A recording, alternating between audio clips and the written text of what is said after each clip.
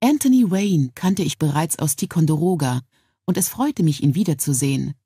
Außerdem war ich entzückt, Dan Morgan zu sehen, der mich herzlich auf beide Wangen küsste, und ich musste zugeben, dass es mich alles andere als kalt ließ, als mir George Washington die Hand küsste, obwohl ich den Mundgeruch bemerkte, der eine Begleiterscheinung seiner berüchtigten Zahnprobleme war. Ich fragte mich, wie ich es wohl bewerkstelligen konnte, seine Zähne zu begutachten, gab derlei Spekulationen jedoch augenblicklich auf, weil eine Prozession von Bediensteten mit Tabletts voll frittiertem Fisch, Brathuhn, Buttermilchbrötchen mit Honig und einer erstaunlichen Auswahl an würzigem Käse hereinkam, wobei der Marquis, wie er mir sagte, letzteren persönlich aus Frankreich mitgebracht hatte. Probiert diesen, ihr, drängte er mich und schnitt mir ein Stück extrem aromatischen Roquefort ab, grün geädert und krümelig. Nathaniel Green, der auf der anderen Seite des Marquis saß, verzog unauffällig die Nase und lächelte mich verstohlen an. Ich erwiderte sein Lächeln zwar, doch eigentlich mochte ich kräftigen Käse sehr. Ich war nicht die Einzige. Rollo, der natürlich mit Ian hereingekommen war und hinter ihm saß, hob den Kopf und schob seine lange, haarige Schnauze zwischen Ian und General Lee, um neugierig an dem Käse zu schnüffeln. Großer Gott! Anscheinend hatte Lee den Hund bis dahin gar nicht bemerkt und warf sich zur Seite, so dass er fast auf Jamies Schoß gelandet wäre. Das wiederum lenkte Rollo ab, der sich Lee zuwandte und ihn ebenfalls aufmerksam beschnüffelte. Ich nahm es dem Hund nicht übel. Charles Lee war ein hochgewachsener, dünner Mann mit einer langen, dünnen Nase und den widerlichsten Tischmanieren, die ich gesehen hatte, seit Jemmy gelernt hatte, allein mit einem Löffel zu essen.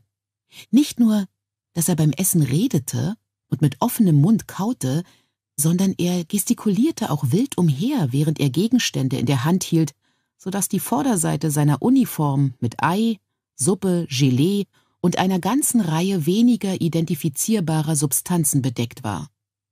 Trotzdem war er ein amüsanter, geistreicher Mann, und die anderen schienen ihm eine gewisse Achtung zu erweisen. Ich fragte mich, warum? Anders als von den anderen Herren am Tisch hatte ich von Charles Lee noch nie gehört. Er behandelte sie mit einer gewissen, nun, es war auf jeden Fall keine Verachtung, Herablassung vielleicht. Ich war zwar selbst in Tischgespräche vertieft, zum Großteil mit dem Marquis, der sich selbst bei dem Versuch übertraf, mich zu bezaubern und mir erzählte, wie sehr ihm seine Frau fehlte. Großer Gott, wie alt war er? fragte ich mich. Er sah nicht älter aus als zwanzig, wenn überhaupt. Der wir den Käse verdankten. Nein, nein, sie hatte ihn nicht selbst hergestellt, doch er stammte von ihrem Anwesen in Chavagnac welches seine Frau in seiner Abwesenheit höchst kompetent betrieb, doch hin und wieder fing ich einen Blick von Jamie auf. Er beteiligte sich zwar an der Konversation, doch ich konnte seinen Blick über den Tisch huschen sehen, abschätzend, beurteilend. Und am häufigsten blieb er auf General Lee an seiner Seite haften. Natürlich, Wayne und Morgan kannte er ja ziemlich gut, und er wusste alles, was ich ihm über Washington und Lafayette hatte erzählen können. Gott, ich hoffte, dass das, was ich über sie zu wissen glaubte, auch nur halbwegs zutraf. Doch wenn nicht, würden wir es sowieso bald herausfinden. Portwein wurde gebracht. Offenbar war der Marquis der Gastgeber des gesamten Essens. Ich hatte den deutlichen Eindruck, dass das Oberkommando der Kontinentalarmee nicht immer so gut speiste. Die Männer hatten es weitgehend vermieden, während des Essens über die bevorstehende Schlacht zu sprechen, aber ich konnte spüren, dass das Thema über dem Tisch hing wie ein herannahendes Gewitter. Hell geränderte schwarze Wolken, von erregenden Blitzen durchzuckt. Ich begann meine Röcke zurechtzurücken, um meinen baldigen Aufbruch anzukündigen, und sah, dass Jamie, der mir gegenüber saß, es bemerkte und lächelte. Lee, der neben ihm saß, bemerkte es ebenfalls. Sein Blick hatte geistesabwesend an meinem Dekolleté gehangen und brach die Anekdote ab, die er Ian gerade erzählte. Es ist solch ein Vergnügen, eure Bekanntschaft zu machen, Madame, sagte er herzlich. Euer Mann bereitet uns eine große Freude, indem er uns mit eurer Gegenwart beglückt. Ich. Lee hielt abrupt mitten im Satz und mitten in seinem Bissen inne und starrte Rollo an, der unauffällig näher gekommen war und jetzt nur noch einen halben Meter von dem General entfernt stand. Angesichts seiner Größe und der niedrigen Bank, auf der der General saß, befanden sie sich damit etwa Auge in Auge. Warum sieht mich dieser Hund so an? wollte Lee wissen und fuhr herum, um Ian einen finsteren Blick zuzuwerfen. Er ist vermutlich neugierig, was ihr als nächstes fallen lasst, sagte Ian und kaute in aller Seelenruhe weiter. Wenn ich ihr wäre, Sir, meldete sich Jamie höflich zu Wort, würde ich schnell etwas fallen lassen. Ian, Rollo und ich verabschiedeten uns von den Generälen und gingen in die Dunkelheit hinaus, um uns auf die Suche nach unseren Betten zu machen. Ein Laufbursche mit einer Laterne eskortierte uns. Eigentlich war es gar nicht so dunkel, obwohl die Sonne endlich untergegangen war. Überall am Ufer des Delaware brannten Feuer, und auch viele der Boote auf dem Fluss hatten Laternen oder offene Feuer, die sich im Wasser spiegelten wie Schwärme glimmender Fische. Weißt du irgendetwas über den Mann, der neben dir gesessen hat? fragte ich Ian in meinem stockenden Gälisch. Er lachte. Er und Jamie lachten immer, wenn ich Gälisch sprach, zog aber verneinend die Schultern hoch. Nein, aber ich werde es herausfinden, sagte er.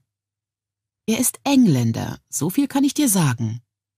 Er benutzte das Wort Sassenach und versetzte mir einen kleinen Schreck. Es war lange her, dass ich gehört hatte, wie ein Schotte das Wort so benutzte, wie es gemeint war.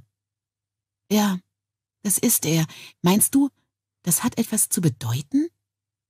Theoretisch waren sie zwar alle noch Engländer, nun abgesehen von Lafayette, von Stäuben, Kosciuszko und ähnlichen Kuriositäten, doch die meisten Kontinentaloffiziere waren auch tatsächlich in Amerika zur Welt gekommen und hatten ihr Leben dort verbracht.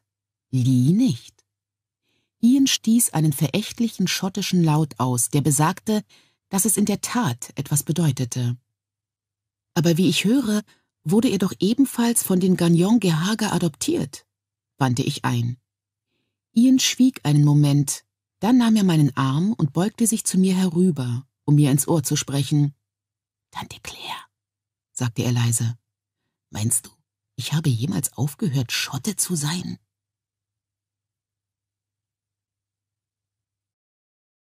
Fünfundfünfzig Vestalische Jungfrauen Jamie und ich waren im Haus der Chinoweth einquartiert, einer sympathischen, wenn auch verständlicherweise etwas nervösen Familie, deren Haus am Ende einer einzigen Straße stand, die sich durch Corals Ferry zog.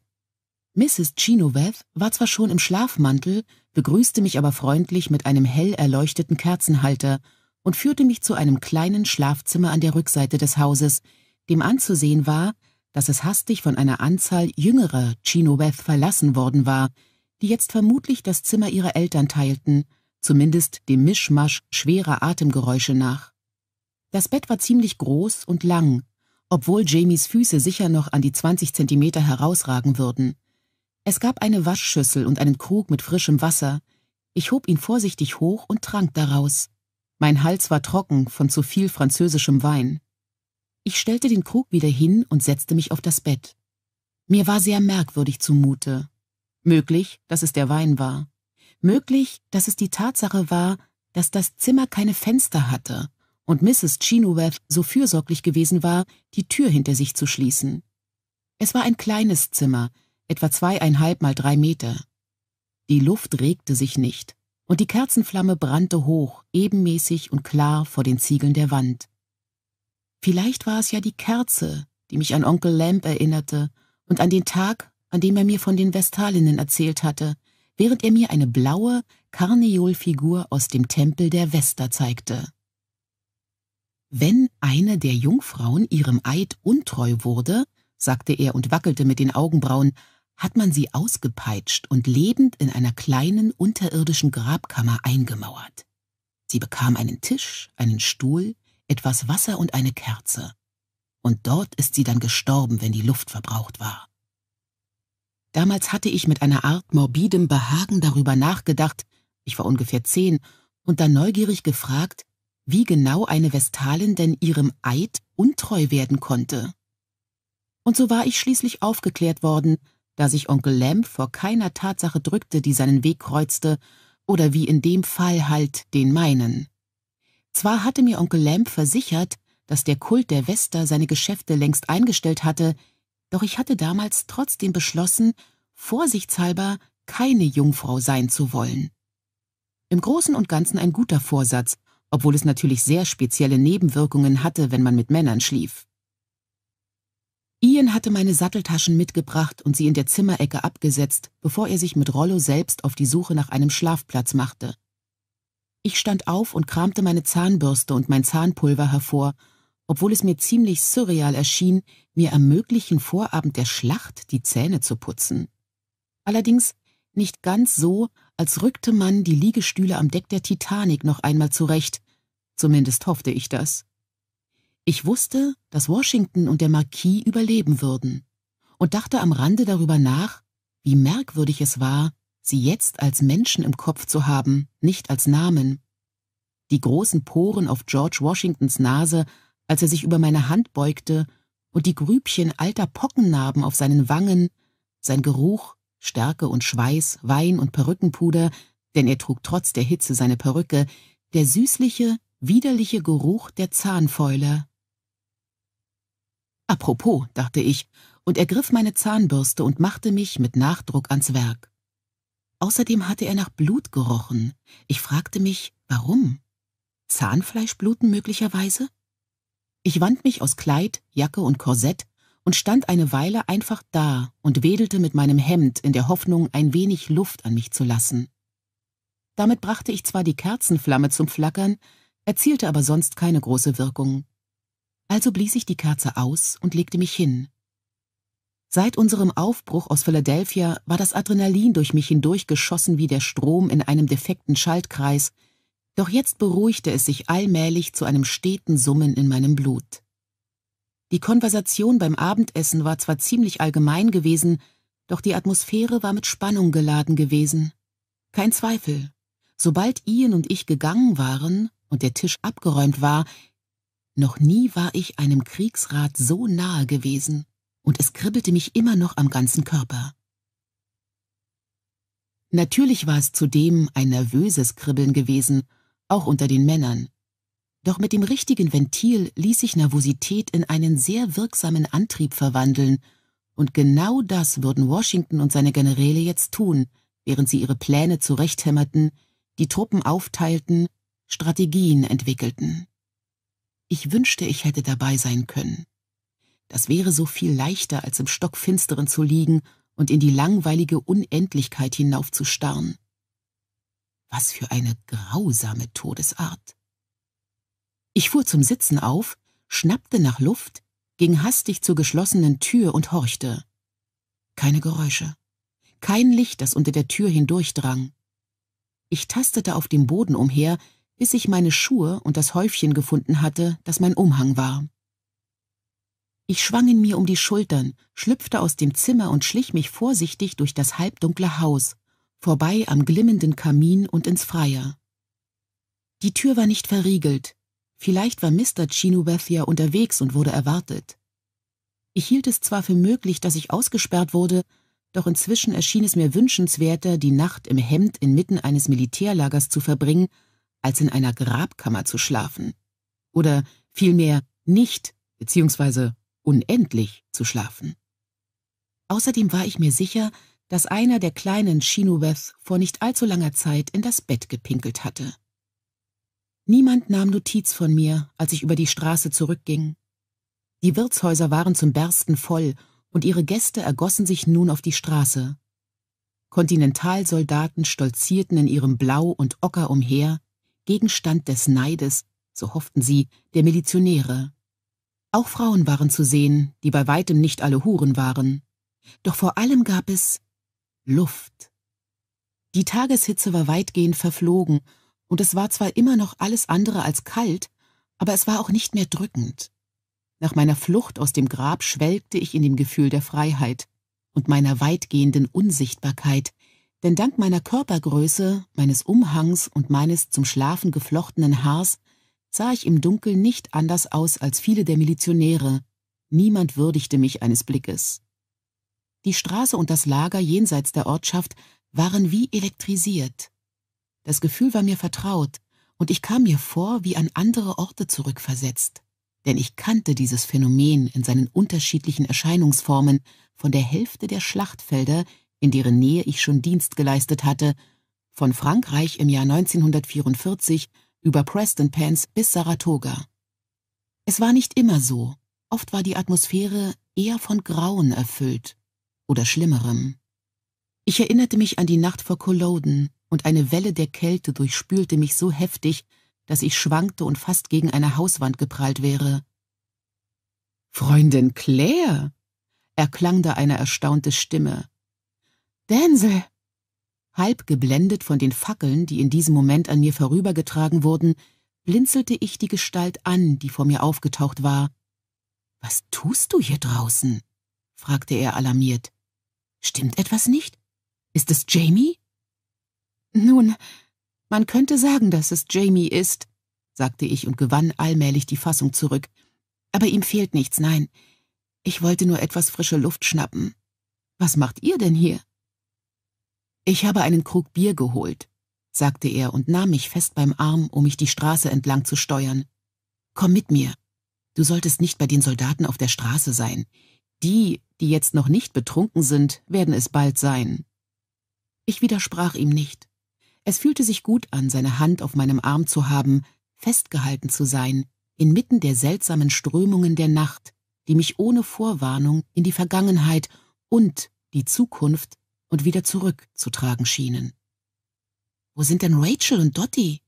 fragte ich, als wir am Ende der Straße rechts abbogen und uns unseren Weg zwischen den Lagerfeuern und Zeltreihen hindurch zu bahnen begannen. Rachel ist mit Ian irgendwo hingegangen, ich habe nicht gefragt. Dottie ist in unserem Behandlungszelt. Ein Fall von akuten Darmbeschwerden. Oh je, was hat sie denn gegessen? Er lachte leise. Nicht sie. Eine Frau namens Peabody, die mit Kolikschmerzen zu uns gekommen ist. Dorothea hat gesagt, sie würde ihr etwas geeignetes verabreichen, wenn ich Bier hole, da es zu gefährlich für sie war, allein zum Wirtshaus zu gehen. Ich glaubte, einen leisen Unterton des Tadels in seiner Stimme zu entdecken doch ich antwortete mit einem unverbindlichen Hm, und er sagte nichts mehr dazu, dass ich en dishabille über die Straße spaziert war. Wahrscheinlich, weil ihm auch erst in dem Moment aufgefallen war, dass ich en dishabille war, als wir das große Behandlungszelt der Hunters betraten und ich meinen Umhang ablegte. Danny warf mir einen kurzen, schockierten Blick zu, hüstelte, griff nach einer Leinenschürze und schaffte es, sie mir zu reichen, ohne mich direkt anzusehen. Dottie massierte einer ziemlich großen Frau, die vornübergebeugt vor ihr auf einem Hocker saß, den ausladenden Rücken und grinste mich über das Häubchen der Frau hinweg an. Wie geht es euch, Mrs. Fraser? Keine Ruhe? So ist es, erwiderte ich ganz offen und zog die Schürze an. Das ist Mrs. Peabody? Ja, Dottie gähnte in ihre Schulter hinein. Ihre Krämpfe scheinen sich gebessert zu haben. Ich habe ihr Fencheltee und Pfefferminze gegeben, fügte sie an Danny gewandt hinzu. Aber sie klagt auch über Rückenschmerzen. Hm. Ich ging hinüber und hockte mich vor die Frau, die halb zu schlafen schien, bis ich ihren Atem roch, der ziemlich hochprozentig war. Ich legte ihr die Hand auf den Bauch, um zu sehen, ob ich die Ursache des Problems ertasten konnte, als sie plötzlich auf eine Weise hustete, die ich schon viel zu oft gehört hatte, würgte und ich gerade noch rechtzeitig zurücksprang. Danke für die Schürze, Danny, sagte ich gelassen und strich die Spritzer von Dreck und Erbrochenem fort, die mich weiter oben getroffen hatten. Ihr habt nicht zufällig einen Entbindungshocker mitgebracht? Einen Entbindungshocker? In eine Schlacht? fragte er schwach und seine Augen quollen hervor, während er durch seine Brillengläser einen Blick auf die Frau warf. Diese schwankte jetzt schwerfällig hin und her wie eine große Glocke, die darüber nachdachte, ob sie erklingen sollte oder nicht. Es könnte eine Geburt werden, sagte ich und sah mich um. Wenn sie tatsächlich Wehen hat. Könnt ihr eine Decke auftreiben, Dottie? Ich glaube, wir müssen sie auf den Boden legen. die Liege wird unter ihr zusammenbrechen.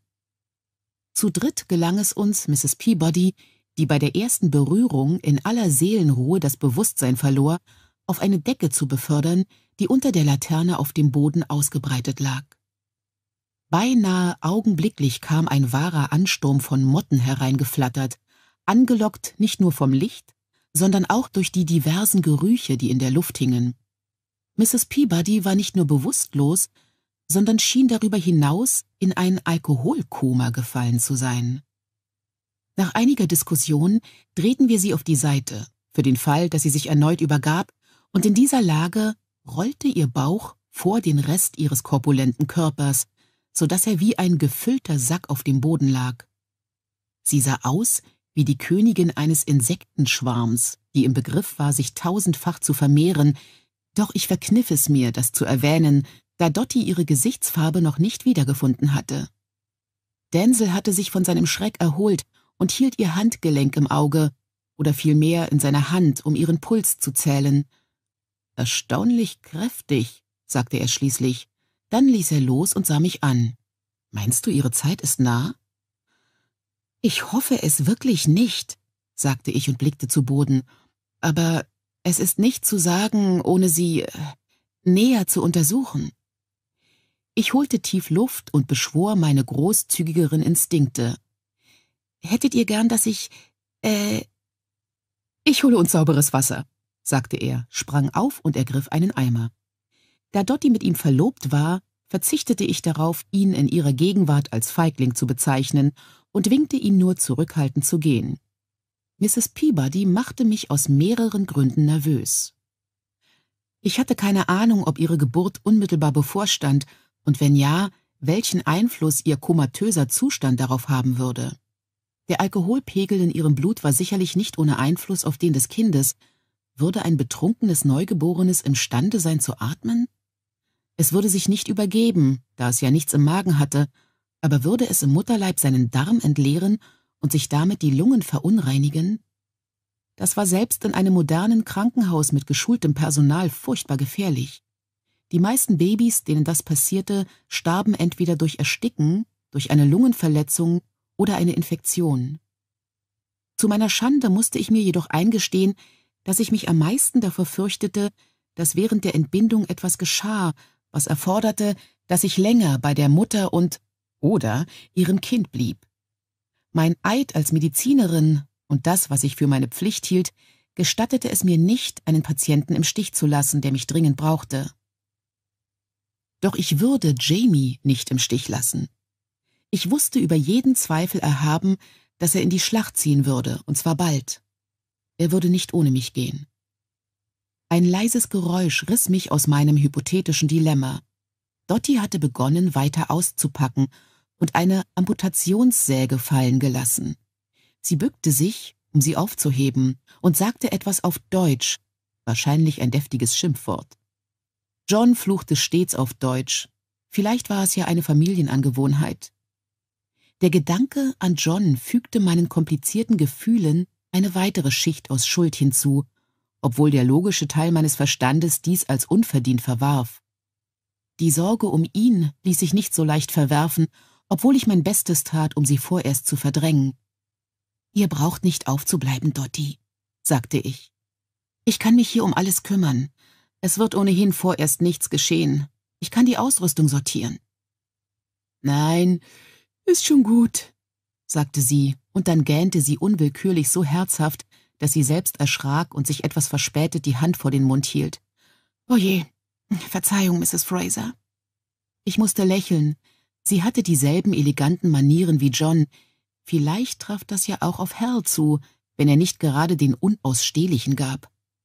Eigentlich, sagte sie und heftete ihren leuchtenden Blick direkt auf mich, bin ich froh über die Gelegenheit, unter vier Augen mit euch zu sprechen. Oh, sagte ich und ging in die Hocke, um Mrs. Peabody die Hand auf den Bauch zu legen. Ich spürte zwar keine Bewegung des Babys, aber Babys wurden ja normalerweise auch ganz ruhig, wenn die Geburt bevorstand. Ich hätte mein Stethoskop benutzen können, um nach seinem Herzschlag zu suchen, aber es war in einer der Kisten oder Taschen, die Ian und der Laufbursche irgendwo hingeschleppt hatten. Doch was auch immer ich hörte, oder nicht, würde vorerst ohnehin keinen Einfluss auf mein Vorgehen haben. Ja. Dottie setzte sich auf eine Verpackungskiste, als sei diese ein Thron. Wie die anderen Grays, denen ich bis jetzt begegnet war, verfügte sie ebenfalls über eine exzellente Körperhaltung. Ich möchte wissen, wie man korrekt Geschlechtsverkehr hat. Oh, äh. Sie senkte den Blick auf Mrs. Peabody. Und ob es eine Möglichkeit gibt, äh, zu verhindern. Eine Schwangerschaft? Natürlich. Ich räusperte mich. Ich hätte gedacht, Mrs. Peabodys Anblick hätte die meisten jungen Frauen davon abgeschreckt, an Kinder, wenn nicht sogar an Sex, auch nur zu denken. Doch Dorothea Gray war ohne Zweifel eine junge Frau aus Blut und Eisen. Versteht mich nicht falsch, Mrs. Fraser, sagte sie ernst. Freundin Claire, meine ich, ich wünsche mir Kinder, sehr sogar. Aber wenn ich irgendwie Einfluss darauf nehmen könnte, nicht auf einem Schlachtfeld zu gebären oder zum Beispiel auf einem fahrenden Schiff. Ich packte den letzten Teil ihres Satzes beim Schopf, nicht zuletzt um Zeit zu gewinnen und einen zusammenhängenden Rat formulieren zu können. Schließlich glaubte ich, dass Rachel vielleicht irgendwann den Wunsch haben würde, über diese Dinge zu sprechen, da sie ja keine Mutter hatte, aber ein Schiff? Denkt ihr denn darüber nach, nach England zurückzukehren? Sie verzog das Gesicht auf eine Weise, die mir ihren Vater lebhaft vor Augen rief, und ich hätte fast gelacht, tat es aber glücklicherweise nicht. Ich weiß es nicht. Ich möchte Mama natürlich furchtbar gern wiedersehen und Adam und Benjamin. Und meine, ach, eigentlich bezweifle ich, dass ich meine Freundinnen noch einmal wiedersehen werde. Sie tat diesen Gedanken mit einer Handbewegung ab. Nicht, dass es in der besseren Gesellschaft keine Quäker gibt, aber sie sind alle sehr reich, und das werden wir nicht sein. Sie biss sich auf die Unterlippe, aber auf eine Weise, die eher etwas Berechnendes als etwas Geknicktes an sich hatte. Wenn ich Danny dazu bringen kann, mich hier zu heiraten, so dass wir schon als Ehepaar in England ankämen, wäre es einfach, in London eine Versammlung zu finden, die uns willkommen heißen würde. Hier dagegen. Sie wies mit der Hand auf das vibrierende Lager ringsum. Sein Einsatz im Krieg würde ihm immer im Weg sein, versteht ihr? Selbst nach dem Krieg? Sie warf mir einen geduldigen Blick zu, viel zu alt für ihr Gesicht. Papa sagt, ein Krieg braucht drei Generationen, um aus dem Boden zu verblassen, auf dem er ausgefochten wurde. Und nach allem, was ich bis jetzt gesehen habe, haben die Quäker ein ähnlich langes Gedächtnis. Da könnte er recht haben. Mrs. Peabody hatte feucht zu schnarchen begonnen, doch ich spürte keinerlei Wehen, ich fuhr mir mit der Hand durch das Haar und machte es mir bequemer, indem ich mich mit dem Rücken an eine der Transportkisten an der Wand lehnte. Nun denn, beginnen wir erst einmal mit ein bisschen grundlegender Anatomie. Ich hatte nicht die geringste Ahnung, wie viel, wenn überhaupt, man einer jungen Adligen wohl erzählt haben mochte oder was sie anderweitig herausgefunden haben könnte, also begann ich mit den weiblichen Fortpflanzungsorganen angefangen mit der Gebärmutter. Was das war, musste sie ja wohl wissen und arbeitete mich dann Schritt für Schritt nach außen vor. Ihr meint, es hat einen Namen? rief sie bezaubert aus, als ich bei der Klitoris anlangte. Ich hatte es immer nur als, äh, nun ja, diese Stelle im Kopf. Ihr Tonfall machte hinreichend klar, dass ich nicht zu erklären brauchte, wozu diese Stelle da war, und ich lachte. Soweit ich weiß, ist dies die einzige Stelle des menschlichen Körpers, die keine andere Funktion zu haben scheint als das Vergnügen der Besitzerin. Aber Männer, haben sie kein? Nun doch, das haben sie, sagte ich, und sie haben auch großes Vergnügen daran, aber ein Penis ist außerdem extrem funktionell. Ihr, äh, wisst, wie er funktioniert? Beim Geschlechtsverkehr? Denzel lässt es nicht zu, dass ich sein nacktes Glied berühre, und ich würde es doch so gern genau betrachten und es nicht nur hier und da erspähen, wenn er, äh, nun ja, ihr, wisst ja. Ihre Augen glitzerten bei der Vorstellung, aber ich weiß, wie es sich durch seine Hose anfühlt. Ich war erstaunt, als das erste Mal unter meiner Hand steif geworden ist. Wie macht es das denn? Ich erklärte ihr das Prinzip des hydrostatischen Drucks, so simpel ich es konnte, und ich merkte schon, was darauf hinkommen würde. Ich räusperte mich und erhob mich zum Knien. Ich muss Mrs. Peabody auf Anzeichen für eine beginnende Geburt untersuchen. Und wir müssen zwar ihre Privatsphäre respektieren, sofern so etwas unter diesen Umständen existiert, doch da ihr mir hier assistiert, gibt es keinen Grund, warum ihr nicht beobachten solltet, was ich tue. Und ich erkläre es euch dabei, wie alles funktioniert. Sie konnte ihre Neugier nicht verbergen, als ich Mrs. Peabodys Intimbereich freilegte, der zwar dicht bewaldet, aber dennoch deutlich, sehr deutlich, weiblich war. Wenn sich der Muttermund, das ist die Öffnung der Gebärmutter, zu weiten beginnt, damit das Baby heraus kann, wird oft etwas Blut und Schleim abgesondert, aber das ist vollkommen harmlos. Ich sehe jedoch noch keine Spur davon. Das machte mir Mut. Oh, sagte Dotti schwach. Doch sie beugte sich gebannt über meine Schulter, als ich vorsichtig meine frisch gewaschene Hand einführte. Oh, sagte Dotti, als sei ihr gerade ein großes Licht aufgegangen. Dorthin gehört es also. Nun, ja, so ist es, sagte ich und versuchte nicht zu lachen. Vergeblich. Ich nehme an, das hätte euch Denzel doch erzählt. Habt ihr ihn gefragt?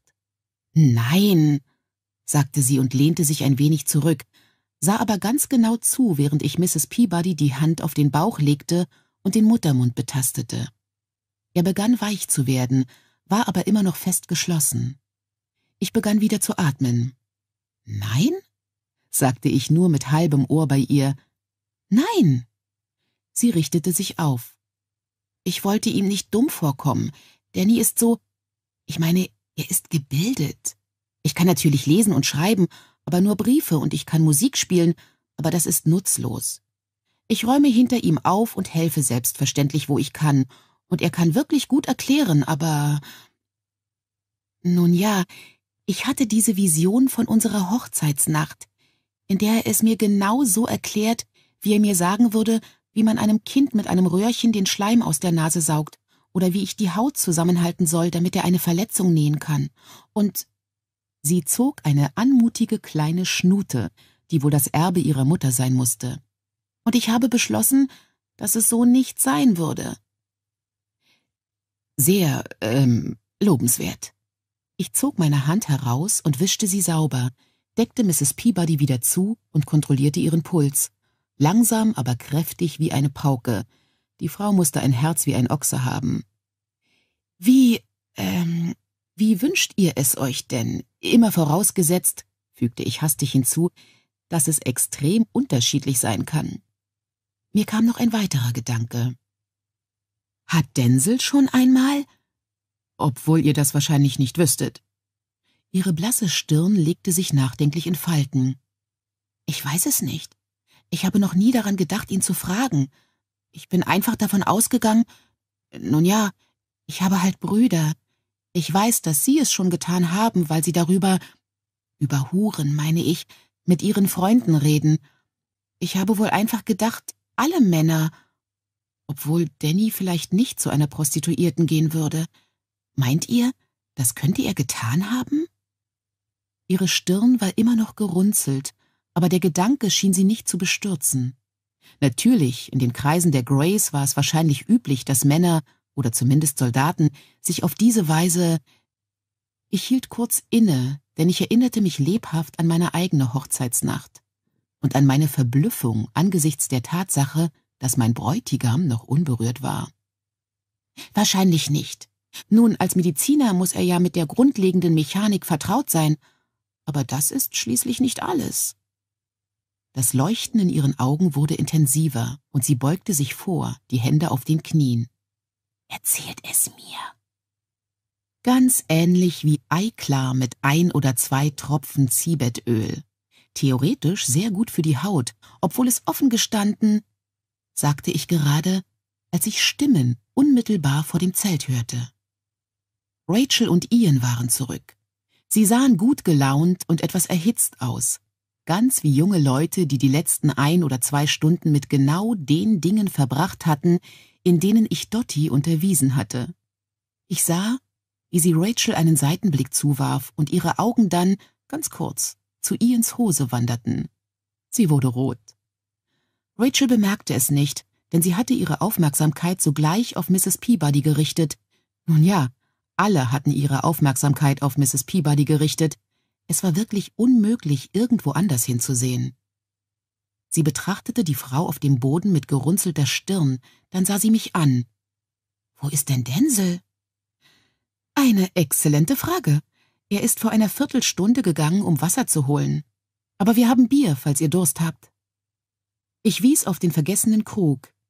Ian goss Rachel einen Becher ein, wartete, während sie ihn austrank, dann füllte er ihn für sich selbst, den Blick immer noch auf Mrs. Peabody geheftet, die eine bemerkenswerte Vielfalt an Geräuschen von sich gab, obwohl sie nach wie vor bewusstlos war. Weiß Onkel Jamie, wo du bist, Tante Claire? fragte er. Er hat gerade nach dir gefragt. Er sagt, er hätte dich zum Schlafen an einem sicheren Ort zurückgelassen, aber du wärst entwischt. Schon wieder, fügte er mit einem breiten Grinsen hinzu. Oh, sagte ich, dann ist er für heute Abend mit den Generälen fertig? Ei, er wollte noch die Bekanntschaft einiger seiner Milizhauptmänner machen, aber die meisten waren schon schlafen gegangen. Also ist er zu den Chinoweth gegangen, weil er zu dir wollte. Mrs. Chinoweth war ein bisschen verdattert, dass du nicht mehr da warst, fügte er vorsichtig hinzu. Ich wollte nur frische Luft schnappen, sagte ich defensiv. Und dann ich wies auf die Patientin auf dem Boden, die jetzt in rhythmisches Schnarchen verfallen war. Ihre Gesichtsfarbe sah besser aus. Das war ermutigend. Äh, meinst du, Jamie ist böse? Ian und Rachel lachten. Nein, Tante Claire, sagte Ian, aber er ist hundemüde und er braucht dich sehr. Hat er dir gesagt, dass du das sagen sollst? Nicht wörtlich, sagte Rachel, aber es war nicht zu überhören. Sie wandte sich Ian zu und drückte ihm kurz den Arm. Würdest du Danny suchen, Ian? Claire kann die Frau hier ja nicht allein lassen, vermute ich, fragte sie und sah mich mit hochgezogener Augenbraue an. Noch nicht, sagte ich. Es sieht nicht so aus, als stünde die Geburt unmittelbar bevor. Ich klopfte im Geiste kurz auf Holz, aber man sollte sie in diesem Zustand nicht allein lassen. Ei, natürlich. Ian gähnte plötzlich herzhaft, schüttelte sich dann aber wieder wach. Falls ich Onkel Jamie begegne, sage ich ihm, wo du bist, Tante Claire. Er ging, und Rachel goss den Becher noch einmal voll Bier und bot es mir an. Es hatte zwar Zimmertemperatur, und zwar von einem warmen Zimmer, schmeckte aber erfrischend sauer und kräftig. Ich hatte eigentlich gar nicht das Gefühl gehabt, müde zu sein, aber das Bier belebte mich erstaunlich. Dottie kontrollierte Mrs. Peabodys Puls und Atmung und legte dann vorsichtig die Hand auf die gewaltige Wölbung ihrer Schwangerschaft. Bist du schon einmal bei einer Geburt dabei gewesen, Schwägerin? fragte Dottie Rachel, jetzt peinlich auf ihre Quäkersprache bedacht. Mehrmals, erwiderte Rachel und hockte sich neben Mrs. Peabody. Das hier sieht aber irgendwie anders aus.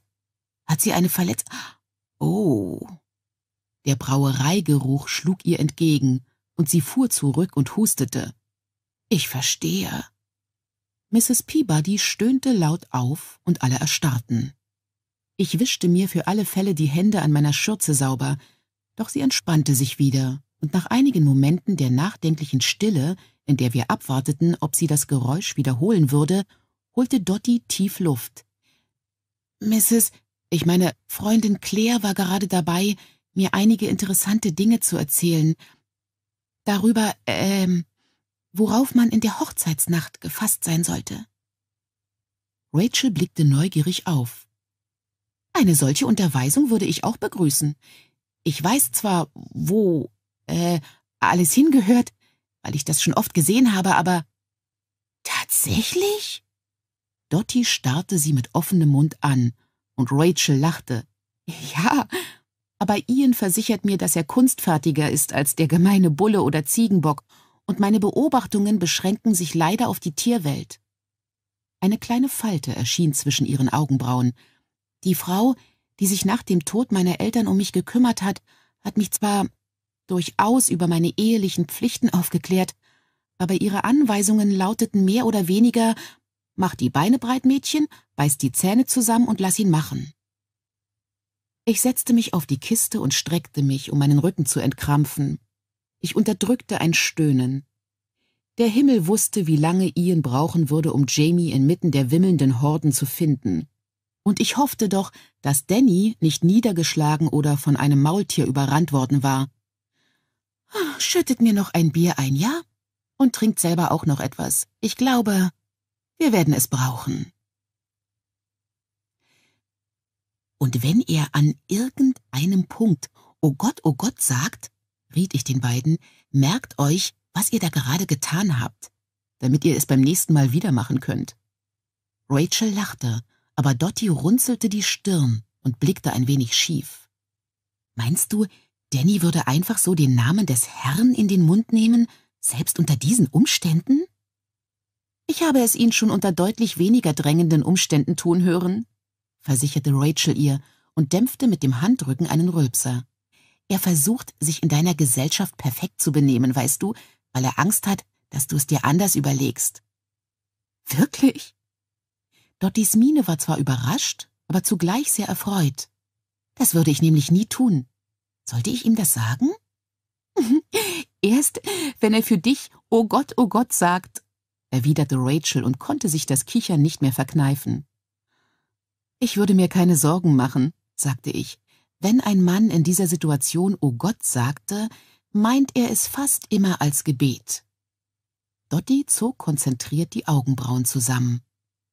Ein Gebet der Verzweiflung oder der Dankbarkeit? Nun, das liegt ganz bei euch, antwortete ich und hielt mir die Hand vor den Mund um ebenfalls leise zu rülpsen. Männerstimmen vor dem Zelt ließen uns befangene Blicke auf den Bierkrug werfen. Wir setzten uns wie auf Kommando gerade hin und zupften uns die etwas zerzausten Haare zurecht. Doch keiner der Herren, die jetzt eintraten, war in einem Zustand, in dem er mit Steinen hätte werfen dürfen. Ian hatte Denzel und Jamie gefunden, und irgendwo hatten sie noch einen kleinen, untersetzten Begleiter mit einem Hut aufgelesen, der das Haar in einem Stummelzöpfchen trug.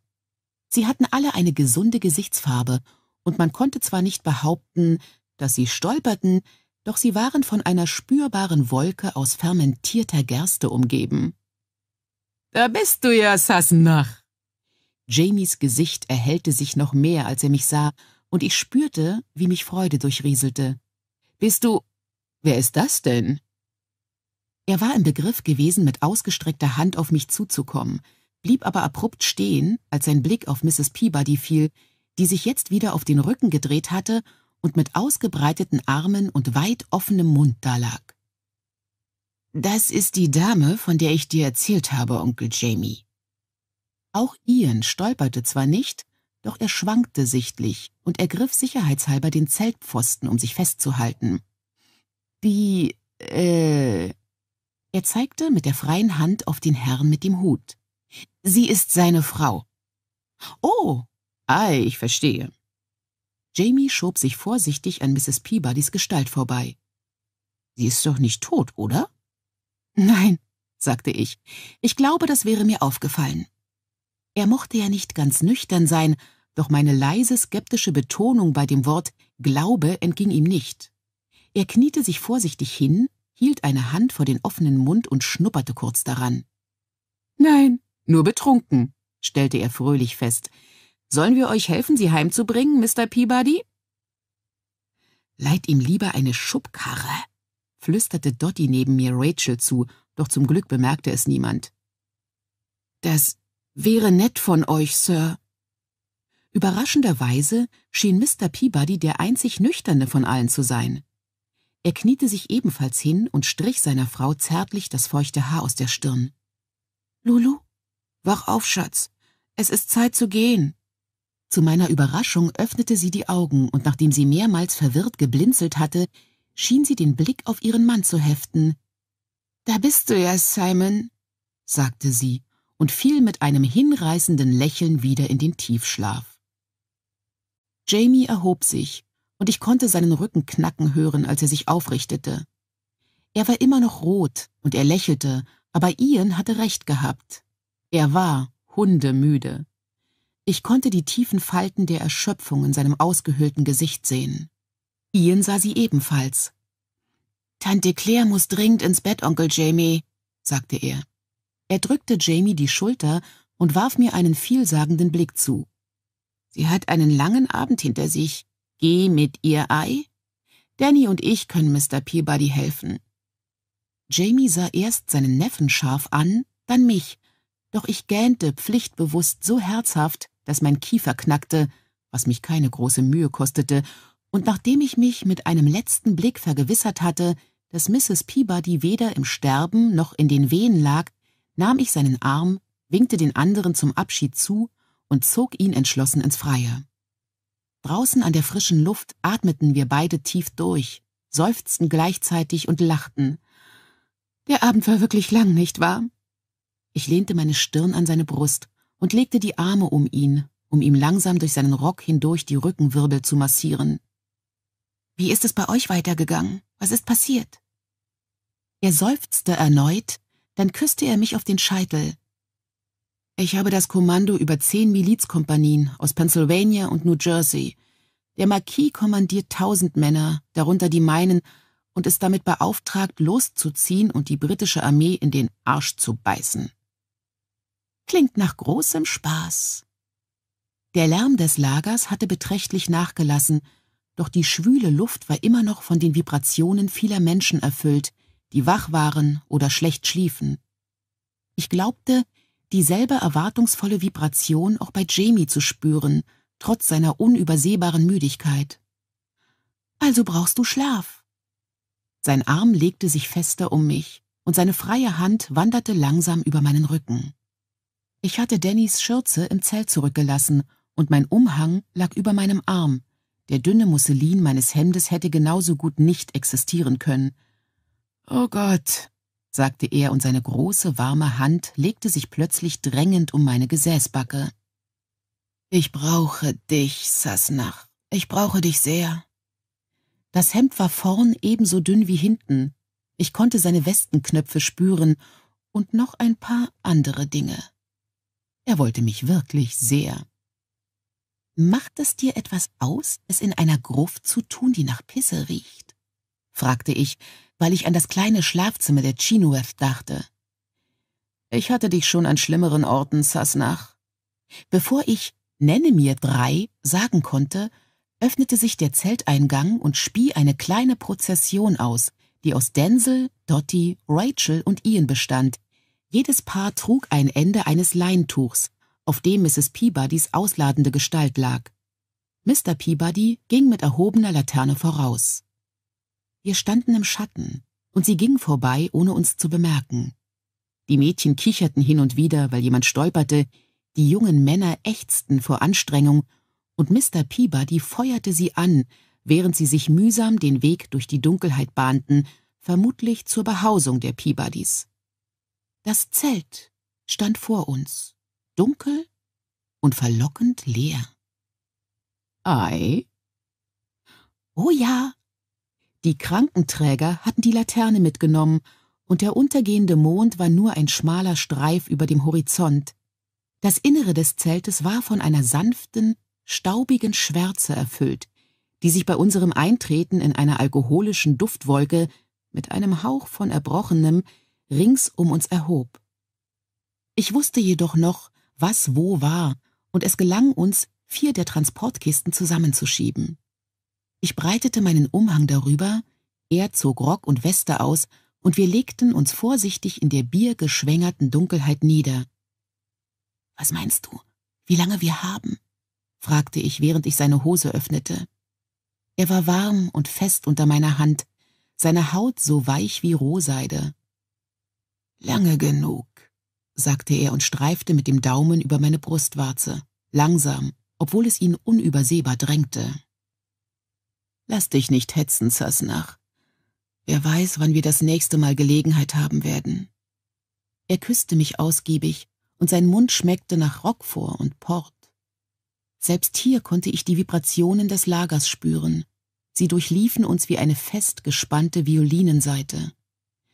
Ich glaube nicht, dass ich genug Zeit habe, dich zum Schreien zu bringen, Sasnach, flüsterte er mir ins Ohr. Aber vielleicht ja genug, dich zum Stöhnen zu bringen. Möglich. Es dauert doch noch etwas bis zum Morgengrauen, oder? Ob es am Bier lag und an den vorehelichen Erklärungen, an der späten Stunde und der Verlockung der Heimlichtuerei oder einfach an Jamie und unserem zunehmenden Bedürfnis, die Welt auszuschließen und nur noch einander wahrzunehmen. Er hatte Zeit, und zwar reichlich. Oh Gott, sagte er schließlich und ließ sich langsam auf mich niedersinken, bis sein Herz langsam und schwer gegen meine Rippen schlug. Oh Gott. Ich spürte meinen Puls in den Händen und Knochen und in meiner Mitte, brachte jedoch keine eloquentere Erwiderung als ein schwaches Oh zustande. Nach einer Weile jedoch erholte ich mich genügend, um sein Haar zu streicheln. Bald gehen wir nach Hause, flüsterte ich ihm zu. Dann haben wir alle Zeit der Welt. Das brachte mir einen bejahenden schottischen Laut ein, und wir lagen noch ein wenig da, weil wir uns nicht voneinander trennen und uns ankleiden wollten, obwohl die Kisten hart waren und das Risiko, entdeckt zu werden, mit jeder Minute zunahm. Schließlich bewegte er sich, jedoch nicht, um aufzustehen. Oh Gott, sagte er leise in einem völlig anderen Ton. Dreihundert Mann. Und hielt mich noch fester.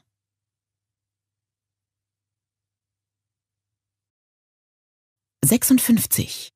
Stinkender Papist. Die Sonne war zwar noch nicht aufgegangen, doch dort, wo die Pferde untergebracht waren, herrschte ein Gewimmel wie auf einem Ameisenhaufen.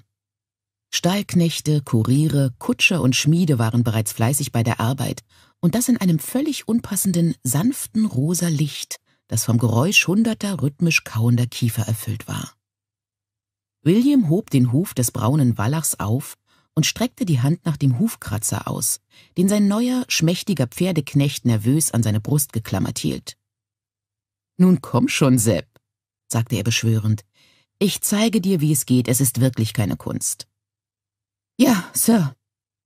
Zebedee Jeffers schob sich drei Zentimeter näher heran, und sein Blick huschte unablässig zwischen dem Huf und dem gewaltigen Berg aus Pferdemuskeln hin und her. Jeffers mochte keine Pferde, vor allem mochte er Visigoth nicht. William glaubte, dass es wahrscheinlich ein Glück war, dass Sepp nicht wusste, was ein Visigoth, ein Westgote, war. Also gut. Siehst du das? Er klopfte mit dem Hufkratzer gegen den Schatten, der sich an der Innenseite des Hufs abmalte, die Kante eines Steinchens, das sich im Lauf der Nacht unter dem Hufeisen festgeklemmt hatte. Es ist nur ganz klein, aber es fühlt sich so an, wie sich ein Kiesel in einem Schuh anfühlen würde. Und er wird anfangen zu lahmen, wenn wir uns nicht darum kümmern. Er steckt nicht sehr fest. Willst du es versuchen? Nein, Sir, sagte Sepp aufrichtig. Zebedee stammte von der Küste von Maryland und kannte sich mit Austern, Booten und Fischen aus, nicht mit Pferden. Er tut dir nichts, sagte William mit einem Hauch von Ungeduld.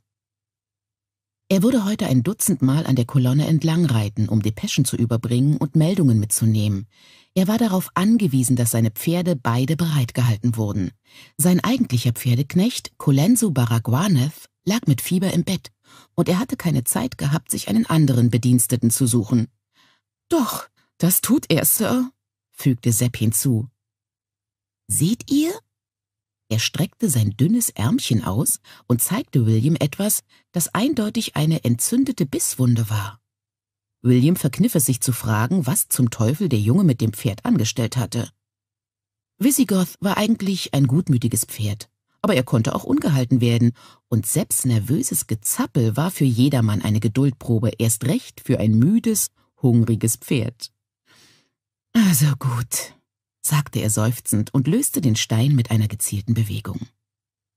Besser so, sagte er zu dem Pferd, fuhr mit der Hand an dessen Bein entlang und klopfte Visigoth dann die Flanke. Er suchte in seiner Tasche und zog ein Bündel schlaffer Karotten hervor, die er gestern Abend von einer Farmersfrau gekauft hatte. Sie war mit Körben voller Gemüse durch das Lager gekommen, die ihr an einem Joch von den breiten Schultern hingen. Hier, gib ihm das, freunde dich mit ihm an, schlug er vor und reichte Sepp eine Karotte. Halte sie ihm auf der flachen Hand hin. Doch bevor ihm der Junge diesen vermeintlichen Olivenzweig hinhalten konnte, senkte das Pferd den Kopf und schnappte ihm die Karotte aus den Fingern. Seine großen gelben Zähne knirschten hörbar. Der Junge stieß einen kleinen Schrei aus, stolperte mehrere Schritte zurück, stieß gegen einen Eimer und fiel Hals über Kopf darüber. William sah sich hin und her gerissen zwischen Verärgerung und einem unpassenden Drang zu lachen, unterdrückte beides und setzte sich in Bewegung, um seinen Knecht letztlich aus einem Dunghaufen zu ziehen. Weißt du was? sagte er, während er den Jungen mit fester Hand entstaubte. Sieh zu, dass mein ganzes Gepäck auf dem Wagen landet. Sieh nach, ob Colenso etwas braucht und sorge dafür, dass ich heute Abend etwas zu essen bekomme. Ich werde Lord Balcarras Knecht bitten, sich um die Pferde zu kümmern. Sepp sackte erleichtert in sich zusammen. Oh, danke, Sir. Und geh zu einem der Stabsärzte und lass ihn nach deinem Arm sehen, rief ihm William im Gewirr der Pferde und Maultiere zu. Der Junge zog seine Schultern bis zu den Ohren hoch und ging schneller, so als hätte er ihn nicht mehr gehört. William sattelte Visigoth selber. Das tat er grundsätzlich, denn nie hätte er es jemand anderem überlassen, das Zaumzeug zu überprüfen, von dem sein Leben abhängen konnte. Dann ließ er ihn bei Madras, seinem anderen Pferd, stehen und machte sich auf die Suche nach Sutherlands Pferden. Trotz des Gewimmels fand er sie ohne Probleme. Sutherland hatte zehn Pferde, alles edle Kreaturen von bestem Stockmaß und mindestens ein Dutzend Knechte, die sie versorgten. William war gerade dabei, seine Verhandlungen mit einem von ihnen zu beenden, als er ein vertrautes Gesicht in der Menge erblickte. Mist, sagte er leise, doch Hauptmann Richardson hatte ihn schon entdeckt und kam mit einem breiten Lächeln auf ihn zu. Hauptmann Lord Ellesmere, euer Diener, Sir, der Eure, Sir, sagte William so freundlich er konnte. Was wollte der Schurke denn jetzt schon wieder? fragte er sich. Nicht, dass Richardson erwiesenermaßen ein Schurke war, doch er hegte einen ziemlichen Groll gegen den Mann, nicht nur um seiner selbst willen, sondern auch um Mutter Claires willen. Der Gedanke an Mutter Claire versetzte ihm einen unerwarteten Stich, den er jedoch verdrängte. Nichts von all dem war ihre Schuld. Ich bin überrascht, euch hier zu sehen, Eure Lordschaft, sagte Richardson und ließ den Blick über das brodelnde Lager schweifen. Die Sonne war jetzt aufgegangen und goldene Streifen erleuchteten die Staubwolke, die vom groben Pelz der Maultiere aufstieg. Ich dachte, ihr wart mit Burgoyne in Saratoga. Das war ich auch, erwiderte William kühl. Dann wurde euch doch der Kampfeinsatz untersagt. So ist es, William deutete mit einer höflichen Geste an, dass er eigentlich schon fort sein müsste, doch Richardson blieb einfach stehen und lächelte mit diesem vollkommen gewöhnlichen Gesicht, das abgesehen von einem großen braunen Muttermal an seinem Kinn so unauffällig war, dass ihn wahrscheinlich nicht einmal seine eigene Mutter in einer Menschenansammlung ausmachen konnte. Man hat mich unter Ehrenwort gehen lassen. William hatte das Gefühl, sich verteidigen zu müssen, obwohl er sich nicht sicher war, wogegen. Ich kann gar nicht kämpfen. Er breitete die Arme aus. Wie ihr seht, trage ich keine Waffen. Ah, tatsächlich. Richardson kam ein wenig näher und senkte die Stimme. Da dem so ist, frage ich mich, ob... Nein, sagte William entschlossen. Ich gehöre zu General Clintons Adjutanten und ich kann meinen Posten nicht verlassen. Entschuldigt mich, Sir, ich werde erwartet. Er machte auf dem Absatz kehrt und ging hämmernden Herzens davon, bis ihm auffiel, dass er sein Pferd gar nicht mitgenommen hatte. Richardson stand immer noch da und unterhielt sich mit einem Stallknecht, der mit dem Abbau des Lagers beschäftigt war und sich gerade ein Anbindeseil in großen Schlingen um die Schulter wickelte. Die Menge der Pferde und Maultiere schrumpfte jetzt rasch, doch noch standen einige in Visigoth Nähe, so dass William zwischen ihnen untertauchen und so tun konnte, als sei er mit seinen Satteltaschen beschäftigt, den Kopf gesenkt und das Gesicht abgewandt, bis sich Richardson entfernte.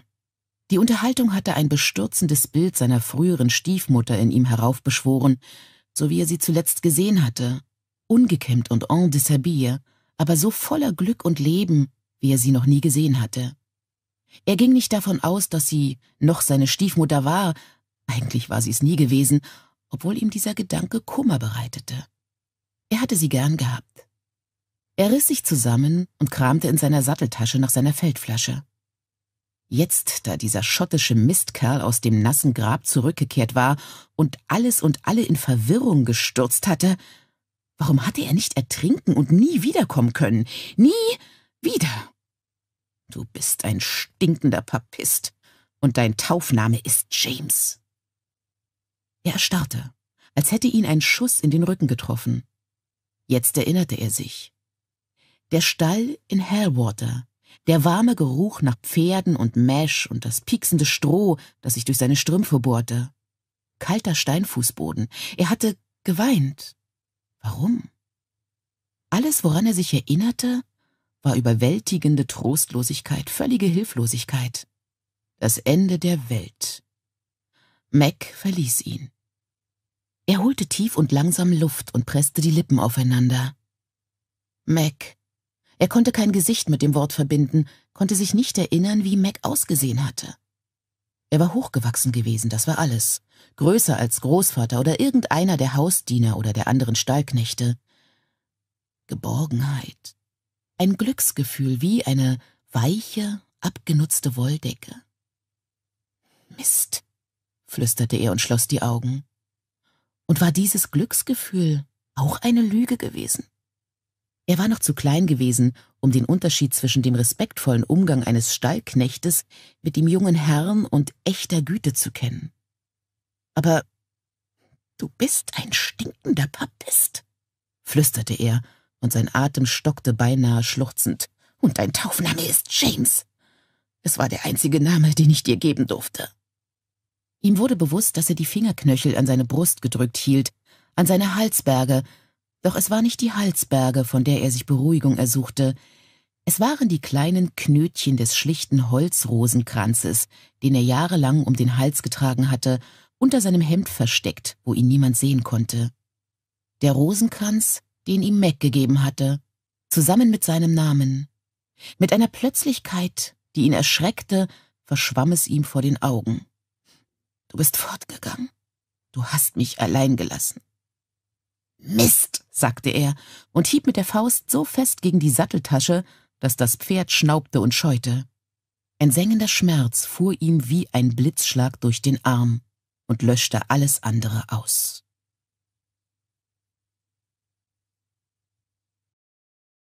Siebenundfünfzig. Geh nicht gelassen in die gute Nacht. Als Ian kurz vor Tagesanbruch erwachte, hockte sein Onkel neben ihm. Ich gehe jetzt mit den Hauptmännern meiner Kompanien frühstücken, sagte Jamie ohne Umschweife. Du meldest dich bei Hauptmann Mercer als Kundschafter.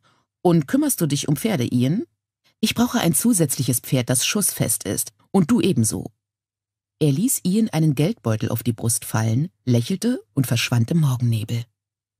Ian rollte sich langsam aus seiner Decke und reckte sich. Er hatte sich seinen Ruheplatz in einigem Abstand vom Lager gesucht, auf einer kleinen Erhebung am Fluss. Er fragte sich erst gar nicht, wie Onkel Jamie ihn gefunden hatte und wunderte sich genauso wenig über die Regenerationsfähigkeit seines Onkels. Er ließ sich Zeit bei seinen Vorbereitungen, kleidete sich sorgfältig an und suchte sich etwas zu essen, während er über die Dinge nachdachte, die zu tun waren. In der Nacht hatte er geträumt, und der Traum hallte immer noch in ihm wieder, selbst wenn er sich nicht an die Einzelheiten erinnern konnte. Er war in einem dichten Wald gewesen, und etwas war, mit ihm dort, versteckt im Laub. Er war sich nicht sicher, was es war, nicht einmal, ob er es wirklich gesehen hatte, doch das Gefühl der Gefahr lauerte weiter beunruhigend zwischen seinen Schulterblättern. In seinem Traum hatte er einen Raben rufen gehört, und das war mit Sicherheit eine Warnung, doch dann war der Rabe an ihm vorübergeflogen, und es war gar kein Rabe, sondern ein weißer Vogel. Sein Flügel hatte im Vorüberfliegen Ians Wange berührt, und er konnte den Hauch der Federn jetzt noch spüren. Weiße Tiere waren Boten, so hieß es sowohl bei den Mohawk als auch im Gueltacht. Er war Indianer und Highlander. Träume durften nicht missachtet werden. Manchmal schwebte die Bedeutung eines Traums an die Oberfläche der Gedanken wie ein ertrunkenes Blatt, das vom Grund aufstieg. Er ließ den Traum ziehen, hoffte, dass dieser zurückkehren würde, um sich zu erklären, und machte sich an seine Aufgaben.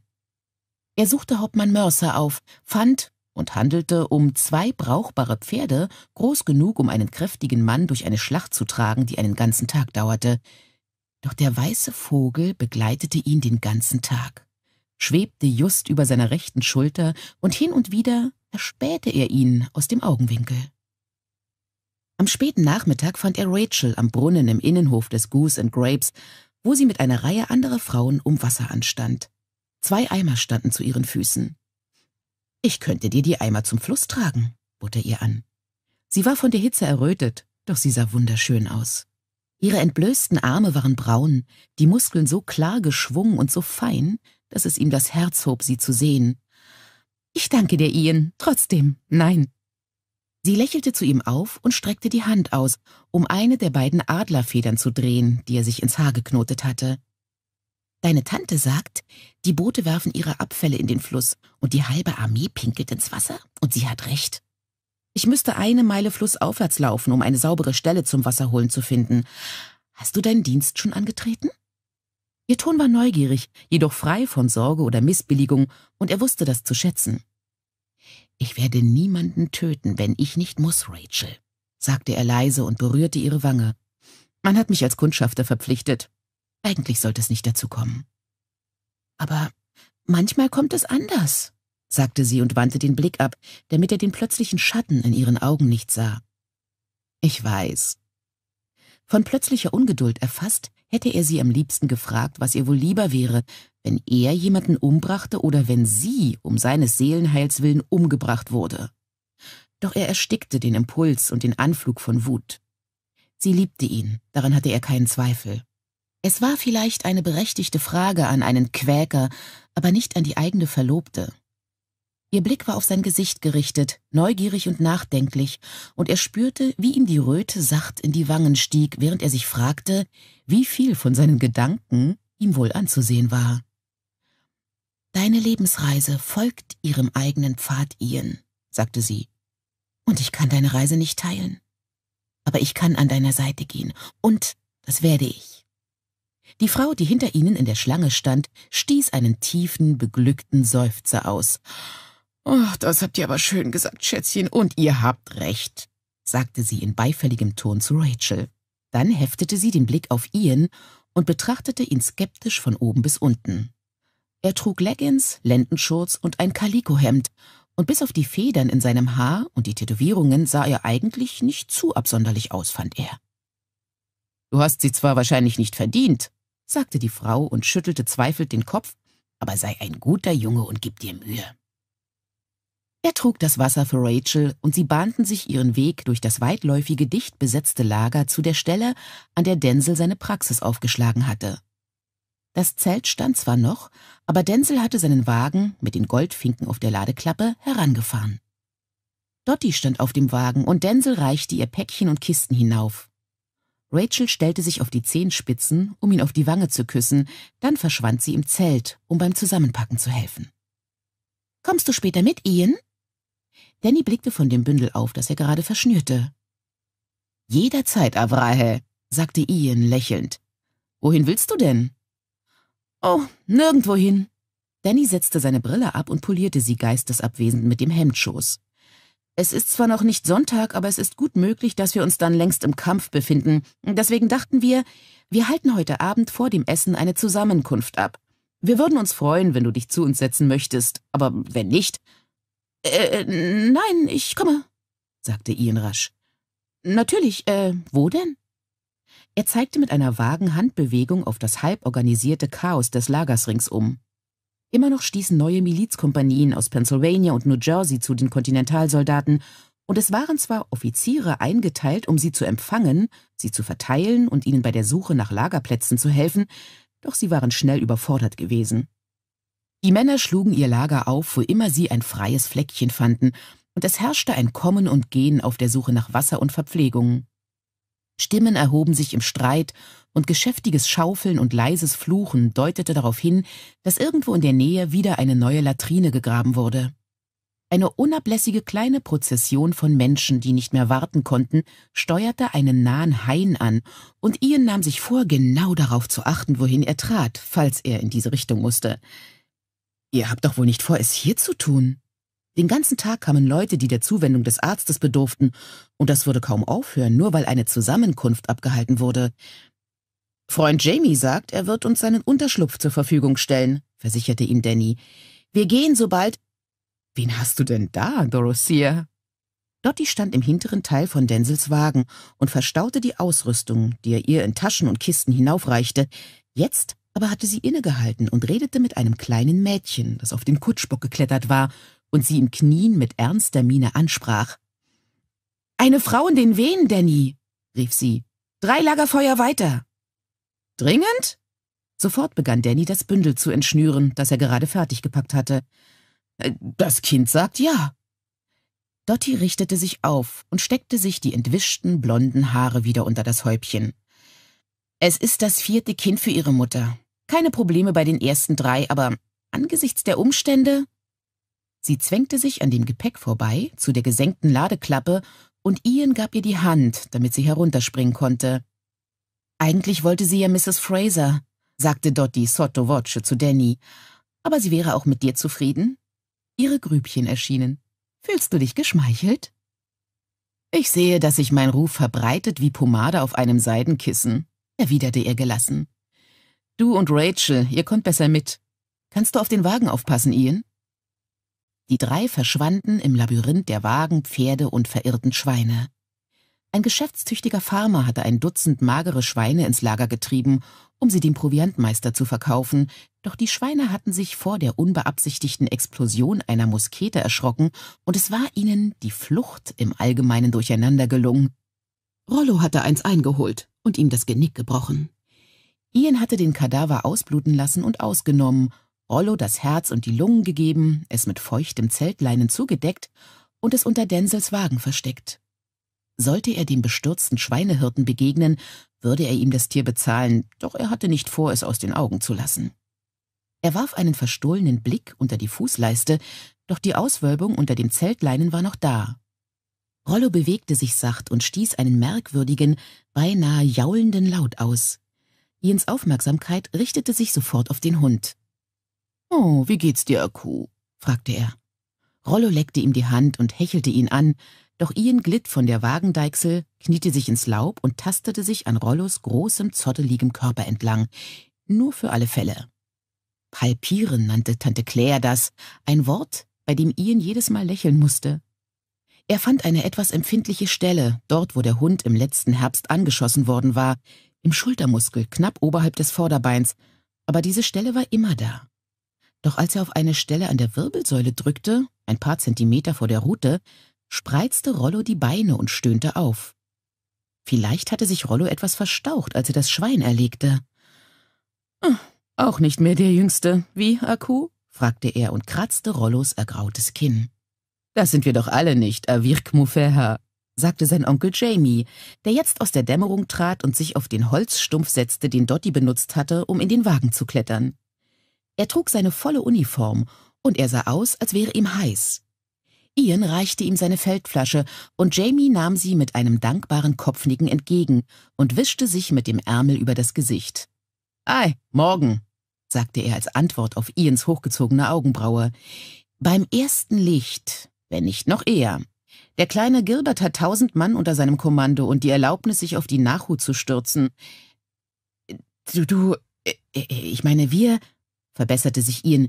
Wir auch? Jamie nickte und trank einen großen Schluck. Ian fand, dass er ein wenig nervös wirkte, doch er hatte schließlich 300 Mann unter seinem Kommando und wenn sie alle mit Lafayette gingen, ich glaube, sie schicken mich mit ihm los, weil sie hoffen, dass die Weisheit meines Alters ein Gegengewicht zum jugendlichen Eifer des Seigneur de Lafayette bildet, sagte Jamie und ließ die Feldflasche mit einem Seufzer sinken. Und vielleicht ist es ja besser, als mit Lee zurückzubleiben. Er verzog das Gesicht. Kochendes Wasser findet es unter seiner Würde, nur tausend Mann zu befehligen und hat das Kommando abgelehnt. Ian stieß einen Laut der Belustigung aus und des vollen Vertrauens in die Klugheit seines Onkels. Es konnte doch lustig werden, die britische Nachhut zu peinigen. Er spürte ein Kribbeln der Vorfreude bei dem Gedanken daran, seine Kriegsbemalung anzulegen. Wo ist denn Denzel hin? fragte Jamie mit einem Blick auf den Wagen. Oh, hilft dort drüben bei einer Geburt, sagte Ian und wies mit dem Kinn in die Richtung, die Denzel und Dottie eingeschlagen hatten. Er sagt, du bist heute Abend Gastgeber einer Quäkerzusammenkunft. Jamie zog die Augenbraue hoch, in der die Schweißtröpfchen glitzerten. Nun ja, ich hatte nicht vor, daran teilzunehmen, aber ich habe ihnen gesagt, dass sie gern mein Zelt benutzen können. Wieso? Gehst du auch dorthin? Das hatte ich vor, sagte Ian. Man hat mich schließlich eingeladen. Ach ja? Jamie betrachtete ihn interessiert. Meinst du, sie haben vor, dich zu bekehren? Ich glaube, so etwas tun die Quäker nicht, sagte Ian ein wenig reumütig. Ich würde ihnen auch viel Glück dabei wünschen. Die Macht des Gebets muss doch irgendwo ihre Grenzen haben. Darauf prustete sein Onkel zwar belustigt los, schüttelte aber den Kopf. Denk das nur nicht, Junge, riet er Ian. Wenn sich die kleine Rachel das in den Kopf setzt, dann hat sie dein Schwert zur Pflugschar umgeschmiedet, ehe du Fischers Fritz fischt frische Fische sagen kannst. Äh, nun ja, zweimal, fügte er hinzu, oder vielleicht dreimal. Ian stieß einen kleinen Protestlaut aus. Ei, und wenn ich es versuchen würde, wer wäre dann zur Stelle, um sie alle zu beschützen? Rachel und ihren Bruder und Dottie, meine ich. Das weißt du doch, oder? Dass sie nur das sein können, was sie sind, weil wir, du und ich, weil wir so sind, was wir sind. Jamie lehnte sich etwas zurück und spitzte die Lippen, dann lächelte er ihn an, flüchtig und ironisch. Das weiß ich sehr wohl. Und Denzel Hunter auch. Es ist der Grund, warum er hier ist obwohl es ihn sein Zuhause und seine Zusammenkunft gekostet hat. Aber vergiss nicht, dass sie es wert sind, beschützt zu werden. Nicht nur, weil du Rachel liebst, meine ich. Hm. Er war nicht in der Stimmung für philosophische Diskussionen und er bezweifelte, dass sein Onkel es war. Inzwischen herrschte das Licht jener langen Stunde vor der Dunkelheit, in der die Lebewesen des Waldes innehalten und Atem holen und sich alles für die Nacht verlangsamt. Es war eine gute Zeit zum Jagen, weil die Bäume als erstes langsamer wurden, so dass man die Tiere sah, die sich noch in ihnen bewegten. Onkel Jamie wusste das. Er saß entspannt da, und das Einzige, was sich bewegte, waren seine Augen. Ian sah, wie sein Blick nach oben huschte und wandte ebenfalls den Kopf. Und da. Ein Eichhörnchen klammerte sich an den Stamm einer Platane, drei Meter von ihnen entfernt. Er hätte es nicht gesehen, wenn ihm nicht das letzte Zucken des Schwanzes ins Auge gefallen wäre, als es dort zur Ruhe kam. Er sah Jamie in die Augen, und sie lächelten beide und saßen eine Weile schweigend da, während sie dem Lärmen des Lagers lauschten. Und selbst das ließ allmählich nach. Denzel und Dottie waren noch nicht zurück. Vielleicht war die Geburt ja doch komplizierter, als Danny gedacht hatte. Rachel würde bald zu Jamies Zelt gehen, um an der Zusammenkunft teilzunehmen, Jamie seufzte und machte Anstalten, sich zu erheben. Äh, Onkel Jamie? sagte Ian in einem beiläufigen Tonfall, der seinen Onkel sofort aufmerken ließ. Was? sagte sein Onkel argwöhnisch. Du hast die Kleine doch nicht geschwängert, oder? Nein, antwortete Ian gekränkt und fragte sich vage, woher sein Onkel gewusst hatte, dass er gerade an Rachel dachte. Und wie kommst du auf so etwas, du gemeiner alter Lump? Weil ich genau weiß, was, äh, äh, Onkel Jamie normalerweise bedeutet, teilte ihm Jamie leicht erheitert mit. Es bedeutet, dass du wegen eines Mädchens verwirrt bist und Rat möchtest. Und mir ist nicht klar, was du an Rachel verwirrend finden könntest. Mir ist noch nie eine geradlinigere Frau begegnet, abgesehen von deiner Tante Claire natürlich, fügte er mit einem kurzen Grinsen hinzu. Hm, machte Ian, der zwar über den Scharfsinn seines Onkels nicht begeistert war, aber einräumen musste, dass es stimmte. Nun denn, es ist nur. Trotz der absolut gut gemeinten Absicht, um nicht sogar zu sagen Unschuld seiner Frage, spürte er, wie sein Gesicht heiß wurde. Jamie zog die Augenbrauen hoch. Nun ja, wenn du es wirklich wissen musst, ich habe noch nie mit einer Jungfrau geschlafen? Sobald es heraus war, entspannte er sich ein wenig, obwohl sein Onkel die Augenbrauen fast bis zum Haaransatz hochzog. Und, äh, ei, ich bin mir sicher, dass Rachel eine ist, fügte er defensiv hinzu. Ja, da bin ich mir auch sicher, pflichtete sein Onkel ihm bei. Die meisten Männer würden das nicht als Problem betrachten. Ian musterte ihn vielsagend. Du weißt genau, was ich meine. Ich möchte, dass es ihr gefällt. Sehr lobenswert. Hat sich denn schon einmal eine Frau bei dir beschwert? Du bist ja wirklich lustig, Onkel Jamie, sagte Ian empört. Du weißt genau, was ich meine. Ei, du meinst, wenn du eine Frau dafür bezahlst, dass sie mit dir ins Bett geht, ist es unwahrscheinlich, dass du etwas Unvorteilhaftes über deine Leistungen zu hören bekommst. Jamie lehnte sich ein wenig zurück und betrachtete ihn. Hast du Rachel von deiner Angewohnheit erzählt, Huren aufzusuchen? Ian spürte, wie ihm das Blut in die Ohren schoss, und er sah sich gezwungen, einen Moment gleichmäßig zu atmen, bevor er antwortete Ich habe ja alles erzählt, knurrte er mit zusammengebissenen Zähnen, und ich würde es ganz und gar nicht als Angewohnheit bezeichnen. Er war nicht so dumm, dazuzusetzen, ich tue das nicht öfter als andere Männer, denn er wusste, was für eine Antwort er darauf hören würde. Glücklicherweise schien Jamie seinen Humor jetzt im Griff zu haben und über die Frage nachzudenken. Ähm, deine Mohawk-Frau, sagte er vorsichtig, sie, äh, nein, sagte Ian. Die Indianer betrachten das Ganze ein bisschen anders. Weil er die Gelegenheit sah, es Jamie ein wenig heimzuzahlen, fügte er hinzu, Weißt du nicht mehr, wie wir bei den Snowbird Cherokee waren und Bert dir ein paar junge Mädchen geschickt hat, um dir das Bett zu wärmen? Jamie warf ihm einen derart altmodischen Blick zu, dass er laut lachen musste. Sag mir, Ian, fragte Jamie dann nach einer Pause, hättest du dieses Gespräch auch mit deinem Paar geführt? Um Himmels willen, nein. Ich fühle mich geschmeichelt, erwiderte Jamie trocken. Nun ja, Ian hatte automatisch zu antworten begonnen und suchte jetzt krampfhaft nach einer Erklärung. Es, äh, ich meine, es ist nicht so, dass ich mit Pa nicht über vieles geredet hätte, aber wenn er mir etwas darüber erzählt hätte, hätte es doch mit ihm und Mama zu tun gehabt, oder? Und das, also, nun ja, das hätte ich nicht gekonnt. Hm. Ian musterte seinen Onkel mit zusammengekniffenen Augen. Du willst mir doch jetzt nicht erzählen, dass meine Mutter, ähm, die meine Schwester ist, Ei? Nein, so etwas würde ich dir nie erzählen. Ich verstehe, was du meinst. Ich dachte nur gerade. Er verstummte, und Ian beobachtete ihn scharf. Das Licht verblasste zwar, doch noch war es hell genug. Jamie zuckte mit den Achseln. Ei, nun ja, es ist nur, ähm, deine Tante Claire war Witwe, als ich sie geheiratet habe, ei?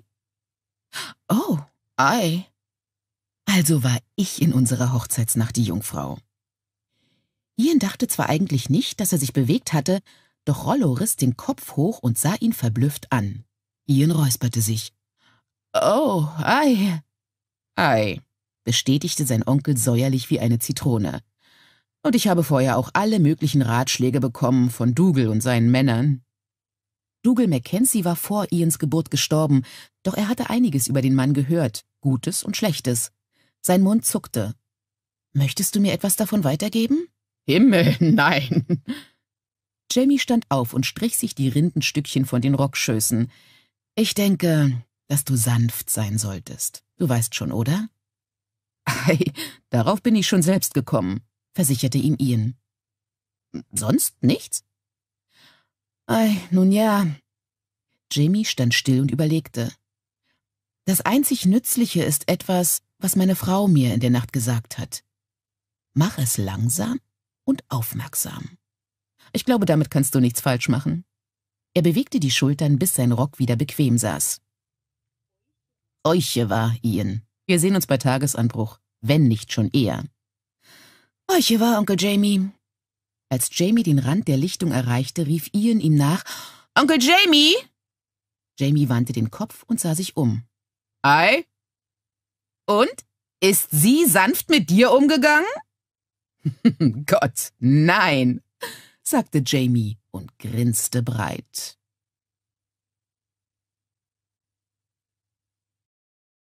Achtundfünfzig. Kastrametation Die Sonne stand tief am Himmel, als William Clintons Lager erreichte, und tiefer noch, als er Visigoth an Sutherlands Stallknecht übergeben hatte. Sepp war nirgendwo in Sicht. Vielleicht war er ja bei Colenso. Er lieferte die Kartusche mit seinen Depeschen bei Hauptmann von Münchhausen ab, suchte den Sekretär der Kompanie auf und machte das Zelt ausfindig, das er mit zwei anderen jungen Hauptmännern des 28. teilte. Randolph Merbling saß draußen vor dem Zelt und las im letzten Sonnenlicht, doch von Thomas Evans war nichts zu sehen, genauso wenig wie von Colenso Baraguanev oder von Zebedee. Oder von Williams Gepäck. Einen Moment lang atmete er nur, dann schüttelte er sich wie ein nasser Hund. Er war so müde, wütend zu sein, dass er einfach nicht mehr aus der Reserve zu locken war. Er zuckte mit den Achseln, borgte sich ein Handtuch von Mörbling, wusch sich das Gesicht und zog los, um sich etwas zu essen zu suchen. Er war entschlossen, an nichts mehr zu denken, bis er etwas gegessen hatte. Und das gelang ihm auch weitgehend, während sich wenigstens einige seiner hohlen Magenstellen mit Huhn, Brot, Käse und Bier füllten. Doch als er zum Ende kam, stieß plötzlich ein scharfes Bild in seine angenehme Verdauungsmeditation. Ein errötetes, hübsches Gesicht mit argwöhnischen Augen, die exakt die Farbe des Cidre hatten, den er gerade trank. Jane. Verdammt. Vor lauter Ärger hatte er die Hure und ihre Schwester ganz vergessen. Er hatte ihnen gesagt, sie sollten sich bei Sonnenuntergang mit ihm am Lazarettzelt treffen. Nun, noch war die Sonne ja nicht untergegangen. Er war schon auf den Beinen, als ihm ein Gedanke kam, und er ging zurück zum Koch und schwatzte ihm etwas Brot und Käse ab, nur für alle Fälle. Kastramentation war die Wissenschaft vom korrekten Anlegen eines Militärlagers. Entwässerung, Latrinengräben, wo man das Pulver deponierte, damit es bei Regen nicht überflutet wurde, er hatte einmal eine kurze Unterweisung darin genossen. Wahrscheinlich würde er es ja selbst nie tun müssen, aber es half dabei, die Dinge zu finden, wenn man wusste, wo sie theoretisch sein sollten. Das Hospital eines Lagers befand sich demzufolge immer so weit wie möglich vom Kommando-Hauptquartier entfernt, nah am Wasser, aber auf einer Erhebung, falls vorhanden. Hier war eine vorhanden, und er fand das große grüne Leinenzelt ohne Schwierigkeiten. Hätte es mit geschlossenen Augen finden können. Armeeärzte trugen den Geruch ihres Tagewerkes mit sich herum, und der Hauch von getrocknetem Blut und der scharfe Unterton von Krankheit und Tod waren aus hundert Metern Entfernung wahrnehmbar. Nach einer Schlacht war es schlimmer, viel schlimmer. Doch es gab immer Krankheiten und Unfälle, und der Gestank hing selbst in friedlichen Tagen über dem Zelthospital, jetzt noch verstärkt durch die schwüle Hitze, die sich wie eine feuchte Decke über das Lager gelegt hatte. Einige Männer und Frauen drängten sich um das Zelt und harrten der Behandlung. Er musterte sie mit einem raschen Blick, doch Jane sah er nicht. Sein Herz hatte ein wenig schneller geschlagen, als er daran dachte, dass er sie sehen würde, und er fühlte sich unerklärlich enttäuscht. Dafür gab es keinen Grund, sagte er sich. Sie und ihre Schwester würden ihm nichts als Ärger machen. Sie mussten des Wartens müde geworden sein und Du kommst sehr spät, my Lord, sagte eine anklagende Stimme dicht neben ihm, und als er herumfuhr, sah er, dass sie ihn von oben herab ansah, so gut es jemand konnte, der ihm gerade bis zur Brust reichte, also nicht besonders gut. Absurderweise ertappte er sich dabei, dass er auf sie hinunterlächelte. Ich habe doch Sonnenuntergang gesagt, erwiderte er nachsichtig und wies kopfnickend nach Westen, wo noch ein schmaler, gleißender Streifen durch die Bäume schien. Noch ist sie nicht weg, oder? Die Sonne braucht hier verdammt lange zum Untergehen. Sie richtete ihre Augen missbilligend zusammengekniffen auf das fragliche Gestirn. In der Stadt geht sowas viel schneller. Bevor er etwas auf diese lächerliche Feststellung entgegnen konnte, heftete sie den Blick wieder auf ihn und runzelte die Stirn. Warum trägst du deine Halsberge nicht? wollte sie wissen und stemmte die Hände in die Hüften. Es hat mich große Mühe gekostet, sie dir zurückzuholen. Aber ich dachte, es gibt vielleicht Fragen, wenn ich plötzlich mitten im Lager damit auftauche, und ich dachte, du und deine Schwester, ihr würdet äh, langwierige Erklärungen lieber vermeiden. Sie verzog die Nase, jedoch nicht ohne Belustigung. Oh, wie fürsorglich. Mit deinen Bediensteten gehst du aber nicht ganz so fürsorglich um, oder? Was meinst du damit? Komm mit. Sie verschränkte den rechten Arm mit seinem linken und zog ihn in Richtung Wald davon, ehe er protestieren konnte. Sie führte ihn zu einem kleinen improvisierten Unterschlupf im Gebüsch, der aus einem leeren Armeebettsack und zwei Unterröcken zu bestehen schien. Als er sich auf ihre Einladung hin niederbeugte, entdeckte er ihre Schwester Fanny in der Hocke neben einem Bettsack, der mit frischem Gras ausgestopft war und auf dem Colenso und Sepp mit verwirrten Gesichtern kauerten. Bei seinem Anblick duckten sie sich noch mehr zusammen. Was zum Teufel macht ihr hier? wollte er wissen. Und wo ist mein Gepäck, Sepp? D dort hinten, sagte Sepp mit bebender Stimme und zeigte mit dem Daumen auf das Gebüsch hinter dem Unterschlupf. Ich, ich konnte nämlich, nämlich euer Zelt nicht finden und wollte es nicht aus den Augen lassen. Aber ich habe dir doch gesagt. Und was ist mit dir, Baragwanath? Bist du immer noch krank? fragte William. Er kniete sich abrupt hin und steckte den Kopf in den Unterschlupf. Colenso sah schlecht aus. Er war bleich wie verdorbene Milch und hatte sichtlich Schmerzen, denn er saß zusammengekrümmt da. Oh, es ist nichts, Sir, sagte er und schluckte krampfhaft. Muss nur etwas gegessen haben. Warst du beim Arzt? Colenso wandte das Gesicht ab und zog die Schultern hoch. Sepp rutschte langsam beiseite und plante anscheinend zu flüchten. William packte ihn am Arm. Was ist? Hast du deinen Arm etwa nicht versorgen lassen? Sie haben Angst vor den Armeeärzten, mischte sich Jane empört ein. William richtete sich zu voller Größe auf und funkelte zu ihr hinunter. Ach, und wer hat Ihnen denn eingeredet, dass Sie Angst vor den Ärzten haben sollten? Und wie sind Sie in deiner Obhut geraten, wenn ich fragen darf? Ihre Lippen pressten sich fest zusammen, und sie warf unwillkürlich einen Blick in das Innere des Unterschlupfs. Fanny sah zu ihnen hinaus, ihre Rehaugen riesig im schwindenden Licht. Sie schluckte und legte Colenso schützend die Hand auf die Schulter. Jane seufzte tief und nahm erneut Williams Arm. Komm mit! Sie führte ihn ein kleines Stück fort, immer noch in Sicht, aber außer Hörweite des kleinen Unterschlupfes. Fanny und ich haben auf dich gewartet, und dann sind die beiden Jungen zusammen angekommen. Der Größere, äh, was hast du gesagt, wie er heißt? Colenso Baraguaneth, er ist aus Cornwall, fügte William knapp hinzu, als er die Belustigung über ihr Gesicht huschen sah. Was du nicht sagst. Nun, es ging ihm so schlecht, dass er nicht mehr stehen konnte. Er ist vor uns zu Boden gesunken und hat die fürchterlichsten Geräusche von sich gegeben. Äh, der Kleine, Sebedi, ich weiß, danke, war außer sich und hat vor Verwirrung fast geweint. Meine Schwester ist ein sehr zart beseitetes Geschöpf, setzte sie entschuldigend hinzu. Sie ist zu ihnen gegangen, um ihnen zu helfen, und ich bin ihr gefolgt. Sie zuckte mit den Achseln. Colenso hat es mit unserer Hilfe so weit in den Wald geschafft, dass er die Hose herunterlassen konnte, und ich habe ihm ein bisschen Wasser gegeben. Sie fasste an die kleine, hölzerne Feldflasche, die an ihrer Schulter hing, und er fragte sich flüchtig, woher sie sie hatte. Sie hatte sie nicht dabei gehabt, als er den beiden vorhin am Fluss begegnet war. Meinen herzlichen Dank, sagte er förmlich, aber warum hast du die Jungen denn da nicht zum Lazarett gebracht? Zum ersten Mal schien ihre Fassung ein wenig zu bröckeln. Sie wandte sich von ihm ab, und er sah, wie die letzten Sonnenstrahlen ihren glatten Scheitel in einen vertrauten, schwachen Kastanienglanz tauchten. Dieser Anblick erinnerte ihn wie ein Donnerschlag an ihre erste Begegnung und an die Mischung aus Scham und Erregung, die er empfunden hatte. Vor allem letzterer. Antworte mir, sagte er mit mehr Nachdruck, als er beabsichtigt hatte, und sie wandte sich ihm wieder zu und quittierte seinen Ton mit einem scharfen Blick. Neben dem Lazarettzelt lag ein Finger auf dem Boden, schnappte sie.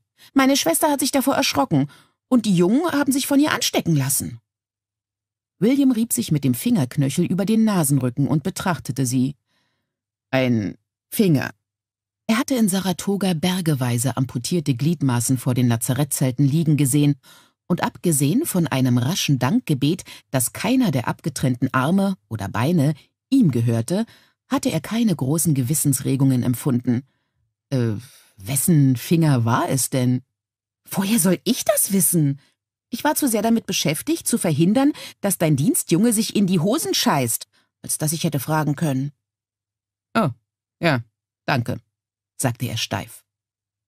Er blickte noch einmal auf den Unterschlupf und stellte überrascht fest, dass Fanny herausgekommen war und sich etwas entfernt von ihrer Schwester hielt, das hübsche Gesicht voller Argwohn. Sah er so bedrohlich aus? fragte er sich. Vorsichtshalber nahm er eine etwas entspanntere Haltung ein und lächelte Fanny an. Ihre Miene blieb jedoch unverändert. und sie starrte ihn weiter misstrauisch an. Er räusperte sich, nahm den Sack von der Schulter und hielt ihn Jane hin. Ich dachte, ihr hättet vielleicht kein Abendessen bekommen. Haben die Jungen, nun, zumindest Sepp, etwas gegessen? Jane nickte und griff mit einer Geschwindigkeit nach dem Sack, die darauf hindeutete, dass die Mädchen in der Tat seit einiger Zeit keine Mahlzeit mehr genossen hatten. Er sagt, er hat mit den anderen Stallknechten gegessen. Also schön. Ich bringe ihn zum Lazarett, um seinen Arm versorgen zu lassen und vielleicht ein Mittel für Colenso zu bekommen, und du kannst dich unterdessen mit deiner Schwester erfrischen. Und dann können wir über eure Lage sprechen. Er war sich ihrer körperlichen Nähe schon seit einigen Momenten intensiv bewusst, doch bei diesen Worten ließ sie ihn die volle Wirkung ihrer Augen spüren. Cidre? dachte er vage. Oder doch Sherry? Und schien dabei irgendwie zu fließen und den Standort zu verändern, ohne dass er hätte sagen können, wie. Er hatte nicht gesehen, dass sie sich bewegte, doch plötzlich stand sie so dicht bei ihm, dass er sie hätte berühren können, und er roch ihr Haar und bildete sich ein, die Wärme ihrer Haut durch ihre Kleider hindurch zu spüren. Sie nahm seine Hand und ihr Daumen wanderte flüchtig über seine Handfläche. Die Härchen auf seinem Arm richteten sich auf. Ich bin sicher, dass wir zu einem akzeptablen Übereinkommen gelangen werden, my Lord, sagte sie mit großer Würde und ließ seine kribbelnde Hand los. Er buxierte Sepp wie einen widerspenstigen Junghengst in das Lazarettzelt und stand halb in Gedanken daneben, während ein junger schottischer Arzt mit Sommersprossen dem Jungen die Wunde säuberte. Arabella Jane roch nicht mehr nach dem Hurenparfum, das sie im Bordell benutzt hatte, doch bei Gott, sie roch gut. Wir sollten die Wunde kauterisieren, sagte die Stimme des jungen Arztes. Das verhindert, dass sich ein Abszess bildet, ei? Nein! Sepp riss sich von dem Arzt los und rannte so ungestüm auf den Ausgang zu, dass er mit mehreren Leuten zusammenprallte und eine Frau mit einem Aufschrei umflog. Aus seinen beiläufigen Gedanken gerissen, setzte William ihm automatisch nach und warf den Jungen zu Boden. Komm schon, Sepp, sagte er, hiefte Sepp auf die Beine und schob ihn entschlossen zu Dr. Sommersprosse zurück. So schlimm wird es schon nicht. Ein oder zwei Sekunden, dann ist es vorbei. Da Sepp davon nicht überzeugt zu sein schien, setzte William ihn entschlossen auf einen Hocker und schob seine rechte Manschette zurück. Da, sagte er und zeigte auf die lange Narbe auf seinem Unterarm, die wie ein Komet geformt war. Das passiert, wenn sich ein Abszess bildet. Sepp und der Arzt betrachteten die Narbe interessiert. Ein Splitter von einem Baum, der vom Blitz getroffen wurde, hatte die Verletzung verursacht, so erzählte er ihnen. Bin drei Tage mit Fieber durch den Great Dismal Sumpf gewandert, sagte er. Indianer haben mich gefunden und mich zu einem Arzt gebracht. Ich wäre fast gestorben, und er zog die Stirn in Falten und sah Sepp durchdringend an. Der Arzt war schon fast dabei, mir den Arm abzuschneiden, als der Abszess geplatzt ist und er ihn kauterisiert hat. Du hast vielleicht weniger Glück, wie? Sepp sah immer noch nicht glücklich aus, stimmte aber widerstrebend zu. William packte ihn bei den Schultern und redete ihm gut zu, während das Eisen erhitzt wurde, doch sein Herz schlug so schnell, als wartete er selber auf das Kautereisen. Indianer. Ganz besonders einer. Er hatte gedacht, er hätte all seine Wut aufgebraucht, doch da war sie wieder und flammte auf wie ein Stück Holzkohle, auf das man mit dem Schüreisen eingestochert hat. Der verfluchte Ian Murray. Verfluchter Schotte und zeitweise auch Mohawk. Sein verdammter Vetter, was alles noch viel schlimmer machte. Und dann war da noch Rachel. Murray hatte ihn zu Dr. Hunter und zu Rachel gebracht. Er holte tief und krampfhaft Luft und dachte an ihr Indigo-Kleid an dem Kleiderhaken in Dr. Hunters Haus. Dachte daran, wie er den Stoff gepackt und an sein Gesicht gedrückt hatte, um ihren Duft einzuatmen wie ein Erstickender. Dort war Murray auch Rachel begegnet. Und jetzt war sie die Verlobte dieses Au! Sepp wand sich, und William begriff etwas spät, dass er seine Finger in die Schulter des Jungen gebohrt hatte, wie er ließ los, als sei Sepp eine heiße Kartoffel, und dachte an Jamie Frasers eisernen Griff an seinem Arm und den fürchterlichen Schmerz, der ihn von der Schulter bis zur Fingerspitze betäubt hatte. Entschuldigung, sagte er und seine Stimme bebte von der Anstrengung, seine Rage zu verbergen. Entschuldigung, Sepp. Der Arzt stand jetzt mit dem glühenden Eisen bereit. William nahm Sepps Arm so sacht er konnte und hielt ihn still, während es geschah.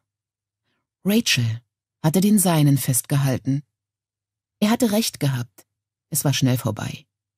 Der Arzt presste das heiße Eisen auf die Wunde und zählte langsam bis fünf, dann entfernte er es wieder. Sepp erstarrte und holte Luft für drei, doch er schrie nicht. Fertig, sagte der Arzt, legte das Eisen beiseite und lächelte Sepp an. So, noch ein wenig Mandelöl auf die Wunde, dann verbinde ich sie. Ihr habt euch tapfer gehalten, Junge.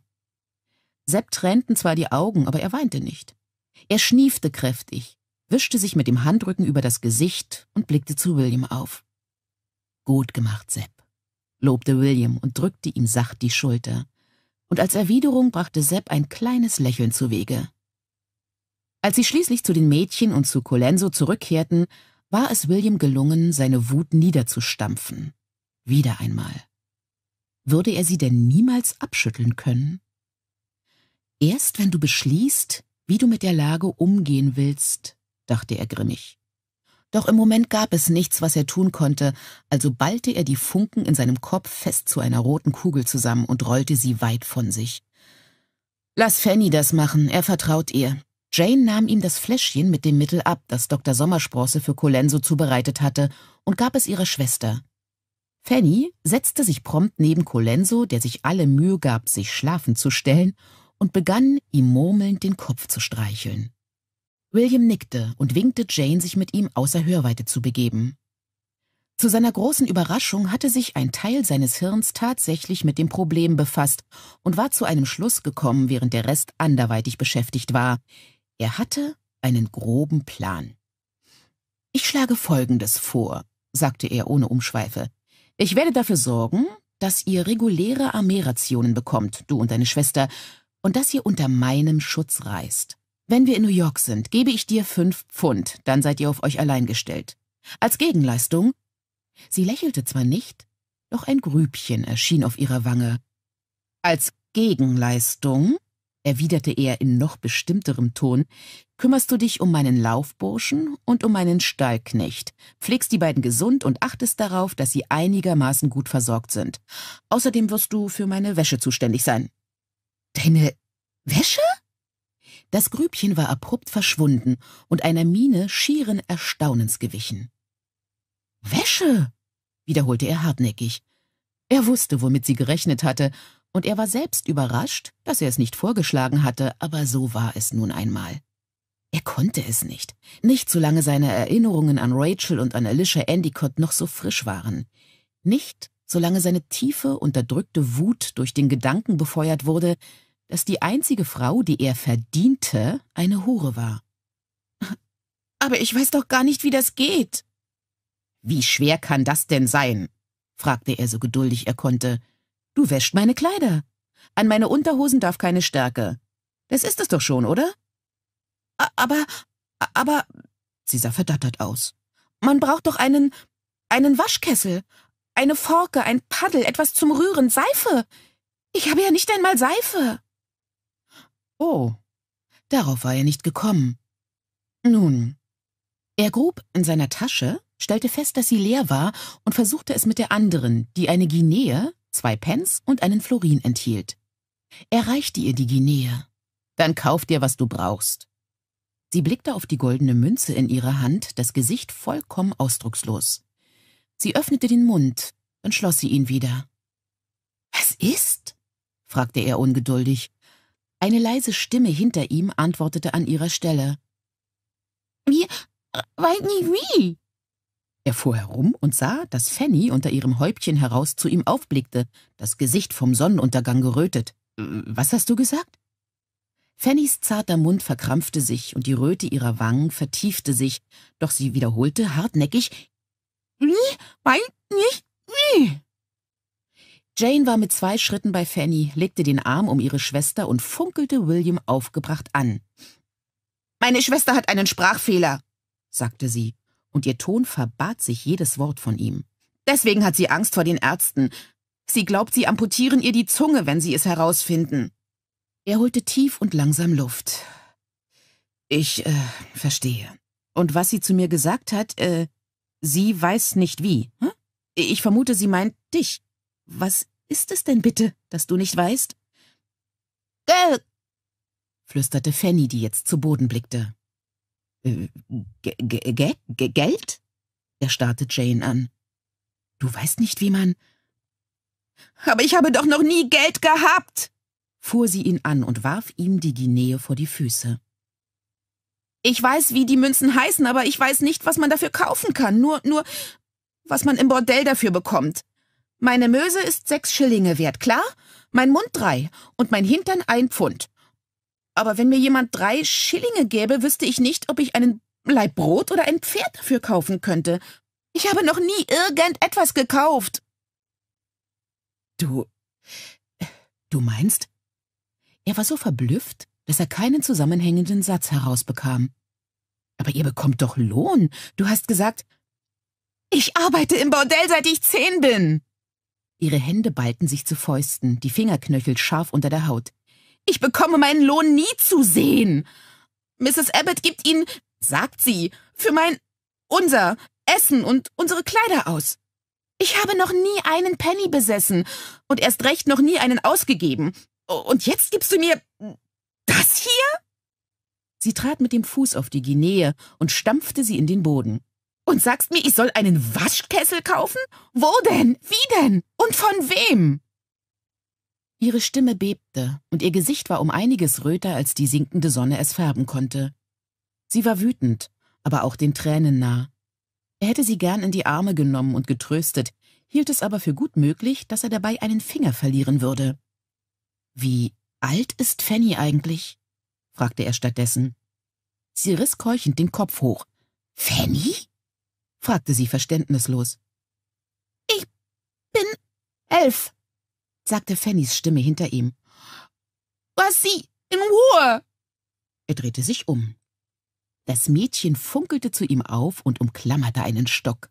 Er hätte gelacht, wenn ihre Miene nicht gewesen wäre, und wenn das nicht gewesen wäre, was er gerade begriffen hatte.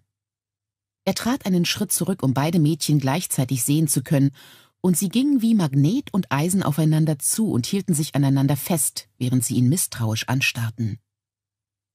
Wie viel ist Ihre Jungfernhaut wert? fragte er Jane unverblümt und wies kopfnickend auf Fanny. Zehn Pfund, antwortete Fanny automatisch, während Jane ihn anschrie, Sie ist nicht zu verkaufen, weder an dich noch an irgendjemand sonst. Sie presste Fanny noch dichter an sich und verbat sich jede Bewegung in ihre Richtung. Ich will sie doch gar nicht, sagte er mit zusammengebissenen Zähnen. Ich treibe es doch nicht mit Kindern zum Kuckuck. Janes verhärtete Züge veränderten sich nicht, und sie löste auch ihre Umklammerung nicht. Warum hast du dann gefragt? Um mir meine Vermutungen in Bezug auf eure Anwesenheit bestätigen zu lassen. Jane prustete. Äh, als da wären? Dass ihr fortgelaufen seid. Wahrscheinlich, weil deine Schwester jetzt ein Alter erreicht hat, in dem... Er zog die Augenbraue hoch und wies kopfnickend auf Fanny. Jane presste zwar die Lippen zusammen, doch sie nickte ihm widerstrebend zu. Hauptmann Harkness? fragte er. Es war zwar ein Schuss ins Blaue, aber er saß. Harkness war alles andere als begeistert gewesen, sich seiner Beute beraubt zu sehen, und da er William nichts anhaben konnte, war es gut möglich, dass er beschlossen hatte, anderswo Rache zu suchen.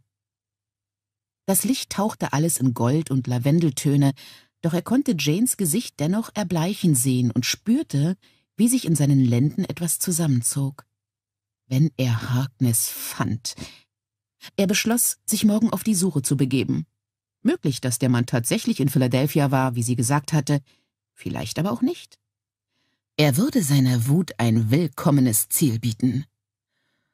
Also schön, sagte er so gelassen er konnte. Er bückte sich und grub die Guinea aus dem weichen Boden aus. Dabei begriff er, dass es töricht gewesen war, sie ihr überhaupt anzubieten. Nicht wegen ihrer Worte, sondern weil jemand wie sie oder Colenso niemals eine solche Summe besitzen würde. Man würde sie verdächtigen, das Geld gestohlen zu haben, und wahrscheinlich würde gleich die erste Person, die die Münze zu Gesicht bekam, sie ihr entwenden. Kümmere dich einfach um die Jungen, ja? sagte er zu Jane, und haltet euch beide von den Soldaten fern, bis ich euch etwas Schlichtes zum Anziehen besorgen kann, so wie ihr aussieht. Er wies auf ihren verstaubten, verschwitzten Putz. Wird man euch für Huren halten, und die Soldaten werden es nicht akzeptieren, wenn ihr Nein sagt. Ich bin eine Hure, sagte Jane mit seltsamer trockener Stimme. Nein, sagte er, und auch seine Stimme fühlte sich seltsam losgelöst, aber entschlossen an. Es bist du nicht. Du reist unter meinem Schutz. Ich bin kein Zuhälter, also bist du keine Hure. Zumindest solange wir nicht in New York sind.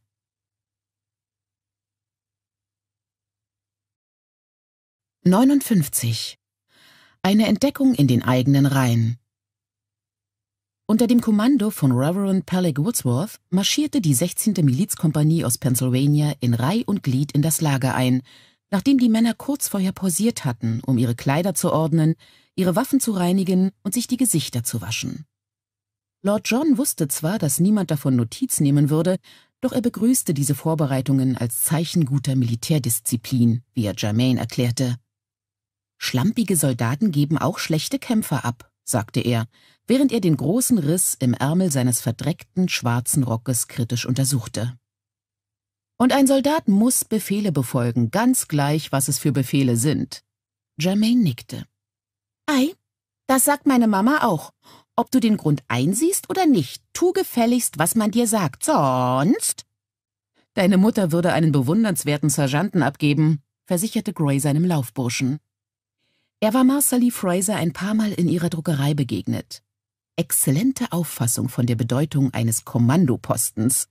Aber was das sonst betrifft, was meinst du eigentlich, was passieren wird, wenn du heimgehst? Darüber hatte sich Germaine offensichtlich noch keine großen Gedanken gemacht, doch nach einem Moment tief gerunzelter Stirn glättete die sich wieder. Das kommt wahrscheinlich darauf an, wie lange ich fort gewesen bin, sagte er achselzuckend. Wenn ich morgen zurückgehen würde, bekäme ich die Ohren langgezogen und den Hintern dazu versohlt. Aber ich glaube, wenn ich länger als eine Woche fort wäre, wäre sie froh, dass ich nicht tot bin. Ah, kennst du zufällig die Geschichte vom verlorenen Sohn? Nein, mein, äh, Bert. Jermaine hüstelte. Wie geht sie denn?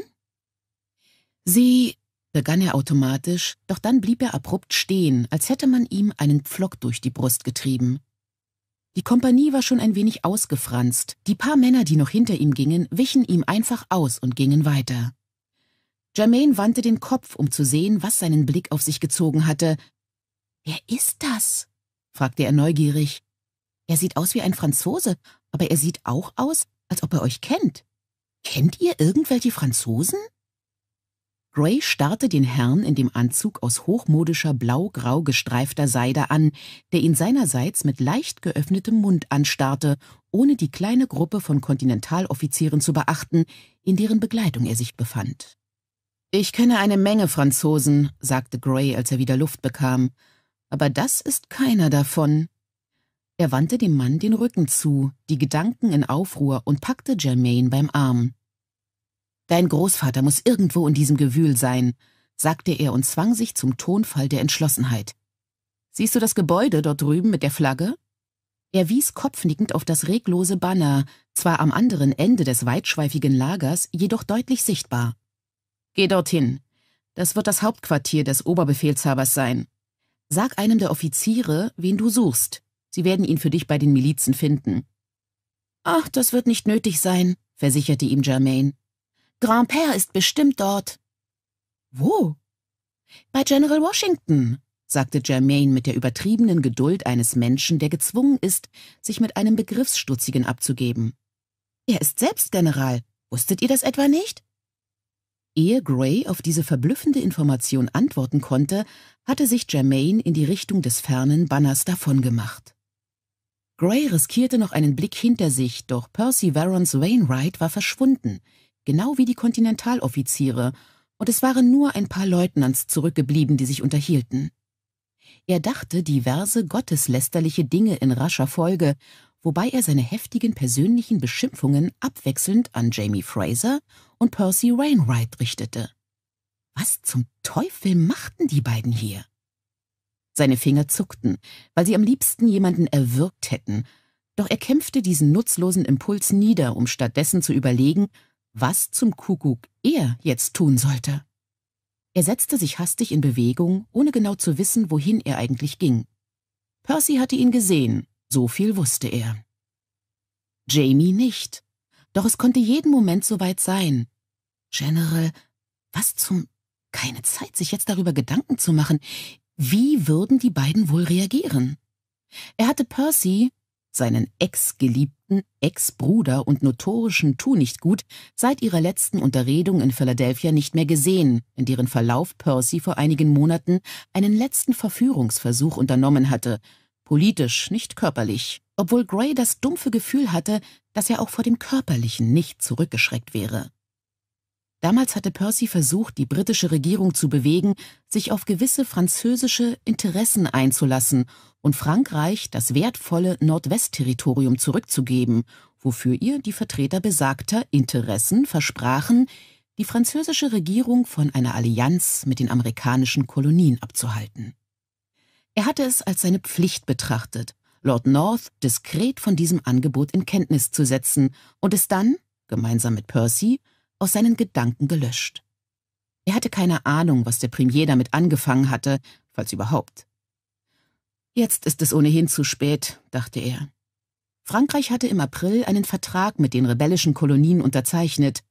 Allerdings würde man abwarten müssen, ob aus diesem Vertrag tatsächlich fassbare Unterstützung resultierte.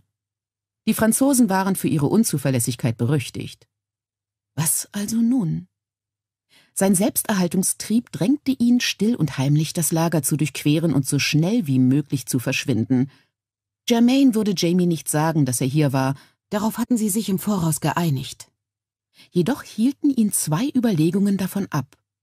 Erstens die Kleinigkeit, dass er immer noch nicht wusste, wo sich die britische Armee befand oder wie weit sie entfernt war, und zweitens ein Gefühl der Neugier in Bezug auf Percy, das er sogar selbst als gefährlichen Leichtsinn erkannte. Er war weitergegangen, denn stehen zu bleiben bedeutete, umgelaufen und zertrampelt zu werden, und so fand er sich jetzt an Reverend Woodsworths Seite wieder. Das Gesicht des hochgewachsenen Predigers war von einer Erregung erfüllt, die seine normale Miene ruhiger Würde immer wieder durchbrach, und Gray musste unwillkürlich darüber lächeln. Gott hat uns sicher bis hierher geführt, Bird, sagte Woodsworth und sah ihn mit leuchtenden Augen an. Und er wird uns den Sieg gewähren, das weiß ich. Ja. Gray suchte nach einer Erwiderung, und da er, zu seiner Überraschung, feststellte, dass er nicht in der Lage war, dieser Feststellung beizupflichten, begnügte er sich mit Ich denke, wir können die Absichten des Allmächtigen nicht vorhersehen, doch ich vertraue darauf, dass er uns Gnade gewähren und uns bewahren wird. Wahre Worte, Bird.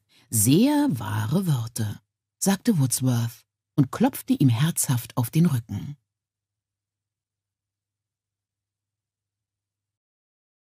Sechzig. Quäker und Kundschafter Jamie traf Nathaniel Green in seinem Zelt an. Er war noch in Hemdsärmeln, hatte die Überreste seines Frühstücks vor sich auf dem Tisch und betrachtete stirnrunzelnd einen Brief in seiner Hand.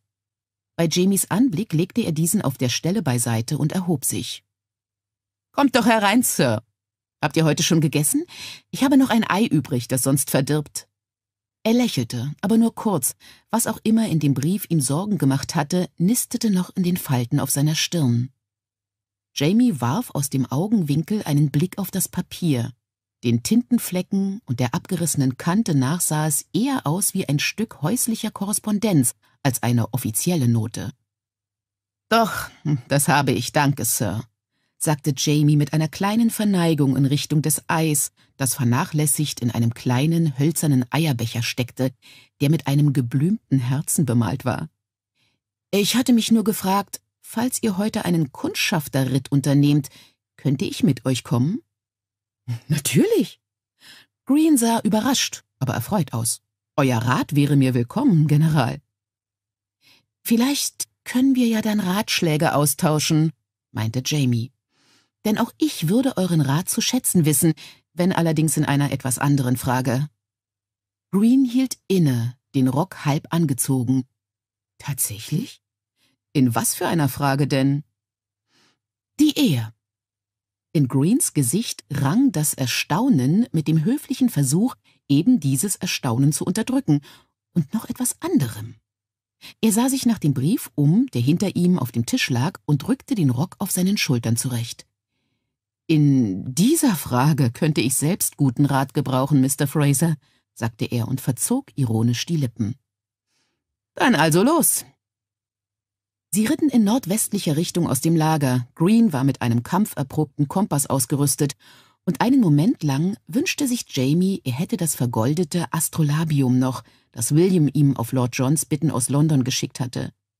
Es war beim Brand seines Hauses zerstört worden, doch die finstere Stimmung, die ihn in diesem Moment überkam, hatte mehr mit dem Gedanken an John Gray zu tun, als mit dem Brand und seinen Folgen. Zunächst drehte sich ihr Gespräch nur um ihre Aufgabe, nämlich die Bestimmung geeigneter Stellen für Vorratsstationen entlang der wahrscheinlichen Marschroute und wenn nötig der Rückzugsroute, obwohl niemand diese Möglichkeit erwähnte. Es gab eigentlich keinen Zweifel, wohin die britische Armee unterwegs war. Einer Truppe dieser Größe mit ihrer enormen Gepäckkolonne und dem angegliederten Tross stand nur eine begrenzte Auswahl an Wegen zur Verfügung. Ei, das ist gut, sagte Jamie und stimmte Greens Vorschlag, eine verlassene Farm in Augenschein zu nehmen, mit einem Nicken zu. Glaubt ihr, der Brunnen ist noch gut? Genau das plane ich herauszufinden, sagte Green und lenkte sein Pferd auf die Farm zu. Es ist ja jetzt schon heiß wie im Hades. Um die Mittagszeit werden wir uns die Ohren verbrennen. Es war heiß.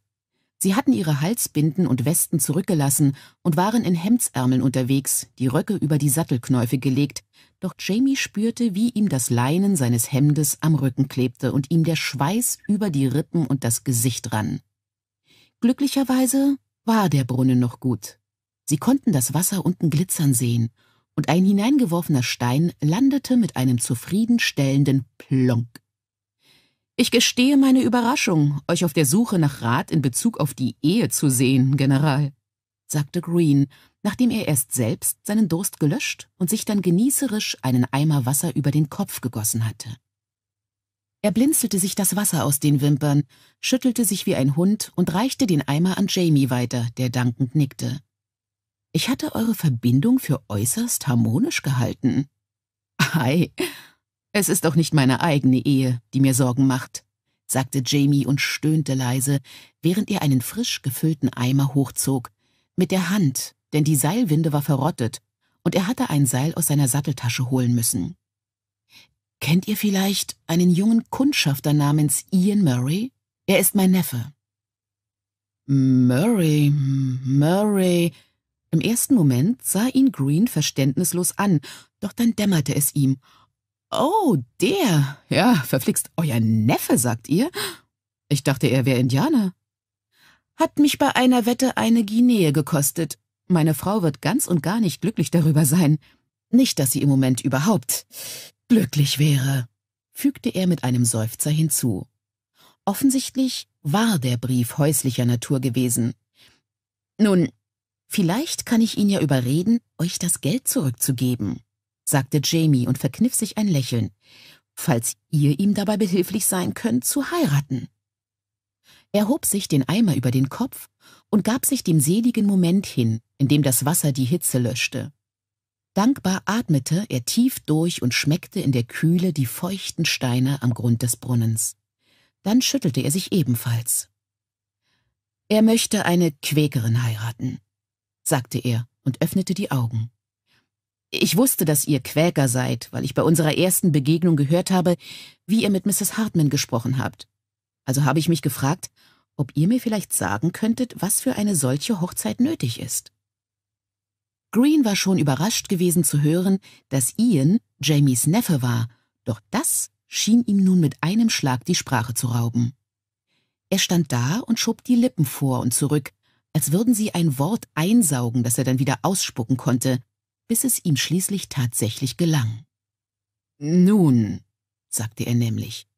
Er hielt einen Moment inne und überlegte, und Jamie wartete geduldig. Green war ein Mann mit klaren Ansichten, die er jedoch nicht überhastet kundtat. Allerdings fragte sich Jamie, was es in dieser Frage zu überlegen gab.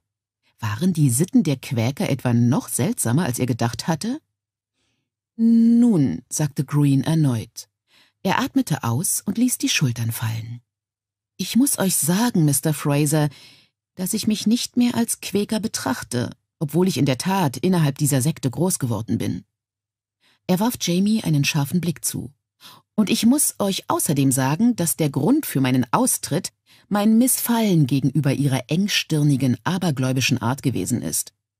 Wenn euer Neffe vorhat, Quäker zu werden, Sir, rate ich euch, euer Bestes zu tun, um ihn davon abzubringen.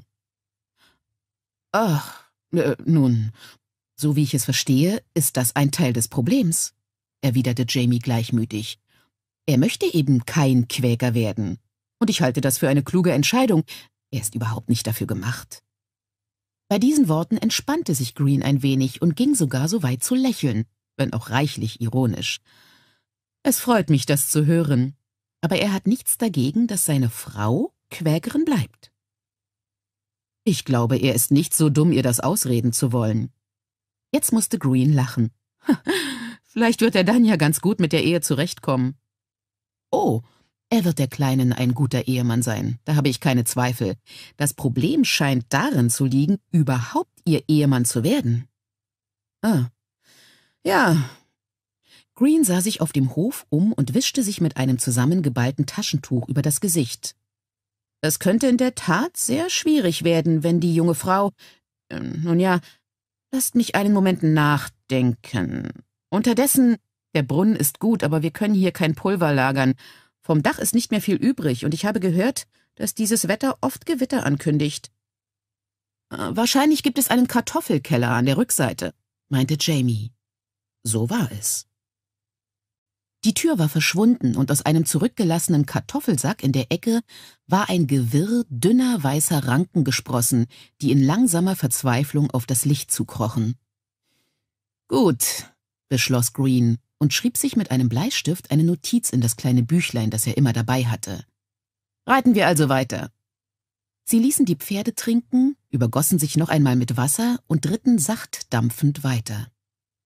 Green war keine Plaudertasche, und im Verlauf von ein oder zwei Meilen fiel kein Wort, bis seine Gedankengänge zu ihrem Schluss gelangten. Das Wichtigste, was man sich in Bezug auf die Quäker vergegenwärtigen muss, sagte er ohne Umschweife, ist, dass sie sehr voneinander und von der Meinung ihrer Glaubensgenossen abhängen, oftmals bis hin zum völligen Ausschluss der Welt außerhalb ihrer Zusammenkünfte. Er warf Jamie einen Blick zu. Äh, die junge Frau. Ist euer Neffe ihrer Zusammenkunft bekannt? Hm, sagte Jamie. Wie mir ihr Bruder zu verstehen gegeben hat, wurden sie beide von ihrer Zusammenkunft ausgeschlossen. In einer kleinen Ortschaft in Virginia als er die Entscheidung fällte, sich der Kontinentalarmee als Stabsarzt anzuschließen. Oder vielleicht hat man ihn auch ausgeschlossen und sie ist einfach nur mit ihm gegangen. Ich weiß ja nicht, ob das von großer Bedeutung ist. Oh, ich verstehe.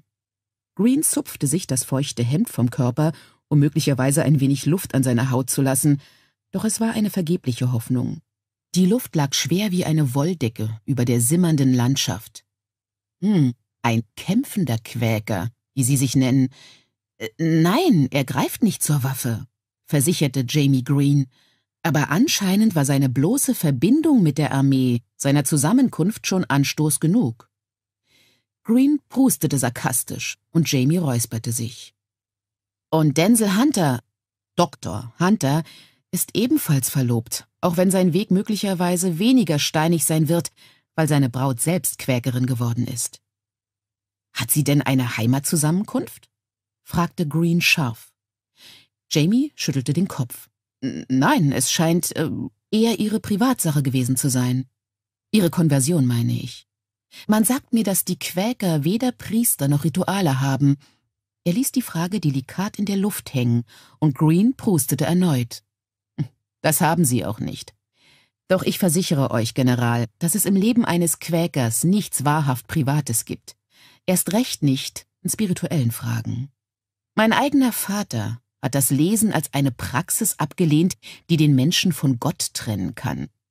Als ich dann als junger Mann nicht nur begonnen habe zu lesen, sondern gleichzeitig Werke über Militärstrategie zu sammeln, weil ich mich für das Thema interessierte, wurde ich vor ein Untersuchungskomitee unserer Zusammenkunft gebracht, das mir derartige Fragen stellte, dass ich nun, wie ich sagte, bin ich kein Mitglied dieser Sekte mehr. Er atmete heftig aus und brummte eine Weile vor sich hin, während er den Blick stirnrunzelnd auf die Straße gerichtet hielt. Doch Jamie sah, dass Green trotz seiner Versunkenheit ihre Umgebung weiter auf ihre logistischen Eigenschaften untersuchte. Er wurde sich jetzt einer gewissen Vibration in der Luft bewusst, und er fragte sich, ob Green sie ebenfalls spürte. Eigentlich kein Geräusch, es war eine Turbulenz, die er gut kannte, eine große Masse von Menschen und Pferden, zu weit entfernt, um die Staubwolke zu sehen, aber da. Sie hatten die britische Armee gefunden. Er verlangsamte sein Tempo ein wenig und richtete den Blick aufmerksam auf die Bäume vor ihnen, für den Fall, dass sich britische Kundschafter dort aufhielten, denn inzwischen mussten die Briten ja wissen, dass sie verfolgt wurden. Doch Greens Gehör war weniger scharf, oder vielleicht war er auch nur zu sehr mit etwas anderem beschäftigt, denn er blickte Jamie überrascht an, verlangsamte sein Tempo aber ebenfalls. Jamie hob die Hand um ihn vom Sprechen abzuhalten, und hob das Kinn. Auf der Straße kam ihnen ein Reiter entgegen. Er hörte Hufgetrappel und Jamies Pferd warf den Kopf herum und wieherte mit neugierig geblähten Nüstern. Beide Männer waren bewaffnet. Green legte die Hand an die Muskete, die er quer über seinem Sattel balancierte. Jamie ließ das Gewehr zwar in der Schlinge, warf aber einen prüfenden Blick auf die Zünder der Pistolen in seinen Sattelhalftern umständlich, vom Sattel aus ein Gewehr abzufeuern, doch der Reiter näherte sich jetzt langsam. Jamies Hand entspannte sich am Griff der Pistole, und er schüttelte den Kopf in Greens Richtung. Sie blieben abwartend stehen, und im nächsten Moment kam der Reiter in Sicht. Ian! Onkel Jamie! Ians Gesicht erhellte sich erleichtert bei seinem Anblick, und das war wahrhaftig kein Wunder. Er war wie ein Mohawk mit Leggings und Kalikohemd bekleidet, mit Federn im Haar. Vor ihm lag ein langer, haariger grauer Körper quer über dem Sattel, und Blut tropfte langsam am Bein des Pferdes entlang.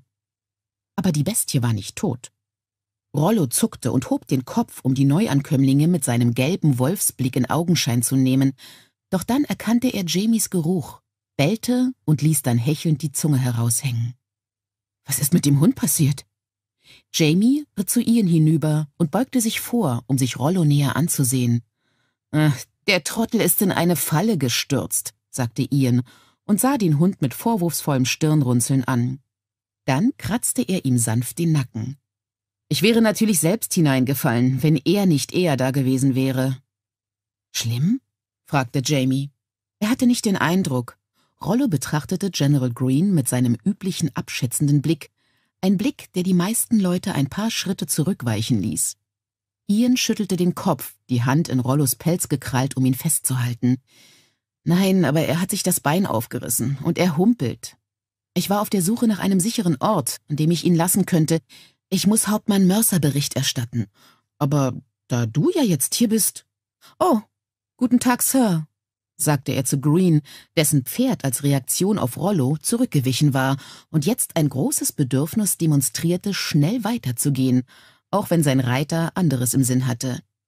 Mit einem angedeuteten Salut wandte sich Ian wieder an Jamie. Da du hier bist, Onkel Jamie, könntest du Rollo vielleicht mit zurück ins Lager nehmen und Tante Claire bitten, sein Bein zu versorgen? Oh, oh, ei, sagte Jamie resigniert und schwang sich aus dem Sattel, während er bereits nach seinem nassen Taschentuch suchte. Lass mich nur erst sein Bein verbinden. Ich will sein Blut nicht überall auf meiner Hose haben, und dem Pferd wird es auch nicht gefallen. Green räusperte sich. Da ihr von eurem Bericht sprecht, Mr. Murray? fragte er mit einem Seitenblick in Jamies Richtung. Dieser nickte. Vielleicht wärt ihr ja so gut und lasst mich ebenfalls an eurem Wissen teilhaben, nicht nur Hauptmann Mercer.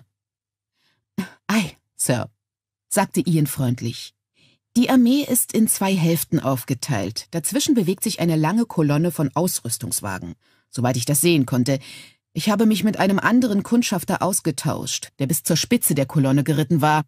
und sie sind zu einem Ort namens Freehold unterwegs. Das Terrain eignet sich nicht besonders für einen Angriff, zerklüftet wie eine benutzte Serviette, mit vielen kleinen Schluchten und Bächen. Aber der andere Kundschafter hat gesagt, weiter östlich gäbe es Wiesen, die gut für einen Kampf wären, wenn man sie dorthin locken könnte.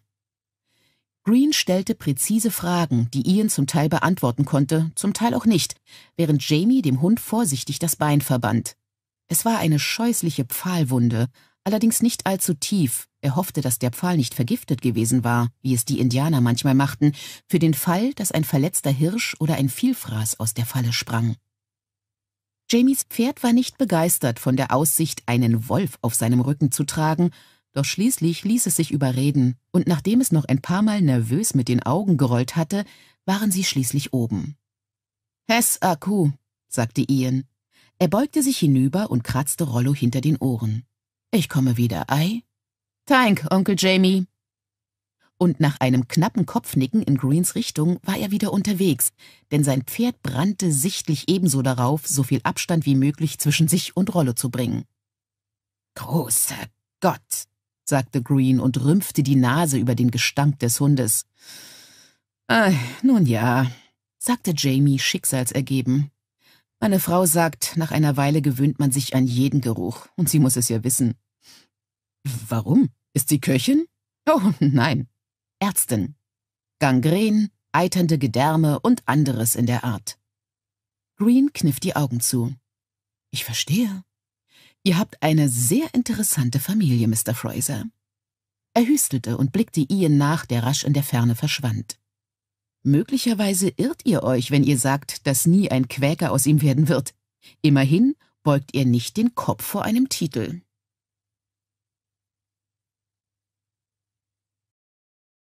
Einundsechzig. Zähflüssiger Dreier.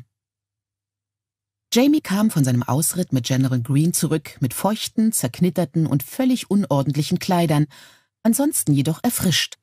Und mit Rollo, blutig und missmutig aber nicht schwer verletzt. Das wird schon wieder, sagte ich und kratzte Rollo sanft hinter den Ohren.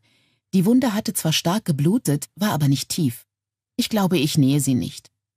Das kann ich dir nicht verübeln, Sasnach, sagte Jamie mit einem Blick auf den Hund, der sich das Bein zwar geduldig von mir hatte säubern, einsalben und verbinden lassen, der aber nicht so aussah, als könnte er weitere Zuwendungen ertragen. Wo sind meine guten Strümpfe? Im Koffer, mit dem Rest deiner Unterwäsche, erwiderte ich geduldig. Wo sie jeden Morgen sind, das weißt du doch wohl genau. Ja, räumte er ein, aber ich habe es gern, wenn du dich um mich kümmerst. Also schön, sagte ich und zog sie gehorsam heraus. Soll ich sie dir auch noch anziehen? Nein, das werde ich schon schaffen, sagte er grinsend und ergriff die Strümpfe.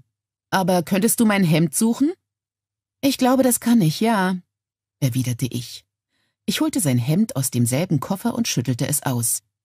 Wie ging es General Green heute Morgen? Hm, gut. Ich habe ihn danach gefragt, wie Quäker heiraten, sagte er und zog sich das frische weiße Hemd, sein einziges frisches weißes Hemd, wie ich anmerkte, über den Kopf. Das Problem liegt offenbar darin, dass Denzel und Rachel keine Heimatzusammenkunft haben, wie sie das nennen. Es ist nicht so, dass sie nicht heiraten können, aber um es richtig zu machen, gehört die gesamte Zusammenkunft dazu. Es gibt etwas, das sie Klarheitskomitee nennen, das sich mit Braut und Bräutigam zusammensetzt, um mit ihnen zu beratschlagen und sicherzugehen, dass sie zueinander passen und eine Vorstellung davon haben, worauf sie sich einlassen. Er schlüpfte in die Ärmel und grinste mich an.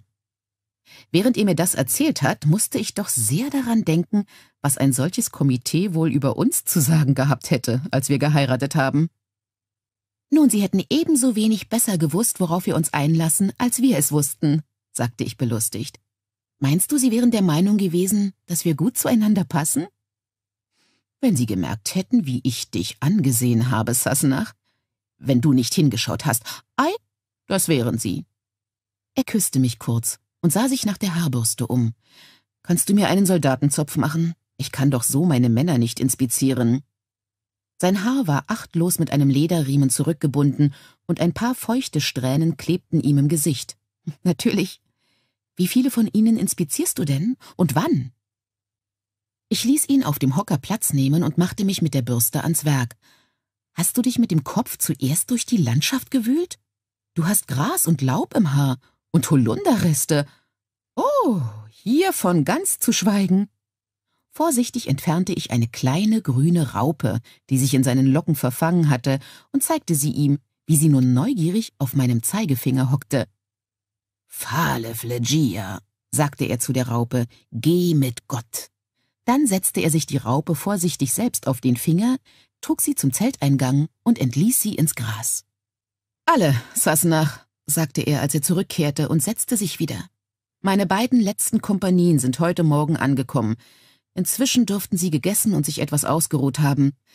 Ich wollte dich fragen, fügte er hinzu und wandte den Kopf, um zu mir aufzublicken, würdest du mit mir kommen, Sasnach, und einen Blick auf sie werfen? Um zu sehen, ob jemand lieber nicht kämpfen sollte oder dich um die zu kümmern, die vielleicht etwas reparaturbedürftig sind. Ja, natürlich. Wann denn? Komm in einer Stunde zum Exerzierplatz, ja? Er fuhr sich mit der Hand über den ordentlich glänzenden kastanienbraunen Zopf, den ich einmal umgeschlagen und in seinem Nacken zusammengebunden hatte. Ei, das ist gut. Sehe ich ansonsten anständig aus? Er stand auf und strich sich die losen Laubstückchen vom Ärmel.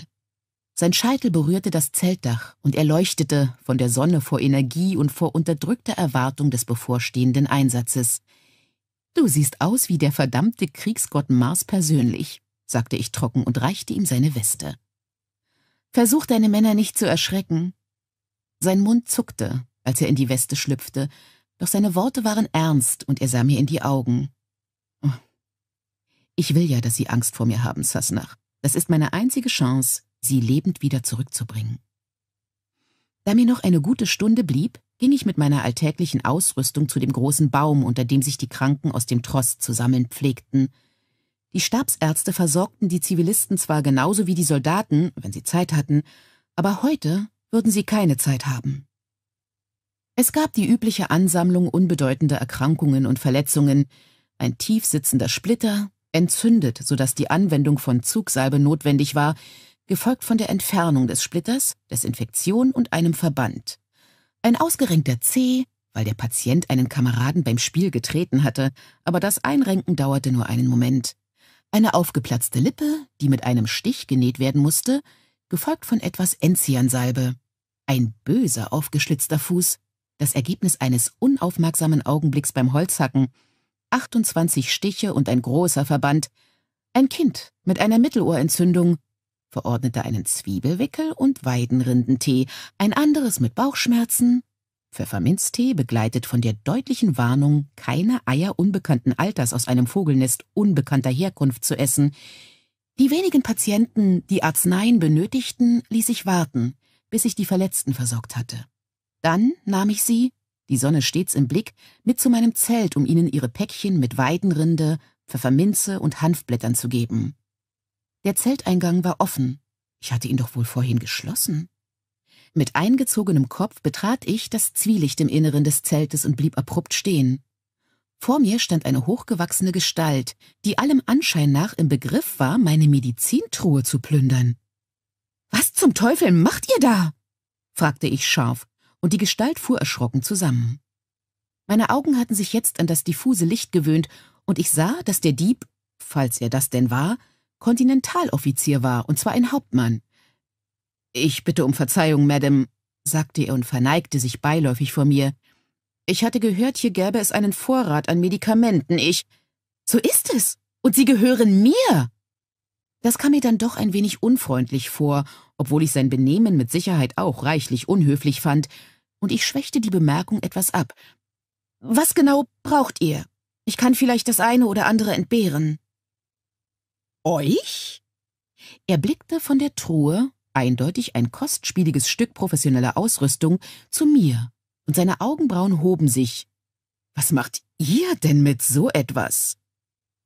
Mir fuhren zwar mehrere mögliche Antworten durch den Kopf, doch ich hatte mich jetzt so weit von der Überraschung seines Anblicks erholt, dass ich keine davon äußerte und mich mit einem neutralen Darf ich fragen, wer ihr seid, Sir? abgab. Oh. Etwas verlegen verneigte er sich vor mir, Bitte um Verzeihung. Hauptmann Jared Lecky, euer Diener, Madame. Ich bin Stabsarzt des zweiten New Jersey Regiments. Er betrachtete mich abschätzend und fragte sich sichtlich, wer zum Teufel ich war. Über meinem Kleid trug ich eine Leinenschürze mit geräumigen Taschen, die gegenwärtig alle möglichen kleinen Instrumente, Verbandsmaterialien, Fläschchen und Gläser mit Salben und Flüssigkeiten enthielten. Außerdem hatte ich meinen breitkrempigen Hut abgezogen, als ich das Zelt betrat, und wie üblich trug ich keine Haube. Ich hatte mir das Haar zwar hochgebunden, doch es hatte sich gelöst und ringelte sich feucht um meine Ohren. Er hielt mich offensichtlich für eine Wäscherin, die schmutziges Leinen abholen wollte, oder möglicherweise noch Schlimmeres. Ich bin Mrs. Fraser, sagte ich und richtete mich mit einem Kopfnicken auf, das hoffentlich anmutig war. Äh, das heißt Mrs. General Fraser, fügte ich hinzu, da ich sah, dass ihn das nicht zu beeindrucken schien. Seine Augenbrauen fuhren in die Höhe und er betrachtete mich offen von oben bis unten, wobei sein Blick an den oberen Taschen meiner Schürze hängen blieb, die eine störrische Mullbinde enthielten, die sich zu entrollen begann und mir an der Schürze hinunterhing, und ein Glas Asafoetida, dessen Korken sich gelockert hatte, so dass sich der Gestank der Pilze sacht über die anderen, deutlich wahrnehmbaren Gerüche des Lagers legte. Der Pilz war im Volksmund als Teufelsdung bekannt, und zwar aus gutem Grund. Ich zog das Glas heraus und steckte den Korken fester hinein. Diese Geste schien ihn irgendwie zu beruhigen. Äh, oh, dann ist der General also Arzt, sagte er. Nein, sagte ich, und allmählich dämmerte mir, dass ich es mit Hauptmann Lecky nicht einfach haben würde, da er noch sehr jung und nicht übermäßig schlau zu sein schien. Mein Mann ist Soldat. Ich bin Ärztin. Er starrte mich an als hätte ich ihm gesagt, ich wäre Prostituierte. Dann beging er den Fehler zu vermuten, dass ich einen Scherz gemacht hatte und lachte herzhaft. An diesem Punkt steckte eine meiner Patientinnen, die junge Mutter, deren einjähriger Sohn eine Mittelohrentzündung hatte, zögernd den Kopf mit dem adretten Häubchen in das Zelt. Oh je, sagte ich, entschuldigt, dass ihr warten musstet, Mrs. Wilkins. Bitte bringt ihn herein, ich hole euch sofort die Rinde. Hauptmann Lecky sah Mrs. Wilkins nun stirnrunzelnd an und winkte sie zu sich. Sie warf mir einen nervösen Blick zu, gestattete aber, dass er sich bückte und sich den kleinen Owen ansah. Er hat Probleme beim Zahnen, sagte Lecky ziemlich anklagend, nachdem er Owen mit seinem großen, ungewaschenen Daumen durch den speicheltriefenden Mund gefahren war. Man sollte ihm das Zahnfleisch aufschneiden, um den Zahn durchzulassen. Er begann, in seiner Tasche zu kramen wo er zweifellos ein hochgradig unhygienisches Skalpell oder eine Lanzette aufbewahrte. Er zahnt, pflichtete ich ihm bei, während ich zerkrümelte Weidenrinde in meinen Mörser schüttete. Außerdem hat er aber eine Mittelohrentzündung und der Zahn wird im Lauf der nächsten 24 Stunden von selbst durchbrechen. Entrüstet und erstaunt baute er sich vor mir auf. Widersprecht ihr mir etwa? Nun, ja, sagte ich nachsichtig. Ihr irrt euch. Seht euch einmal sein linkes Ohr an. Es ist. Ich, Madam, bin Diplomat des Medical College of Philadelphia. Herzlichen Glückwunsch, sagte ich und fühlte mich jetzt allmählich provoziert. Ihr irrt euch trotzdem. Da ich ihm damit kurzfristig die Sprache geraubt hatte, zerstieß ich die Rinde zu Pulver und schüttete sie auf ein Stück Gase, das ich ordentlich zusammenfaltete und Mrs. Wilkins reichte, mit Anweisungen, wie sie den Tee kochen und anwenden sollte und wie man einen Zwiebelwickel bereitet. Sie ergriff das Päckchen, als könnte es explodieren, warf einen hastigen Blick auf Hauptmann Lecky und flüchtete. Das Gebrüll des kleinen Owen entfernte sich wie eine Sirene. Ich holte tief Luft. Also, sagte ich so freundlich wie möglich, wenn ihr Heilkräuter benötigt, Dr. Lecky, habe ich einen ordentlichen Vorrat. Ich kann er hatte sich aufgerichtet wie ein Kranich, der mit feindseligen Knopfaugen einen Frosch betrachtet. Euer Diener, Ma'am, sagte er knapp und stapfte an mir vorüber. Ich verdrehte die Augen zum Zeltdach. Ein kleines, geckoähnliches Tier klammerte sich an das Zeltleinen und betrachtete mich ohne sonderliche Gefühlsregung. Hm, wie man Freunde gewinnt. Die Kunst beliebt und einflussreich zu werden, sagte ich zu dem Tierchen. Merke es dir gut. Dann schlug ich den Zelteingang zurück und winkte den nächsten Patienten herein. Ich musste mich beeilen, um meine Verabredung mit Jamie einzuhalten. Er war gerade im Begriff, mit seiner Inspektion zu beginnen, als ich angelaufen kam und mir dabei hastig das Haar unter den breitkrempigen Hut steckte. Es war ein furchtbar heißer Tag. Ich war nur ein paar Minuten in der prallen Sonne gewesen und schon kribbelten meine Nase und meine Wangen warnend. Jamie verneigte sich würdevoll vor mir und begann dann seinen Weg entlang der aufgereihten Männer, die sich zur Beurteilung eingefunden hatten, salutierte den Offizieren, stellte Fragen, ließ seinen Adjutanten Dinge notieren, die noch zu erledigen waren. Er hatte Leutnant Schnell als Adjutanten dabei, einen sympathischen deutschen Jungen aus Philadelphia, vielleicht neunzehn, und einen kräftigen Herrn, den ich zwar nicht kannte, aus dessen Uniform ich jedoch schloss, dass er der Hauptmann der Kompanien war, die wir gerade in Augenschein nahmen. Ich folgte ihm und lächelte den Männern im Vorübergehen zu, während ich mit scharfem Blick nach möglichen Anzeichen einer Erkrankung, Verletzung oder Behinderung suchte. Im Übrigen war ich mir sicher, dass Jamie exzessive Trunksucht auch ohne meine Expertenmeinung erkennen würde. Es waren 300 Mann, hatte er gesagt, den meisten von ihnen fehlte nichts. Ich ging von einem zum nächsten, nickte ihnen zu und war mir unterdessen nicht zu schade, mir auszumalen, wie ich Hauptmann Lecky in einer gefährlichen Situation antraf, gekrümmt vor Schmerzen, von denen ich ihn gnädigerweise befreien würde, so dass er nicht umhin konnte, vor mir zu Kreuze zu kriechen und sich für sein anstößiges Benehmen zu entschuldigen. Ich versuchte gerade, mich zwischen einer Musketenkugel in seinem Hintern einem Hodenriss oder etwas Vorübergehendem, aber peinlich Entstellendem wie der Belllähmung zu entscheiden, als mir etwas auffiel. Der Mann vor mir stand kerzengerade da, das Gewehr präsentiert, die Augen geradeaus. Das war zwar absolut korrekt, aber er war der Einzige, der das tat. Die Milizionäre waren zwar mehr als fähige Männer, sahen aber normalerweise keinen großen Sinn in militärischem Drill. Ich warf einen Blick auf den stocksteifen Soldaten, ging weiter und blickte zurück. Jesus H. Roosevelt Christ, rief ich aus. Und es war das reine Glück, dass Jamie mich nicht hörte, da er durch das plötzliche Eintreffen eines Boten abgelenkt wurde.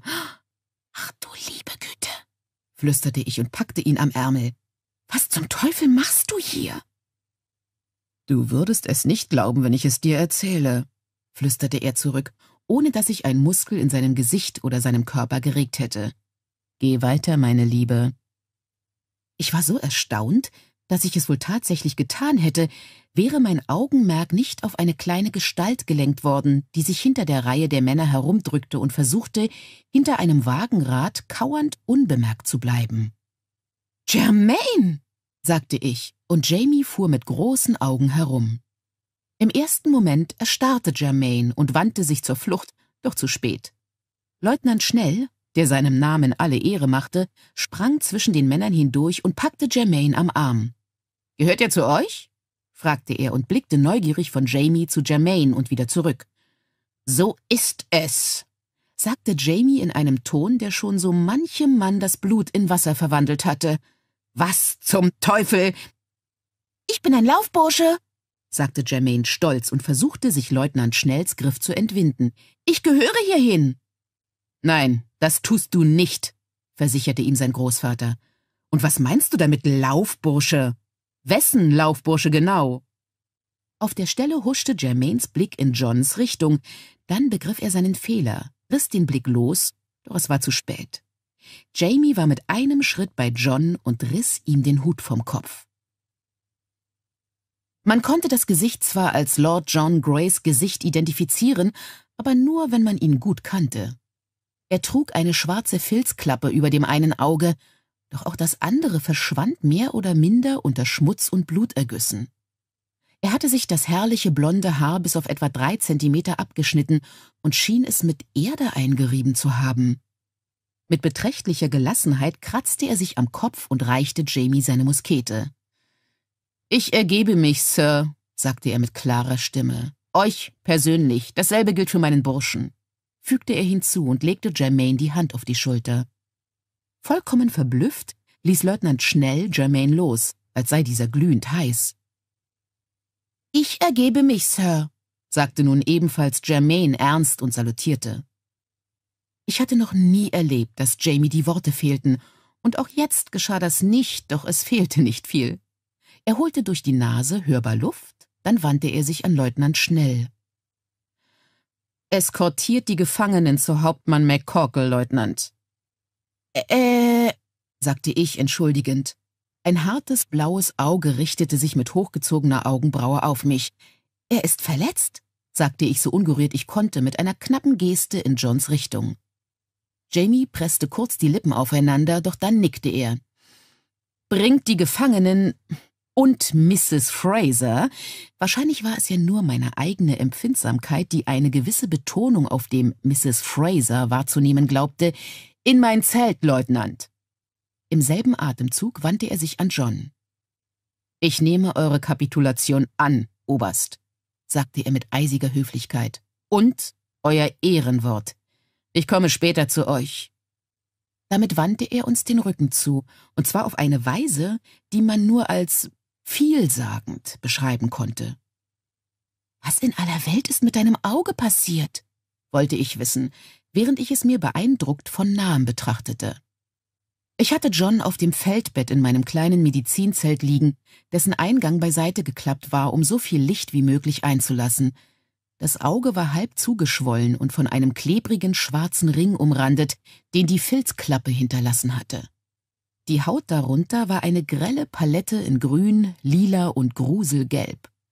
Das Auge selbst war knallrot, und dem gereizten Zustand der Augenlider nach tränte es schon seit geraumer Zeit mehr oder weniger unablässig. Dein Mann hat mir einen Fausthieb versetzt, als ich ihm erzählt habe, dass ich dein Bett geteilt habe, erwiderte er vollständig gefasst. Ich hoffe, er ist bei seiner Wiedervereinigung mit dir nicht ähnlich brutal geworden. Wäre ich imstande gewesen, ein überzeugendes schottisches Geräusch auszustoßen, hätte ich mich darauf verlegt. So jedoch musterte ich ihn nur finster. Ich weigere mich absolut, mit dir über meinen Mann zu sprechen, sagte ich. Leg dich hin, verdammt. Er ließ sich wieder auf die Liege sinken und zuckte dabei zusammen. Er hat gesagt, er hat zweimal zugeschlagen, sagte ich, während ich das beobachtete. Wohin denn noch? In die Leber. Er berührte vorsichtig seinen Bauch. Ich zog sein Hemd hoch und begutachtete den Schaden, der in weiteren spektakulären Blutergüssen an den unteren Rippen bestand, die in blauen Streifen Richtung Darmbein ausliefen, mehr jedoch kaum. Da ist deine Leber nicht, teilte ich ihm mit. Sie ist auf der anderen Seite. Oh. Er sah mich ausdruckslos an. Wirklich? Bist du sicher? Ja, das bin ich, versicherte ich ihm. Ich bin Ärztin. Lass mich dein Auge untersuchen. Ich wartete zwar nicht auf seine Erlaubnis, doch er widersetzte sich auch nicht, sondern legte sich zurück und starrte zum Zeltdach hinauf, während ich seine Lider so weit wie möglich spreizte. Die Leder und Bindehaut waren schwer entzündet, und selbst das gedämpfte Licht ließ das Auge heftig tränen. Ich hielt zwei Finger hoch. Zwei, sagte er, ehe ich fragen konnte. Und bevor du jetzt anfängst anzuordnen, dass ich hin und her, nach oben und unten sehe, es geht nicht. Ich kann mit dem Auge zwar sehen, obwohl es ein bisschen verschwommen ist, aber ich kann es nicht bewegen. Dr. Hunter war der Ansicht, dass irgendein Muskel in irgendeinem Knochen eingeklemmt sitzt. Er fühlte sich nicht imstande, es zu behandeln. Ich fühle mich geschmeichelt, dass du glaubst, ich könnte es. Ich habe das vollste Vertrauen in deine Fähigkeiten, Dr. Fraser, sagte er höflich. Außerdem bleibt mir etwas anderes übrig? Nein, halt ganz still. Germaine! Aus dem Augenwinkel hatte ich ein verräterisches Stück roten Kaliko aufleuchten sehen, und der Ausreißer kam mit schuldbewusster Miene hereingeschlichen. Erzähl mir nicht, was du in deinem Hemd hast, sagte ich, weil mir ein paar verdächtige Auswölbungen auffielen. Ich möchte nicht als Helfershelfer bei einem Diebstahl dastehen. Nein, halt! Ist es lebendig? Jermaine bohrte den Finger in die Beule, als sei er nicht ganz sicher, doch sie bewegte sich nicht und er schüttelte den Kopf. Nein, Grandmère. Gut, komm hierher und halt das für mich, ja?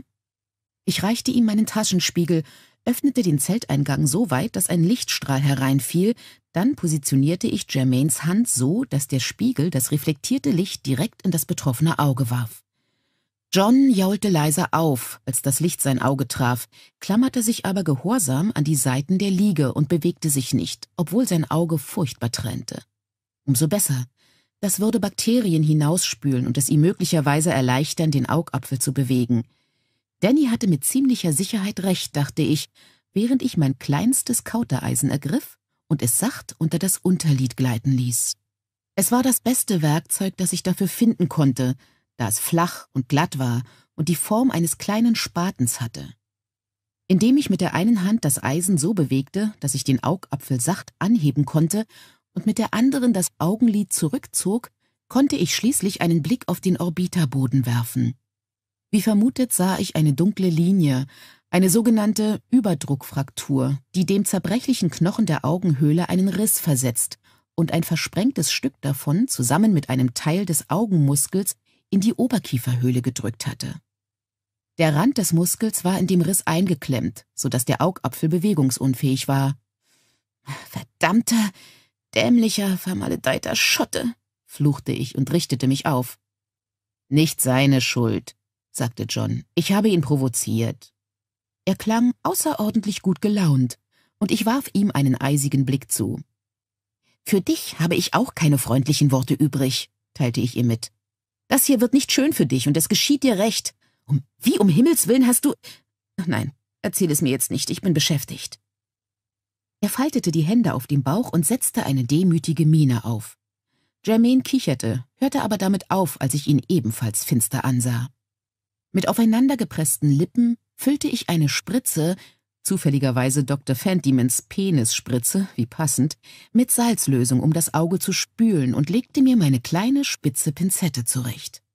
Mit Hilfe meines improvisierten Spatels warf ich einen weiteren Blick auf die Stelle und bereitete eine kleine, gekrümmte Nadel mit einem ganz feinen, feuchten Faden vor. Vielleicht ging es ja, ohne dass ich den Muskel nähen musste. Das hing ganz davon ab, wie schlimm der Rand des Muskels durch das lange Festsitzen ausgefranst war und wie gut er das Loslösen überstand, doch es war besser, den Faden nötigenfalls zur Hand zu haben. Was mir Sorgen machte, war weniger die unmittelbare Reduktion der Fraktur und die Befreiung des Muskels, sondern die Möglichkeit langfristiger Verklebungen. Wir würden das Auge weitgehend unbeweglich halten müssen, um die Heilung zu unterstützen, doch das konnte dazu führen, dass sich der Muskel an die Augenhöhle klebte, so dass das Auge für immer bewegungsunfähig blieb. Ich brauchte ein Gleitmittel, um die Stelle damit zu bedecken, etwas, das biologisch inaktiv war und das Gewebe nicht reizte, in meiner eigenen Zeit hätte ich dazu sterile Glycerintropfen zur Hand gehabt, aber hier? Eiweiß vielleicht. Ah, wohl eher nicht. Womöglich gerann es von der Körperwärme und was dann? John! Eine schockierte Stimme in meinem Rücken ließ mich herumfahren, die Nadel in der Hand. Ein sehr elegant aussehender Herr mit einer modischen Perücke und einem graublauen Samtanzug stand just innerhalb des Zelteingangs und starrte meinen Patienten entgeistert an. Was ist mit ihm passiert? wollte er wissen, als er mich im Hintergrund erspähte. Nichts Ernstes, sagte ich. Seid ihr. Geh! sagte John mit einer Stimme, die ich noch nie zuvor bei ihm gehört hatte. Er setzte sich auf und fixierte den Neuankömmling, so standhaft er es mit seinem tränenden roten Auge zu Wege brachte. Auf der Stelle! Was in Gottes Namen tust du hier? fragte der Mann. Sein Akzent war zwar englisch, aber mit einem Hauch von Französisch versetzt. Er kam einen Schritt näher und senkte die Stimme. Du bist doch wohl kein Rebell geworden. Nein, verdammt, geh, habe ich gesagt. Großer Gott, du meinst du, was zum Teufel ist dir zugestoßen? Er war jetzt dicht genug herangekommen, um das gesamte Elend genau betrachten zu können, das verdreckte kurze Haar, die verdreckten unordentlichen Kleider, die schmutzigen Füße in den zerlöcherten Strümpfen und die entstellte Visage, die ihm jetzt aus blutunterlaufenen Augen einen überaus giftigen Blick zuwarf. Hört mir zu, Sir, sagte ich und wandte mich ihm entschlossen zu. Ich weiß ja nicht, wer ihr seid, aber... Sein Name ist Beauchamp, Grandmère, sagte Germaine. Er hatte den Spiegel sinken lassen und beobachtete neugierig die Szene, die sich vor ihm abspielte. Ich wusste doch, dass ich ihn schon einmal gesehen hatte. Er ist der Mann, der letztes Jahr in New Bern nach Papa gesucht hat. Grandpère glaubt, dass er ein Schurke ist. Der Mann warf Germaine einen verblüfften Blick zu, fasste sich dann aber mit bemerkenswerter Schnelligkeit wieder. Aha, der Besitzer ganz spezieller Frösche, sagte er mit einem Lächeln. Ich erinnere mich. Hießen sie nicht Peter und Paul, einer gelb und einer grün? Germaine verneigte sich respektvoll. Monsieur besitzt ein exzellentes Gedächtnis, antwortete er ausgesucht höflich. Was wollt ihr von meinem Papa? Eine exzellente Frage, sagte John und hielt sich die Hand vor das verletzte Auge, um Monsieur Beauchamp besser anfunkeln zu können. Beauchamp, dachte ich überrascht. Ich hatte den Mann tatsächlich selbst schon gesehen, in New Bern, hatte ihn aber in seiner modischen Aufmachung nicht sogleich erkannt. Ja, das ist eine gute Frage, sagte ich gelassen. Setzt euch doch, Mr. Beauchamp, und erklärt uns, was ihr hier wollt zum Kuckuck. Und du, fügte ich hinzu und packte John fest an beiden Schultern. Leg dich hin. Das kann warten, sagte John knapp und widersetzte sich meinem Versuch, ihn flach hinzulegen. Er schwang die Beine über die Bettkante, so dass er dem Neuankömmling zugewandt war. Was machst du hier, Percy? Oh, du kennst ihn, ja? sagte ich, und allmählich fühlte ich mich provoziert. Gewiss, er ist mein Bruder, zumindest war er es. Was? Riefen Germaine und ich wie aus einem Munde aus. Er sah mich an und gluckste kurz. Ich dachte, du hättest mir erzählt, dass Hal dein einziger Bruder ist, sagte ich schließlich, denn mein Verstand erholte sich langsam. Ich blickte zwischen John und äh, Percy hin und her. Es bestand keinerlei Ähnlichkeit zwischen ihnen, wohingegen die Ähnlichkeit zwischen John und Hal so ausgeprägt war, als seien sie in derselben Form gegossen worden. Stiefbruder, sagte John noch knapper. Er zog die Füße unter sich, um aufzustehen. Komm mit mir, Percy. Du gehst nirgendwo hin, sagte ich nun mit etwas erhobener Stimme. Wie planst du denn bitte, mich aufzuhalten? John war auf den Beinen und stolperte ein wenig, während er versuchte, seine Augen scharf zu stellen. Ehe ich antworten konnte, hatte Mr. Bouchon einen Satz nach vorn getan und ihn am Arm gepackt, damit er nicht hinfiel. John riss sich heftig von ihm los und lief erneut Gefahr zu fallen, weil er rückwärts gegen das Feldbett prallte. Als er das Gleichgewicht wiedergefunden hatte, stand er da und blitzte Bouchon finster an die Fäuste halb geballt. Bouchons Blick war in den seinen geklammert und die Atmosphäre zwischen ihnen war elektrisch. Oh, dachte ich und blickte von einem zum anderen, während mir plötzlich ein Licht aufging. Oh, ich muss eine kleine Bewegung gemacht haben, weil sich Bouchons Blick plötzlich auf mein Gesicht richtete. Was auch immer er dort sah, schien ihn aufzuschrecken. Dann erholte er sich lächelte ironisch und verbeugte sich. Madame, sagte er, dann in perfektem, akzentfreiem Englisch, er ist tatsächlich mein Stiefbruder, obwohl wir uns eine Weile nicht mehr gesehen haben. Ich bin hier als Gast des Marquis de Lafayette, unter anderem. Gestattet mir doch, seine Lordschaft dem Marquis vorzustellen. Ich verspreche euch, ihn heil zurückzubringen. Er lächelte mich warm an und verließ sich dabei auf seinen Charme, der beträchtlich war. Seine Lordschaft ist Kriegsgefangener, sagte eine sehr trockene schottische Stimme in Beauchamps Rücken. Und ich bin für ihn verantwortlich. Ich bedauere, dass er hier bleiben muss, Sir. Percy Beauchamp fuhr herum und gaffte Jamie an, der den gesamten Zelteingang ausfüllte und dabei sehr unerbittlich wirkte. Ich will immer noch wissen, was er von Papa will, mischte sich jetzt Germaine wieder ein, der die blonden Augenbrauen zu einem ebenso argwöhnischen wie finsteren Blick zusammengezogen hatte. Ich wüsste das auch gerne, Monsieur, sagte Jamie. Er duckte sich, um einzutreten, und wies kopfnickend auf den Hocker, den ich benutzt hatte. Bitte, setzt euch, Sir. Percy Beauchamp blickte von Jamie zu Lord John und wieder zurück. Sein Gesicht hatte jeden Ausdruck verloren obwohl ihm die Kalkulation aus den schwarzen Augen blitzte. Bedaure, sagte er, und der schwache französische Akzent war wieder da. Ich bin mit dem Marquis und General Washington verabredet, und zwar genau jetzt. Ihr werdet mich gewiss entschuldigen. Bonjour, mon General. Er marschierte hoch erhobenen Kopfes zum Zelteingang, wandte sich im letzten Moment um und lächelte John an. Au revoir, mon frère. Nicht, wenn ich dich als Erster sehe. Nach diesem würdevollen Abgang bewegte sich neun Herzschläge lang, ich zählte mit, niemand. Schließlich setzte sich John abrupt auf das Feldbett und atmete deutlich hörbar aus. Jamie suchte meinen Blick und setzte sich mit einem kaum merklichen Kopfnicken auf den Hocker. Niemand sagte etwas. Du darfst sie nicht noch einmal verprügeln, Grand-Père, sagte Germaine ernst und brach das Schweigen. Er ist ein guter Mensch und er wird bestimmt nicht mehr mit Omi ins Bett gehen, weil du ja jetzt wieder da bist und es tun kannst.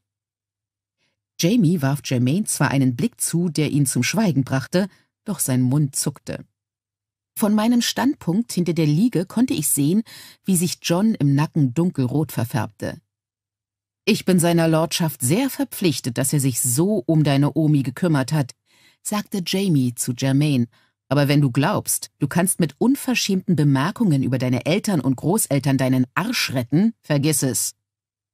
Germaine trat beklommen von einem Bein auf das andere, verdrehte aber die Augen in Lord Johns Richtung, als wollte er sagen, den Versuch war's wert.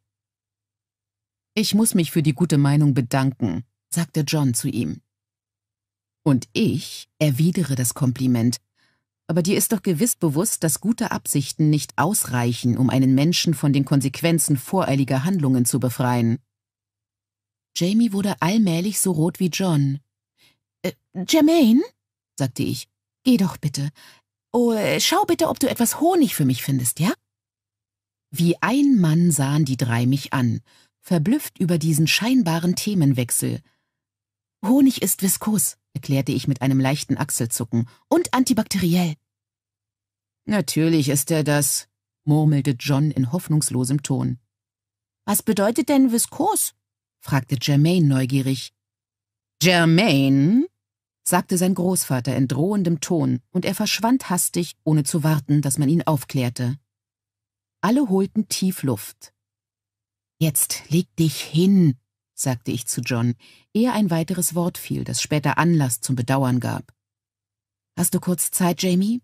Ich brauche jemanden, der den Spiegel hält, während ich mich um sein Auge kümmere. Beide gehorchten, nachdem sie höchstens eine Sekunde gezögert hatten, und keiner sah den anderen an. Ich war so gut wie bereit. Als ich Jamie richtig positioniert hatte und der Lichtstrahl auf das Auge fiel, feuchtete ich Auge und Augenhöhle noch einmal sacht mit Salzlösung an, dann wusch ich mir die Finger gründlich mit derselben Flüssigkeit. Ihr müsst beide absolut stillhalten, sagte ich. Es tut mir leid, John, aber es geht nicht anders, und wenn wir Glück haben, ist es schnell vorbei. Ei, das habe ich schon öfter gehört, brummte Jamie, verstummte aber, als ich ihm einen giftigen Seitenblick zuwarf.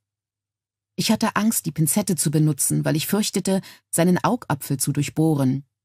Also spreizte ich die Lider des verletzten Auges mit den Fingern meiner linken Hand schob die Finger der rechten Hand so tief wie möglich in die Augenhöhle und drückte zu. Er stieß einen erstickten Schreckenslaut aus, und Jamie keuchte auf, ließ aber den Spiegel nicht fallen. Es gibt nicht viele Dinge auf der Welt, die schlüpfriger sind als ein feuchter Augapfel. Ich bemühte mich, so sacht zuzudrücken, wie ich konnte, doch es half nichts. Selbst der sachteste Druck bewirkte nur, dass mir der Augapfel aus den Fingern sprang wie eine geölte Traube. Ich biss die Zähne zusammen und versuchte es erneut, indem ich fester zufasste. Beim vierten Versuch bekam ich das Auge so zu fassen, dass ich versuchen konnte, es in der Augenhöhle zu drehen. Es gelang mir zwar nicht ganz, aber ich hatte jetzt immerhin eine bessere Vorstellung davon, wie es gehen konnte. Fünf Minuten später zitterte John wie Pudding, die Hände fest in die Seiten des Feldbetts gekrallt. Jamie betete flüsternd auf Gälisch und wir waren alle drei in Schweiß gebadet. Nur noch einmal, sagte ich. Ich holte Luft und wischte mir mit dem Handrücken den Schweiß vom Kinn. Ich wusch mir noch einmal die Finger. Wenn ich es diesmal nicht schaffe, ruhen wir uns aus und versuchen es später wieder. Oh Gott, sagte John.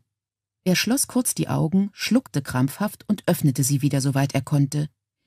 Ich spürte, wie sich Jamie an meiner Seite kaum merklich bewegte, er justierte den Spiegel neu, aber ich sah, dass er noch näher an die Liege gerückt war und sein Bein gegen die Kante drückte, dicht neben Johns verkrampften Fingern. Ich bewegte meine feuchten Finger zur Vorbereitung, sprach ein kurzes Gebet zur heiligen Clara, der Schutzpatronin leidender Augen, und schob die Finger so tief in die Augenhöhle, wie ich es fertigbrachte.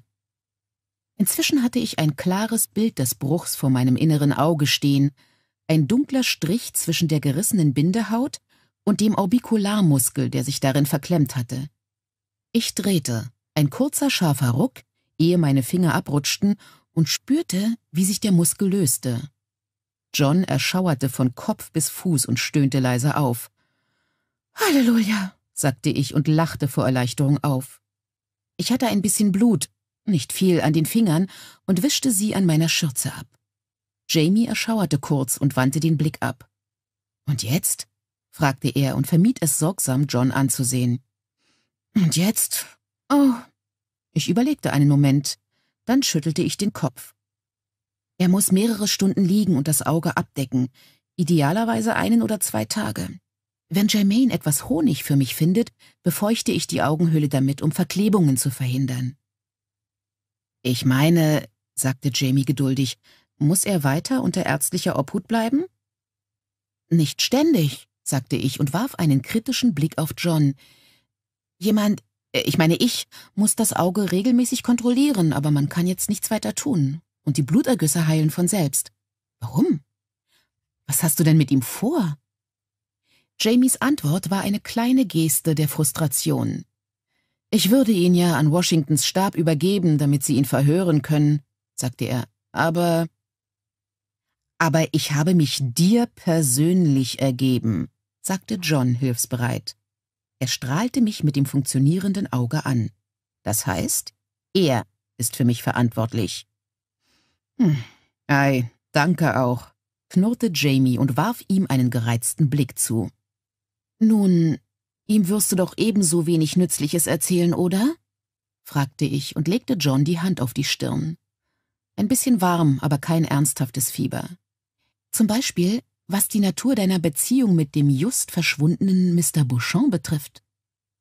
Jamie prustete. Ich weiß genau, was für eine Beziehung er mit dem kleinen Sodomiten hat, sagte er unverblümt. Und sein Name ist Wainwright, zumindest war er das, als ich das letzte Mal von ihm gehört habe. Er warf John einen durchdringenden Blick zu. Du hast nicht zufällig vor, mir zu erzählen, warum er sich jetzt Beauchamp nennt, oder? Nein, sagte John fröhlich, obwohl es dir mit großer Wahrscheinlichkeit auch nicht helfen würde, wenn ich es täte.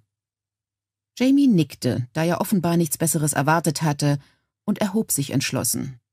Nun, denn ich habe zu tun und du ebenfalls, Fasnach. Warte bitte hier auf Germaine, und wenn du mit dem Honig fertig bist, sag Germaine, dass er auf Lord John aufpassen soll. Er darf ihm unter keinen Umständen von der Seite weichen, es sei denn mit deiner oder meiner Erlaubnis. Und sollte Mr. Beauchamp noch einmal vorbeischauen, muss Germaine dabei sein. Er spricht fließend Französisch, warnte er John. Und solltest du mit dem Gedanken spielen, die Loyalität meines Enkelsohns zu unterwandern? Aber, aber, sagte John, den die bloße Vorstellung zu schockieren schien. Hm, machte Jamie finster und ging.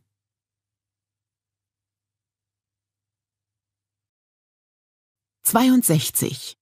Das Maultier kann dich nicht leiden.« Nach allem, was gerade geschehen war, wusste ich nicht so recht, was ich zu John sagen sollte. Ihm schienen ähnlich die Worte zu fehlen, doch er überspielte das peinliche Schweigen, indem er die Augen schloss und sich schlafen stellte. Ich konnte ihn erst allein lassen, wenn Germaine mit dem Honig zurückkam, vorausgesetzt er fand welchen, aber mein Vertrauen in seine Fähigkeiten war beträchtlich. Nun ja, es brachte nichts, die Hände in den Schoß zu legen. Ich holte meinen Mörser hervor und begann, Enzianwurzel und Knoblauch für eine antibiotische Salbe zu zerstoßen. Damit waren zwar meine Hände beschäftigt, unglücklicherweise aber nicht meine Gedanken, die im Kreis krabbelten wie ein Hamster in seinem Rad. Im Moment hatte ich zwei Hauptsorgen, und gegen die eine konnte ich nichts unternehmen, es war die zunehmende Spannung vor der Schlacht. Ich kannte dieses Gefühl sehr gut, es war ausgeschlossen, dass ich mich irrte. Jamie hatte zwar noch nichts Eindeutiges gesagt, vielleicht weil er noch keine schriftliche Order hatte, doch ich wusste es so untrüglich, als hätte es der Stadtschreier ausgerufen. Die Armee würde morgen mit dem Vormarsch beginnen. Ich warf einen verstohlenen Blick auf Lord John, der da lag wie eine Grabfigur, die Hände ordentlich über der Taille gefaltet. Das Einzige, was noch fehlte, war ein Hündchen, das zu seinen Füßen zusammengerollt lag. In diesem Fall mussten wir wohl mit Rollo vorlieb nehmen, der schnarchend unter dem Feldbett lag. John war natürlich meine andere Sorge. Ich hatte keine Ahnung, wie er dorthin gekommen war, wo er war, aber es hatten so viele Leute mit angesehen, wie er sich ergab, dass ich seine Anwesenheit bis zum Anbruch der Dunkelheit überall herumsprechen würde. Und wenn das geschehen war. Du würdest es wohl nicht in Betracht ziehen zu entwischen, wenn ich kurz gehe? fragte ich abrupt. Nein, sagte er, ohne die Augen zu öffnen. Ich habe mein Ehrenwort gegeben. Außerdem würde ich es gar nicht aus dem Lager schaffen, fügte er resigniert hinzu. Das Schweigen begann erneut, unterbrochen vom Brumm einer großen Hummel, die sich in das Zelt verirrt hatte, und den weiter entfernten Rufen und Trommelschlägen exerzierender Soldaten und dem leiseren Geklapper des Alltags im Lager. Das einzig Gute, wenn man es denn so sehen wollte, und das tat ich wohl besser, war, dass die zunehmende Anspannung vor der Schlacht wahrscheinlich keinen Platz für offizielle Neugier in Bezug auf John lassen würde. Was zum Teufel würde Jamie mit ihm anfangen, wenn die Armee am Morgen aufbrach? fragte ich mich. Grand-Mère, Grand-Mère! Jermaine kam ins Zelt gestürzt und Rollo, der Percy Wainwrights Besuch verschlafen hatte, ohne auch nur mit einem Schnurrhaar zu zucken, schoss unter dem Feldbett hervor und stieß ein derart explosives Wuff aus, dass das Bett mitsamt John davon beinahe umgefallen wäre. Still, Hund, sagte ich, als ich sah, dass er wild um sich blickte und hielt ihn am Nackenpelz fest. Und was zur Hölle? Ich meine zum... Ich, ähm, ich meine, was ist los, Jermaine? Ich habe ihn gesehen, Oma. Ich habe ihn gesehen. Den Mann, der mir Clarence abgenommen hat. Komm schnell! Und ohne eine Antwort abzuwarten, machte er kehrt und schoss aus dem Zelt. John machte Anstalten, sich aufzusetzen, und Rollo spannte sich unter meiner Hand an. Sitz, sagte ich zu ihm, und an beide gerichtet, bleib verflixt. Die Haare auf meinen Unterarmen kribbelten, obwohl mir der Schweiß über den Hals rann. Ich hatte meinen Hut vergessen und die Sonne brannte mir auf die Wangen. Als ich Jermaine einholte, keuchte ich genauso vor Aufregung wie vor der Hitze. Wo?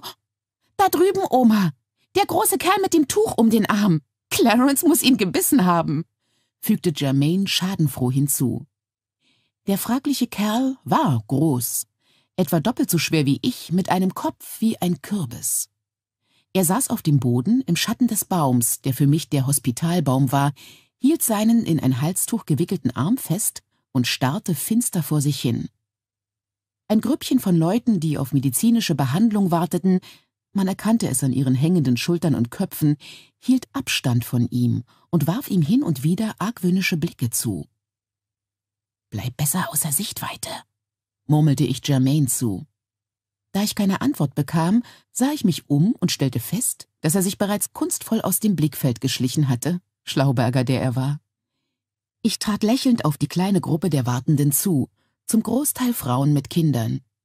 Ich kannte zwar keine von ihnen mit Namen, doch sie wussten eindeutig, wer und was ich war. Sie nickten mir zu und begrüßten mich murmelnd, ließen ihre Blicke aber seitwärts zu dem Mann unter dem Baum schweifen.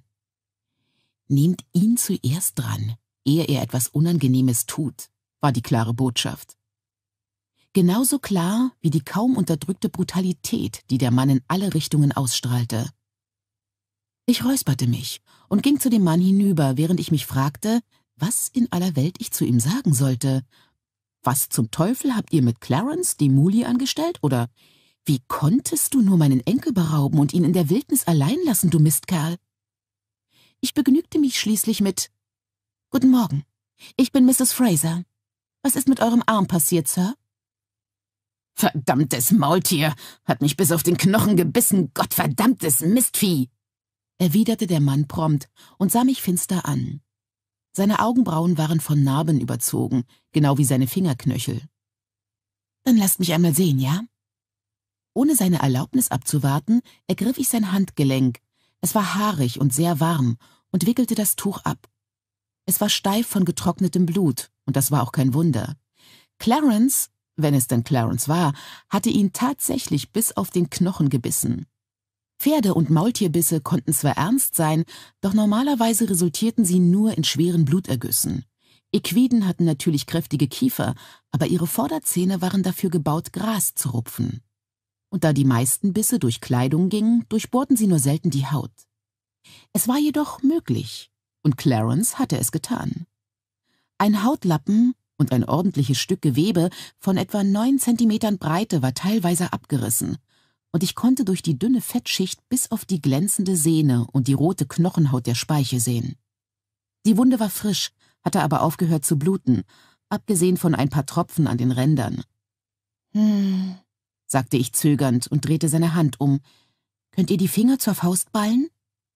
Das konnte er, obwohl sich der Ringfinger und der kleine Finger nicht vollständig knicken ließen. Doch sie bewegten sich, die Sehne war also nicht durchtrennt. Hm, machte ich erneut und griff in meiner Tasche nach der Flasche mit der Salzlösung und einer Sonde.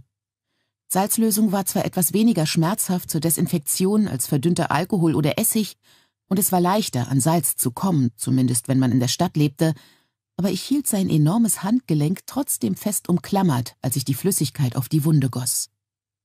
Er stieß ein Geräusch aus wie ein verwundeter Bär, und die wartenden Zuschauer traten wie ein Mann mehrere Schritte zurück. Das war aber ein gefährliches Maultier, merkte ich gelassen an, als sich der Patient keuchend wieder beruhigte. Sein Gesicht verfinsterte sich noch mehr.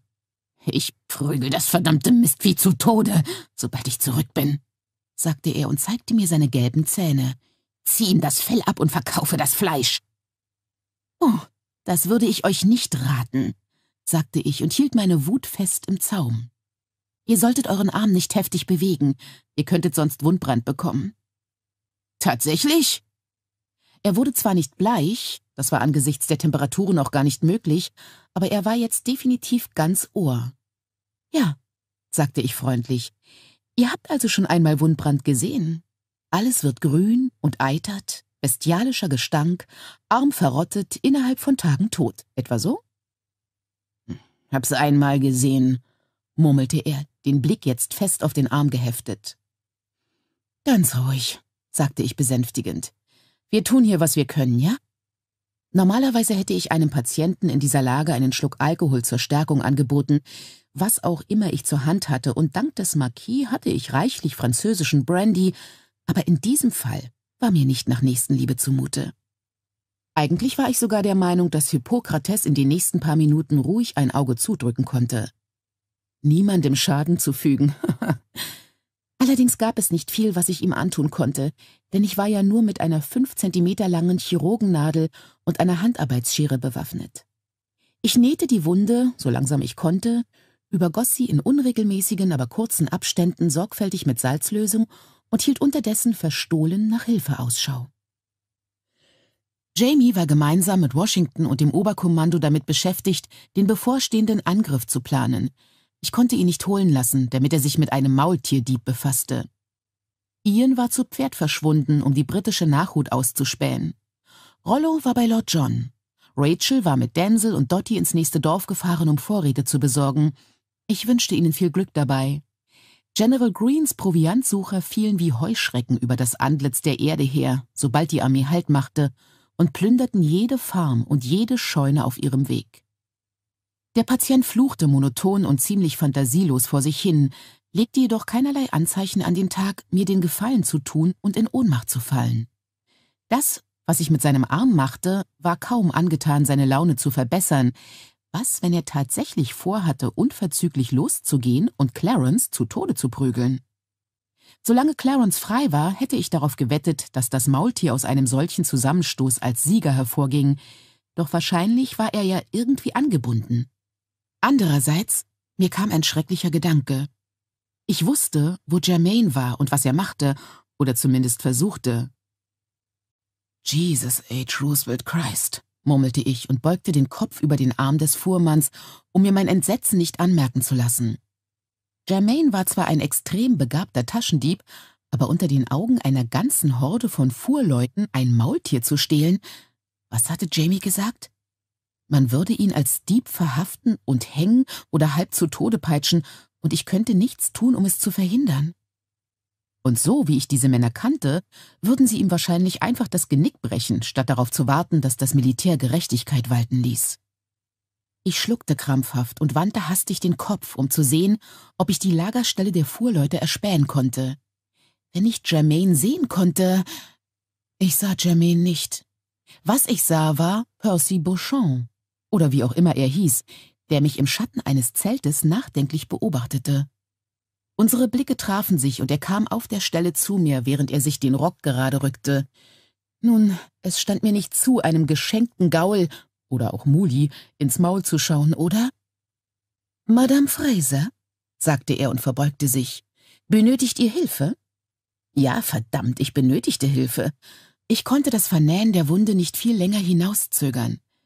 Ich ließ den Blick zu meinem bulligen Patienten hinüberhuschen und fragte mich, ob er wohl Französisch sprach. Offenbar war mein Gesicht exakt so transparent, wie es Jamie immer behauptete. Percy lächelte mich an und sagte im Konversationston auf Französisch, ich glaube nicht, dass dieser verfaulende Klumpen Menstrualblut mehr Englisch versteht, als man benötigt, um sich die Art verseuchter, schwachsinniger Hure zu verdingen, die sich von ihm berühren lässt, geschweige denn, dass er die Zunge der Engel spricht. Der Fuhrmann knurrte unablässig. Mistvieh, Mistvieh, verdammtes Scheißmaultier. Das tut weh, Gott verdammt. Ich entspannte mich ein wenig und erwiderte auf Französisch, ja, ich brauche Hilfe und zwar extrem dringend. Mein Enkelsohn versucht gerade das Maultier zu stehlen, das ihm dieser Idiot gestohlen hat. Könnt ihr ihn aus dem Lager der Fuhrleute zurückholen, ehe es jemand merkt? A votre service, Madame, erwiderte er prompt knallte die Hacken zusammen, verbeugte sich und ging. Ich ließ mir beim abschließenden Verbinden der Wunde so lange wie möglich Zeit. Falls mein übellauniger Bekannter Germain bei den Fuhrleuten antraf, so fürchtete ich, dass Percys französische Manieren der Situation möglicherweise nicht gewachsen sein würden. Und ich konnte wirklich nicht erwarten, dass Hippokrates weiter ein Auge zudrückte, falls ich mich zu drastischen Maßnahmen gezwungen sah, weil er versuchte, Germain den Hals umzudrehen. Doch dann hörte ich hinter mir ein vertrautes Kreischen, und als ich mich abrupt umwandte, sah ich Percy, der zwar etwas errötet und zerzaust war, aber Germain auf mich zuführte. Germain wiederum saß auf dem Maultier und funkelte mit einer Mischung aus Rachsucht und Triumphgefühl auf meinen Patienten nieder. Ich stand hastig auf und tastete nach meinem Messer. Der Fuhrmann, der gerade dabei gewesen war, den frischen Verband an seinem Arm vorsichtig zu befühlen, blickte verblüfft auf und fuhr dann brüllend in die Höhe. Mistvieh! Kreischte er und steuerte mit geballten Fäusten zielstrebig auf die beiden zu. Man musste es Percy zugestehen, dass er sich nicht beirren ließ, obwohl er ein wenig erbleichte. Doch er reichte Germain die Zügel und trat entschlossen vor. Monsieur, begann er, ich hätte gern erfahren, was genau er zu sagen vorhatte, fand es jedoch nicht heraus, da sich der Fuhrmann nicht mit Floskeln abgab, sondern Percy stattdessen die Faust in den Bauch rammte. Percy setzte sich abrupt auf den Boden und klappte zusammen wie ein Fächer. Verdammt, begann ich. Jermaine! Denn Jermaine, der sich durch den plötzlichen Verlust seines Helfers nicht beeindrucken ließ, hatte die Zügel kurz genommen und machte Anstalten, sie dem Fuhrmann quer durch das Gesicht zu schlagen. Das hätte möglicherweise auch funktioniert, wenn ihm seine Absicht nicht so deutlich anzusehen gewesen wäre. So jedoch duckte sich der Fuhrmann und streckte die Hände aus, um entweder die Zügel oder Germain zu packen. Die Umstehenden hatten jetzt begriffen, was hier vor sich ging, und einige Frauen fingen an zu schreien. An diesem Punkt beschloss Clarence, sich einzumischen. Er legte die Ohren an, zog die Lippen kraus und schnappte nach dem Gesicht des Fuhrmanns, dem er um ein Haar die Nase abgebissen hätte. Du verdammtes Mistvieh! Mit einem Gänsehaut erzeugenden animalischen Brüllen ging der Fuhrmann auf Clarence los und verbiss sich in der Oberlippe des Maultiers, während er sich fest an seinen Hals klammerte. Clarence brüllte. Die Frauen brüllten. Jermaine brüllte. Ich brüllte nicht, weil ich keine Luft bekam. Ich boxte mich durch die Menge und tastete nach dem Schlitz in meinem Rock, um an mein Messer zu gelangen. Doch just als ich meine Hand um den Griff legte, legte sich eine Hand auf meine Schulter, so dass ich stehen blieb. Pardon, my lady, sagte Fergus, schritt zielstrebig an mir vorüber, trat neben die sich aufbäumende Masse aus Maultier, Fuhrmann und kreischendem Kind und feuerte die Pistole ab, die er in der Hand hatte. Für den Bruchteil einer Sekunde hielt alles inne, dann ging das Geschrei von neuem los, und alles rauschte auf Clarence und seine Begleiter zu, um zu sehen, was geschehen war. Das war im ersten Moment überhaupt nicht klar. Der Fuhrmann hatte verblüfft von Clarence abgelassen und sich speicheltriefend und mit vorquellenden Augen zu Fergus umgewandt. Germaine, der mehr Geistesgegenwart an den Tag legte, als ich in einer solchen Situation besessen hätte, packte die Zügel und zerrte mit aller Kraft daran, um Clarence zu wenden. Clarence, dessen Blut jetzt sichtlich kochte, wollte nichts davon wissen. Fergus steckte die abgefeuerte Pistole seelenruhig in seinen Gürtel zurück. Jetzt begriff ich, dass er dem Fuhrmann vor die Füße geschossen haben musste, und sprach den Mann an. Ich an eurer Stelle, Sir, würde mich schleunigst aus der Nähe dieses Tiers entfernen. Es ist nicht zu übersehen, dass es euch nicht leiden kann. Das Geschrei hatte aufgehört, und die Rede brachte mehrere Leute zum Lachen. Da hat er recht, Belden, rief ein Mann neben mir. Das Maultier kann dich nicht leiden. Was sagst du dazu? Der Fuhrmann sah etwas verdattert aus, aber immer noch so, als wollte er jemanden umbringen. Er stand mit geballten Fäusten, gespreizten Beinen und eingezogenem Kopf da und funkelte wütend in die Menge. Was ich dazu, begann er. Ich finde. Doch jetzt war es Percy gelungen, wieder auf die Beine zu kommen, und er hielt sich zwar noch etwas vornübergebeugt, doch er konnte sich bewegen. Ohne jedes Zögern schritt er zu dem Fuhrmann hinüber und rammte ihm mit aller Kraft den Fuß in die Hoden. Das stieß auf Beifall. Selbst der Mann, der Beldens Freund zu sein schien, wieherte vor Lachen. Der Fuhrmann ging zwar nicht zu Boden, doch er krümmte sich wie ein vertrocknetes Blatt und umklammerte sich selbst. Percy wartete klugerweise nicht, bis er sich erholt hatte, sondern drehte sich um und verbeugte sich vor Fergus. A votre service, Monsieur. Ich würde vorschlagen, dass ihr euch mit eurem Sohn und dem Maultier natürlich zurückzieht. Merci beaucoup, und ich schlage vor, dass ihr das ebenfalls tut. Tut's wit, erwiderte Fergus. Hey! rief der Freund des Fuhrmanns, der jetzt nicht mehr lachte. Ihr könnt das Maultier doch nicht stehlen! Fergus baute sich vor ihm auf, gebieterisch wie der französische Aristokrat, der er Percys Andeutungen nach möglicherweise war. Das stimmt, Sir, sagte er und nickte kaum merklich mit dem Kopf, um seine Antwort zu unterstreichen. Weil ein Mann schließlich nichts stehlen kann, was ihm schon gehört. Ist es nicht so? Ist es nicht, ist was nicht so? wollte der Mann verwirrt wissen. Fergus würdigte diese Frage keiner Antwort. Er zog die Augenbraue hoch, entfernte sich ein paar Schritte, drehte sich um und rief Clarence, attendez-moi! Nach dem Kollaps des Fuhrmanns hatte Jermaine Clarence einigermaßen unter seine Kontrolle gebracht, obwohl das Maultier die Ohren immer noch deutlich missmutig angelegt hatte. Beim Klang von Fergus Stimme jedoch hoben sich die Ohren langsam und drehten sich in seine Richtung. Fergus lächelte, und hinter mir hörte ich eine Frau unwillkürlich aufseufzen. Fergus Lächeln war außerordentlich charmant. Er griff in seine Tasche und zog einen Apfel heraus, den er zielsicher mit seinem Haken aufspießte. Komm, sagte er zu dem Maultier. Er streckte die rechte Hand aus und bewegte die Finger, als kraulte er jemandem den Kopf.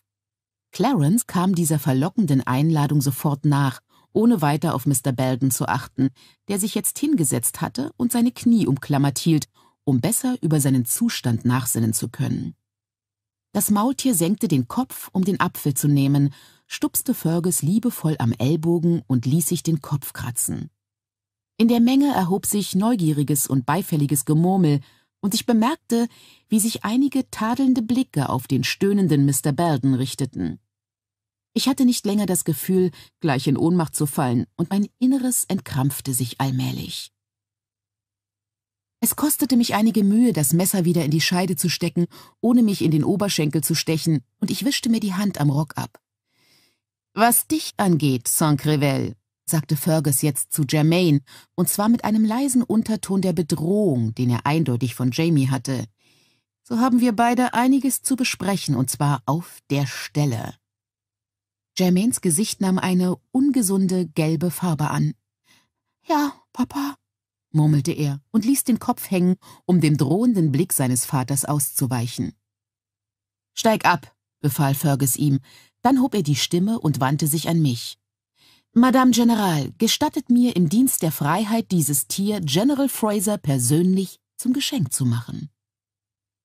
Der Klang dieser Worte war von solcher Aufrichtigkeit, dass einige Seelen applaudierten. Im Namen General Frasers nahm ich das Geschenk gnädig an.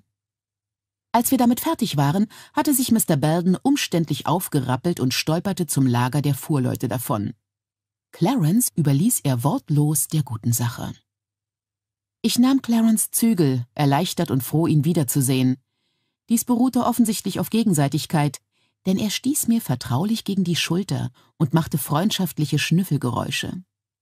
Fergus stand unterdessen da und blickte einen Moment auf Jermaine hinunter, dann richtete er sich auf und wandte sich an Percy, der immer noch ein wenig blass aussah, sich jedoch die Perücke zurechtgesetzt und sich wieder im Griff hatte. Percy verbeugte sich sehr förmlich vor Fergus, der tief aufseufzte und die Verbeugung dann erwiderte. Und wir beide haben wohl auch einiges zu besprechen, Monsieur sagte er resigniert. Etwas später vielleicht? Percys wohlgeformtes Gesicht erhellte sich. A votre service, Seigneur, sagte er und verbeugte sich erneut.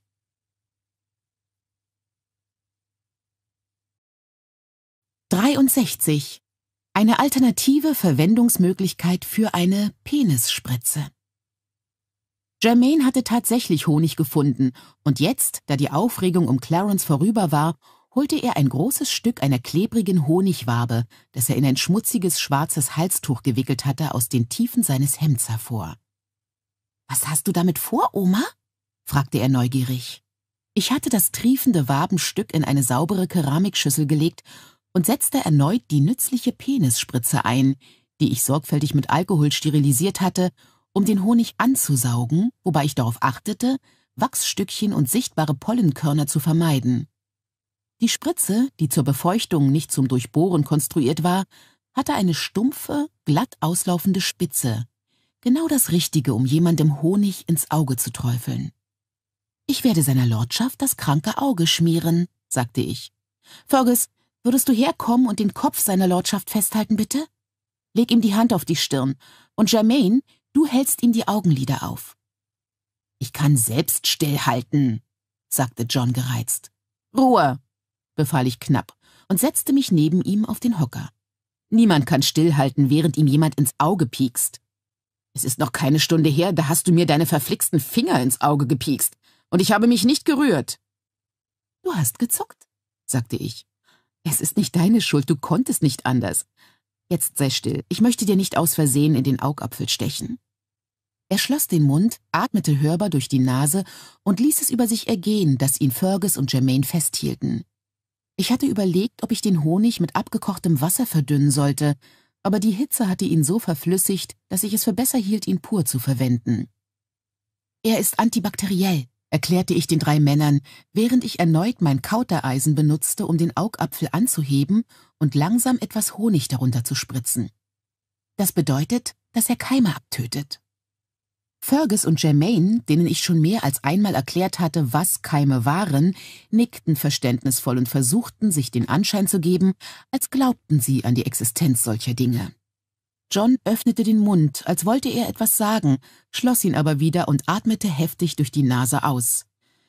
Aber in diesem Fall ist die wichtigste Eigenschaft des Honigs, dass er zähflüssig ist, sagte ich, während ich den Augapfel großzügig damit bedeckte. Jetzt lass los, Jermaine. Drück das Auge zu, John. Oh, sehr gut. Durch die Manipulation hatte das Auge natürlich wieder zu Tränen begonnen, doch selbst verdünnter Honig behält seine Zähflüssigkeit bei, ich konnte den veränderten Lichtschimmer auf den Bindehäuten sehen, der auf den dünnen, lindernden, so hoffte ich, Honigfilm hindeutete. Etwas war natürlich übergelaufen, und einige bernsteinfarbene Tropfen liefen ihm über die Schläfe zum Ohr. Ich stoppte den Fluss mit einem Taschentuch. Wie fühlt es sich an? John öffnete und schloss das Auge ein paar Mal ganz langsam. Ich sehe alles verschwommen. Das spielt keine Rolle. Du wirst das Auge sowieso einen oder zwei Tage nicht benutzen. Fühlt es sich besser an? Ja, sagte er unüberhörbar grollend, und wir anderen drei stießen Beifallslaute aus, die er mit einem peinlich berührten Blick quittierte. Also gut, setz dich. Vorsichtig. Ja, so. Schließ das Auge und halt das hier, um die Tropfen aufzufangen. Ich reichte ihm ein sauberes Taschentuch, rollte ein Stück Gaseverband auseinander, drückte ihm vorsichtig einen Mullbausch vor das Auge und wickelte ihm den Verband ein paar Mal um den Kopf. Dann steckte ich die Enden fest. Er hatte große Ähnlichkeit mit einer Figur auf einem alten Gemälde mit dem Titel Der Geist von 1776, doch das erwähnte ich nicht. Also gut, sagte ich. Ich atmete aus und war sehr zufrieden mit mir. Fergus, Könntest du mit Germaine etwas zu essen besorgen, etwas für seine Lordschaft und etwas für morgen für unterwegs? Ich glaube, es wird ein langer Tag. Dieser hier ist doch schon lang genug, maulte John. Er schwankte ein wenig, und ich drückte ihn sacht wieder zum Liegen nieder, ohne dass er großen Widerstand leistete. Er reckte den Hals, um ihn zu lockern, dann legte er sich seufzend auf das Kissen. Danke. Es war mir ein Vergnügen, versicherte ich ihm. Ich zögerte, aber da Fergus gegangen war, würde ich wohl keine bessere Gelegenheit bekommen, ihm die Frage zu stellen, die mich nicht losließ. Du weißt vermutlich auch nicht, was Percival Beauchamp, wenn er denn so heißt, von Fergus will, oder? Das gesunde Auge öffnete sich und sah mich an. Nein, das weiß ich nicht. Aber falls Mr. Fraser einen unverlangten Rat annehmen würde, lege ich ihm dringend ans Herz, sich so weit wie möglich von Monsieur Beauchamp fernzuhalten. Das Auge schloss sich wieder. Percy Beauchamp hatte sich nach Clarence Rettung sehr elegant verabschiedet und erklärt, Le Marquis erwarte ihn, er werde Fergus jedoch am Morgen aufsuchen. Wenn sich die Dinge beruhigt haben, hatte er mit einer vornehmen Verbeugung hinzugefügt. Ich betrachtete John nachdenklich. Was hat er dir getan? fragte ich. Er öffnete zwar das Auge nicht, doch seine Lippen spannten sich an. Mir? Nichts, gar nichts, wiederholte er und legte sich auf die Seite, so dass er mir den Rücken zukehrte.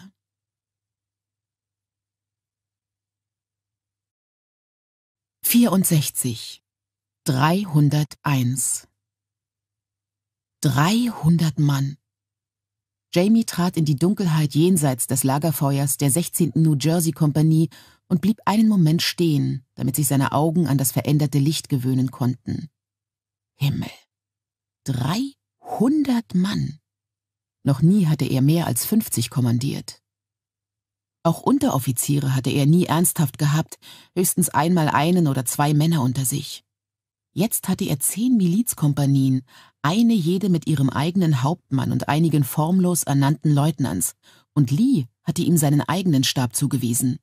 Zwei Adjutanten, einen Sekretär Daran könnte er sich gewöhnen, dachte er, und bewegte die Finger seiner verstümmelten Hand. Drei Hauptmänner, von denen ihn jetzt einer begleitete und sich große Mühe gab, nicht besorgt auszusehen. Zehn Leutnants, die als Verbindungsoffiziere zwischen ihm und den Kompanien unter seinem Kommando dienen würden, einen Koch und einen Kochgehilfen und seinen Stabsarzt hatte er ja sowieso schon. Obwohl ihn die Situation ganz in Anspruch nahm, musste er lächeln, als er an das Gesicht dachte, das Lee gemacht hatte, als ihm Jamie gesagt hatte, warum genau er keinen Armeestabsarzt benötigte. Ist das so? hatte Lee gesagt, und das Gesicht mit der langen Nase hatte jeden Ausdruck verloren. Dann hatte er sich zusammengerissen und war rot geworden, weil er glaubte, dass er an der Nase herumgeführt wurde. Doch Jamie hatte seine Manschette zurückgeschoben und Lee seine rechte Hand gezeigt. Die alten weißen Narben an den Stellen, wo die Knochen seine Finger durchbohrt hatten, wie die Strahlenkränze kleiner Sterne, und die breite Narbe, immer noch rot, aber sauber gezogen, gerade und wunderbar verheilt, die zwischen dem kleinen und dem Mittelfinger verlief und davon zeugte, dass der fehlende Finger mit solchem Können amputiert worden war, dass man zweimal hinschauen musste, um zu sehen, warum die Hand seltsam zu sein schien. Nun, General, eure Frau kann anscheinend exzellent mit einer Nadel umgehen, sagte Lee, jetzt belustigt. Ei, Sir, das kann sie, hatte er höflich erwidert. Und sie hat auch großes Geschick im Umgang mit der Klinge. Lee bedachte ihn mit einem sardonischen Blick und spreizte seinerseits die Finger der rechten Hand. Die beiden äußeren fehlten. Das hatte der Herr, der mir die beiden abgehauen hat, auch. Ein Duell, fügte er achselzuckend hinzu, als er Jamies hochgezogene Augenbrauen sah und schloss die Hand wieder. In Italien. Er wusste nicht, was er von Lee halten sollte. Der Mann hatte einen guten Ruf als Soldat, aber er war ein Angeber, und meistens passte das nicht zusammen. Andererseits war er so stolz wie Louis Kamele und manchmal zeichnete Arroganz ja auch einen Menschen aus, der seinen Wert kannte. Der Plan, die britische Nachhut anzugreifen, zunächst als rascher Schlag durch Lafayette und tausend Mann gedacht, Lee war sich für ein solch minderes Kommando zu schade, war komplexer geworden, wie das stets der Fall war, wenn man den Kommandeuren Zeit ließ, darüber nachzudenken. Sobald Washington beschlossen hatte, dass die Truppe für den Vorstoß doch 5000 Mann stark sein sollte, hatte sich Lee gnädigerweise dazu herabgelassen, das Kommando zu übernehmen. Um Lafayette nicht zu verletzen, würde er nach wie vor seine kleinere Streitmacht anführen, doch Lee hatte den Oberbefehl. Jamie war skeptisch, doch es stand ihm nicht zu, dies auszusprechen. Er blickte nach links, wo Ian und sein Hund neben ihm herschlenderten. Ersterer pfiff leise vor sich hin, Letzterer war ein großer, zotteliger Umriss in der Dunkelheit, der in der Hitze hechelte. Ian, sagte er beiläufig auf Gaelic, hatten deine Freunde mit den Federn etwas über Une Waderika zu sagen?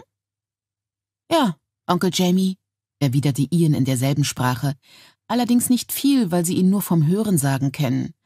Er ist ein grimmiger Kämpfer, heißt es zumindest. Hm.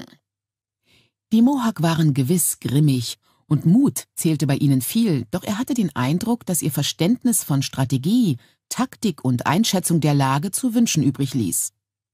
Gerade war er im Begriff, nach Joseph Brent zu fragen, der wohl bei den Mohawk das war, was einem General, im formellen Sinne, am nächsten kam, als er durch eine hochgewachsene, schlachsige Gestalt unterbrochen wurde, die ihm in den Weg trat. Ich bitte um Verzeihung, Sir, könnte ich euch sprechen? sagte der Mann und fügte mit einem Blick auf Jamies Begleiter hinzu, unter vier Augen. Gewiss, äh, Hauptmann Woodsworth, erwiderte er und hoffte, dass sein Zögern bei der Suche nach dem Namen des Mannes schwach genug gewesen war, um unbemerkt zu bleiben. Er hatte sich alle Milizhauptmänner eingeprägt, denen er begegnet war, und so viele Männer, wie er konnte, doch es würde noch eine Weile dauern, bis er ihre Namen auf Anhieb parat hatte. Nach einem weiteren Moment des Zögerns nickte er Ian zu, mit Hauptmann Joel schon zum nächsten Feuer weiterzugehen. Berichtet Ihnen schon, wie die Lage ist, Hauptmann, sagte er, denn das nächste Lagerfeuer gehörte einer Kompanie, die Joel unterstand. Aber wartet dort auf mich, ei? Die Lage? wiederholte Woodsworth und klang alarmiert.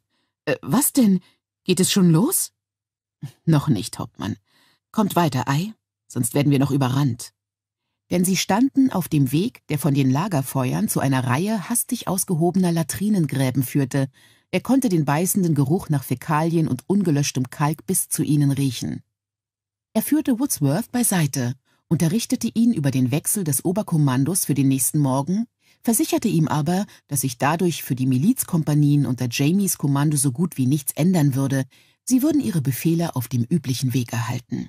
Insgeheim dachte er allerdings, dass es zwar nichts am Prozedere unter den Kompanien ändern würde, vielleicht jedoch daran, ob sie morgen in Kampfhandlungen verwickelt werden würden und ob sie diese überleben würden. Doch es war nicht zu sagen, ob ihre Chancen unter Lafayette oder Lee besser standen. Das würde das Schicksal oder möglicherweise Gott entscheiden. Also, Sir, sagte er, ihr wünschtet mich zu sprechen? Oh, Woodsworth holte durch die Nase Luft und drückte seinen Rücken gerade durch, während er hastig die Worte seiner Ansprache wieder zusammensuchte. Ja, Sir, ich wollte mich erkundigen, welche äh, äh, Unterbringung für Bertram Armstrong gefunden wurde. Bertram, wer? Der Mann, den ihr gestern aus meiner, äh, äh, bei der Truppenmusterung festgenommen habt, mit dem kleinen Jungen. Jamie wusste nicht, ob er lachen oder sich ärgern sollte. Bertram? Vorerst ist der Mann gut untergebracht, Sir. Meine Frau hat sich um sein Auge gekümmert und er hat zu essen bekommen. Oh. Woodsworth trat von einem Fuß auf den anderen, ließ sich aber nicht beirren. Das freut mich, Sir, aber was ich meinte, ich mache mir Gedanken um ihn. Es gibt Gerede über ihn. Das kann ich mir vorstellen, sagte Jamie und gab sich keine Mühe, seinen gereizten Unterton zu verbergen. Und inwiefern macht ihr euch Gedanken, Sir? Es heißt, sagen die Männer aus Dunnings Kompanie, dass Armstrong ein Spion der Regierung ist, dass er ein britischer Offizier ist, der sich unter uns versteckt hat.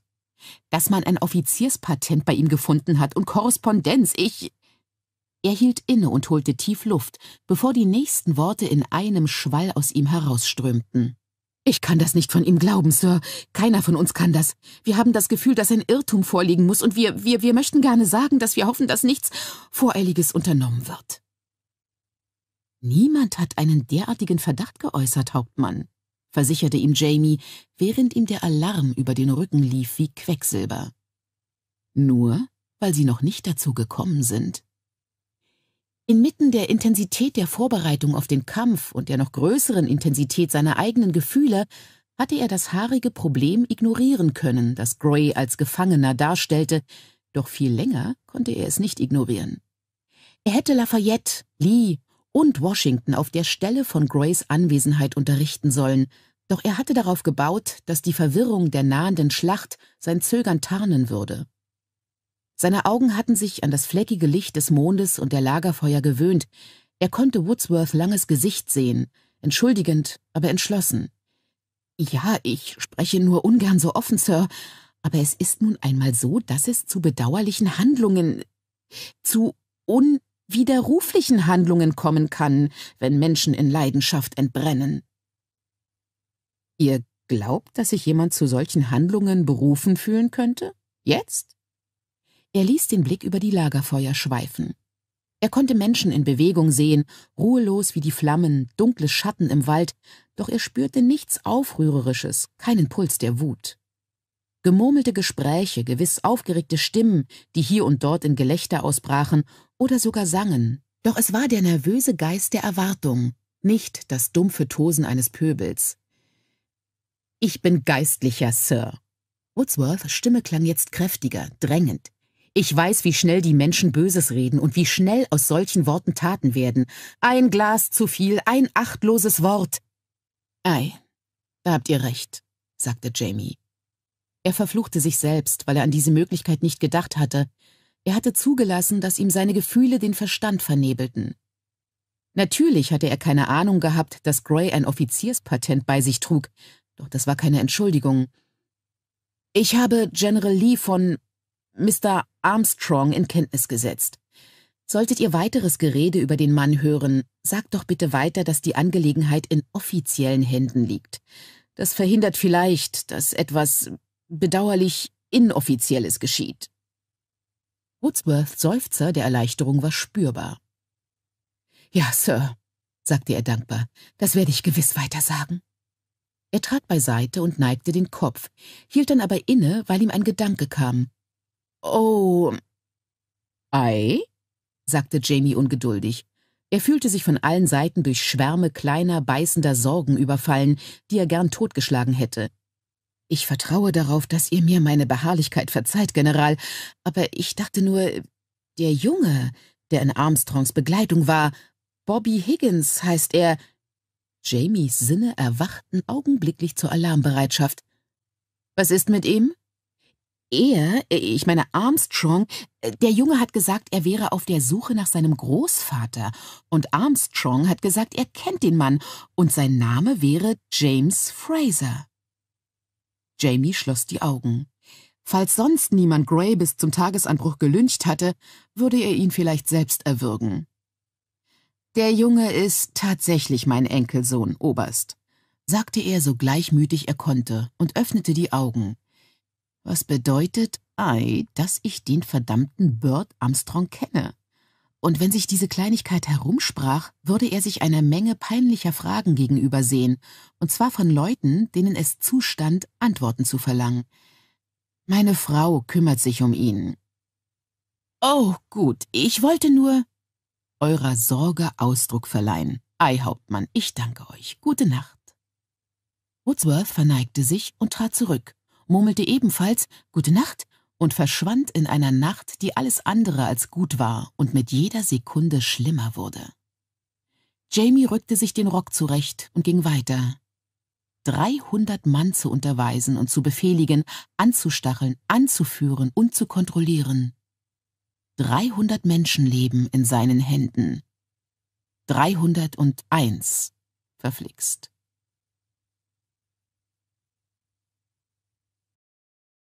65. Moskitos. Es war schon spät, als Jamie in das Licht des Feuers trat, mich anlächelte und sich abrupt hinsetzte. Gibt es etwas zu essen? fragte er. Ja, Sir, sagte die Frau, die es rührte. Und ihr werdet auch etwas essen, Ma'am, fügte sie entschlossen hinzu und warf mir einen Blick zu, der wenig Zweifel daran ließ, dass ich schon einmal besser ausgesehen hatte. Mir war zwar nicht danach, mir deswegen Gedanken zu machen, doch ich griff dankbar nach der Holzschüssel mit etwas Heißem und einem Stück Brot, mit dem ich es essen konnte. Ich nahm kaum Notiz davon, was ich aß, obwohl ich halb verhungert war. Der Tag war so voller Aktivität gewesen, dass ich keine Zeit zum Essen gehabt hatte.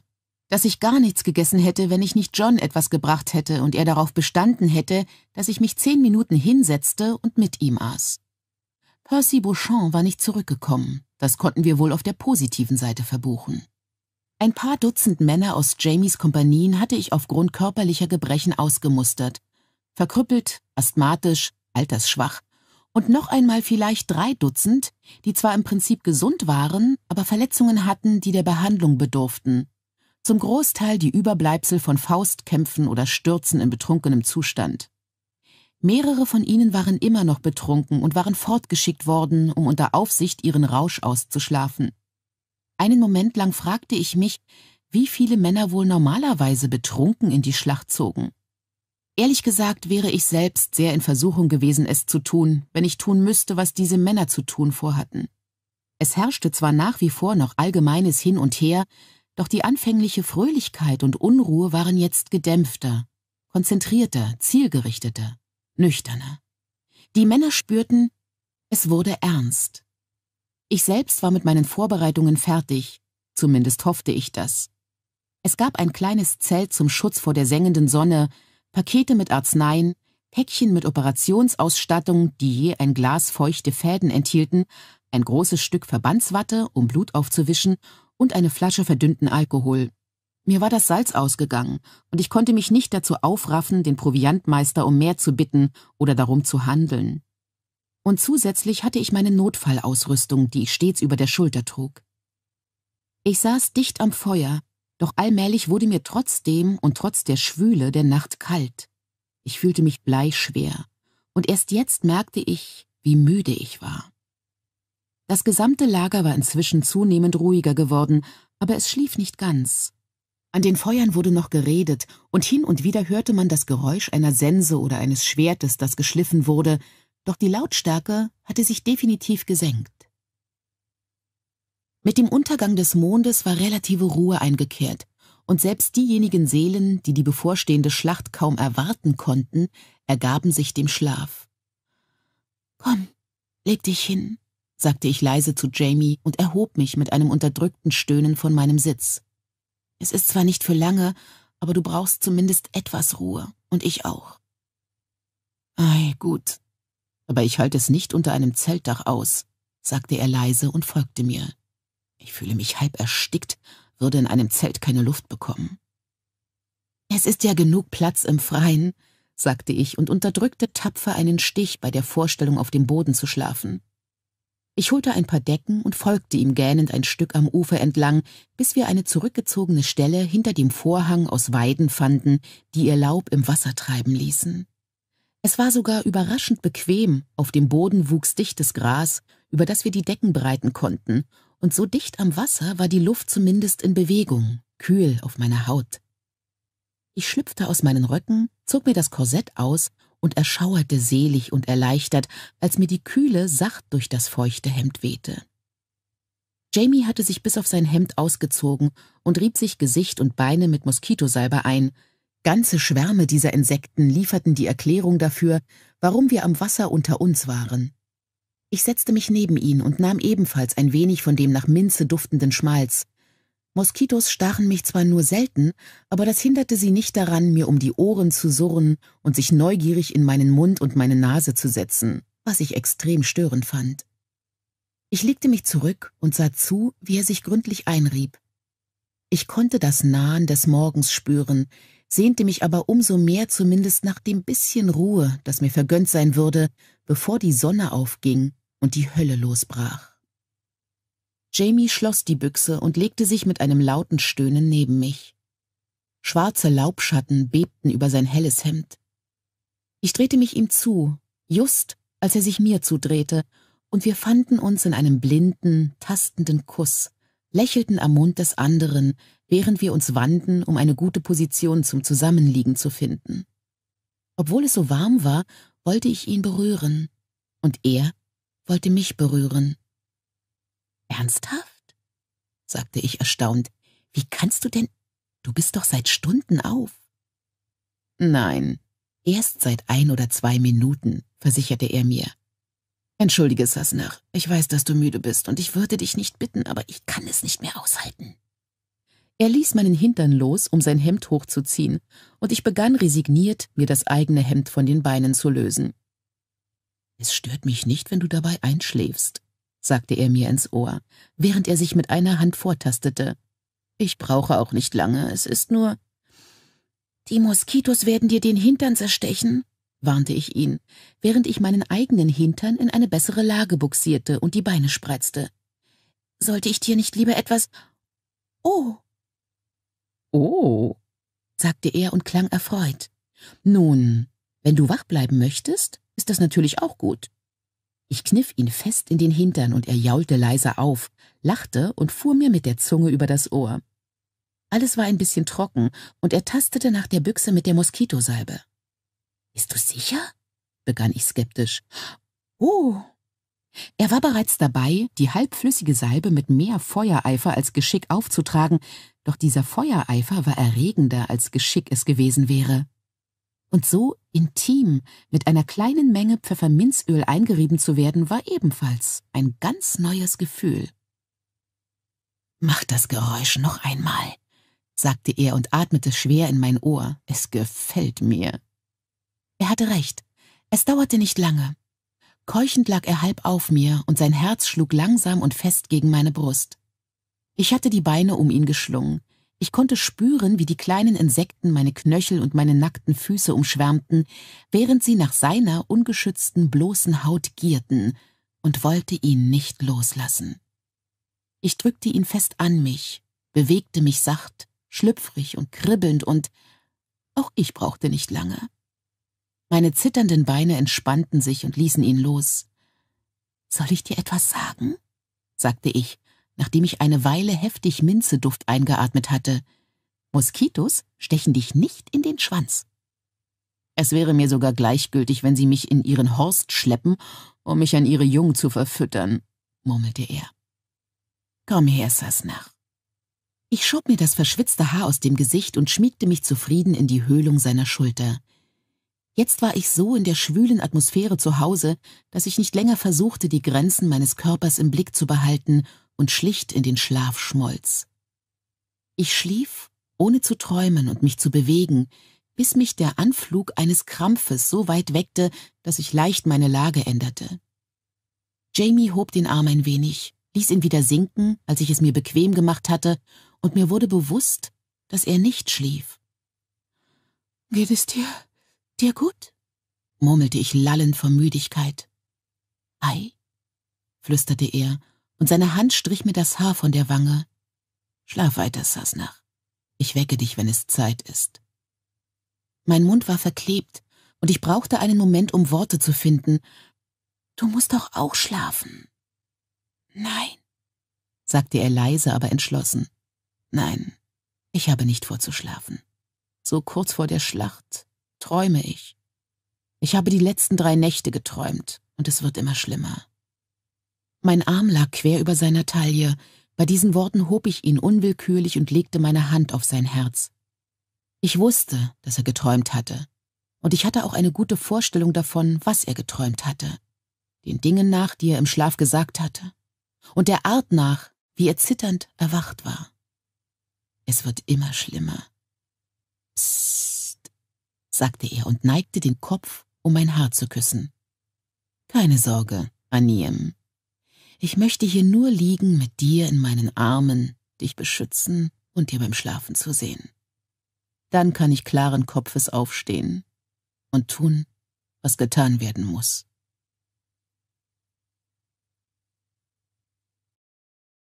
66.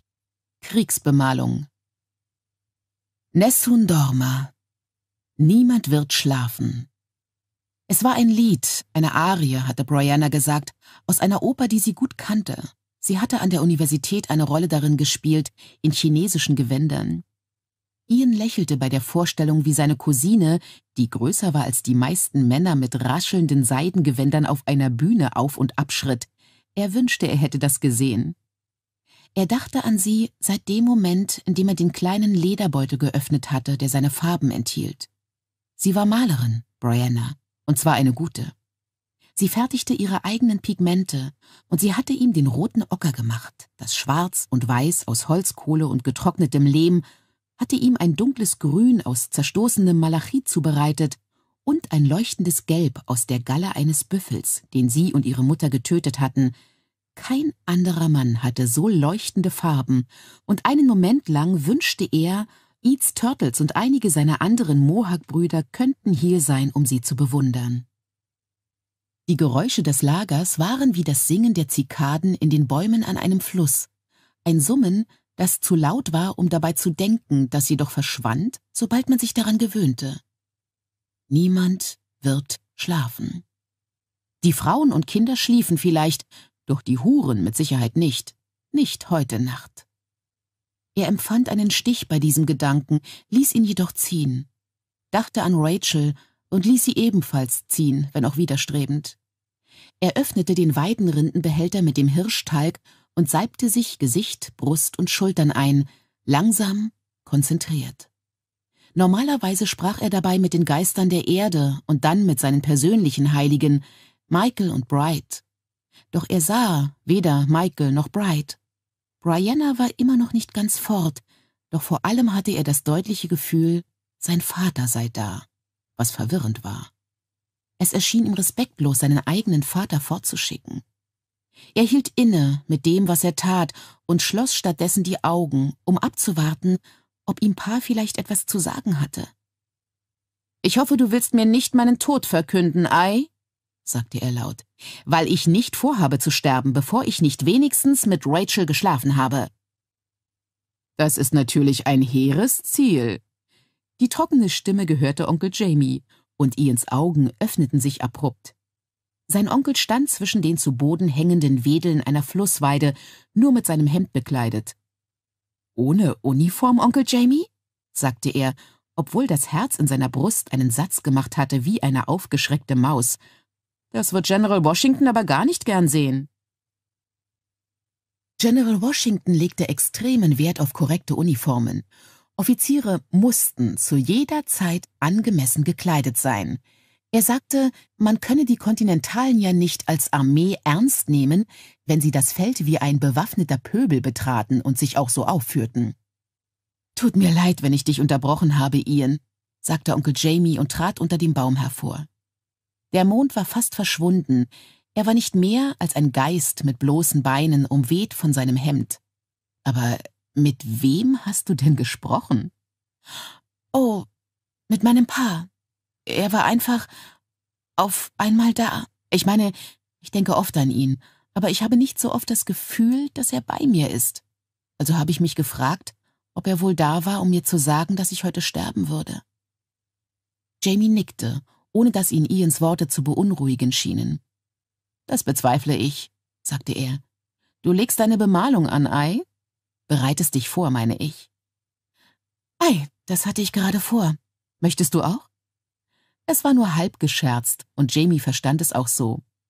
Das würde ich gern tun, Ian, aber ich glaube, General Washington würde mich an den Daumen aufknüpfen und auspeitschen lassen, wenn ich ihm mit meinen Männern in Kriegsbemalung vor die Augen käme. Ian stieß einen kleinen Laut der Belustigung aus, tauchte zwei Finger in das Gefäß mit dem roten Ocker und begann, sich die Farbe auf die Brust zu reiben. Und was machst du dann nur im Hemd hier draußen? Mich waschen, sagte Jamie, jedoch in einem Ton, der darauf hindeutete, dass das nicht alles war. Und ähm, mit meinen eigenen Toten reden. Hm. Irgendjemand Besonderes? Mein Onkel Dougal und Murtag, der mein Patenonkel war, das sind die beiden, die ich mir im Kampf am meisten an meiner Seite wünsche. Das fand Ian interessant. Er hatte zwar keinen der beiden Männer kennengelernt, denn sie waren beide in Culloden gestorben, aber er hatte viel von ihnen gehört. Ah, die geborenen Kämpfer, sagte er. Hast du meinen Pa auch gefragt? Ob er mit dir geht, meine ich? Vielleicht ist er ja deswegen hier. Überrascht wandte Jamie Ian den Kopf zu. Dann entspannte er sich und schüttelte den Kopf. Ich brauchte Ian Moore noch nie zu fragen, sagte er leise. Er ist immer einfach nur an meiner Seite. Er wies mit einer knappen Geste in die Dunkelheit zu seiner Rechten. Ians Augen brannten und es schnürte ihm die Kehle zu. Doch das machte nichts, es war ja dunkel. Er räusperte sich und streckte die Hand mit einem der kleinen Gefäße aus. Hilfst du mir, Onkel Jamie? Oh, ei, sicher. Wie hättest du es denn gern? Rot auf der Stirn, das kann ich selbst aber schwarz von den Pünktchen bis zum Kinn. Er fuhr mit dem Finger über die tätowierten Punkte, die sich über seine Wangen schwangen. Schwarz steht für Kraft, ei? Damit tut man kund, dass man Krieger ist, und gelb bedeutet, dass man keine Angst vorm Sterben hat. Oh, ei. Möchtest du heute gelb? Nein. Er legte ein Lächeln in seine Stimme, und Jamie lachte. Hm, Jamie tupfte die Farbe mit der Kaninchenpfote auf, die als Pinsel diente, dann verteilte er sie gleichmäßig mit dem Daumen. Ian schloss die Augen und spürte, wie ihm die Berührung Kraft schenkte. Machst du das normalerweise allein, Ian? Ohne Spiegel kommt mir das schwierig vor. Meistens, oder wir haben es manchmal gemeinsam getan und ein Clansbruder hat mich bemalt. Wenn es wichtig war, ein großer Kriegszug, hat uns der Medizinmann bemalt und dazu gesungen. Sag nicht, du möchtest, dass ich singe, Ian, murmelte sein Onkel. Ich meine, ich würde es versuchen, aber es geht schon, danke. Schwarz für die untere Gesichtshälfte, rot für die Stirn und ein malachitgrüner Streifen, der den Tätowierungen folgte, von einem Ohr zum anderen über seinen Nasenrücken hinweg. Ian blickte auf die kleinen Pigmentschälchen, das Weiß war leicht zu erkennen und er zeigte darauf. Kannst du mir vielleicht einen kleinen Pfeil malen, Onkel Jamie, auf die Stirn? Er fuhr mit dem Finger von links nach rechts, um zu zeigen, wo. Ei, das kann ich. Jamies Kopf war über die Farbschälchen gebeugt und seine Hand zögerte. Aber hast du mir nicht einmal gesagt, dass Weiß für Frieden steht? Ei, wenn man zu einer Verhandlung aufbricht, benutzt man viel Weiß. Aber es steht auch für Trauer. Wenn man auszieht, um jemanden zu rächen, würde man vielleicht auch weiß tragen. Jetzt zuckte Jamies Kopf hoch und er starrte Ian an. Der Pfeil hat nichts mit Rache zu tun, erklärte Ian. Er ist für fliegender Pfeil. Den Toten, dessen Stelle ich eingenommen habe, als ich adoptiert wurde. Er sagte es so beiläufig er konnte, doch er spürte, wie sein Onkel erstarrte und zu Boden blickte.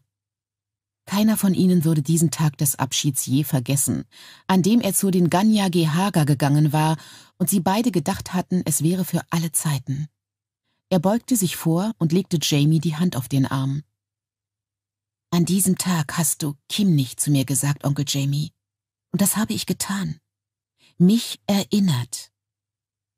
Genau wie ich, Ian, sagte Jamie leise und malte ihm den Pfeil auf die Stirn wie ein Priester am Aschermittwoch, der ihn mit dem Zeichen des Kreuzes markierte. Wie wir alle. Ian berührte vorsichtig den grünen Streifen, um sich zu vergewissern, dass er trocken genug war. Ei, ich glaube schon. Weißt du, dass Brianna mir die Farben angefertigt hat? Ich habe auch an sie gedacht, aber dann gedacht, ich sollte sie vielleicht nicht mitnehmen, nicht so. Er spürte Jamies Atem auf seiner Haut, als sein Onkel leise prustete und sich dann zurücklehnte. Du nimmst deine Frauen immer mit in die Schlacht, Ian Oak. Aus ihnen schöpfst du deine Kraft, Mann. Oh, ei? Das klang verständlich und es erleichterte ihn. Dennoch, ich dachte nur, es ist möglicherweise nicht richtig, an einem solchen Ort an Rachel zu denken, da sie doch Quäkerin ist.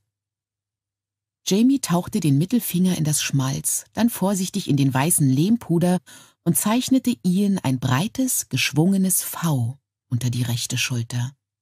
Es war sogar im Dunkeln deutlich zu sehen. Weiße Taube, sagte er und nickte. Er klang zufrieden. Da hast du Rachel. Dann wischte er sich die Finger an dem Felsen ab, erhob sich und reckte sich. Ian sah, wie er sich umwandte, um nach Osten zu blicken.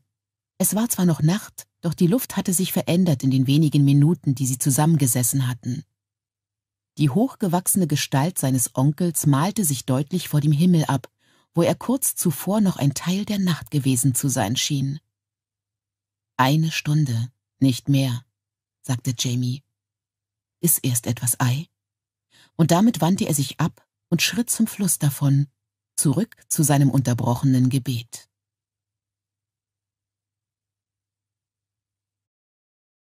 67. Nach Dingen greifen, die nicht da sind. William wünschte, er könnte damit aufhören, nach Dingen zu greifen, die nicht da waren. Ein Dutzend Mal, öfter noch, hatte er heute nach dem Dolch gegriffen, der an seinem Gürtel hätte stecken sollen. Ein oder zweimal nach einer seiner Pistolen. Hatte die Hand ohnmächtig gegen seine Hüfte geschlagen und sein Schwert vermisst, das kleine, feste Gewicht seines Munitionsbeutels, das Schwingen seiner Patronenschachtel. Und jetzt lag er schwitzend nackt auf seinem Feldbett, die flache Hand auf seiner Brust, wo er unbewusst nach dem hölzernen Rosenkranz gegriffen hatte. Dem Rosenkranz, der ihm, hätte er ihn noch gehabt, jetzt nicht mehr der Trost gewesen wäre, der er so viele Jahre gewesen war. Dem Rosenkranz, der, hätte er ihn noch gehabt, nicht länger Mac zu ihm gesagt hätte.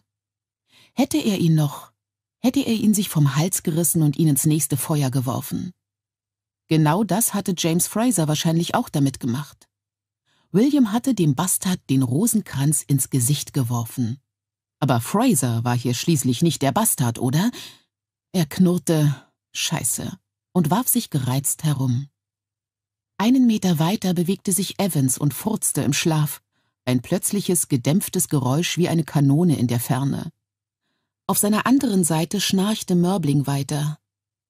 Morgen.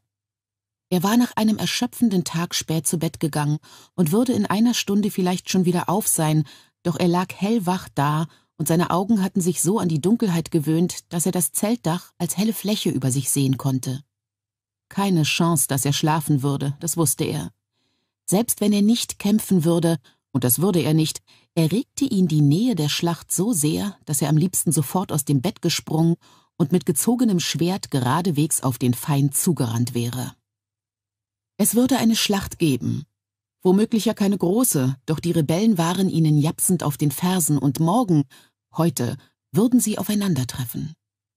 Vielleicht würden sie Washingtons Ambitionen ja einen Dämpfer versetzen, obwohl Sir Henry darauf beharrte, dass dies nicht sein Ziel war. Er wollte seine Armee und die Menschen unter ihrem Schutz nach New York bringen. Das war alles, was zählte. Obwohl er auch nichts dagegen hatte, wenn seine Offiziere dabei ihre militärische Überlegenheit demonstrieren wollten.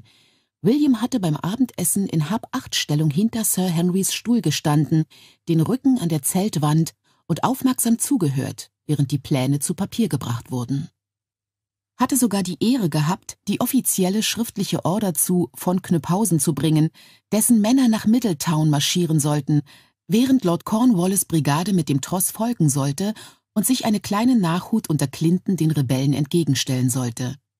Deshalb war er so spät ins Bett gekommen. Zu seiner eigenen Überraschung gähnte er plötzlich und entspannte sich blinzelnd. Möglicherweise konnte er ja doch ein bisschen schlafen an das Abendessen zurückzudenken, an die Order und an Trivialitäten wie die Farbe des Nachthemds, das von Knüpphausen trug, es war aus rosafarbener Seide und am Hals mit lila Stiefmütterchen bestickt, statt an die kommende Schlacht hatte ihn erstaunlich beruhigt. Ablenkung. Das war es, was er brauchte. Den Versuch war es wohl wert. Er wand sich, bis er die bequemste Lage gefunden hatte, die ihm möglich war, schloss die Augen und begann, im Kopf die Wurzeln der Zahlen über 100 zu ziehen. Er war gerade bei der Wurzel von 117 angekommen und versuchte benommen, das Produkt von 12 mal 6 auszurechnen, als er plötzlich einen Luftzug auf seiner feuchten Haut spürte. Er seufzte und öffnete die Augen, weil er dachte, Mörbling wäre aufgestanden, um zu pinkeln, doch es war nicht Mörbling. Eine dunkle Gestalt stand just innerhalb des Zelteingangs. Der Eingang war nicht geschlossen und die Gestalt war von dem Schimmer der glühenden Lagerfeuer im Freien deutlich zu sehen. Ein Mädchen. Er setzte sich hastig hin und tastete mit einer Hand nach dem Hemd, das er ans Fußende seines Feldbetts geworfen hatte. Was zum Teufel machst du hier? flüsterte er so leise er konnte. Sie hatte unsicher dagestanden, doch als sie ihn sprechen hörte, kam sie geradewegs zu ihm, und ehe er sich versah, waren ihre Hände auf seinen Schultern und ihr Haar streifte sein Gesicht. Automatisch hob auch er die Hände und stellte fest, dass sie im Hemd war, ihre Brüste darunter frei und warm, nur Zentimeter vor seinem Gesicht. Sie wich zurück, zog sich das Hemd über den Kopf, schüttelte ihr Haar aus und setzte sich rittlings auf ihn, so dass ihre feuchten, runden Oberschenkel gegen die seinen drückten. Weg da! Er packte sie bei den Armen und schob sie fort. Mörbling hörte auf zu schnarchen. Evans Bettwäsche raschelte. William stand auf, schnappte sich ihr Hemd und das seine, nahm ihren Arm und schob sie so lautlos wie möglich aus dem Zelt. Was zum Teufel machst du denn? Hier, zieh das an. Ohne Umschweife drückte er ihr das Hemd in die Arme und zog sich hastig an. Sie standen zwar niemandem im Blickfeld, doch das konnte sich jeden Moment ändern. Ihr Kopf tauchte aus dem Hemd auf wie eine Blume aus einer Schneebank. Eine ziemlich aufgebrachte Blume. Nun, was meinst du denn, was ich gemacht habe? sagte sie. Sie zog ihr Haar aus dem Hemd und schüttelte es auf. Ich wollte dir nur einen Gefallen tun. Einen was? Du wirst doch morgen kämpfen, oder? Das Licht reichte aus, um den Schimmer ihrer Augen zu sehen, als sie ihn anfunkelte. Soldaten wollen vor einem Kampf doch immer vögeln, sie brauchen es. Er rieb sich fest über das Gesicht, so dass die Bartstoppeln seiner Handfläche kratzten, dann holte er tief Luft. Ich verstehe. Ja, sehr freundlich von dir. Plötzlich hätte er am liebsten gelacht. Außerdem hätte er, ebenfalls ganz plötzlich, ihr Angebot am liebsten ausgenutzt. Doch der Wunsch war nicht so stark, dass er es mit Mörblings großen Ohren auf der einen und Evans Lauschern auf der anderen Seite getan hätte. Ich werde morgen nicht kämpfen, sagte er und der Stich, den es ihm versetzte, das laut auszusprechen, verblüffte ihn. Nicht? Warum denn das nicht? Auch sie klang verblüfft und mehr als nur ein bisschen missbilligend. Das ist eine lange Geschichte, sagte er und rang um Geduld. Und es geht dich nichts an. Hör zu. Ich weiß dein Angebot zu schätzen, aber ich habe dir doch gesagt, dass du keine Hure bist, zumindest im Moment nicht. Und du bist auch nicht meine Hure. Obwohl seine Fantasie mit Bildern dessen beschäftigt war, was geschehen wäre, wenn sie sich in sein Bett gestohlen und ihn zu fassen bekommen hätte, ehe er ganz wach geworden wäre, er schob den Gedanken entschlossen beiseite, legte ihr die Hände auf die Schultern und drehte sie um. Feigling, sagte sie, ein Mann, der nicht vögelt und nicht kämpft. Was? Im ersten Moment dachte er, sie hätte das mit Sicherheit nicht gesagt, doch das hatte sie. Du hast mich sehr gut gehört, er war mit zwei Schritten bei ihr, packte ihre Schulter und wirbelte sie zu sich herum. Und woher weißt du das alles, wenn ich fragen darf? Von deinem guten Freund, Hauptmann Harkness? Eigentlich war er gar nicht wütend, doch ihm rauschte noch der Schreck ihres unerwarteten Auftauchens durch die Adern, und er war verärgert. Habe ich dich etwa vor ihm gerettet, damit du mir die Umstände vorhalten kannst? Sie verzog den Mund und atmete heftig, schien aber nicht verstört zu sein. Was denn für Umstände? wollte sie stattdessen wissen. Ich habe dir doch gesagt, ach verdammt. Weißt du, was die Konventionsarmee ist? Nein. Nun, das ist die lange Geschichte, und ich werde sie dir nicht erzählen, während ich im Hemd mitten im Lager stehe. Jetzt scher dich davon und kümmere dich um deine Schwester und um meine Burschen. Das ist deine Aufgabe. Ich sorge schon für mich. Sie atmete heftig aus. Es klang wie Puh. Oh, bestimmt, sagte sie mit allem Sarkasmus, den sie aufbrachte, und mit einem vielsagenden Blick auf seinen Schwanz, der absurd gegen sein Hemd stieß und kein Geheimnis aus seinen ganz persönlichen Vorlieben machte. Scheiße, murmelte er, packte sie in einer Umarmung, die ihren Körper der Länge nach gegen den seinen presste, und küsste sie. Sie wand sich zwar, doch ihm wurde schnell klar, dass sie nicht losgelassen werden wollte, sondern ihn nur weiter provozieren wollte. Er umarmte sie noch fester, bis sie aufhörte, küsste sie aber dann noch eine ganze Weile weiter. Schließlich ließ er sie los, keuchend und mit Schweiß bedeckt. Die Luft war so, als atmete man heißen Teer ein. Sie keuchte ebenfalls. Er hätte sie nehmen können. Sie im Gras neben dem Zelt auf die Knie drücken, ihr das Hemd hochziehen und sie von hinten nehmen. Es würde höchstens Sekunden dauern. Nein, sagte er und wischte sich mit dem Handrücken über den Mund. Nein, sagte er erneut, entschlossener. Jeder Nerv seines Körpers wollte sie, und wäre er sechzehn gewesen, wäre es längst vorbei gewesen. Doch das war er nicht, und er besaß gerade so viel Selbstbeherrschung, sie wieder umzudrehen. Er packte sie im Nacken und am Gesäß, damit sie sich nicht zurückdrehte, und hielt sie fest. Wenn wir in New York sind, flüsterte er an ihr Ohr gebeugt, überlege ich es mir noch einmal. Sie erstarrte, und ihr Gesäß rundete sich fest in seiner Hand, doch sie versuchte weder, sich ihm zu entwinden, noch ihn zu beißen, was er halb erwartet hatte. Warum? fragte sie mit ruhiger Stimme. Das ist eine weitere lange Geschichte, antwortete er.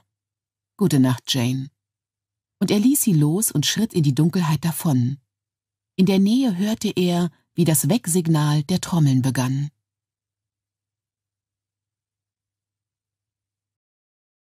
Vierter Teil Der Tag der Schlacht 68 Aufbruch in Dunkelheit Ian hatte das Land schon tags zuvor kurz ausgekundschaftet. Zum Glück, murmelte er vor sich hin. Es war Neumond und er musste klug vorgehen und der Straße folgen. Er würde die Beine seines Pferdes nicht auf unebenem Terrain gefährden, solange er es nicht musste, und mochte ihm Bright gewähren, dass es bis dahin vollständig hell war. Dennoch war er froh über die Dunkelheit und die Einsamkeit. Nicht, dass das Land still war. Die Wälder lebten in der Nacht und viele Lebewesen kamen in der scheuen Dämmerstunde hervor, wenn das Licht zuzunehmen begann. Doch weder das Rascheln der Hasen und Wühlmäuse noch die schläfrigen Rufe erwachender Vögel bedurften seiner Aufmerksamkeit, noch achteten sie auf ihn. Er hatte seine Gebete zu Ende gebracht, nachdem Onkel Jamie ihn allein gelassen hatte, dann war er allein und schweigend aufgebrochen, und der Friede seiner Vorbereitungen lag immer noch über ihm.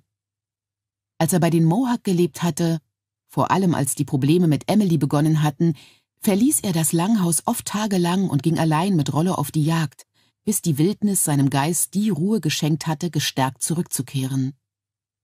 Er blickte automatisch zu Boden, doch Rollo war bei Rachel geblieben. Die Verletzung von der Falle heilte gut.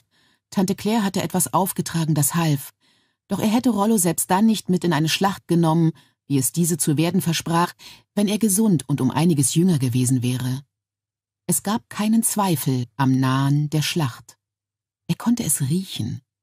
Sein Körper hob sich dem Kampf entgegen. Er konnte das Kribbeln spüren, was ihn diesen Moment der Stille nur umso mehr schätzen ließ. Wird nicht mehr lange dauern, sagte er leise zu dem Pferd, das ihn nicht beachtete. Er berührte die weiße Taube auf seiner Schulter und ritt weiter, immer noch still, aber nicht allein. Auf Sir Henrys Befehl hatten die Männer in dieser Nacht bewaffnet geschlafen. Mit einem Gewehr am Körper zu schlafen hatte etwas an sich, das einen Mann in Alarmbereitschaft hielt, bereit, jederzeit aus dem Schlaf zu fahren. William hatte weder Waffen, mit denen er schlafen konnte, noch hatte man ihn wecken müssen, da er gar nicht geschlafen hatte, doch er war deshalb nicht weniger alarmbereit. Er würde zwar nicht kämpfen, was er zutiefst bedauerte, doch er würde mit hinausziehen bei Gott. Im Lager herrschte großes Hin und Her, Trommeln rasselten in den Gängen zwischen den Zelten auf und ab und riefen die Soldaten. Überall roch es nach backendem Brot, Schweinefleisch und heißem Erbsporridge. Noch war keine Spur der Dämmerung zu sehen, doch er konnte die Sonne spüren, just unterhalb des Horizonts, wo sie sich mit langsamer Unausweichlichkeit zur Herrschaft über den Tag erhob. Dieser Gedanke erinnerte ihn lebhaft an den Wal, den er auf der Reise nach Amerika gesehen hatte, ein dunkler Schatten unterhalb der Seitenwand des Schiffs, den man leicht als Wechselspiel des Lichts auf den Wellen abtun konnte, und dann langsam die wachsende Masse, das plötzliche Begreifen und das atemlose Wunder, ihn aufsteigen zu sehen, so nah, so riesig und plötzlich da. Er befestigte seine Strumpfbänder und zog sie zu, ehe er die Schnallen an seinen Kniebünden schloss und sich die Hessenstiefel anzog. Wenigstens hatte er seine Halsberge wieder, die der Alltäglichkeit des Ankleidens einen zeremoniellen Hauch verlieh. Doch die Halsberge erinnerte ihn natürlich an Jane. Würde er sie jemals tragen können, ohne an das verdammte Mädchen zu denken? Und an die jüngsten Ereignisse? Er hatte es bedauert, ihr Angebot nicht anzunehmen, bedauerte es nach wie vor. Sogar jetzt noch konnte er sie riechen, ein sanfter Moschus, als steckte er das Gesicht in einen dichten Pelz. Auch ihre Bemerkung saß immer noch, und er prustete und rückte sich den Rock auf den Schultern zurecht. Vielleicht würde er es sicher überlegen, bevor sie New York erreichten.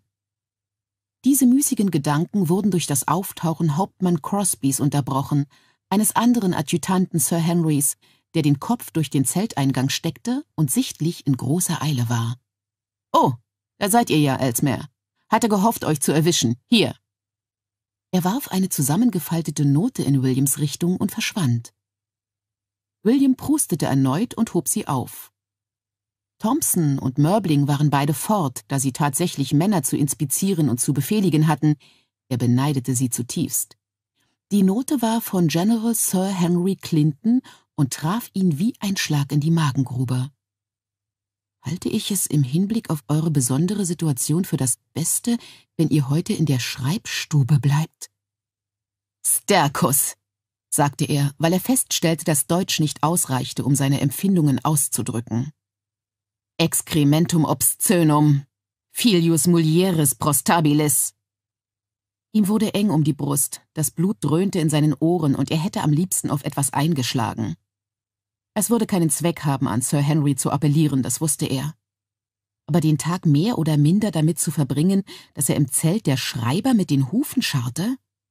Denn was gab es dort für ihn zu tun, wenn er keine Depeschen überbringen oder nicht einmal die niedere, aber notwendige Aufgabe erfüllen durfte, das Heergefolge und die Loyalisten zu beaufsichtigen.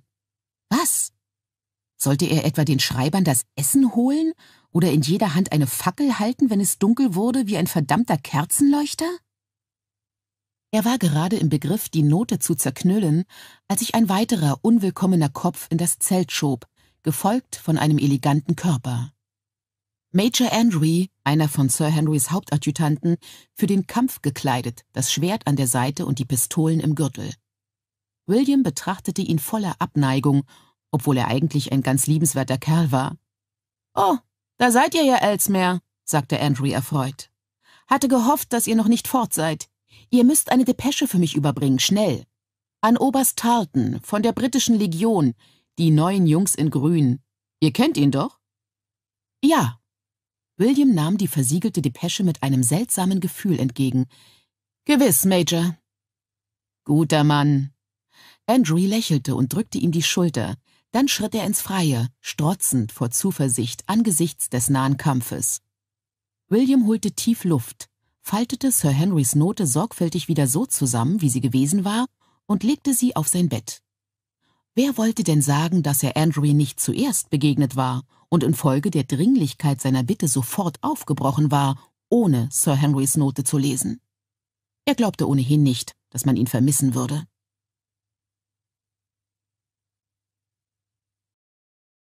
»69.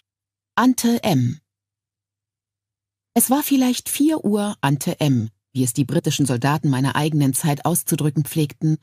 Da war sie wieder, diese zeitliche Orientierungslosigkeit, in der sich die Erinnerungen an einen anderen, kommenden Krieg wie Nebel plötzlich zwischen mich und meiner Arbeit schoben, um dann blitzschnell wieder zu verschwinden und mich die Gegenwart scharf und kodachrom bunt sehen zu lassen. Vor Jamie hing kein Nebel. Er war hochgewachsen und real, sein Umriss in den Dämmerfetzen der schwindenden Nacht deutlich zu erkennen. Ich war hellwach, angekleidet und bereit, doch die Kühle des Schlafs steckte mir noch unter der Haut, und meine Finger waren ungeschickt. Ich konnte seine Wärme spüren und suchte seine Nähe wie die eines Lagerfeuers. Er führte Clarence, der noch wärmer war, wenn auch deutlich weniger wach, denn er ließ verschlafen und missmutig die Ohren hängen. Du nimmst Clarence mit, sagte Jamie zu mir und drückte mir die Zügel des Maultiers in die Hand. Und die hier, um sicher zu gehen, dass du ihn auch behältst, falls du irgendwann auf dich selbst gestellt bist. Die hier waren ein paar schwere Pistolen, die in Halftern an einem dicken Ledergürtel steckten, an dem auch Munitionsbeutel und Pulverhorn befestigt waren. Danke, sagte ich und schluckte, während ich die Zügel um einen Schößling schlang, um mir den Gürtel anzulegen. Die Pistolen waren erstaunlich schwer, aber ich konnte nicht leugnen, dass ihr Gewicht an meinen Hüften gleichzeitig erstaunlich beruhigend wirkte. Gut, sagte ich und warf einen Blick auf das Zelt, in dem sich John befand. Was ist mit... Ich habe mich darum gekümmert, sagte er und schnitt mir das Wort ab. Hol deine restlichen Sachen, Sassnach. Mir bleibt höchstens noch eine Viertelstunde und ich brauche dich an meiner Seite, wenn wir aufbrechen. Ich sah zu, wie er in das Gewimmel schritt, hochgewachsen und entschlossen, und fragte mich, wie schon so oft, wird es heute sein? Wird dies das letzte Bild sein, das mir von ihm in Erinnerung bleibt? Ich stand ganz reglos da und beobachtete ihn mit ganzer Kraft. Als ich ihn das erste Mal verloren hatte, vor Culloden, hatte ich mich auch so erinnert. An jeden Moment unserer letzten gemeinsamen Nacht. Winzige Einzelheiten, die mir im Lauf der Jahre wieder einfielen. Der Salzgeschmack auf seiner Schläfe und die Rundung seines Schädels, als ich seinen Kopf umfasste. Das feine Haar in seinem Nacken, dicht und feucht in meinen Fingern. Das plötzliche, magische Aufquellen seines Blutes im Dämmerlicht als ich ihn in die Hand geschnitten und ihm für immer mein Zeichen aufgedrückt hatte. Diese Dinge hatten ihn bei mir gehalten. Und als ich ihn diesmal verloren hatte, an die See, hatte ich mich daran erinnert, wie es war, ihn an meiner Seite zu haben, warm und fassbar in meinem Bett, an den Rhythmus seiner Atmung. Das Licht auf seinen Wangenknochen im Mondschein und die Röte seiner Haut bei Sonnenaufgang. Ich konnte ihn atmen hören, wenn ich in dem Haus an der Chestnut Street allein im Bett lag. Langsam, regelmäßig, unaufhörlich. Obwohl ich wusste, dass er aufgehört hatte. Erst tröstete mich das Geräusch, dann trieb mich das Wissen um den Verlust zum Wahnsinn, und ich zog mir das Kissen fest über den Kopf in dem vergeblichen Versuch, es auszusperren, um schließlich wieder in das nächtliche Zimmer einzutauchen, voller Holzrauch und Kerzenwachs, und verschwundenem Licht und es zu meinem Trost erneut zu hören. Wenn es diesmal... Doch er hatte sich umgedreht, ganz plötzlich, als hätte ich seinen Namen gerufen. Er kam eilig zu mir zurück, fasste meine Arme und sagte mit leiser, kräftiger Stimme, Heute wird es auch nicht sein. Dann legte er die Arme um mich und zog mich auf die Zehenspitzen zu einem tiefen, sanften Kuss. Ich hörte die Beifallsrufe der Männer in unserer Nähe, doch das spielte keine Rolle. Selbst wenn es heute sein würde, würde ich mich erinnern. Jamie schritt auf seine wartenden Kompanien zu, die sich lose am Fluss gesammelt hatten. Der Atem des Wassers und der Nebel, der von der Oberfläche aufstieg, trösteten ihn, hielten ihn ein wenig länger in den Frieden der Nacht gehüllt und in das Gefühl der Nähe seiner Verwandten. Er hatte Ian Moore aufgetragen, bei Ian Oak zu bleiben, wie es sich ziemte, doch er hatte immer noch das seltsame Gefühl, dass drei Männer bei ihm waren. Er würde die Kraft seiner Toten brauchen. Dreihundert Mann, die er seit nicht einmal drei Tagen kannte. Bis jetzt waren es immer Männer aus seiner Familie, seinem Clan gewesen, die er in die Schlacht geführt hatte. Männer, die ihn kannten, ihm vertrauten, so wie er sie kannte und ihnen vertraute.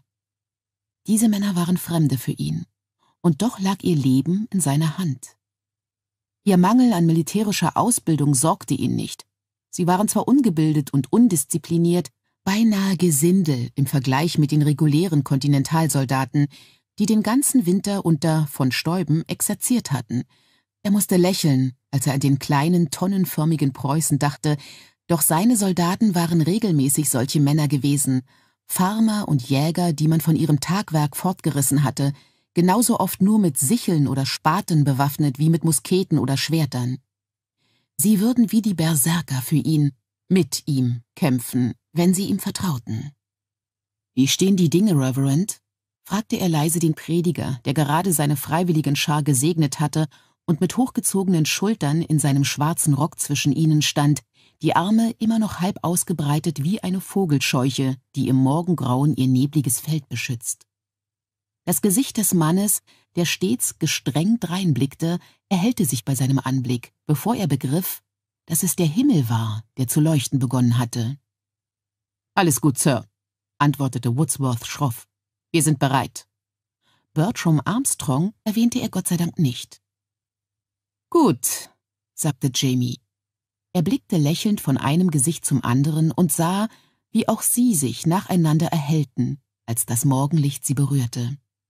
Mr. Whelan, Mr. Maddox, Mr. Hampton, ich hoffe, es geht euch heute Morgen gut. Ja, murmelten sie und schienen auf schüchterne Weise erfreut, dass er ihren Namen kannte. Er wünschte, er würde sie alle kennen, musste sich aber mit dem begnügen, was er tun konnte, indem er sich aus jeder Kompanie zumindest einige Namen und Gesichter merkte. Vielleicht erzeugte das ja die Illusion, dass er jeden Mann mit Namen kannte. Er hoffte es. Es war wichtig, dass sie wussten, dass sie ihm nicht gleichgültig waren. Alles bereit, Sir? Es war Hauptmann Craddock, einer seiner drei Hauptmänner, steif und befangen angesichts der Bedeutung des Augenblicks, mit Drexel Bixby und Louis Auden, Jamies Leutnants, hinter ihm. Bixby war nicht mehr als zwanzig, Auden ungefähr ein Jahr älter. Sie konnten ihre Aufregung kaum verhehlen, und er lächelte sie an und fühlte sich vom Echo ihrer jugendlichen Freude angesteckt. Ihm fiel auf, dass sich einige sehr junge Männer in der Miliz befanden. Ein paar halbwüchsige Jungen, hochgewachsen und hager wie Maisstängel. Wer war das? Ach ja, Craddocks Söhne. Jetzt fiel es ihm wieder ein. Ihre Mutter war erst vor einem Monat gestorben, und so hatten sie ihren Vater zur Miliz begleitet. Gott hilf, dass ich sie heil zurückbringe, betete er, und spürte, spürte tatsächlich, wie sich kurz eine Hand auf seine Schulter legte und wusste, wer der dritte Mann war, der an seiner Seite ging. Teink.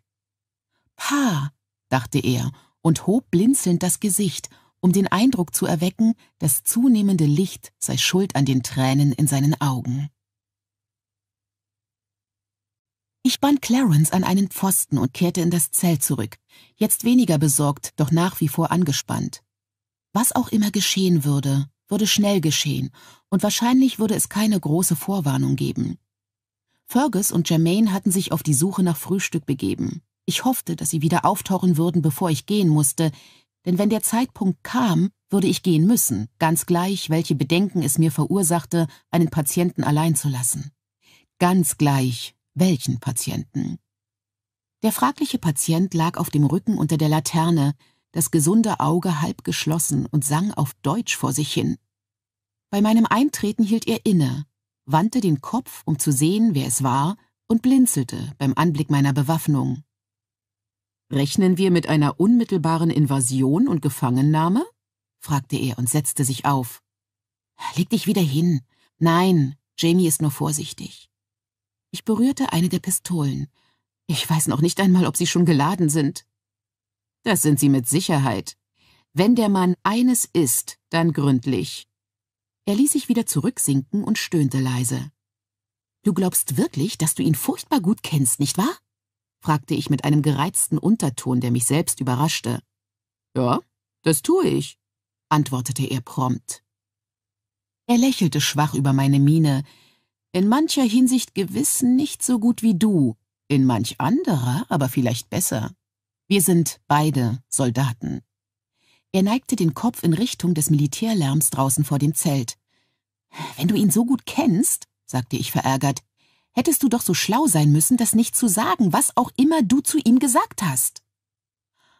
Ah.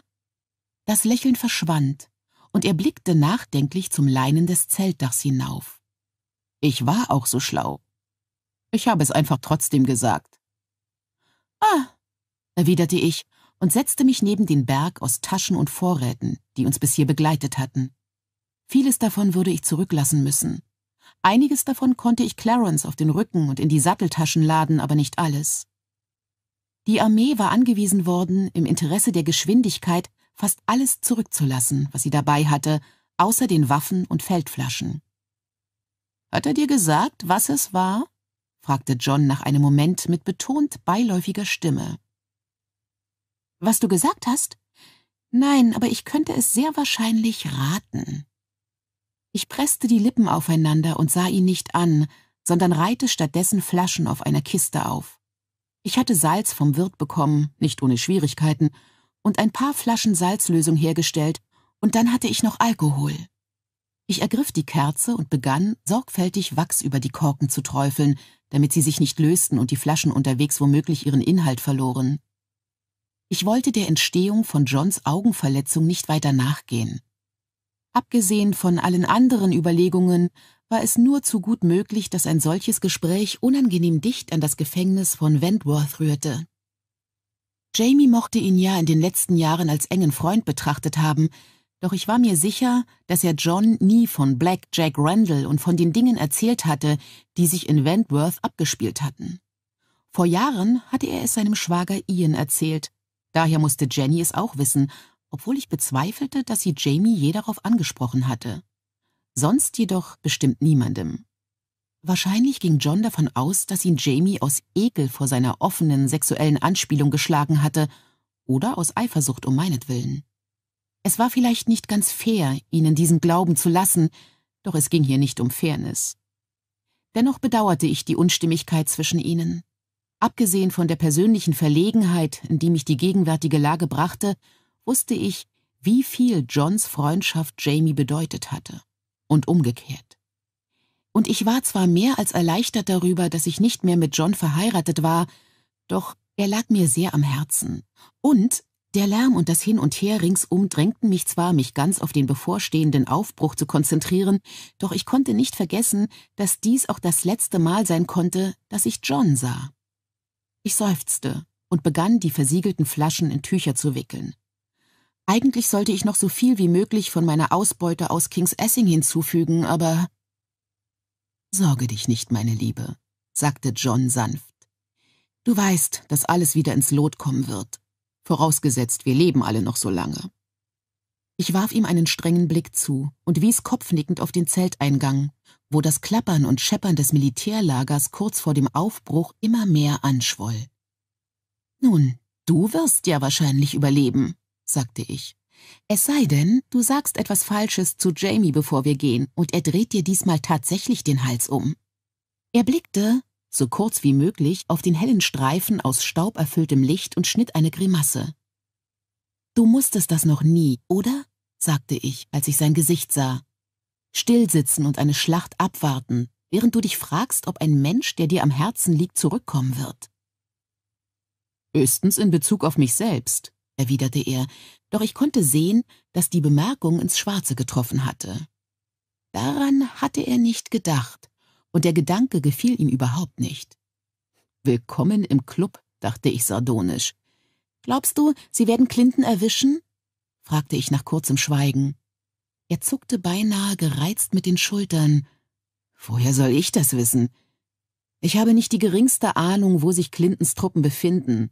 Was das betrifft, habe ich ja nicht einmal eine Ahnung, wo sich Washington befindet oder wo wir sind. General Washington befindet sich ungefähr 30 Meter in dieser Richtung, sagte ich und hob einen Korb mit Verbandsmaterial auf, während ich kopfnickend auf die Stelle wies, wo ich den Oberbefehlshaber zuletzt gesehen hatte und es würde mich sehr überraschen, wenn General Clinton sehr viel weiter entfernt wäre. Oh, und wie kommst du darauf? fragte er, jetzt halb belustigt. Weil vor einer Stunde der Befehl kam, alle unnötigen Vorräte über Bord zu werfen. Obwohl es vielleicht nicht wörtlich so gesagt wurde, weil ich nicht weiß, ob man es heutzutage derart formulieren würde.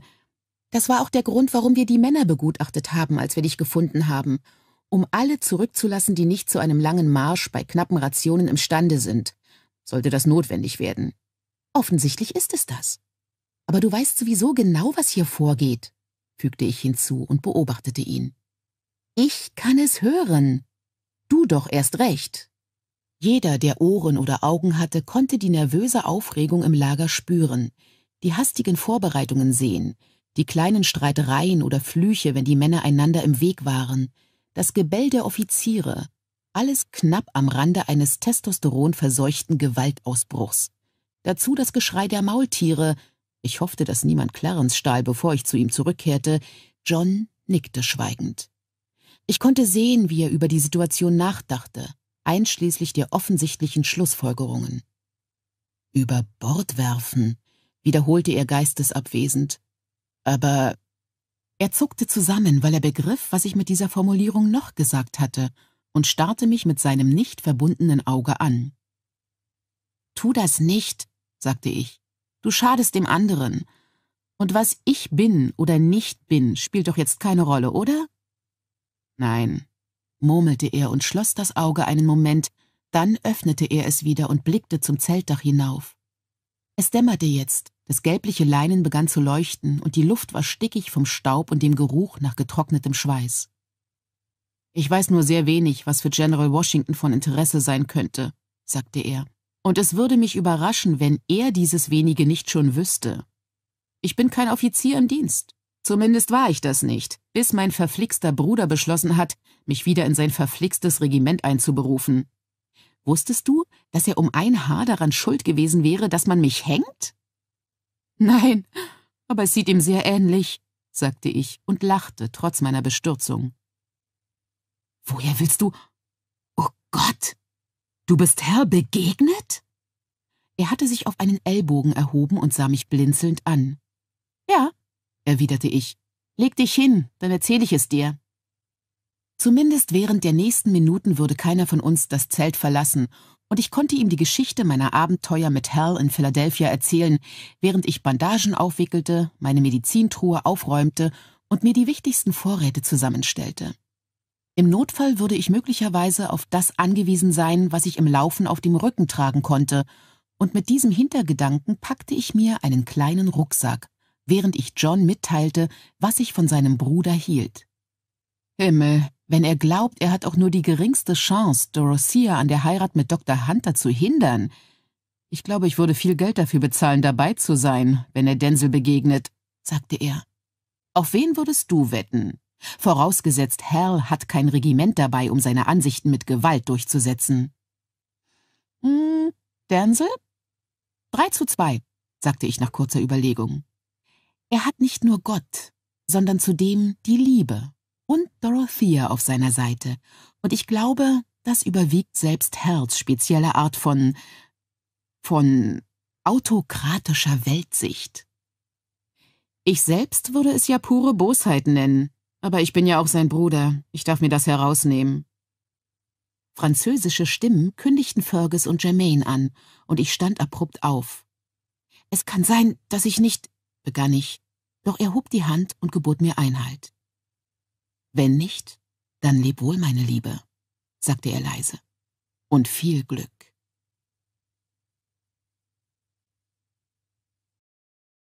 Siebzig. Die eine Laus. Es war eine knappe Stunde nach Tagesanbruch, und es würde zweifellos ein weiterer grauenhaft heißer Tag werden, doch noch war die Luft frisch, und William und Visigoth waren zufrieden. Er bahnte sich seinen Weg durch die brodelnde Masse aus Männern, Pferden, Munitionswagen und anderem Kriegsgerät und pfiff dabei leise The King enjoys his own again. Die Gepäckwagen wurden bereits angespannt, eine gewaltige Staubwolke erhob sich, trübe und von der aufgehenden Sonne mit Gold durchstochen, über dem Lager der Fuhrleute neben von Knüpphausens Division, die eine Viertelmeile weiter am anderen Ende von Middletown lagerte. Sie würden jeden Moment nach Sandy Hook aufbrechen. Und mit ihnen Jane, Fanny, Sepp und Colenso, so hoffte er aufrichtig. Die Erinnerung an die Haut an der Innenseite von Janes Oberschenkeln schoss ihm wie ein Funke durch den Kopf, und er hörte auf zu pfeifen, doch dann schüttelte er sich das Bild aus dem Kopf. Er hatte zu tun. Niemand wusste genau, wo die britische Legion war, obwohl man sie in der Nähe von Clintons Division vermutete, da sie eines seiner persönlichen Regimenter war, das er erst vor einem Monat in New York aufgestellt hatte. Das konnte zwar riskant werden, doch William wäre jede Wette eingegangen, dass Sir Henry ihn unter den gegenwärtigen Bedingungen nicht bemerken würde als wollte man eine einzige Laus aus einer Franzosenperücke picken, murmelte er und klopfte Visigoth auf den Hals. Das Pferd war frisch und munter, konnte es nicht abwarten, die Straße zu erreichen und loszugaloppieren. Clintons Division bildete die Nachhut in Middletown, eine Meile die Straße hinunter, weit genug, um Visigoth Übermut ein wenig zu kühlen. Zuerst jedoch mussten sie durch das Heergefolge, das sich gerade aus dem Schlaf zu verzweifelter Hast hochkämpfte. Er hielt die Züge kurz, damit Visigoth kein Kind zertrampelte, der ganze Boden war voll davon, sie lagerten wie die Heuschrecken. Als er vom Boden aufblickte, fiel ihm eine vertraute Gestalt ins Auge, die um Brot anstand, und sein Herz tat einen kleinen Freudensprung. Anne Endicott, schon fertig angekleidet, aber ohne ihre Haube, so dass ihr das dunkle Haar in einem dicken Zopf über den Rücken hing. Dieser Anblick versetzte ihm einen leisen, intimen Schauder, und er verkniff es sich nur mit Mühe, nach ihr zu rufen. Zeit genug nach dem Kampf.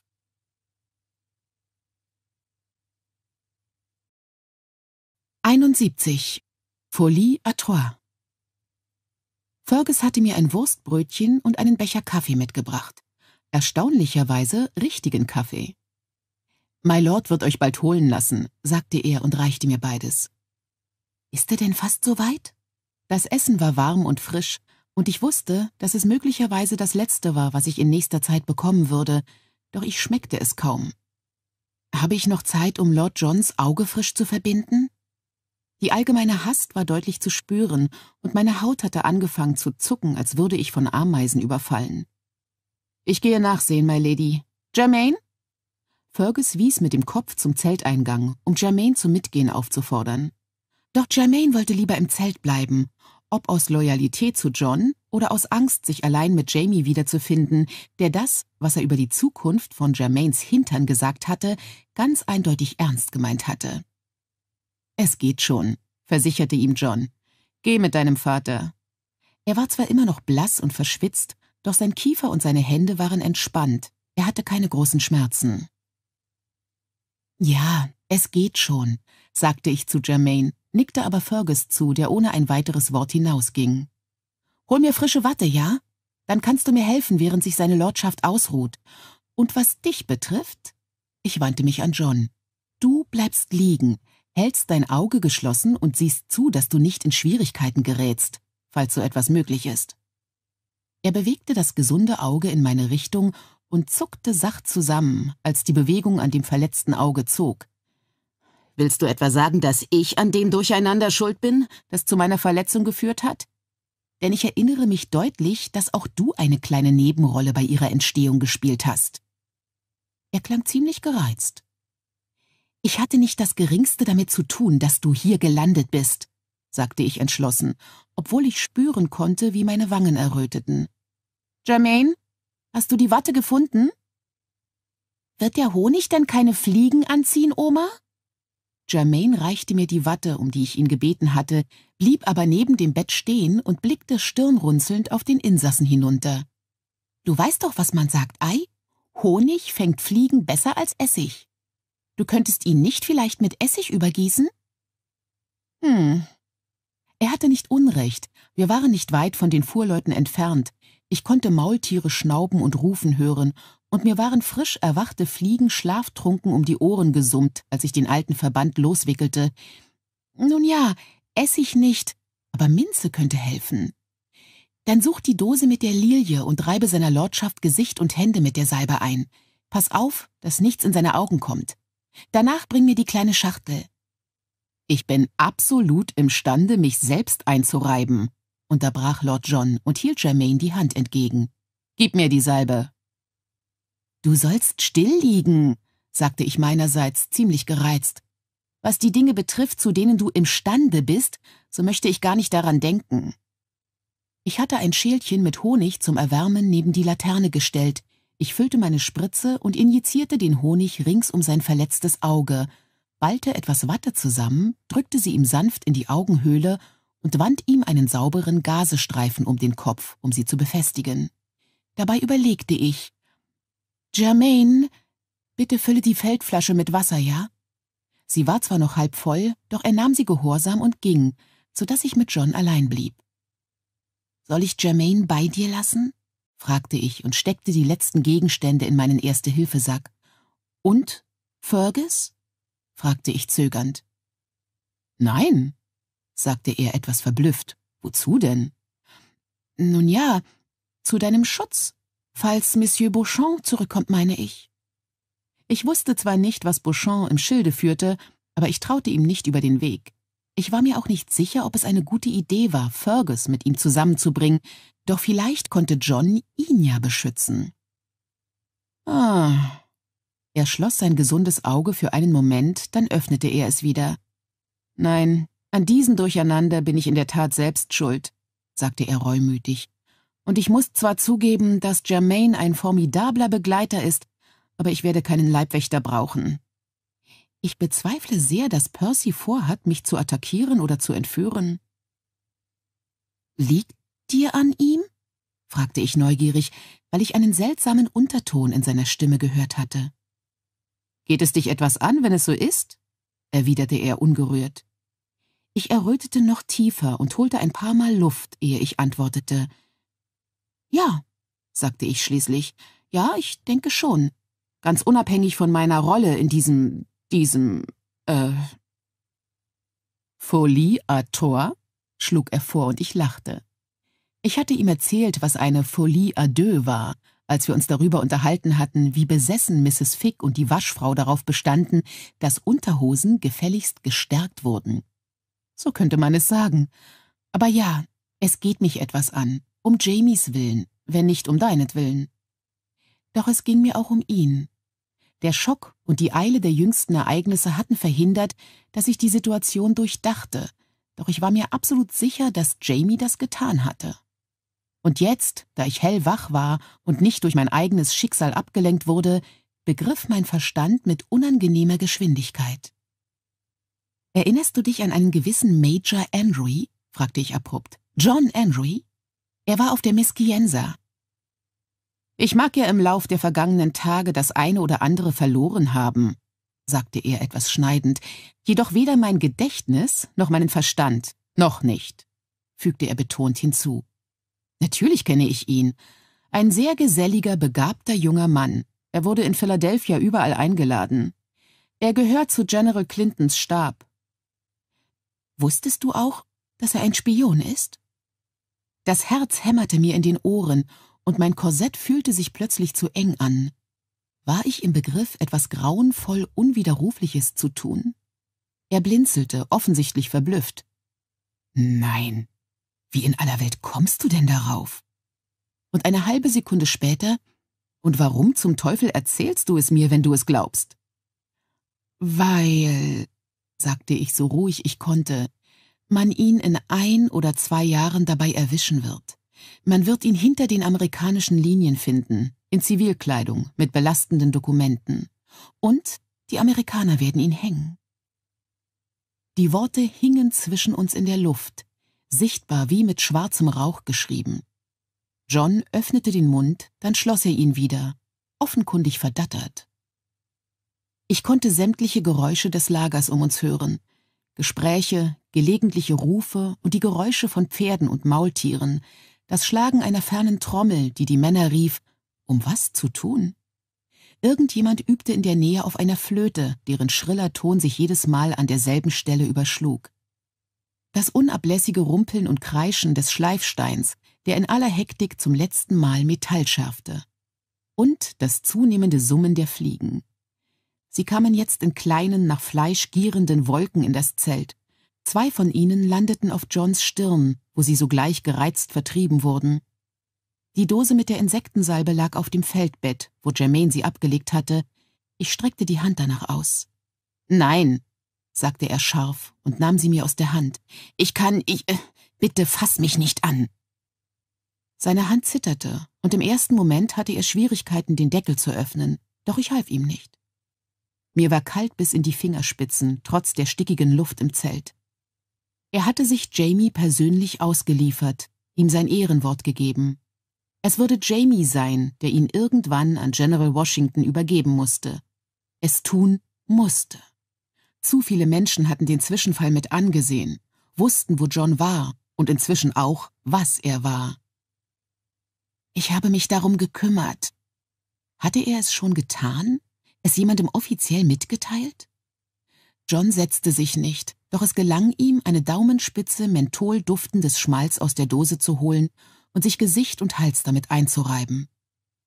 Du hattest doch nichts in deinen Kleidern, wagte ich mich hoffnungsvoll vor. Keine belastenden Dokumente, meine ich.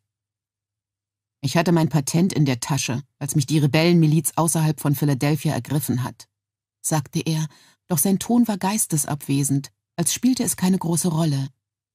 Er rieb sich die Salbe energisch auf die Hände und Handgelenke. An und für sich zwar kein Spionagebeweis, Aber gewiss der Beweis, dass ich ein britischer Offizier war, ohne Uniform und zu diesem Zeitpunkt wahrscheinlich hinter den amerikanischen Linien. Sag nichts mehr, meine Liebe, es ist sehr gefährlich. Er schlug den Deckel auf die Dose und hielt sie mir entgegen. Du solltest gehen, sagte er. Er sah mir direkt in die Augen und sprach sehr leise. Man darf dich nicht allein mit mir antreffen. Omi! Jermaine schob den Zelteingang beiseite, puterrot unter seinem zerzausten Pony. Omi, komm schnell! Papa sagt, Grand-Père braucht dich! Er verschwand, und ich griff hastig nach meiner Ausrüstung und belud mich mit Taschen und Kisten. Ich steuerte auf den Zelteingang zu, hielt aber noch einmal inne und wandte mich zu John um. Ich hätte fragen sollen, liegt ihm an dir? sagte ich. Er schloss das gesunde Auge und seine Lippen pressten sich kurz aufeinander. Ich hoffe nicht, sagte er. Ich eilte Germaine nach, meinen Medizinrucksack voll gluckernder Flaschen über die Schulter geschlungen, eine kleine Kiste mit zusätzlichen Instrumenten und Nähausrüstung unter dem Arm, Clarence am Zügel in der Hand. Meine Gedanken sprangen derart aufgeregt in meinem Kopf herum, dass ich kaum sehen konnte, wohin ich ging. Ich begriff jetzt, dass ich John nichts gesagt hatte, was er nicht schon wusste. Nun, abgesehen von Major Andrews künftigem Schicksal, und das war zwar grauenvoll, besaß aber im Moment keine unmittelbare Wichtigkeit. Er hatte mich am Weiterreden gehindert, weil er schon gewusst hatte, in welcher Gefahr er sich befand und welche Auswirkungen das auf Jamie und auf mich haben konnte. Man darf dich nicht allein mit mir antreffen. Weil ich einmal seine Frau gewesen war, meinte er. Das war es, was er gedacht hatte, was er aber nicht sagen wollte, bis ich selbst das Gespräch auf dieses Thema lenkte. Wenn etwas geschah, nun, gerade heraus gesagt, wenn er sein Ehrenwort brach und floh, würde man mich wahrscheinlich verdächtigen, die Hand dabei im Spiel gehabt zu haben, doch der Verdacht würde um einiges begründeter sein, wenn jemand bezeugte, uns bei einem Gespräch unter vier Augen gesehen zu haben.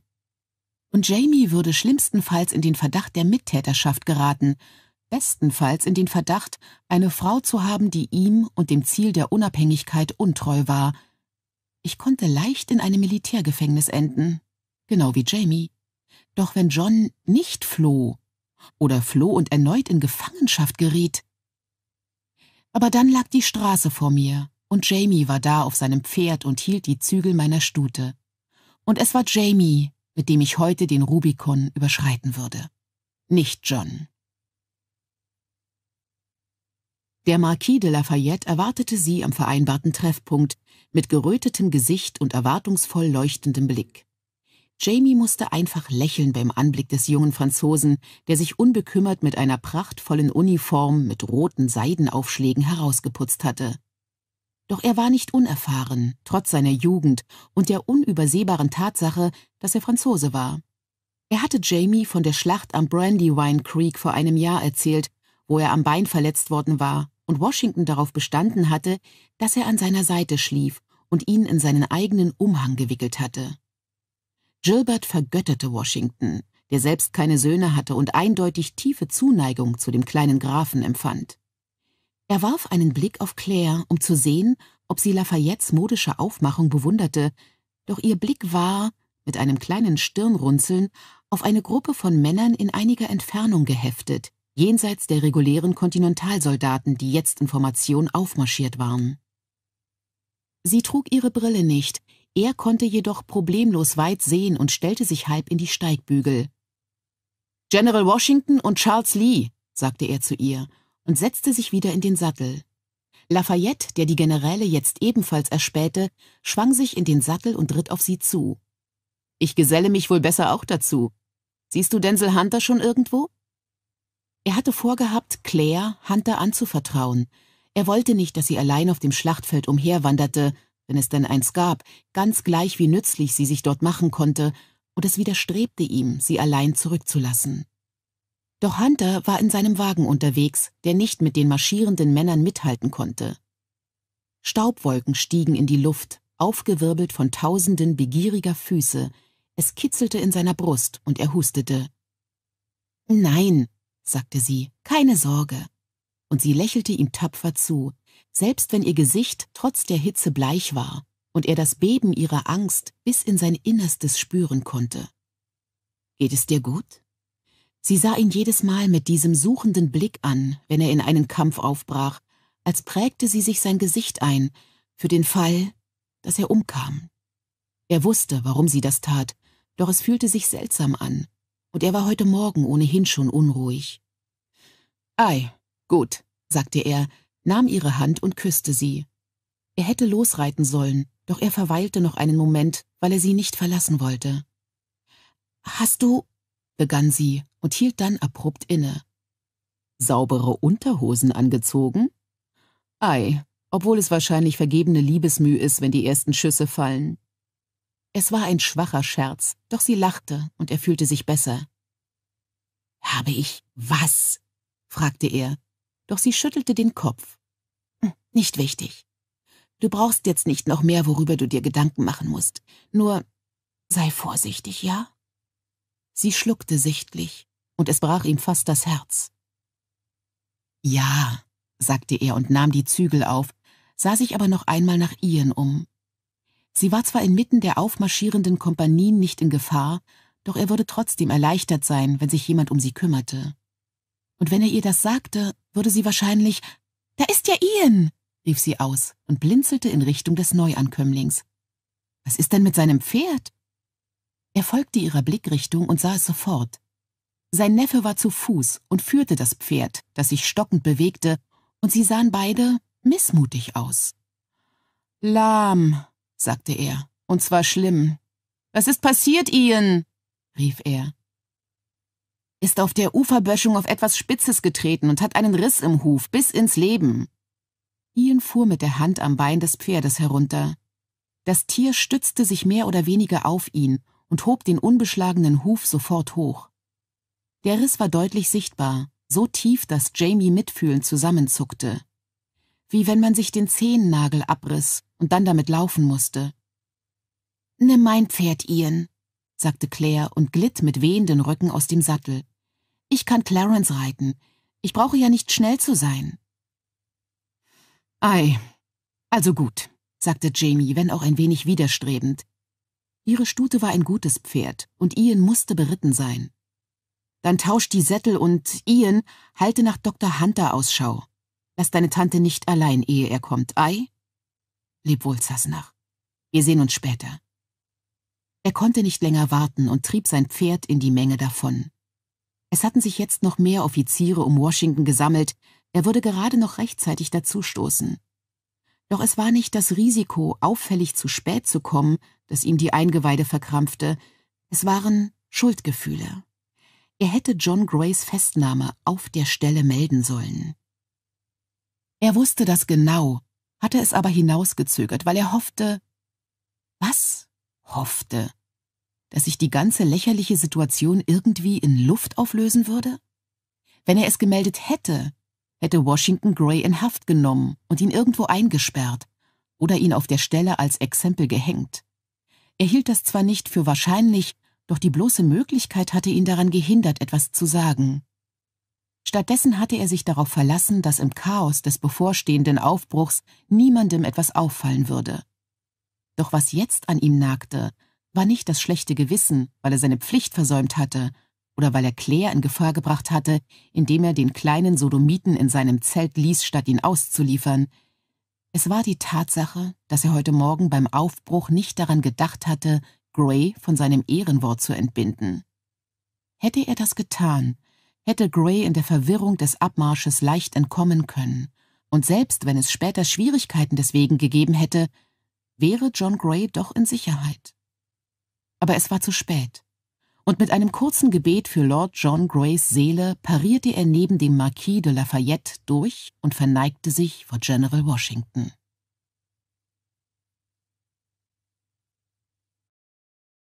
»72. Irrungen und Wirrungen« Die Landschaft wurde hier von drei Flüssen zerschnitten. Dort, wo der Boden weich war, hatte sich das Wasser tief hineingefressen, und der Fluss verlief am Grund einer kleinen Schlucht, deren steile Ufer dicht mit Baumschößlingen und Gebüsch bewachsen waren. Ein Farmer, mit dem er tags zuvor gesprochen hatte, als er die Gegend auskundschaftete, hatte ihm die Namen gesagt. Dividing Brook, Spotswood Middlebrook und Spotswood Northbrook. Doch Ian hätte nicht mit Sicherheit sagen können, welchen er vor sich hatte. Das Gelände war weitläufig und flach. Der Bach verlief durch eingesunkenes, sumpfiges Gelände, und er wandte sich ab. Schlechter Boden für Mensch und Pferd. Einer der Farmer hatte die Schluchten als Moreste bezeichnet, und er fand das Wort treffend. Er blickte den Bach entlang, weil er nach geeigneten Stellen zum Trinken suchte, doch das Ufer fiel zu steil ab. Ein Mensch konnte vielleicht zum Wasser hinunterklettern, aber keine Pferde oder Maultiere. Ian spürte sie, ehe er sie sah, spürte sie wie ein Raubtier, das im Wald versteckt lag und wartete, dass seine Beute zum Trinken kam. Er wendete scharf und ritt an der Uferböschung entlang, während er die Bäume auf der anderen Seite beobachtete. Eine Bewegung, ein Pferdekopf, der Fliegen abschüttelte, ein Gesicht, das kurz auftauchte, Gesichter, bemalt wie das seine. Alarm fuhr ihm wie ein Stoß über den Rücken, und der Instinkt drückte ihn an den Pferdehals, als der Pfeil über seinen Kopf hinwegsurrte. Er blieb bebend in einer Platane stecken. Er richtete sich auf, den Bogen in der Hand, spannte im selben Atemzug einen Pfeil ein und sandte ihn zurück, zielte blind auf die Stelle, wo er sie gesehen hatte. Der Pfeil zerfetzte ein paar Blätter, traf aber nichts. Das hatte er auch nicht erwartet. Mohawk! kam ein verächtlicher Ausruf von der anderen Seite und ein paar Worte in einer Sprache, die er nicht verstand, deren Absicht aber trotzdem nicht zu überhören war. Er antwortete mit einer sehr schottischen Geste, deren Bedeutung nicht minder klar war, und sie lachten. Er hielt kurz an, um den Pfeil aus der Platane zu ziehen. Mit den Schwanzfedern eines Grünspechts bestückt, doch kein Muster, das er kannte. Was auch immer sie gesprochen hatten, eine Algonkin-Sprache war es nicht gewesen. Möglicherweise etwas aus dem Norden wie Assiniboin. Wenn er einen genaueren Blick auf sie werfen könnte, würde er es wissen, doch es konnte genauso gut etwas aus der Gegend sein. Sehr wahrscheinlich jedoch, dass sie für die britische Armee arbeiteten. Er kannte die meisten Indianer-Scouts, die im Moment die Rebellen begleiteten. Und sie hatten zwar nicht versucht, ihn umzubringen, das hätten sie leicht gekonnt, wenn sie es gewollt hätten, aber dies war eine rauere Hänselei, als er erwartet hätte. Vielleicht, weil sie ihn als das erkannt hatten, was er war. Mohawk. Für die meisten war das einfacher auszusprechen als Ganyang Gehaga, für die Stämme, die mit den Ganyang-Gehaga vertraut waren, war es entweder ein Wort, mit dem man den Kindern Angst machte, oder eine bewusste Beleidigung. Menschenfresser bedeutete es, denn man erzählte sich, dass die Ganyang-Gehaga ihre Feinde lebendig brieten und das Fleisch verschlangen. Ian hatte so etwas zwar nie mit angesehen, doch er kannte Männer, alte Männer, die mit Vergnügen davon erzählten. Er dachte lieber nicht daran. Es erinnerte ihn viel zu lebhaft an die Nacht, in der der Priester in Snaketown gestorben war, verstümmelt und lebendig verbrannt. Die Nacht, die Ian unabsichtlich aus seiner Familie gerissen und ihn zum Mohawk gemacht hatte. Die Brücke lag stromaufwärts, ungefähr 60 Meter von ihm entfernt. Er hielt inne, doch der Wald auf der anderen Seite war still, und er wagte sich hinüber. Die Hufe seines Pferdes klopften vorsichtig über die Bretter, wenn es hier britische Kundschafter gab, war die Armee nicht allzu weit dahinter. Hinter dem Wald am anderen Ufer erstreckten sich Wiesen, und dahinter lagen die Felder einer großen Farm. Er konnte die Gebäude zwischen den Bäumen aufblitzen sehen und Männer, die sich bewegten. Er machte hastig kehrt, umrundete einen Hain und fand eine Stelle, von der er genug sehen konnte. Auf dem Hügel kam hinter den Gebäuden der Farm waren grün berockte Soldaten und er konnte den Schwefel ihrer Lunden riechen. Grenadiere. Er wendete sein Pferd und machte sich auf den Rückweg, um jemanden zu suchen, dem er Meldung erstatten konnte. Endlich entdeckte William die Kavallerieabteilung der britischen Legion, die ihre Feldflaschen am Brunnen auf dem Hof einer Farm füllte. Doch sie hatten einen Wachtposten aufgestellt, der beim Anblick eines einzelnen Reiters einen Warnruf ausstieß und die halbe Kompanie fuhr alarmbereit herum. Eine gut gedrillte Kompanie. Bannister Tarleton war ein fähiger Offizier, der großen Einsatz zeigte. Tarleton selbst stand entspannt im Schatten eines großen Baums, den reichlich mit Federn geschmückten Helm im Arm und wischte sich mit einem grünen Seidentaschentuch über das Gesicht. William verdrehte die Augen angesichts dieses affektierten Details, doch so, dass Tarleton es nicht sehen konnte. Er parierte zum Schritt durch, ritt zu Tarleton hinüber und beugte sich aus dem Sattel, um ihm die Depesche zu übergeben. Von Major Henry, sagte er. Hattet ihr gut zu tun? Die britische Legion hatte gekämpft, er konnte den Rauch riechen, und an der Scheunenwand saßen ein paar Männer mit offenbar leichten Verletzungen, die Uniformen mit Blut verschmiert. Die offenen Scheunentore gaben Leere preis, und der Hof war zertrampelt und voller Dung. Er fragte sich flüchtig, ob der Farmer sein Vieh wohl selbst fortgetrieben hatte oder ob die eine oder andere Armee die Tiere beschlagnahmt hatte. Nicht annähernd genug, erwiderte Tartan und las die Note. Aber das hier könnte helfen. Wir sollen Cornwallis verstärken. Sein Gesicht war von der Hitze gerötet, und sein Lederkragen schnitt ihm sichtlich in den kräftigen, muskulösen Hals, doch seine Miene wurde bei dieser Aussicht außerordentlich fröhlich. Gut, sagte William und machte Anstalten, sein Pferd zu wenden und zu gehen, doch Tarleton gebot ihm mit erhobener Hand Einhalt. Er steckte die Depesche in seine Tasche, zusammen mit dem grünen Taschentuch. Da ich dich hier sehe, Elsmere. Habe gestern Abend ein hübsches Ding im Lager gesehen, stand um Brot an, sagte er. Tarleton saugte kurz an seiner Unterlippe, dann ließ er sie los, rot und feucht. Sehr hübsch, und sie hatte ihre süße kleine Schwester dabei, obwohl sie mir noch nicht reif genug ist.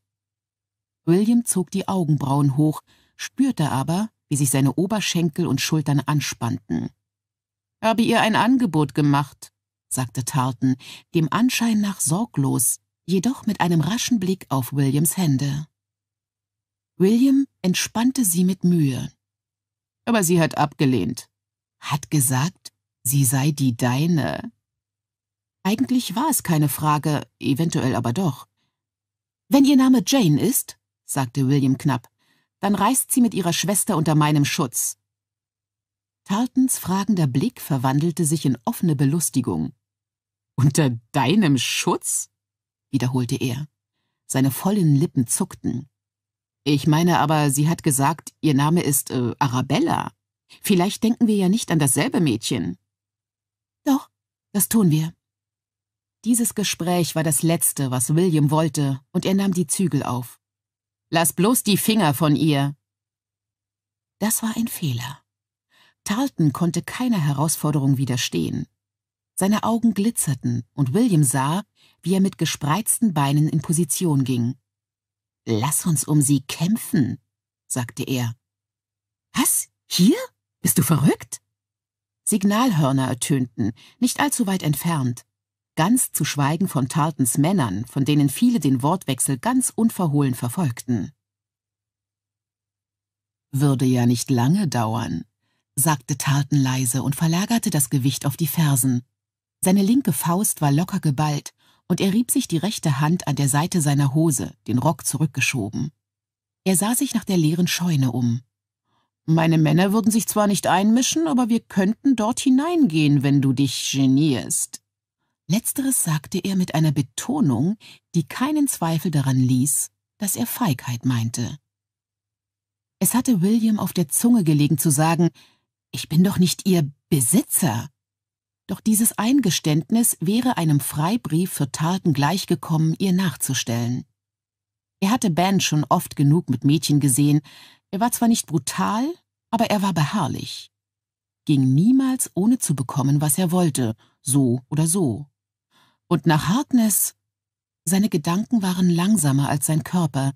Er stand schon auf dem Boden und zog den Rock aus, ehe er eine bewusste Entscheidung getroffen hatte. Ben legte grinsend seinen Helm auf den Boden und zog sich in aller Seelenruhe den Rock aus. Diese Bewegung lockte all seine Männer auf einmal an, und in Sekunden waren sie von Dragonern umringt, die sie mit Pfiffen und Rufen anfeuerten. Der einzige Neinsager war Bens Leutnant, der einen ungesunden Grauton angenommen hatte. Hauptmann, sagte er, und William begriff, dass der Mann nur davor Angst hatte, Ben die Stirn zu bieten, nicht vor den möglichen Folgen, wenn er es unterließ. Doch er war entschlossen, seine Pflicht zu tun und streckte die Hand nach Tartans Arm aus. Sir, ihr. Loslassen, befahl Ben, ohne den Blick von William abzuwenden. Und Maul halten! Der Leutnant ließ die Hand sinken, als hätte er einen Schlag vor die Schulter bekommen. William fühlte sich abwesend, als beobachtete er die Szene von einem Punkt außerhalb seines Körpers, und dieser Teil seiner selbst hätte am liebsten über die Lächerlichkeit der Situation gelacht. Und ein winziger Rest seines Gewissens war entsetzt. Doch der Teil seiner selbst, der aus Fleisch und Blut war, war von grimmigem Jubel erfüllt und hatte absolut das Sagen. Er hatte Ben schon öfter kämpfen sehen und beging nicht den Fehler, auf ein Signal zu warten. Im selben Moment, als der grüne Rock den Boden berührte, stürzte er sich auf ihn, hackte Tarleton bei beiden Schultern, ohne den gemeinen Haken zu beachten, der seine Rippen traf, riss ihn vorwärts und hieb ihm die Stirn ins Gesicht. Knochen knackten mit einem grässlichen Geräusch. Er ließ los, schubste Ben fest vor die Brust, so dass dieser rückwärts stolperte. Aus seiner gebrochenen Nase flog das Blut, und seine überraschte Miene verwandelte sich auf der Stelle in blinde Wut. Tarleton nahm Anlauf und stürzte sich auf William wie ein tollwütiger Hund. William war einen Kopf größer und fast 20 Kilo schwerer als Ben, und er hatte drei ältere Vettern, die ihm das Kämpfen beigebracht hatten. Bannister Tarleton wiederum besaß die unerschütterliche Überzeugung, dass er jeden Kampf gewinnen würde, den er anfing. Sie rangen auf dem Boden miteinander, so fest ineinander verknäult, dass keiner in der Lage war, dem anderen einen ernsthaften Hieb zu versetzen, als William dumpf die panische Stimme des Leutnants hörte und hastiges Rennen ringsum. Hände packten ihn und zerrten ihn von Tarleton fort, andere Hände schoben ihn hektisch zu seinem Pferd. Trommeln kamen über den Weg und das Geräusch marschierender Füße. Er stieg benommen auf, schmeckte Blut und spuckte automatisch aus. Sein Rock wurde ihm über den Schoß geworfen und irgendjemand versetzte seinem Pferd einen Klaps, der William um ein Haar aus dem Sattel geworfen hätte, denn seine Füße waren nicht einmal in der Nähe der Steigbügel. Er presste dem Pferd die Knie und Unterschenkel in die Flanken, trieb Madras zum Galopp an und raste unmittelbar auf eine Infanterieabteilung zu, deren Sergeant mit einem Schreckensruf zurückfuhr. Er sah ihre karierten Hosen und Mützen und hörte raue Rufe, die schottisch oder gälisch sein konnten, doch er kümmerte sich nicht darum. Sie gehörten zu einem Regiment, das er nicht kannte, also würden ihre Offiziere ihn ebenfalls nicht kennen. Sollte Tarleton die Situation doch erklären, wenn es ihm einfiel. Williams linkes Ohr fiebte und er schüttelte den Kopf und presste die flache Hand gegen das Ohr, um es zum Schweigen zu bringen. Als er die Hand wieder entfernte, hatte das Pfeifen nachgelassen, und stattdessen sangen mehrere Leute Yankee Doodle. Er blickte sich ungläubig um und sah eine Reihe blau berockter Kontinentalsoldaten, die eine Reihe von Kanonen auf den Hügelkamm zuzogen. Zurückreiten und es der schottischen Infanterie und Tartans Männern sagen? Nach Süden zu Cornwallis? Heder, Rotrock! Ein Ruf von links ließ ihn in diese Richtung blicken, und zwar keine Sekunde zu früh. Eine Gruppe von zehn oder fünfzehn Mann in Jagdhemden hielt auf ihn zu, die meisten mit Sicheln und Spaten bewaffnet. Ein Mann richtete eine Muskete auf ihn, anscheinend war es der Rufer, denn jetzt forderte er William auf, Lass die Zügel los und steig ab! Den Teufel werd ich tun, erwiderte William und gab Madras die Fersen. Das Pferd raste los, als stünde sein Schweif in Flammen. William hörte das Krachen der Muskete, beugte sich aber dicht über den Hals des Pferdes und galoppierte weiter.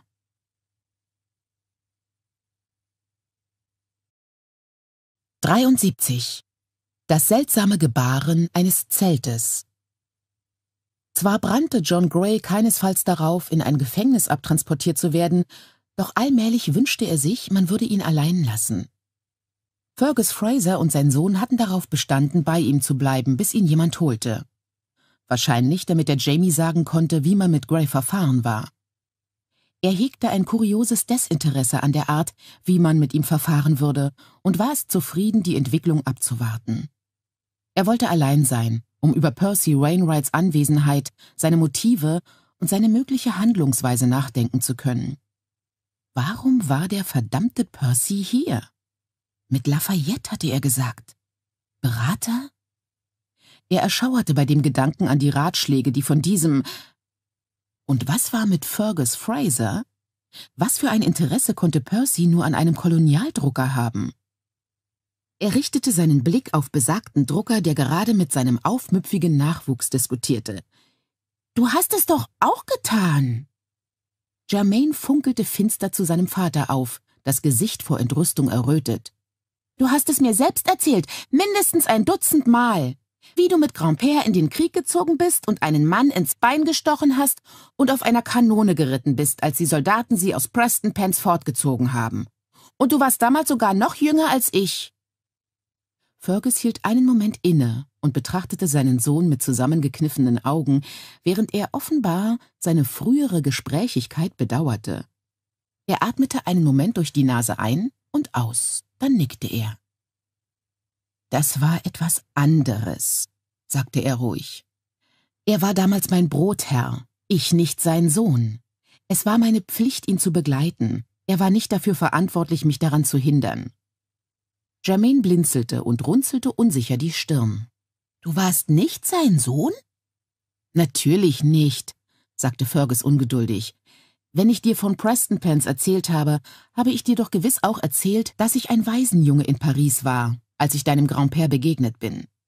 Er hat mich als Taschendieb in seinen Dienst genommen. Tatsächlich? John hatte eigentlich nicht vorgehabt, die beiden zu unterbrechen, doch er konnte nicht anders. Fergus sah ihn verblüfft an. Offensichtlich hatte er Johns Anwesenheit kaum registriert, so sehr war er auf Germaine konzentriert. Er verneigte sich. Ja, my Lord. Wir waren ja Jakobiten. Wir benötigten Informationen, Briefe. Oh, aha, murmelte John und trank einen Schluck aus seiner Flasche. Dann besann er sich auf seine Manieren und bot sie Fergus an, der überrascht blinzelte, sie aber dann mit einer weiteren Verneigung annahm und einen ordentlichen Schluck trank. Nun, wahrscheinlich machte es durstig, ein entlaufenes Kind durch eine Armee zu verfolgen. Er dachte kurz an Willy und dankte Gott, dass sein Sohn in Sicherheit war. Oder? Ihm war klar, dass William Philadelphia verlassen haben musste, als Clinton die Armee zurückzog, vielleicht als nicht kämpfender Feldadjutant eines ranghohen Offiziers. Doch er hatte diese Vermutung nicht unter Berücksichtigung der jetzt unübersehbaren Tatsache durchdacht, dass General Washington Clinton inzwischen dicht auf den Fersen war und ihn vermutlich einholen würde. In welchem Falle William diese Gedanken hatten ihn vorübergehend von dem Zwiegespräch zwischen Vater und Sohn abgelenkt, und er wurde durch eine Frage aufgeschreckt, die Germaine an ihn richtete. Ich, äh, oh, äh, 16. Ich wäre vielleicht schon eher in die Armee eingetreten, fügte John entschuldigend hinzu, wenn es das Regiment meines Bruders schon gegeben hätte, doch er hat es erst während der Jakobitenrebellion aufgestellt. Er betrachtete Fergus mit neuem Interesse. Ihr wart also in Preston Pens? Das hätte ebenso seine erste Schlacht werden sollen, und das wäre sie auch gewesen, wäre er nicht zwei Nächte zuvor auf einem Bergpass einem berüchtigten Jakobiten namens Jamie Fraser begegnet. Habt ihr jemanden getötet? wollte Germaine wissen. Nicht in Preston Pens. Später in Culloden. Ich wünschte, ich hätte es nicht getan. Er streckte die Hand nach der Flasche aus. Sie war fast leer und er leerte sie ganz. Im nächsten Moment war er froh über diese Eile, Wäre die Flasche nicht bereits geleert gewesen, hätte er sich womöglich verschluckt. Der Zelteingang wurde beiseite geschoben, und Percy Wainwright Beauchamp steckte den Kopf herein, um dann überrascht zu erstarren, während seine dunklen Augen von einem Zeltinsassen zum anderen huschten. John verspürte den Impuls, mit der leeren Flasche nach ihm zu werfen, überlegte es sich aber anders und sagte stattdessen kalt Ich bitte um Verzeihung, Sir. Ich bin beschäftigt. Das sehe ich. Percy sah John nicht an. Er war seinerseits ganz und gar damit beschäftigt, von Germaine zu Fergus und wieder zurückzublicken. Germaine ähnelte zwar seiner Mutter, was die Haut- und Haarfarbe und den Körperbau betraf, Doch er hatte unleugbar eine jugendliche Version der französischen Hakennase seines Vaters im Gesicht. Eine Ähnlichkeit, die im Augenblick durch die Tatsache verstärkt wurde, dass sie beide überrascht die Köpfe gehoben hatten und den Eindringling aufmerksam musterten. Mr. Fergus Fraser, sagte er leise und trat mit ausgestreckter Hand in das Zelt. Euer Diener, Sir. Comment ça va? Da Fergus ihm nicht ausweichen konnte, schüttelte er ihm reserviert die Hand, sagte aber nichts. Germain stieß ein leises Knurren aus, verstummte aber, als ihm sein Vater einen scharfen Blick zuwarf. Ich bin so froh, euch endlich privat zu begegnen, Monsieur Fraser, sagte Percy immer noch auf Französisch. Er lächelte so charmant er konnte. Monsieur, wisst ihr, wer ihr seid? Fergus betrachtete ihn nachdenklich. Nur wenige Menschen kennen sich selbst, entgegnete er. Ich für meinen Teil bin ganz zufrieden damit, ein solches Wissen Gott zu überlassen. Er kann viel besser damit umgehen, als ich es könnte. Und da ich zu diesem Schluss gekommen bin, denke ich, das ist alles, was ich euch zu sagen habe. Pardonnez-moi. Und damit schob er sich so unerwartet an Percy vorbei, dass dieser aus dem Gleichgewicht geschubst wurde. Germain drehte sich am Zelteingang um und streckte ihm die Zunge heraus. Verdammter Frosch, sagte er. Dann verschwand er mit einem kleinen Aufschrei, als ihn sein Vater aus dem Zelt zerrte. Percy hatte bei dem Versuch, auf den Beinen zu bleiben, einen seiner mit Silber beschlagenen Schuhe verloren. Er strich sich Erde und Pflanzenreste von der Unterseite seines Strumpfes und schob seinen Fuß wieder in den Schuh. Er hatte die Lippen aufeinander gepresst, und seine Wangen waren auf äußerst attraktive Weise errötet. Solltest du nicht bei der Armee sein? erkundigte sich John. Du willst doch gewiss dabei sein, wenn Washington auf Clinton trifft. Ich könnte mir denken, dass deine interessierten Parteien den ausführlichen Bericht eines Augenzeugen wünschen, oder etwa nicht. Halt den Mund, John, sagte Percy kurz, und hör zu. Ich habe nicht viel Zeit. Er ließ sich auf den Hocker plumpsen, faltete die Hände auf dem Knie und sah John konzentriert an, als bilde er sich ein Urteil über seine Intelligenz. Kennst du einen Mann, einen britischen Offizier, namens Richardson? Fergus bahnte sich seinen Weg durch das Trümmerfeld, das der Abmarsch der Armee hinterlassen hatte, und hielt Germain fest an der Hand. Das Lagergefolge und die Männer, die man aufgrund ihrer Gebrechen zurückgelassen hatte, waren mit dem Aufräumen beschäftigt, und niemand hatte mehr als einen flüchtigen Blick für die Frasers übrig. Er konnte nur hoffen, dass das Pferd noch da war, wo er es zurückgelassen hatte. Er berührte die Pistole, die er sich vorsichtshalber unter das Hemd gesteckt hatte. Frosch? sagte er zu Germain und versuchte erst gar nicht, seine Belustigung zu verbergen. Hast du verdammter Frosch gesagt? Nun, das ist er, Papa. Germain blieb plötzlich stehen und befreite seine Hand.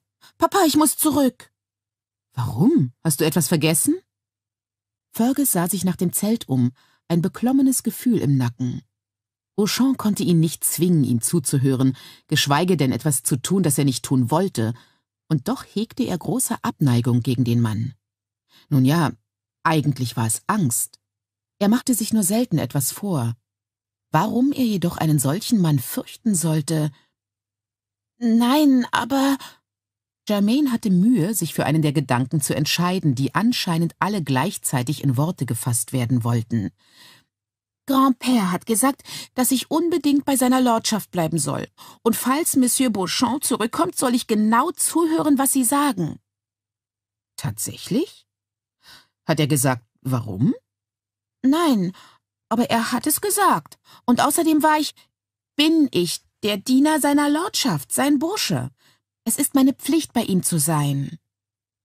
Germains Gesicht war von rührendem Ernst erfüllt, und Fergus spürte, wie sich sein Herz verkrampfte. Dennoch, Fergus hatte es in der schottischen Kunst, simple, aber vielsagende Kehllaute auszustoßen, nie weit gebracht. Er war sehr neidisch darauf, war aber nicht schlecht darin, mittels seiner Nase auf ähnliche Weise zu kommunizieren. Nach allem, was die Soldaten sagen, ist er Kriegsgefangener. Hast du etwa vor, ihn zu begleiten, ganz gleich in welches Verlies oder Gemäuer sie ihn stecken? Ich glaube nämlich, dass dich Maman am Kragen wieder herausziehen würde. Komm jetzt. Sie macht sich Sorgen und wartet darauf zu hören, dass du in Sicherheit bist. Die Erwähnung Marsalis zeigte die gewünschte Wirkung. Germaine senkte den Blick und biss sich auf die Lippe. Nein, das werde ich nicht. Ich meine, ich bin nicht. Aber Papa, ich muss zurück, damit wir sicher sein können, dass Monsieur Beauchamp ihm nichts antut. Und vielleicht dafür sorgen, dass er etwas zu essen hat, bevor wir gehen, fügte er hinzu. Du willst doch nicht, dass er verhungert, oder? Mylord sah eigentlich ganz gut genährt aus, sagte Fergus, doch Germains drängende Miene zog ihn einen widerstrebenden Schritt zum Zelt zurück. Germain strahlte vor Erleichterung und Aufregung und nahm seinen Vater wieder bei der Hand. Warum glaubst du denn, Monsieur Beauchamp könnte seiner Lordschaft etwas Böses wollen? Fragte Fergus und hielt Germain einen Moment zurück. Weil seine Lordschaft ihn nicht mag und Grandpère auch nicht, sagte der Junge knapp. Komm schon, Papa. Seine Lordschaft ist unbewaffnet und wer weiß, was dieser Sodomit in seiner Tasche hat. Sodomit? Fergus erstarrte. Oui, Grandpère sagt, er ist ein Sodomit. Komm jetzt! Germain war jetzt am Rand der Panik und zog seinen Vater mit schierer Willenskraft weiter. Sodomit? Das war ja interessant. Fergus, der ein guter Beobachter war, ein weltgewandter Mann und ein Experte, wenn es um Sex ging, war schon vor einiger Zeit zu seinem eigenen Schluss gekommen, was Lord Greys Vorlieben betraf, hatte diese aber natürlich Jamie gegenüber nicht erwähnt, da der Engländer ein guter Freund seines Vaters war. Wusste er davon? So oder so. Es konnte die Beziehung seiner Lordschaft mit diesem Beauchamp deutlich verkomplizieren und er näherte sich dem Zelt mit gesteigerter Neugier und Wachsamkeit.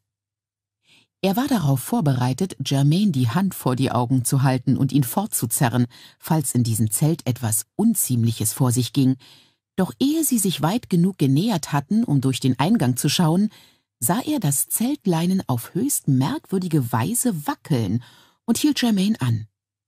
Warte, sagte er leise. Er konnte sich keine noch so abartige Sexualpraxis vorstellen, die das Zelt zu diesem Gebaren veranlasst hätte. Also wies er Germain mit einer Geste an zu bleiben, wo er war, und bewegte sich auf leisen Sohlen zur Seite, warte aber in den Trümmern des Lagers ein wenig Abstand zum Zelt. Und da, gerade wand sich Lord John unter der hinteren Zeltwand hindurch und fluchte leise auf Deutsch vor sich hin – Ganz gebannt von diesem seltsamen Schauspiel merkte Fergus erst, dass Beauchamp das Zelt an der Vorderseite verlassen hatte, als er Germains Ausruf hörte. Als er sich umdrehte, fand er den Jungen hinter sich. Er war beeindruckt von Germains Fähigkeit, sich lautlos zu bewegen, doch dies war nicht der Zeitpunkt, um ihn zu loben. Er winkte seinem Sohn und wich noch ein wenig weiter zurück, um hinter einem Stapel leerer Fässer in Deckung zu gehen. Beauchamp schritt mit hochrotem Gesicht energisch davon und klopfte sich den Staub von den eleganten Rockschößen. Lord John kämpfte sich zum Gehen hoch und machte sich in die andere Richtung davon, auf den Wald zu. Seiner Kleidung schenkte er keine Beachtung. Kein Wunder. Was in aller Welt hatte der Mann nur in dieser Aufmachung getan? Was sollen wir tun, Papa? flüsterte Germaine. Fergus zögerte nur einen Moment, während er Beauchamp hinterhersah. Der Mann hielt auf ein großes Wirtshaus zu, wahrscheinlich General Washingtons ehemaliges Hauptquartier. Wenn Beauchamp weiter bei der Kontinentalarmee blieb, konnte man ihn wiederfinden, falls sich dies als nötig erwies. Sollen wir Lord John folgen, Papa? Germaine bebte vor Aufregung, und Fergus legte dem Jungen die Hand auf die Schulter, um ihn zu beruhigen. Nein, sagte er, entschlossen, wenn auch nicht ohne Bedauern. Er war ja selbst mehr als neugierig. Was immer er vorhat, es ist eindeutig dringend und unsere Gegenwart würde ihn wahrscheinlich eher gefährden, als ihm zu helfen. Er fügte nicht hinzu, dass Lord John mit ziemlicher Sicherheit auf das Schlachtfeld unterwegs war, falls es eines gab. Eine solche Anmerkung würde Germaine nur noch mehr anstacheln. Aber Germaine hatte die schottische Sturheit seiner Mutter geerbt, und Fergus verkniff sich das Lächeln beim Anblick seiner blonden Augenbrauen, die sich exakt wie Marsalis zusammenzogen. Er wird entweder nach deinem Grand-Père oder nach seinen Landsleuten suchen, erklärte Fergus ihm. So oder so wird man sich um ihn kümmern, und unsere Gegenwart wäre in keinem Fall hilfreich für ihn. Außerdem wird uns deine Mutter beide ermorden, wenn wir nicht im Lauf der Woche nach Philadelphia zurückkehren. Er erwähnte ebenfalls nicht, dass ihm bei dem Gedanken, dass Marsali und die anderen Kinder allein in der Druckerei waren, unwohl zumute war. Mit dem Auszug der britischen Armee und einer weiteren Heerschar von Loyalisten war Philadelphia ja keineswegs sicher geworden. Es waren Plünderer und Gesetzlose in die Stadt gekommen, die die Hinterlassenschaften der Geflüchteten durchwühlten. Dazu kam, dass viele der Zurückgebliebenen Sympathien für die Loyalisten hegten, zwar ohne es offen zuzugeben, doch es war gut möglich, dass sie sie im Schutz der Dunkelheit ausleben würden. Komm, sagte er, sanfter jetzt, und nahm Germaine an die Hand. Wir müssen etwas zu essen für unterwegs auftreiben. John Gray kämpfte sich durch den Wald voran. Hin und wieder stolperte er, da er ja nur ein brauchbares Auge hatte, der Boden war nicht immer da, wo er dachte. Sobald er das Lager hinter sich gelassen hatte, gab er sich keine Mühe mehr, sich versteckt zu halten. Claire hatte sein Auge mit Baumwollwatte verpackt und seinen Kopf sehr professionell mit einer Gasebandage umwickelt, damit die Watte nicht verrutschte. Dies schützte das verletzte Auge, während die Haut ringsum gleichzeitig an der Luft trocknen konnte, sagte sie. Anscheinend funktionierte es. Seine Augenlider waren nicht mehr so wund, nur noch ziemlich klebrig. Doch im Moment war er nur dankbar dafür, dass er aussah wie ein Verwundeter, der von der davoneilenden amerikanischen Armee zurückgelassen worden war. Niemand würde ihn aufhalten oder ihm Fragen stellen. Nun, niemand, außer seinen ehemaligen Kameraden aus der Pennsylvania Kompanie Nummer 16, sollte er das Pech haben, ihnen zu begegnen. Gott allein wusste, was sie gedacht hatten, als er sich Jamie ergab. Er hatte ein schlechtes Gewissen, was sie betraf. Sie waren schließlich sehr gütig zu ihm gewesen und mussten bei der Preisgabe seiner Identität das Gefühl gehabt haben, dass er ihre Güte mit Füßen getreten hatte, doch ihm war keine große Wahl geblieben. Genau wie jetzt. Sie haben es auf deinen Sohn abgesehen. Es war wahrscheinlich das Einzige, was Percy hätte sagen können, um ihm seine Aufmerksamkeit zu sichern. Wer? Sie? hatte er scharf gefragt und war zum Sitzen hochgefahren. Was haben Sie mit ihm vor? Die Amerikaner. Was den Zweck betrifft. Du und dein Bruder. Percy hatte ihn kopfschüttelnd betrachtet. Hast du eigentlich die geringste Ahnung, was du wert bist, John? Was ich wem wert bin. Er hatte sich zum Stehen hochgekämpft und dabei gefährlich geschwankt. Percy hatte seine Hand gepackt, um ihn zu stützen. Seine Berührung war warm und fest und verblüffend vertraut. Er hatte wie verbrannt seine Hand fortgezogen. Wie mir mitgeteilt wurde, besitze ich beträchtlichen Wert als Sündenbock, sollten die Amerikaner beschließen, mich zu hängen. Wo war nur Hells verdammte Note? Wer hatte sie jetzt? Watson Smith? General Wayne? Nun, das können wir aber nicht zulassen, oder? Der Gedanke an Grays unmittelbar bevorstehendes Ableben schien Percy nicht sonderlich aus der Ruhe zu bringen. Keine Sorge, ich bespreche das. Mit wem? wollte er neugierig wissen. General Lafayette, antwortete Percy und fügte mit einer kleinen Verneigung hinzu, dem als Berater zu dienen ich die Ehre habe. Danke, sagte Gray trocken. Ich mache mir keine großen Gedanken über die Möglichkeit, gehängt zu werden, zumindest nicht im Augenblick. Aber ich will wissen, was zum Teufel du in Bezug auf meinen Sohn William gemeint hast. Das wäre viel einfacher bei einer Flasche Port, sagte Percy mit einem Seufzer. Aber das lässt die Zeit ja leider nicht zu. Setz dich wenigstens. Du siehst aus, als würdest du jeden Moment umfallen. Gray nahm so würdevoll wie möglich Platz und funkelte Percy finster mit seinem einen Auge an.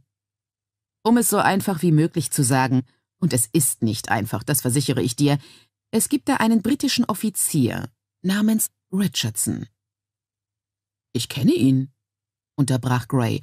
Er, ich weiß, dass du ihn kennst, sei still. Percy wedelte mit der Hand in seine Richtung. Er ist ein amerikanischer Spion. Er. Was? Im ersten Moment hatte er das Gefühl, Er könnte tatsächlich umfallen, obwohl er saß, und er hielt sich vorsichtshalber mit beiden Händen am Bettrahmen fest. Er hat mir gesagt, er hätte vor, Mrs. Fraser wegen der Verbreitung aufrührerischen Materials festnehmen zu lassen. Das war der Grund, warum ich sie geheiratet habe. Du? Percy starrte ihn mit großen Augen an. Du hast geheiratet? Natürlich, sagte Gray gereizt. Du doch auch. Zumindest hast du mir das erzählt. Erzähl mir weiter von dem verflixten Richardson.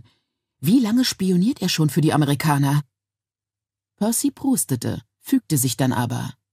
Ich weiß es nicht. Ich bin vergangenes Jahr im Frühling auf ihn aufmerksam geworden, aber es ist gut möglich, dass er es schon länger tut. Fleißiger Kerl, das muss man ihm lassen. Und er begnügt sich nicht damit, Informationen zu sammeln und weiterzugeben. Er ist das, was man einen Provokateur nennen könnte. Er ist nicht der Einzige, der mich provoziert, murmelte Gray und unterdrückte das Bedürfnis, sich das verletzte Auge zu reiben. Was hat er denn mit William zu tun? Allmählich beschlich ihn ein unangenehmes Gefühl in der Magengrube. Er hatte William die Erlaubnis erteilt, kleine Kundschafteraufträge für Oberst Richardson zu erledigen, welcher um es so deutlich wie möglich auszudrücken, hat er mehr als einmal versucht, deinen Sohn in Situationen zu bringen, in denen der Anschein entstehen konnte, dass er mit den Rebellen sympathisierte. Wie ich höre, hat er ihn letztes Jahr nach Virginia in den Great Dismal geschickt, mit dem Ziel, ihn dort in einem Nest von Rebellen festnehmen zu lassen, die dort eine Bastion haben. Wahrscheinlich hätten sie die Nachricht verbreitet, dass er desertiert und zu ihnen übergelaufen war, während sie ihn gefangen hielten. Und warum das? hakte Gray nach. Könntest du dich hinsetzen zum Kuckuck? Ich bekomme Kopfschmerzen, wenn ich zu dir hochsehen muss. Percy prustete erneut und setzte sich, nicht auf den bereitstehenden Hocker, sondern neben Gray auf das Feldbett, die Hände auf den Knien. Wahrscheinlich, um deine Familie in Misskredit zu bringen. Partlow hat zu dieser Zeit im Oberhaus flammende Reden über die Kriegsführung gehalten. Er beschrieb eine kleine, ungeduldige Geste, die John noch gut kannte. Ein rasches Flattern der Finger. Ich weiß nicht alles, noch nicht, aber was ich weiß, ist, dass er es so eingefädelt hat, dass man deinen Sohn auf dem Weg nach New York festnehmen wird. Er kümmert sich nicht mehr um Finden oder Politik. Die Dinge haben sich geändert, jetzt, da Frankreich in den Krieg eingetreten ist. Es ist eine simple Entführung mit der Absicht, deine und partlos Kooperation in der Frage des Nordwestterritoriums als Preis für das Leben des Jungen zu fordern. Und möglicherweise noch etwas anderes. Gray schloss das gesunde Auge, um das Schwindelgefühl zu unterdrücken. Vor einem Jahr war Percy abrupt wieder in sein Leben getreten und hatte ihm einen Vorschlag gewisser interessierter Parteien aus Frankreich unterbreitet, die nämlich die Rückgabe des wertvollen Nordwestterritoriums wünschten, das sich in englischer Hand befand und die im Gegenzug ihre Hilfe dabei anboten, Frankreich von einem Kriegseintritt auf Seiten der Amerikaner abzuhalten. Die Lage hat sich geändert, wiederholte er gereizt. Percy holte tief durch die Nase Luft. Admiral Destin ist im April mit einer Flotte losgefahren. Wenn er nicht schon vor New York liegt, wird er in Kürze dort sein. Möglich, dass General Clinton das weiß, vielleicht aber auch nicht. Himmel? Er ballte die Fäuste so fest um den Bettrahmen, dass die Nagelköpfe tiefe Abdrücke in seinen Handflächen hinterließen. Also waren die verdammten Franzosen offiziell in den Krieg eingetreten. Sie hatten sich im Februar vertraglich auf die Seite der Amerikaner gestellt und England im März den Krieg erklärt. Doch reden konnte jeder. Plötzlich packte er Percys Arm und drückte fest zu. Und was hast du mit all dem zu tun? fragte er mit kalter, ruhiger Stimme. Warum erzählst du mir das alles? Percy holte Luft, wich aber nicht zurück. Er erwiderte Grays Blick, seine braunen Augen klar und direkt. Was ich damit zu tun habe, spielt keine Rolle, sagte er. Und wir haben keine Zeit. Du musst deinen Sohn finden, und zwar schnell. Warum ich es dir erzähle?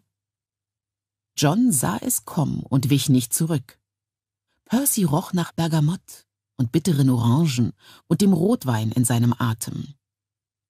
John lockerte die Umklammerung seines Arms.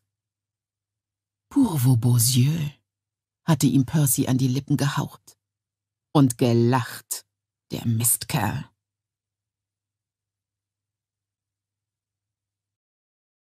Vierundsiebzig. Was einen Mann in Schweiß ausbrechen und erbeben lässt.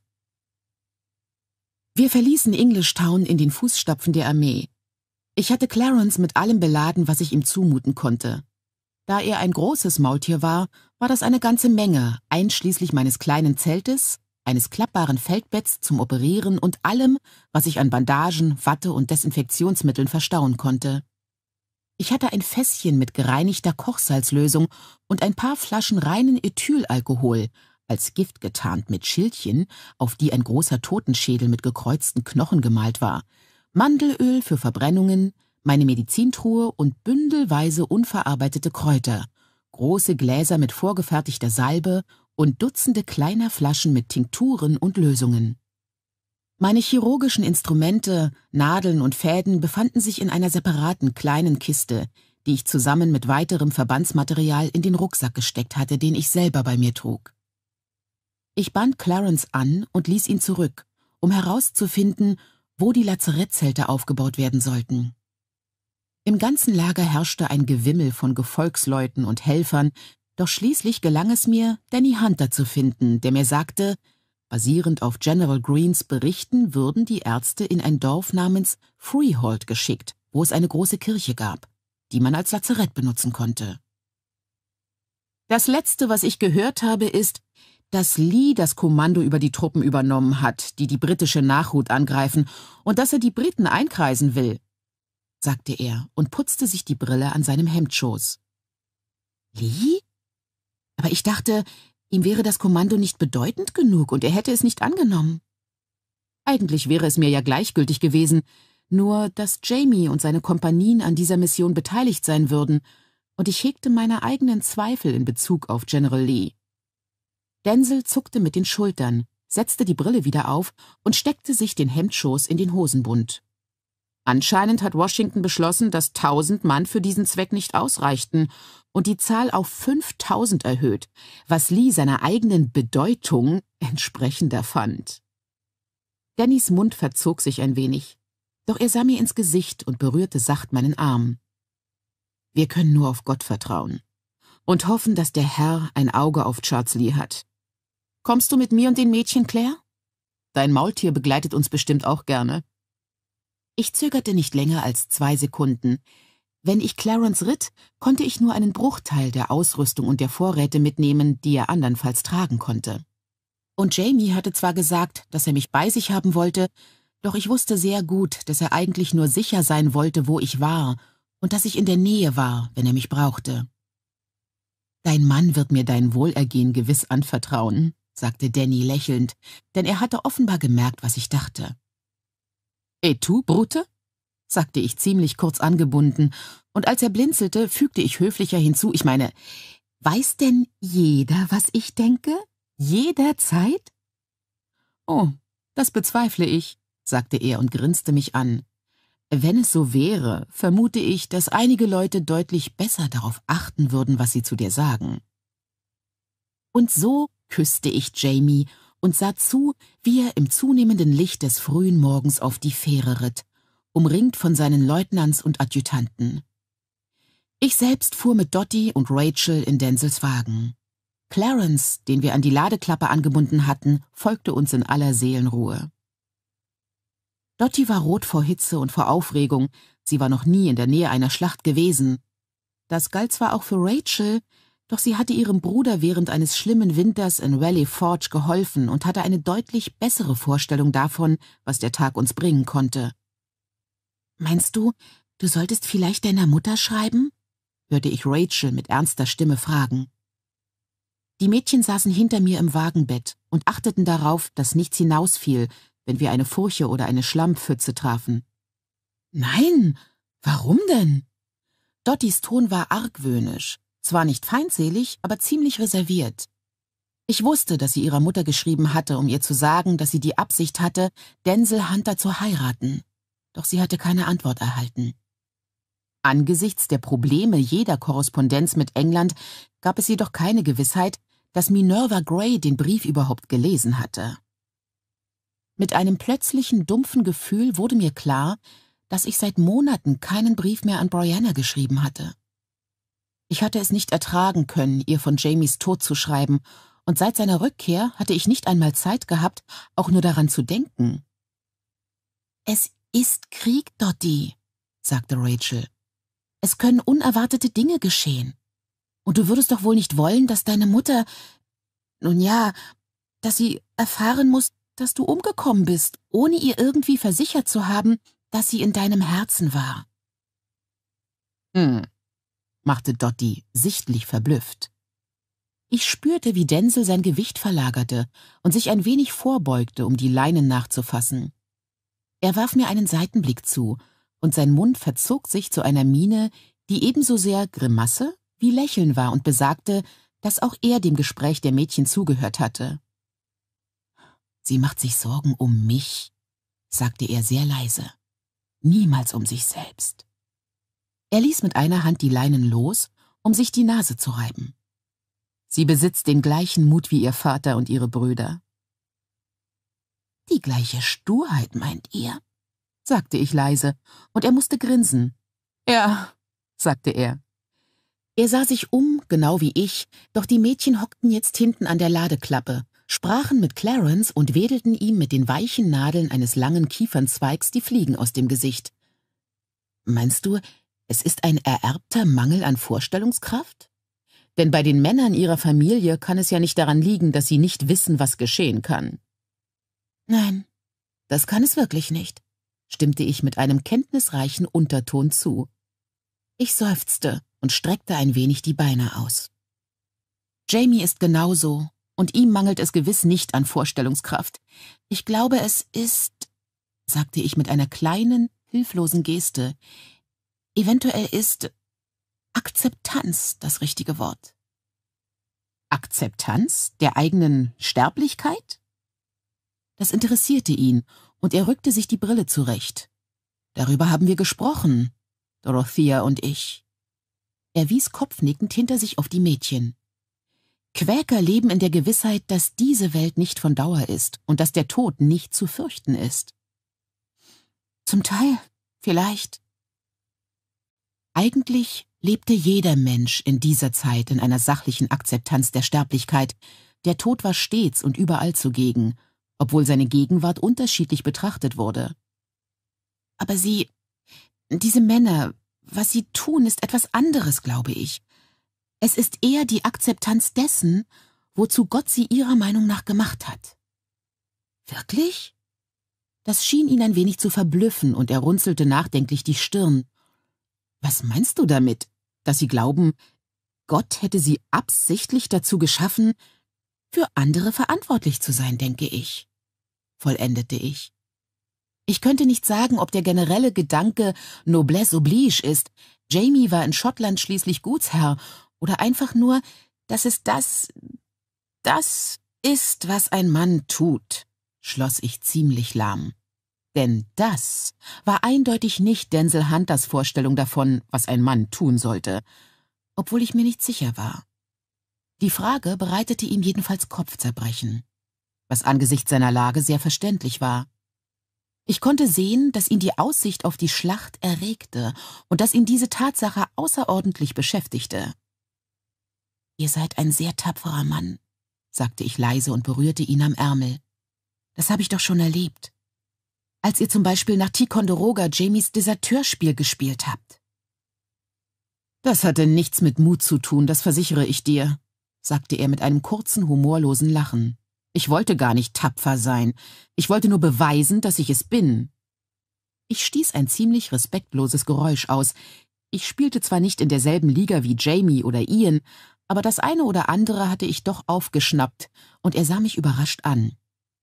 Ich weiß um den Unterschied, erklärte ich ihm, doch ich bin schon vielen tapferen Männern begegnet.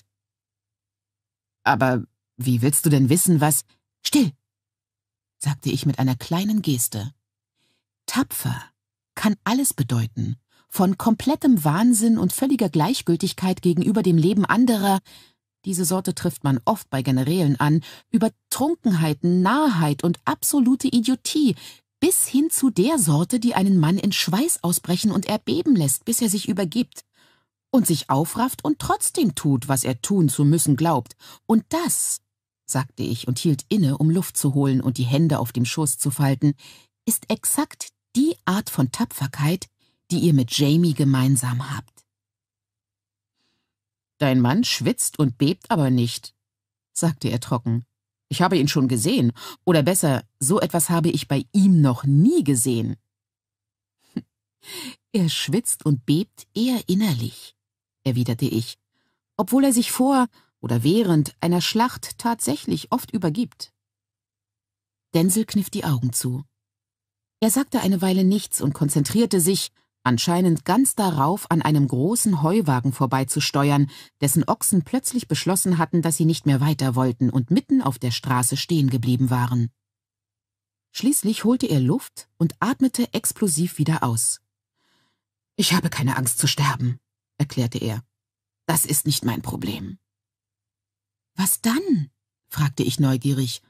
Hast du Angst, verstümmelt zu werden und hilflos zu sein? Ich schon. Nein, seine Kehle bewegte sich, als er schluckte. Es sind Dorothea und Rachel. Ich habe Angst, dass mir der Mut fehlen würde, sie sterben zu sehen, ohne dass ich versuche, sie zu retten, selbst wenn das bedeuten würde, jemanden umzubringen. Darauf fand ich keine Erwiderung, und wir rumpelten schweigend weiter. Lees Männer hatten Englishtown gegen sechs Uhr morgens verlassen und hielten ostwärts auf Monmouth Courthouse zu. Lee erreichte das Gerichtsgebäude gegen 9.30 Uhr, um dort festzustellen, dass der Großteil der britischen Armee fort und vermutlich nach Middletown unterwegs war, denn dorthin führte die Straße. Doch von der Verfolgung wurde Lee durch die Gegenwart einer kleinen, aber äußerst kampflustigen Nachhut abgehalten, die von General Clinton persönlich befehligt wurde. So zumindest berichtete Ian es Jamie, nachdem er dicht genug herangeritten war, um Clintons Regimentsbanner zu sehen.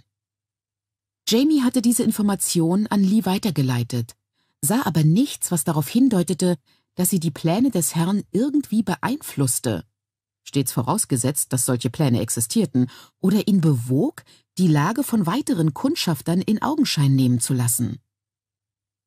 Reite um sie herum und sieh, ob du herausfinden kannst, wo Cornwallis ist, trug Jamie Ian auf.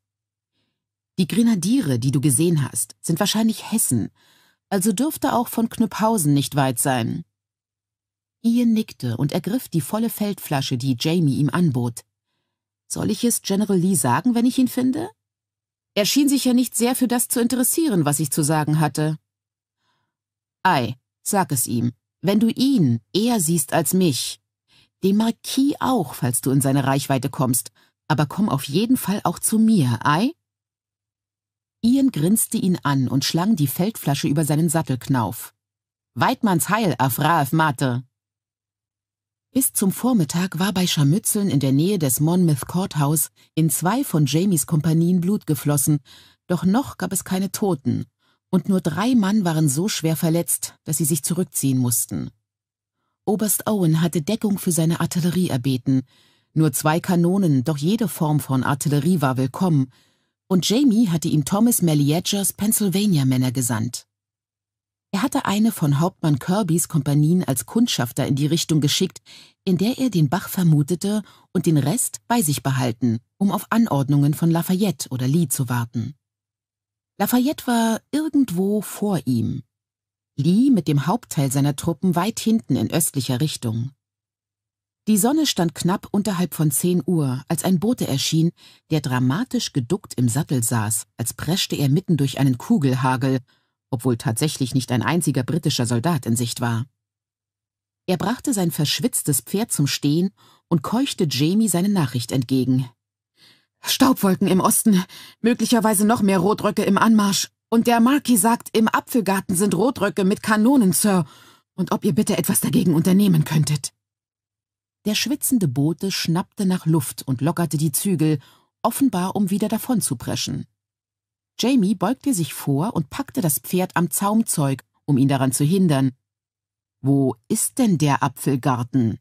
fragte er ruhig. Der Bote war noch jung, vielleicht 16, und blickte genauso wild drein wie sein Klappergaul. Weiß nicht, Sir, sagte er und begann sich umzusehen, als erwartete er, dass der Obstgarten unvermittelt aus der Wiese auftauchte, auf der sie standen. Ein plötzliches Dröhnen in einiger Entfernung ging Jamie durch Mark und Bein, und sein Pferd spitzte die Ohren. Egal, Junge, sagte er, ich höre sie. Lass dein Pferd verschnaufen, sonst stirbt es dir noch unter dem Sattel weg, bevor die Sonne hoch am Himmel steht. Er ließ das Zaumzeug los, winkte Hauptmann Wells zu und wandte sein eigenes Pferd in die Richtung, aus der der Kanonendonner kam. Die amerikanische Armee hatte einen Vorsprung von mehreren Stunden und die britische Armee noch mehr. Doch ein einzelner Mann konnte sich sehr viel schneller bewegen als selbst eine Kompanie leichter Infanterie. Außerdem war John nicht mit Waffen beladen oder Nahrung oder Wasser. Du weißt genau, dass er dich anlügt. Oh, sei doch still, Hal, murmelte Gray an den Schatten seines Bruders gerichtet. Ich kenne Percy um einiges besser als du. Ich habe doch gesagt, du weißt genau, das tue ich auch. Was riskiere ich denn, wenn er lügt? Und was riskiere ich, wenn er nicht lügt? Hal war zwar arrogant, aber logisch. Außerdem war er Vater, das brachte ihn zum Schweigen. Was er riskierte, falls Percy log, war, ohne Umschweife erschossen oder gehängt zu werden, wenn ihn jemand erkannte. Ganz gleich wer. Wenn ihn die Amerikaner entdeckten, bevor er die britischen Linien erreichte, würden sie ihn festnehmen, weil er sein Wort gebrochen hatte und ihn prompt als Spion hinrichten. Wenn ihn die Briten nicht rechtzeitig erkannten, würden sie ihn beim ersten Anblick als Rebellenmilizionär erschießen. Er steckte eine Hand in die Tasche mit der zusammengeballten Freiheit oder Todmütze und fragte sich, ob es wohl klüger wäre, sie fortzuwerfen. Doch schließlich behielt er sie. Was er riskierte, falls Percy nicht log, war Willys Leben. Nicht schwer zu sagen, wem seine Wette galt. Es war Vormittag und die Luft war wie Melasse, dick und blumensüß, klebrig wie Baumharz und absolut nicht zu atmen. Sein gesundes Auge begann von den umherfliegenden Pollen zu jucken, und Fliegen summten neugierig um seinen Kopf herum, angelockt vom Honigduft. Immerhin waren die Kopfschmerzen fort, vertrieben durch den Schreck und das kurze Aufflackern der Lust. Er konnte es genauso gut zugeben, der auf Percys Worte folgte. Er versuchte erst gar nicht über Percys Beweggründe zu spekulieren, aber um deiner schönen Augen willen, grummelte er doch diese Dreistigkeit entlockte ihm auch ein Lächeln. Ein kluger Mann würde Percy Wainwright nicht mit einem Zaunpfahl berühren, etwas Kürzeres jedoch. Ach, nun sei schon still, ja? murmelte er zu sich selbst und stieg eine Lehmböschung zu einem kleinen Bach hinunter, wo er sich kaltes Wasser ins Gesicht schütten konnte. Es war vielleicht acht Uhr morgens, als wir Freehold erreichten, wo die Tennant Church als zentrales Lazarett eingerichtet werden sollte. Die Kirche war ein großes Gebäude inmitten eines weitläufigen Kirchhofs, dessen Grabsteine so individuell waren, wie es ihre Besitzer zweifellos auch im Leben gewesen waren. Hier gab es keine ordentlich aufgereihten, identischen weißen Kreuze. Ich dachte kurz an die Gräber in der Normandie und fragte mich, ob diese endlosen Reihen namenloser Toten den Kosten des Krieges wohl nachträglich etwas Geordnetes verleihen sollten, oder ob sie diese Kosten unterstreichen sollten. Eine Art feierliche Buchführung in Reihen und Aberreihen von Leerstellen und Kreuzen. Doch ich dachte nicht lange darüber nach. Es wurde bereits gekämpft, irgendwo, und die ersten Verletzten trafen ein. Einige Männer saßen neben der Kirche im Schatten eines großen Baums, und es kamen noch mehr über die Straße. Einige stolperten mit Hilfe von Freunden voran, andere lagen auf Bahren oder jemand trug sie auf dem Arm. Mein Herz verkrampfte sich bei diesem Anblick, doch ich gab mir Mühe, nicht nach Jamie oder Ian Ausschau zu halten. Falls sie unter den ersten Verwundeten waren, würde ich es früh genug erfahren. Vor der Eingangsveranda der Kirche herrschte großes Gewimmel. Man hatte die Flügeltüren weit geöffnet, um einen breiten Durchgang zu haben, und Laufburschen und Ärzte kamen und gingen, zwar hastig, doch bis jetzt war die Hast noch organisiert. Geht doch nachsehen, was dort vor sich geht, ja? schlug ich Denzel vor. Ich werde mit den Mädchen abladen. Er blieb noch, um seine beiden Maultiere abzuspannen und anzubinden, dann eilte er in die Kirche.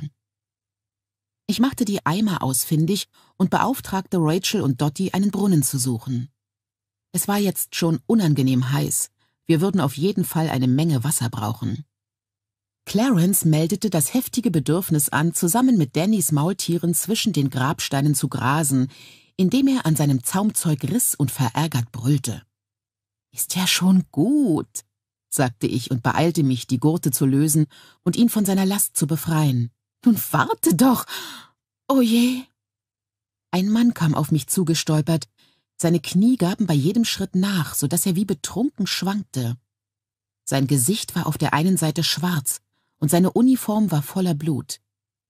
Ich ließ das Bündel mit dem Zeltleinen und den Pfosten fallen und lief auf ihn zu, um seinen Arm zu erwischen, ehe er über einen Grabstein stolperte und kopfüber im Staub landete. Setzt euch, sagte ich. Er sah benommen aus und schien mich nicht zu hören, doch als ich an seinem Arm zog, nahm er Platz, indem er seine Knie abrupt zusammensacken ließ und mich beinahe mitriss, als er auf einem wuchtigen Stein zum Gedenken an einen gewissen Gilbert Tennant landete. Mein Patient wankte, als würde er jeden Moment umfallen, und doch fand ich bei einer hastigen Untersuchung keine schweren Verletzungen. Das Blut auf seinem Rock kam von seinem Gesicht, dessen geschwärzte Haut Blasen gebildet hatte und aufgeplatzt war. Es war nicht nur Schwarzpulverruß, die Haut war tatsächlich zu einer Kruste verbrannt, das Untergewebe angesenkt, und mein Patient roch widerlich nach Schweinebraten. Ich rief meinen rebellierenden Magen zur Ordnung und verzichtete darauf, durch die Nase zu atmen. Er beantwortete meine Fragen nicht, sondern starrte konzentriert auf meinen Mund, und trotz seines fortwährenden Schwankens schien er zurechnungsfähig zu sein. Endlich fiel der Groschen. Explosion? Sagte ich übertrieben deutlich, und er nickte heftig. Dann hielt er abrupt inne und kippte so weit zur Seite, dass ich ihn am Ärmel packen und hochziehen musste. Der Uniform nach war er Artillerist. Etwas Großes war also in seiner Nähe explodiert. Ein Mörser? Eine Kanone?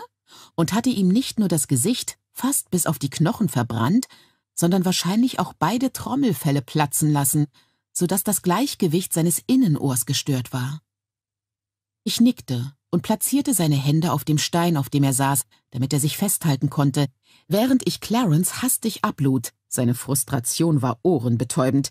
Ich hätte sofort begreifen müssen, dass der Artillerist taub war, da er dem Lärm keine Beachtung schenkte band ihm die Vorderbeine locker zusammen und ließ ihn gehen, so dass er sich zu Dannys Maultieren in den Schatten gesellen konnte. Ich grub aus den Bündeln aus, was ich brauchte, und machte mich daran, für den Verletzten zu tun, was ich konnte. Nicht viel.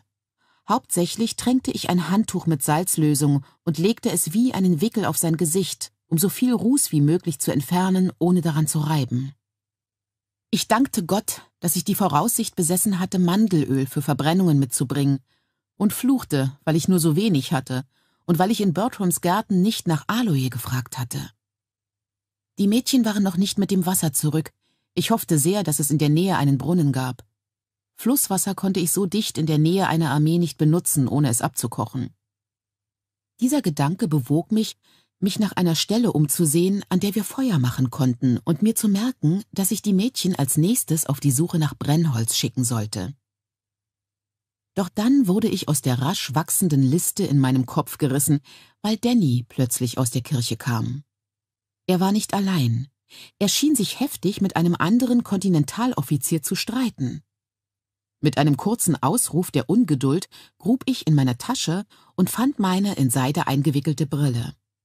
Ich setzte sie auf, und das Gesicht von Dannys Gesprächspartner wurde abrupt scharf. Hauptmann Lecky, Diplomat des Medical College of Philadelphia. Mein Patient zupfte an meinem Rock, und als ich mich zu ihm umwandte, öffnete er entschuldigend den Mund und machte Trinkbewegungen. Ich bat ihn mit erhobenem Finger einen Moment zu warten, dann ging ich nachsehen, ob Denzel Verstärkung brauchte. Mein Erscheinen wurde von einem strengen Blick Hauptmann Leckys begrüßt, der mich ganz so betrachtete, wie er wohl etwas inspiziert hätte, das ihm unter dem Schuh klebte. Mrs. Fraser, sagte er kalt, ich habe eurem Quäkerfreund gerade gesagt, dass in der Kirche kein Platz ist für Kräuterfrauen oder Claire Fraser ist die beste Chirurgin, die ich je gesehen habe, protestierte Denzel. Er war rot geworden und ihm sträubten sich geradezu die Haare vor Wut. Ihr werdet euren Patienten großen Schaden zufügen, Sir, wenn ihr ihr nicht erlaubt zu. Und wo habt ihr eure Ausbildung absolviert? Dr. Hunter? Dass ihr euch da so sicher seid? In Edinburgh, knirschte Danny mit zusammengebissenen Zähnen hervor. Wo mich mein Vetter alles gelehrt hat. John Hunter. Als er sah, dass dies keinerlei Wirkung auf Lecky zu haben schien, fügte er hinzu, und sein Bruder, George Hunter, Accoucheur der Königin. Das verblüffte Lecky zwar, stieg ihm aber unglücklicherweise auch zu Kopf. Ich verstehe, sagte er und bedachte uns beide mit einem hämischen Blick. Ich gratuliere euch, Sir. Doch da ich bezweifle, dass die Armee einer Hebamme bedarf, solltet ihr vielleicht eurer Kollegin. An diesem Punkt sah er mich doch tatsächlich mit geblähten Nasenlöchern an, der aufgeblasene kleine Wicht, mit ihren Sämereien und ihren Tränken behilflich sein statt. Wir haben keine Zeit für so etwas, unterbrach ich ihn entschlossen. Dr. Hunter ist nicht nur ein erfahrener Arzt, sondern auch offizieller Stabsarzt der Kontinentalarmee.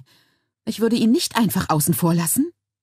Und wenn meine Erfahrung in der Schlacht, von der ich zu behaupten wage, dass sie die eure übertrifft, Sir, mich nicht täuscht, werdet ihr jede Hand brauchen, die euch zur Verfügung steht.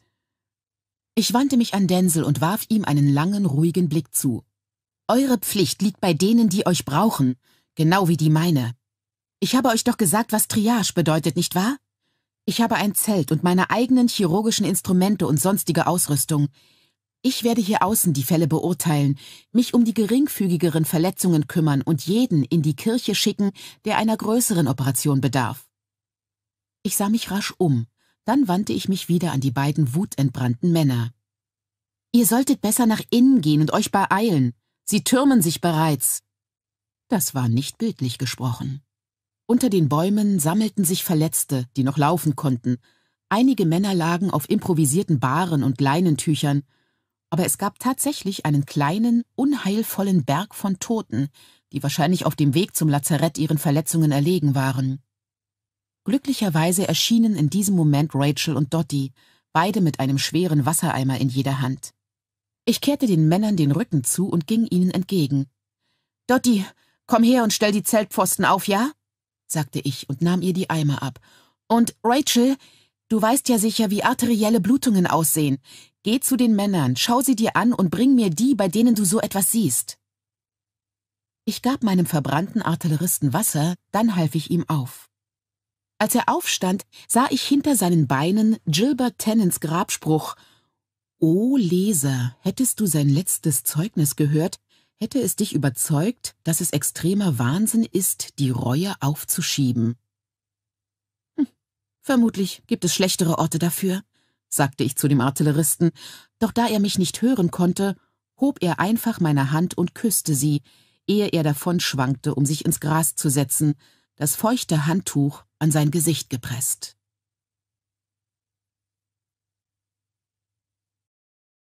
Fünfundsiebzig der Apfelgarten Der erste Schuss überraschte sie. Er kam als gedämpfter Donner aus dem Apfelgarten, gefolgt von einer gemächlichen Walze aus weißem Rauch. Sie liefen zwar nicht davon, erstarrten aber und richteten die Blicke ratsuchend auf ihn. Zu den Männern in seiner Nähe sagte Jamie, Gut gemacht, Jungs. Dann hob er die Stimme. Nach links, schnell. Mr. Craddock? Reverend Woodsworth? Kreist sie ein, nähert euch dem Obstgarten von hinten, die anderen verteilt euch und feuert, wenn ihr könnt. Der zweite Knall beendete seinen Satz, und Craddock fuhr auf wie eine Marionette, der man die Fäden abschneidet, und fiel zu Boden. Aus dem geschwärzten Loch in seiner Brust spritzte Blut. Jamies Pferd scheute so heftig, dass er fast heruntergefallen wäre. Geht mit dem Reverend! Rief er Craddocks Männern zu, die mit offenen Mündern dastanden und auf den Körper ihres Hauptmanns starrten. Los! Einer der Männer schüttelte sich, packte einen anderen beim Ärmel, zog ihn fort, und dann setzten sie sich gemeinsam in Bewegung.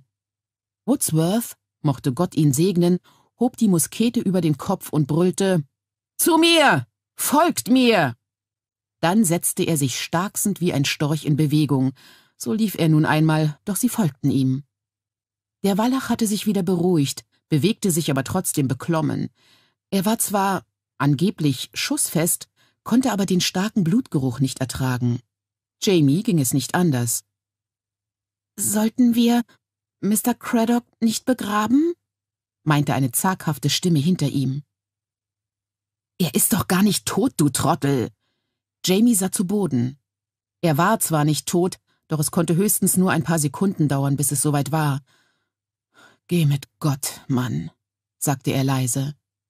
In Craddocks Gesicht regte sich nichts. Sein Blick war zum Himmel gerichtet, seine Augen noch nicht trüb, aber blicklos. Geht mit euren Kameraden, sagte er zu den beiden Nachzüglern, dann sah er, dass es Craddocks Söhne waren, vielleicht dreizehn und vierzehn, kreidebleich und mit stierem Blick wie die Schafe. Sagt ihm Lebewohl, befahl er abrupt. Er hört euch noch. Dann geht. Einen Moment lang dachte er daran, sie zu Lafayette zu schicken, aber dort würden sie auch nicht sicherer sein. Lauft! Sie liefen los. Solange sie liefen, waren sie zumindest etwas sicherer, und mit einer Geste an seine Leutnants Orden und Bixby wendete er sein Pferd nach rechts und folgte Guthrie's Kompanie. Die Kanonen feuerten jetzt regelmäßiger aus dem Obstgarten. Er sah eine Kugel in drei Metern Entfernung vorbeihüpfen und dichter Qualm lag in der Luft. Er konnte Craddocks Blut noch riechen. Er fand Hauptmann Moxley und schickte ihn mit einer ganzen Kompanie los, um das Farmhaus hinter dem Obstgarten auszuspähen. Aber bitte aus der Ferne. Ich will wissen, ob die Rotröcke im Haus sind oder ob die Familie noch dort ist. Wenn die Familie noch da ist, umzingelt das Haus, geht hinein, wenn sie euch lassen, aber erzwingt es nicht. Wenn im Haus Soldaten sind und sie hinauskommen, um euch anzugreifen, wehrt euch und nehmt das Haus ein, wenn ihr glaubt, das geht. Wenn sie innen bleiben, lasst sie in Ruhe. Schickt jemanden zu mir, der mir Bericht erstattet. Ich bin an der Rückseite des Obstgartens. An der Rückseite des Obstgartens. Guthrie erwartete ihn, und die Männer lagen auf dem Bauch im hohen Gras hinter dem Obstgarten. Er ließ die beiden Leutnants bei seinem Pferd zurück, das er außer Reichweite des Obstgartens an eine Zaunlatte band, und krabbelte zur Kompanie hinüber. Neben Bob Guthrie ließ er sich auf den Bauch sinken. Ich muss wissen, wo die Kanonen sind, ihre genauen Standorte und wie viele es sind. Schickt drei oder vier Mann aus verschiedenen Richtungen los, aber sie sollen sich vorsehen, ihr wisst, was ich meine. Ei, sie sollen nichts tun, sich nur umsehen und schnell zurückkommen. Guthrie hechelte wie ein Hund, sein unrasiertes Gesicht war schweißüberströmt, doch er grinste kopfnickend und schlängelte sich durch das Gras davon.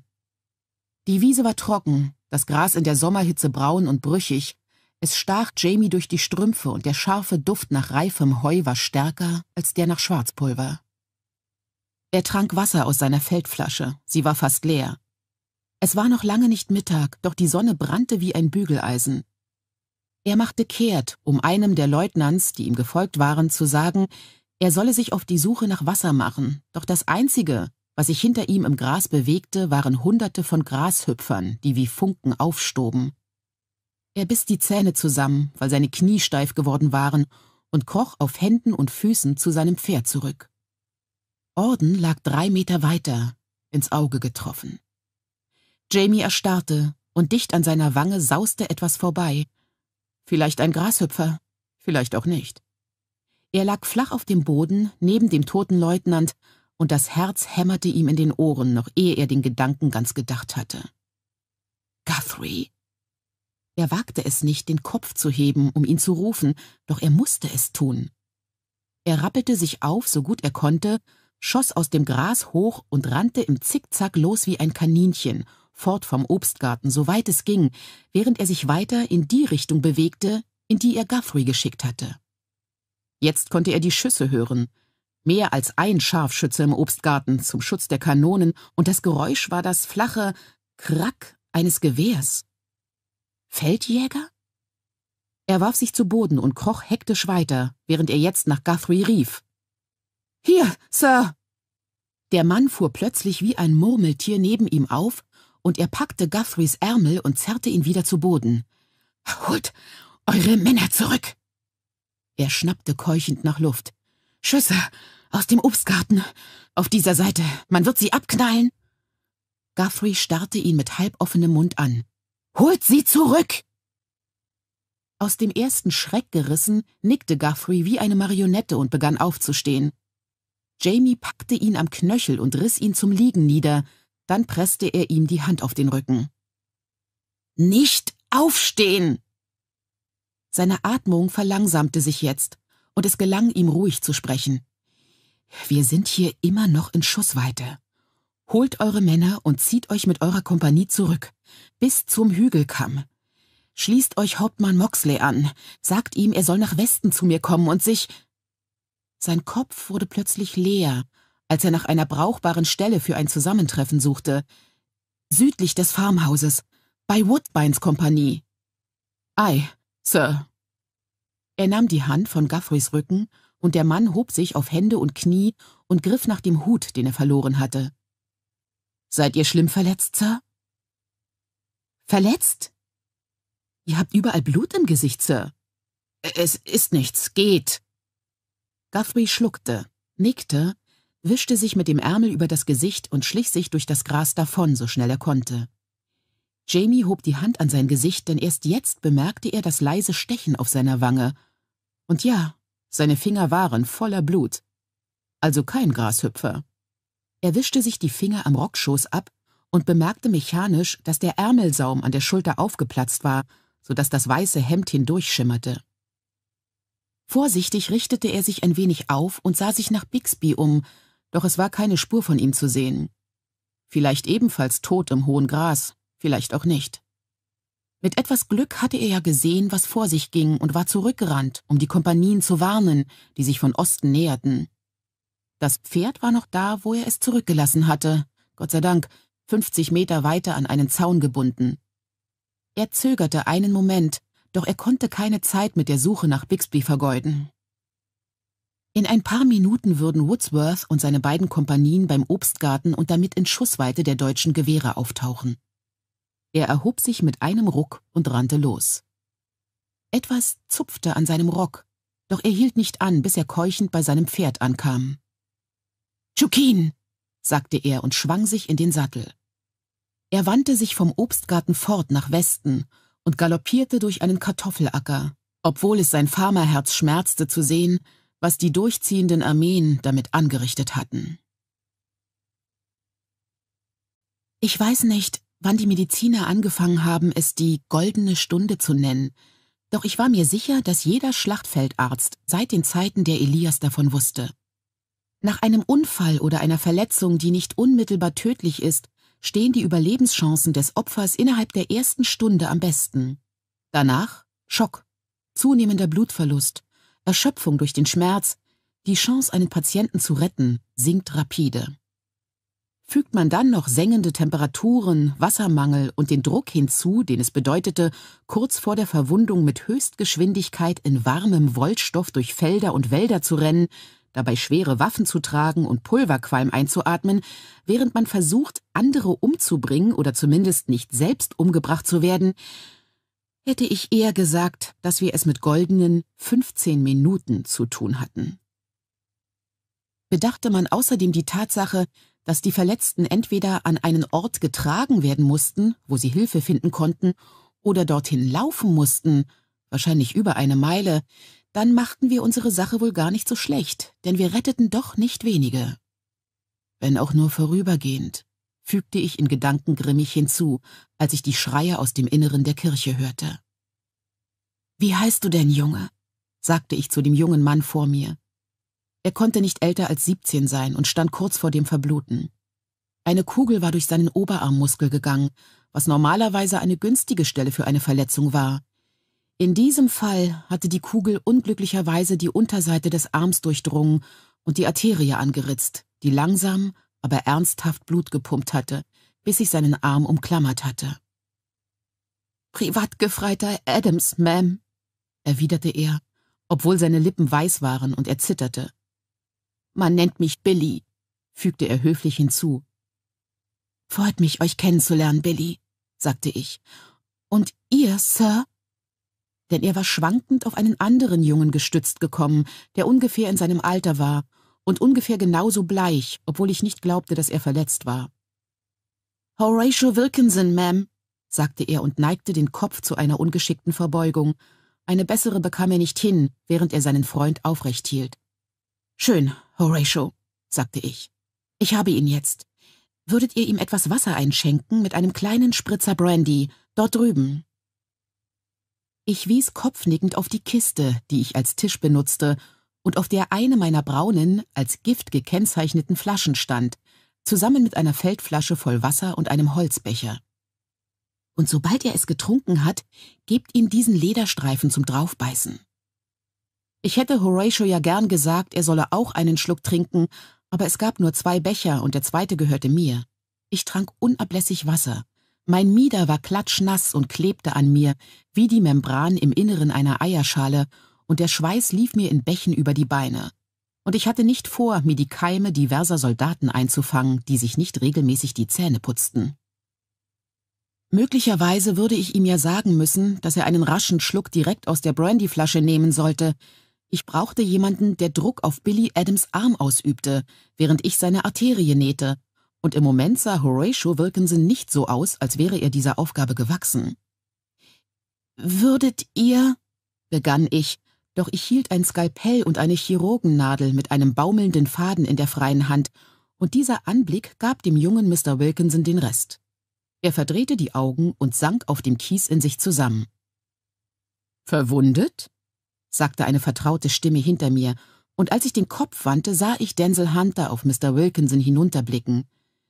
Er war kaum weniger bleich als Horatio, und mit den losen Haarsträhnen, die an seinen Wangen klebten, sah er seinem üblichen gefassten Selbst überhaupt nicht ähnlich. Ohnmächtig, sagte ich. Könnt ihr? Was für Idioten, sagte er, so blass, vor Wut, wie ich jetzt begriff, dass er kaum sprechen konnte. Regimentsärzte nennen sie sich.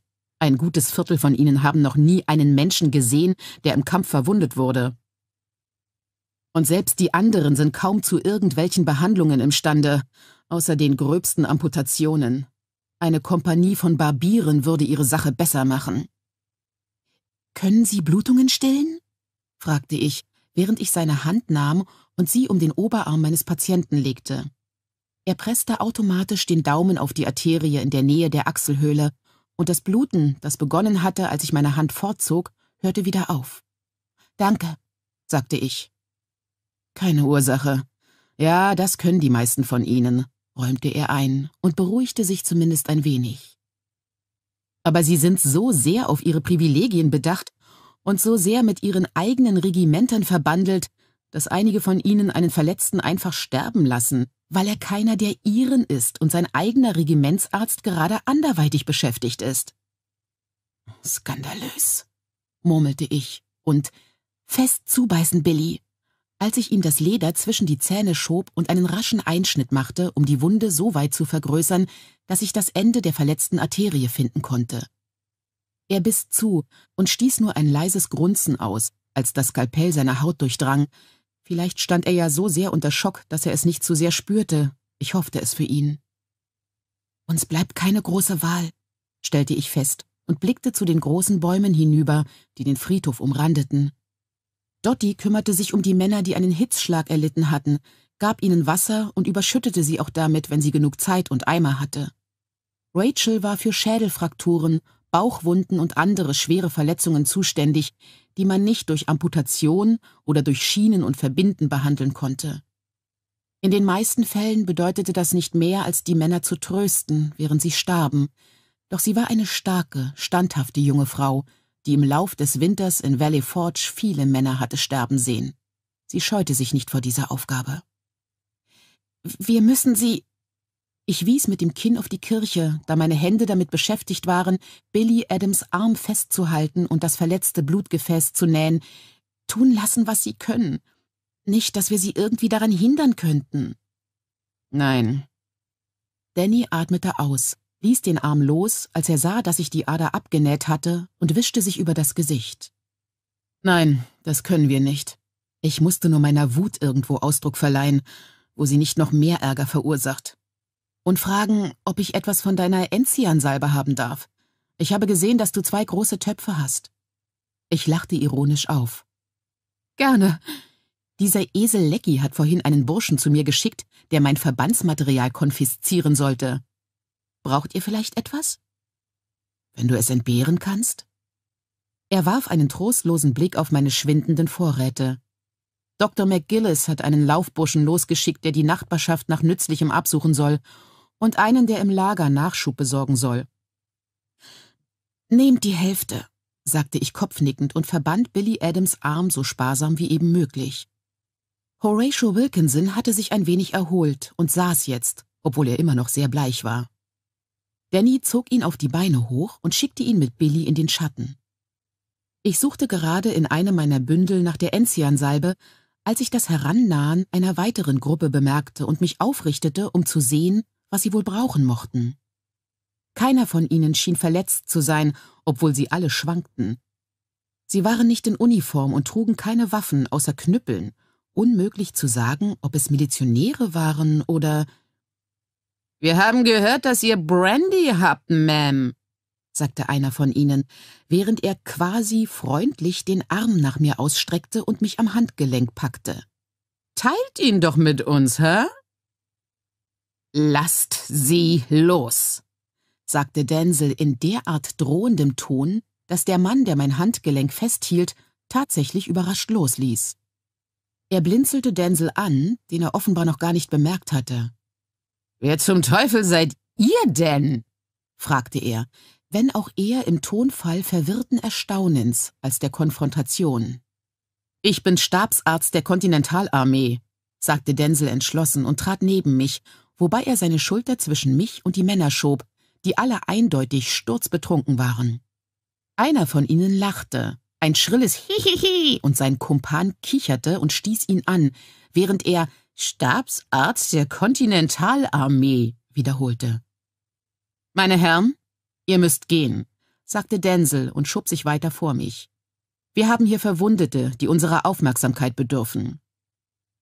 Er stand mit lose geballter Faust in der Haltung eines Mannes da, der bereit war zu kämpfen, obwohl ich mir ziemlich sicher war, dass er es nicht tun würde. Ich hoffte zwar, dass Einschüchterung ausreichen würde, warf aber einen Blick auf meine Flasche, sie war zu drei Vierteln leer, vielleicht würde es ja besser sein, sie ihnen zu geben und zu hoffen, dass sie gehen würden.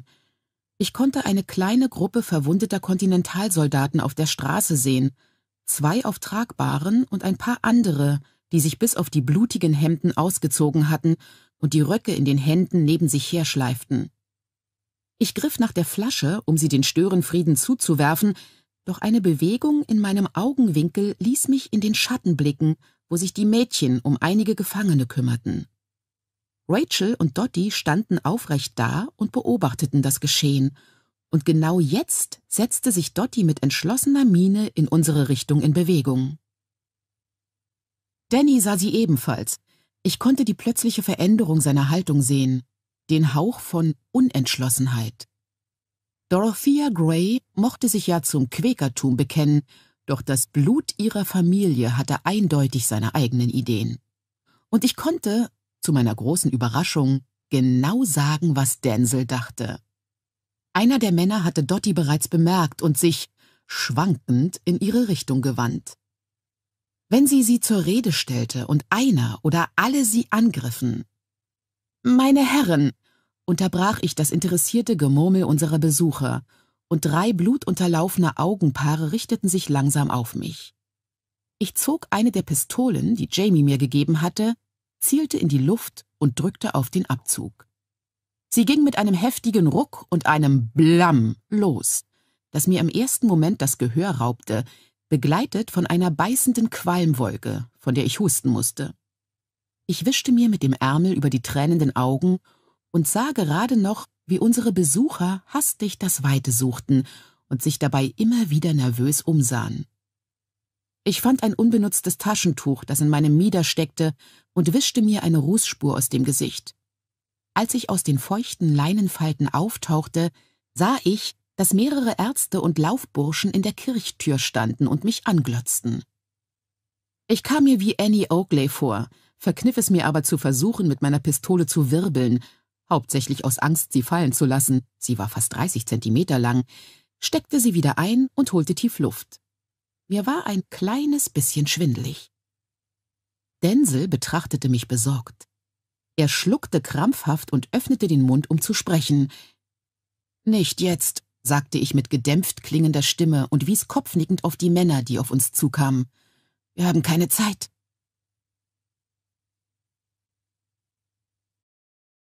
Sechsundsiebzig. Wer sich ergibt, begibt sich in Gefahr. Vier verdammte Stunden. Stunden, die er damit verbrachte, sich durch die gewellte Landschaft zu schleppen, in der es von Kontinentaltruppen wimmelte, von Miliztrüppchen und von mehr verdammten Felsbrocken, als sie irgendein Ort brauchte, wenn man Gray fragte. Weil er die Blasen und die rohen Hautfetzen nicht mehr ertragen konnte, hatte er Schuhe und Strümpfe ausgezogen und sie in die Taschen seines unansehnlichen Rocks gesteckt, weil er lieber barfuß weiterhumpelte, solange er es ertragen konnte. Sollte ihm jemand begegnen, dessen Füße ungefähr seine Größe zu haben schienen, dachte er grimmig, würde er einfach zu einem der allgegenwärtigen Steine als Waffe greifen und sich danach bedienen. Er wusste, dass er sich in der Nähe der britischen Linien befand. Er konnte das Beben in der Luft spüren. Die Bewegung einer großen Truppe, ihre wachsende Erregung. Und irgendwo nicht allzu weit entfernt den Punkt, an dem sich diese Erregung Luft machte. Schon seit Tagesanbruch spürte er die Nähe des Kampfes, hörte hin und wieder Rufe und das dumpfe Dröhnen von Musketen. Was würde ich tun, wenn ich Clinton wäre? fragte er sich. Clinton konnte den Rebellen nicht entkommen, das stand fest. Doch er musste zumindest Zeit gehabt haben, sich geeignetes Gelände für eine Konfrontation auszusuchen und Vorbereitungen zu treffen. Er hielt es für wahrscheinlich, dass ein Teil der Armee möglicherweise Cornwallis Brigade, Clinton würde es von Knüpphausens Hessen nicht allein überlassen, die Nachhut zu bilden, eine Verteidigungsstellung bezogen hatte und hoffte, die Rebellen so lange aufzuhalten, bis der Tross fort war. Dann würde der Hauptteil der Armee in Stellung gehen, vielleicht indem er ein Dorf besetzte. Er war schon durch zwei oder drei solcher Dörfer gekommen, jedes mit seiner eigenen Kirche. Kirchen waren gut. Er selbst hatte schon so manchen Kundschafter auf einen Kirchturm geschickt, wo ist William wohl am wahrscheinlichsten? Unbewaffnet und kampfunfähig, vermutlich bei Clinton. Zumindest sollte er dort sein. Doch er kannte schließlich seinen Sohn. Hm, unglücklicherweise, murmelte er. Er hätte ohne zu zögern sein Leben und seine Ehre für William gegeben, was aber nicht gleichzeitig bedeutete, dass ihn diese Vorstellung begeisterte. Die gegenwärtigen Umstände waren zugegebenermaßen nicht Williams Schuld, er musste, widerstrebend, zugeben, dass sie zumindest teilweise die seine waren. Er hatte es William erlaubt, Kundschafterdienste für Ezekiel Richardson zu übernehmen. Er hätte sich besser über Richardson informieren sollen. Der Gedanke, von dem Mann an der Nase herumgeführt worden zu sein, war fast genauso bestürzend wie das, was Percy ihm erzählt hatte. Er konnte nur hoffen, dass er Richardson unter Umständen begegnen würde, die es ihm gestatteten, den Mann unauffällig umzubringen. Selbst wenn es in praller Sonne mitten vor General Clinton und seinem Stab geschehen musste, dann eben so zum Kuckuck. Er war durch und durch in Rage, wusste es und störte sich nicht daran. Männer kamen hinter ihm über die Straße gerumpelt, Amerikaner, ungeordnet mit Wagen oder Munitionskarren. Er trat von der Straße und stand reglos im Schatten eines Baumes, während er sie vorüberziehen ließ. Es war eine Gruppe von Kontinentalsoldaten, die Kanonen zogen. Ziemlich klein, zehn Geschütze und nur vier Pfünder. Von Männern gezogen, nicht von Maultieren. Es war jedoch die einzige Artillerie, die er im Lauf des Morgens gesehen hatte. War das alles, was Washington hatte? Sie bemerkten ihn nicht. Er wartete ein paar Minuten, bis sie außer Sichtweite waren, dann folgte er ihnen. Irgendwo zu seiner Linken hörte er weitere Kanonen und blieb stehen, um zu lauschen. Briten, bei Gott!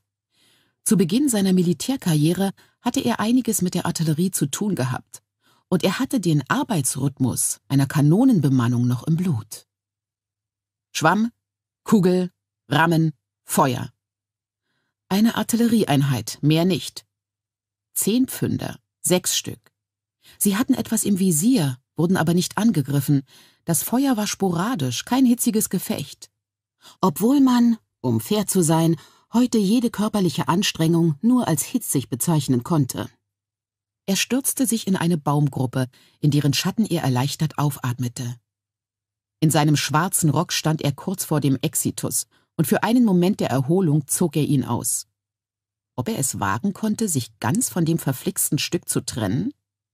Vorhin hatte er einen Miliztrupp gesehen, in Hemdsärmeln, einige mit Tüchern, die sie sich zum Schutz vor der Sonne um die Köpfe gebunden hatten. Doch mit dem Rock konnte er sich vielleicht als Milizarzt durchmogeln. Das widerliche Kleidungsstück roch schließlich schlimm genug. Er fuhr sich mit der Zunge über den Gaumen, um seinen trockenen Mund ein wenig mit Speichel anzufeuchten. Warum zum Teufel hatte er bei seiner Flucht nicht daran gedacht, eine Feldflasche mitzunehmen? Es war der Durst, der ihn jetzt zu seiner Entscheidung bewog. In dieser Aufmachung war es gut möglich, dass ihn der erstbeste Infanterist oder Dragoner erschoss, ehe er auch nur ein Wort sagen konnte. Kanonen hingegen waren zwar sehr effektiv gegen Feindesmassen, doch gegen einen einzelnen Mann waren sie nahezu nutzlos, da sie einem solchen Ziel nicht schnell genug folgen konnten, es sei denn, der Mann war so dumm, sich in gerader Linie zu nähern, und Gray war gewiss nicht so dumm.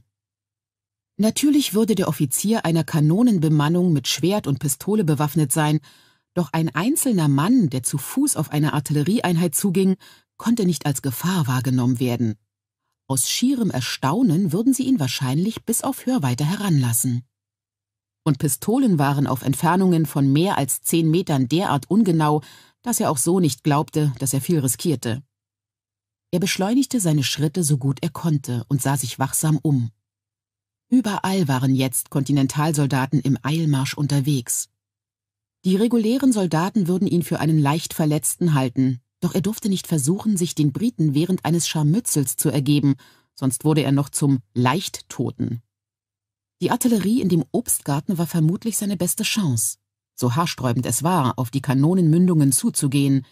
Mit einem unterdrückten Fluch zog er sich die Schuhe wieder an und rannte los. Er rannte direkt in eine Milizkompanie hinein, doch sie waren im Laufschritt unterwegs und hatten nicht mehr als einen flüchtigen Blick für ihn übrig. Er schwenkte in eine Hecke aus, wo er sich einen Moment sammeln musste, bevor er sich auf die andere Seite hinüberkämpfte. Jetzt befand er sich auf einem schmalen Feld, das ziemlich zertrampelt war und auf dessen anderer Seite sich der Obstgarten befand. Nur die Kronen der Apfelbäume waren über einer schweren Wolke aus weißem Pulverdampf zu sehen, Jenseits des Obstgartens nahm er eine Bewegung wahr und wagte ein paar Schritte zur Seite, um genauer hinzusehen, um dann hastig wieder in Deckung zu gehen. Amerikanische Miliz. Männer in Jagd- oder Leinenhemden, einige ohne Hemden, schweißglänzend. Sie sammelten sich dort. Wahrscheinlich planten sie von hinten einen Ansturm auf den Obstgarten, in der Hoffnung, die Kanonen zu erobern oder außer Gefecht zu setzen. Sie machten reichlich Lärm, und die Kanonen hatten aufgehört zu feuern. Die Artilleristen wussten eindeutig, dass die Amerikaner da waren und bereiteten gewiss ihren Widerstand vor. Also nicht der beste Zeitpunkt für einen Besuch. Doch dann hörte er die Trommeln. In einiger Entfernung, westlich des Obstgartens, doch das Geräusch wurde direkt zu ihm getragen. Britische Infanterie auf dem Marsch bessere Aussichten als bei der Artillerie im Obstgarten. Während sie unterwegs waren, würden die Infanteristen weder geneigt noch darauf vorbereitet sein, einen einzelnen unbewaffneten Mann zu erschießen, ganz gleich wie er gekleidet war. Und wenn er sich so weit nähern konnte, dass er einen Offizier auf sich aufmerksam machen konnte, er musste nur immer noch das offene Gelände unterhalb des Obstgartens überqueren, um die Infanteristen zu erreichen, ehe sie außer Reichweite waren. Er biss sich frustriert auf die Unterlippe, schob sich durch die Hecke und rannte durch die dahintreibenden Rauchwolken. Ein Schuss knallte, viel zu dicht in seiner Nähe. Instinktiv warf er sich ins Gras, sprang dann aber wieder auf und rannte keuchend weiter. Himmel, in dem Obstgarten waren Scharfschützen, die die Kanonen verteidigten. Feldjäger. Doch anscheinend konzentrierten sich die Schützen weitgehend auf die andere Seite, um die sich sammelnde Miliz in Empfang zu nehmen, denn auf seiner Seite des Obstgartens fielen keine weiteren Schüsse mehr. Er verlangsamte sein Tempo und presste sich die Hand auf seine stechende Seite. Er war jetzt an dem Obstgarten vorbei. Er konnte die Trommeln noch hören, obwohl sie sich entfernten. Weitergehen, weitergehen. Hey! Ihr da! Er wäre besser weitergegangen, doch weil er keine Luft bekam und nicht wusste, wer da rief, blieb er einen Moment stehen und wandte sich halb um. Nur halb, denn schon kam ein Körper mit Wucht angeflogen und warf ihn um. Er landete auf dem Ellbogen und griff mit der anderen Hand nach dem Kopf des Mannes, dessen feuchtes, fettiges Haar ihm durch die Finger rutschte. Er stieß dem Mann die Finger ins Gesicht, wand sich wie ein Aal unter ihm hervor, rammte ihm dabei das Knie in den Bauch und kam stolpernd wieder auf die Beine. Stehen bleiben! Die Stimme überschlug sich absurd und schoss bis zum Falsett hinauf, was ihn so verblüffte, dass er tatsächlich stehen blieb und nach Luft schnappte. Ihr treuloser Dreckiger! Der Mann?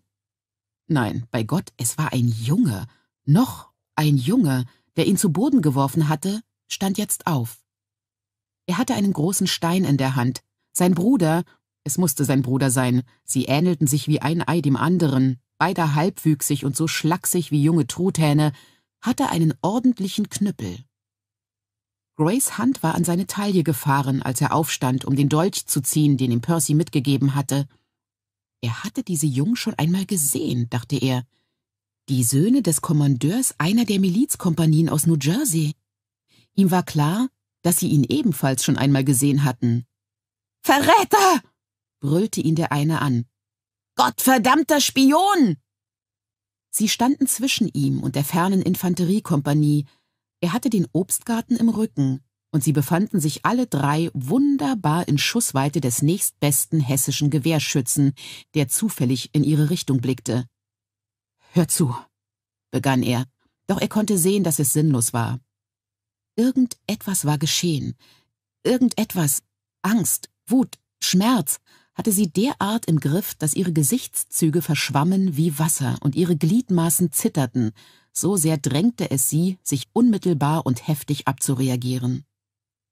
Sie waren zwar halbwüchsig, aber beide größer als er und absolut in der Lage, ihm genau das anzutun, was sie sichtlich vorhatten. General Fraser, sagte er laut in der Hoffnung, sie aus ihrer Unsicherheit zu reißen. Wo ist General Fraser?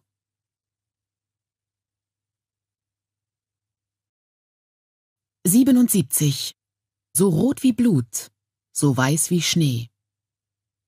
Alle Kompanien angetreten, Sir. Robert McCammon kam keuchend angelaufen. Er war ein kräftiger Mann, und selbst die sanft gewellten Felder und Wiesen waren anstrengend für ihn, die dunklen Flecken in seinen Achselhöhlen waren so groß wie Teller. Ei, gut. Jamie blickte an Major McCammon vorbei und sah Herberts Kompanie aus einem kleinen Wald kommen. Sie schauten sich vorsichtig um, die Waffen in den Händen. Obwohl sie dafür nicht ausgebildet waren, machten sie ihre Sache gut, und er war mit ihnen zufrieden. Herr, gib, dass ich sie durchbringe, so gut ich kann. Kaum hatte er dieses Gebet gedacht, als er sich umwandte, um nach Westen zu blicken, und erstarrte. Keine hundert Meter entfernt sah er vor sich auf dem Hang die beiden Craddock-Jungen, der eine mit einem Stein bewaffnet, der andere mit einem mächtigen Knüppel. Sie standen drohend vor einem Mann, der ihm zwar den Rücken zudrehte, dessen entblößten, kurz gestutzten blonden Kopf er aber augenblicklich erkannte, auch ohne den blutigen Verband zu sehen, der darum gewickelt war. Dann sah er Grays Hand an seine Taille fahren und wusste, über jeden Zweifel erhaben, dass es ein Messer war, nach dem er griff. Craddock! brüllte er, und die beiden Jungen fuhren zusammen.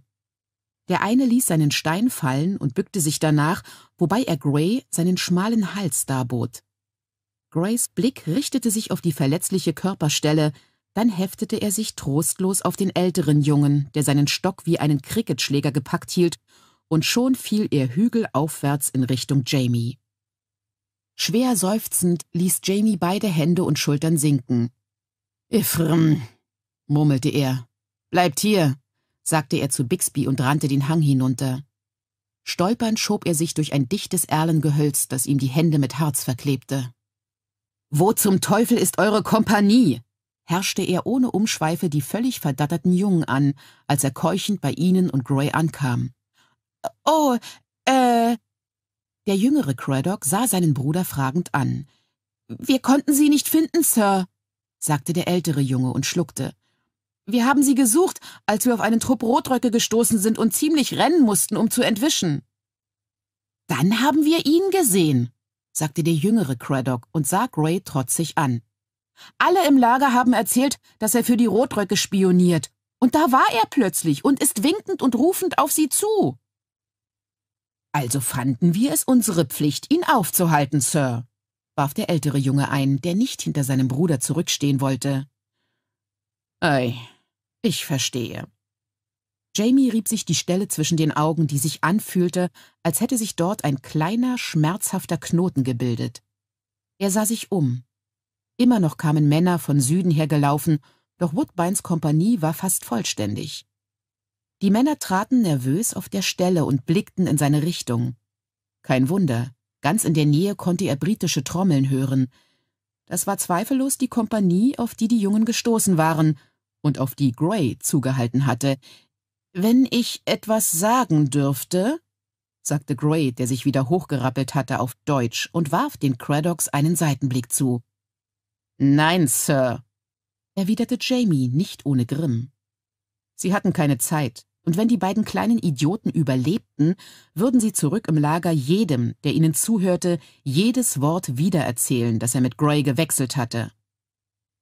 Das Letzte, was er sich leisten konnte, war, dass sie berichteten, er hätte in einer geheimnisvollen fremden Sprache mit einem englischen Spion geplaudert. Ich bin auf der Suche nach meinem Sohn. Gray wechselte wieder ins Englische, mit einem weiteren Seitenblick auf die Craddocks. Ich habe Grund zu der Annahme, dass er sich in Gefahr befindet. Das gilt auch für jeden anderen dort draußen, erwiderte Jamie gereizt, obwohl sein Herz einen Satz machte. Deshalb hatte Gray also sein Ehrenwort verletzt. Gefahr? Durch wen? Sir! Sir! rief Bixbys Stimme von der anderen Seite der Erlen her, schrill und drängend. Er musste los, und zwar schnell. Komme, Mr. Bixby! rief er. Warum hast du sie nicht umgebracht? fragte er Gray abrupt und wies mit einem Ruck seines Kopfes auf die Craddocks. Du hättest es doch schaffen können, sobald du an ihnen vorbei warst. Eine blonde Augenbraue verzog sich über dem Verband, der Grays verletztes Auge schützte. Das mit Claire würdest du mir ja verzeihen, aber nicht, wenn ich deine Männer umbringe. Sein Blick richtete sich auf die beiden Craddocks, picklig wie Rosinenpudding und vermutlich so besagte Grays Blick, auch kaum intelligenter.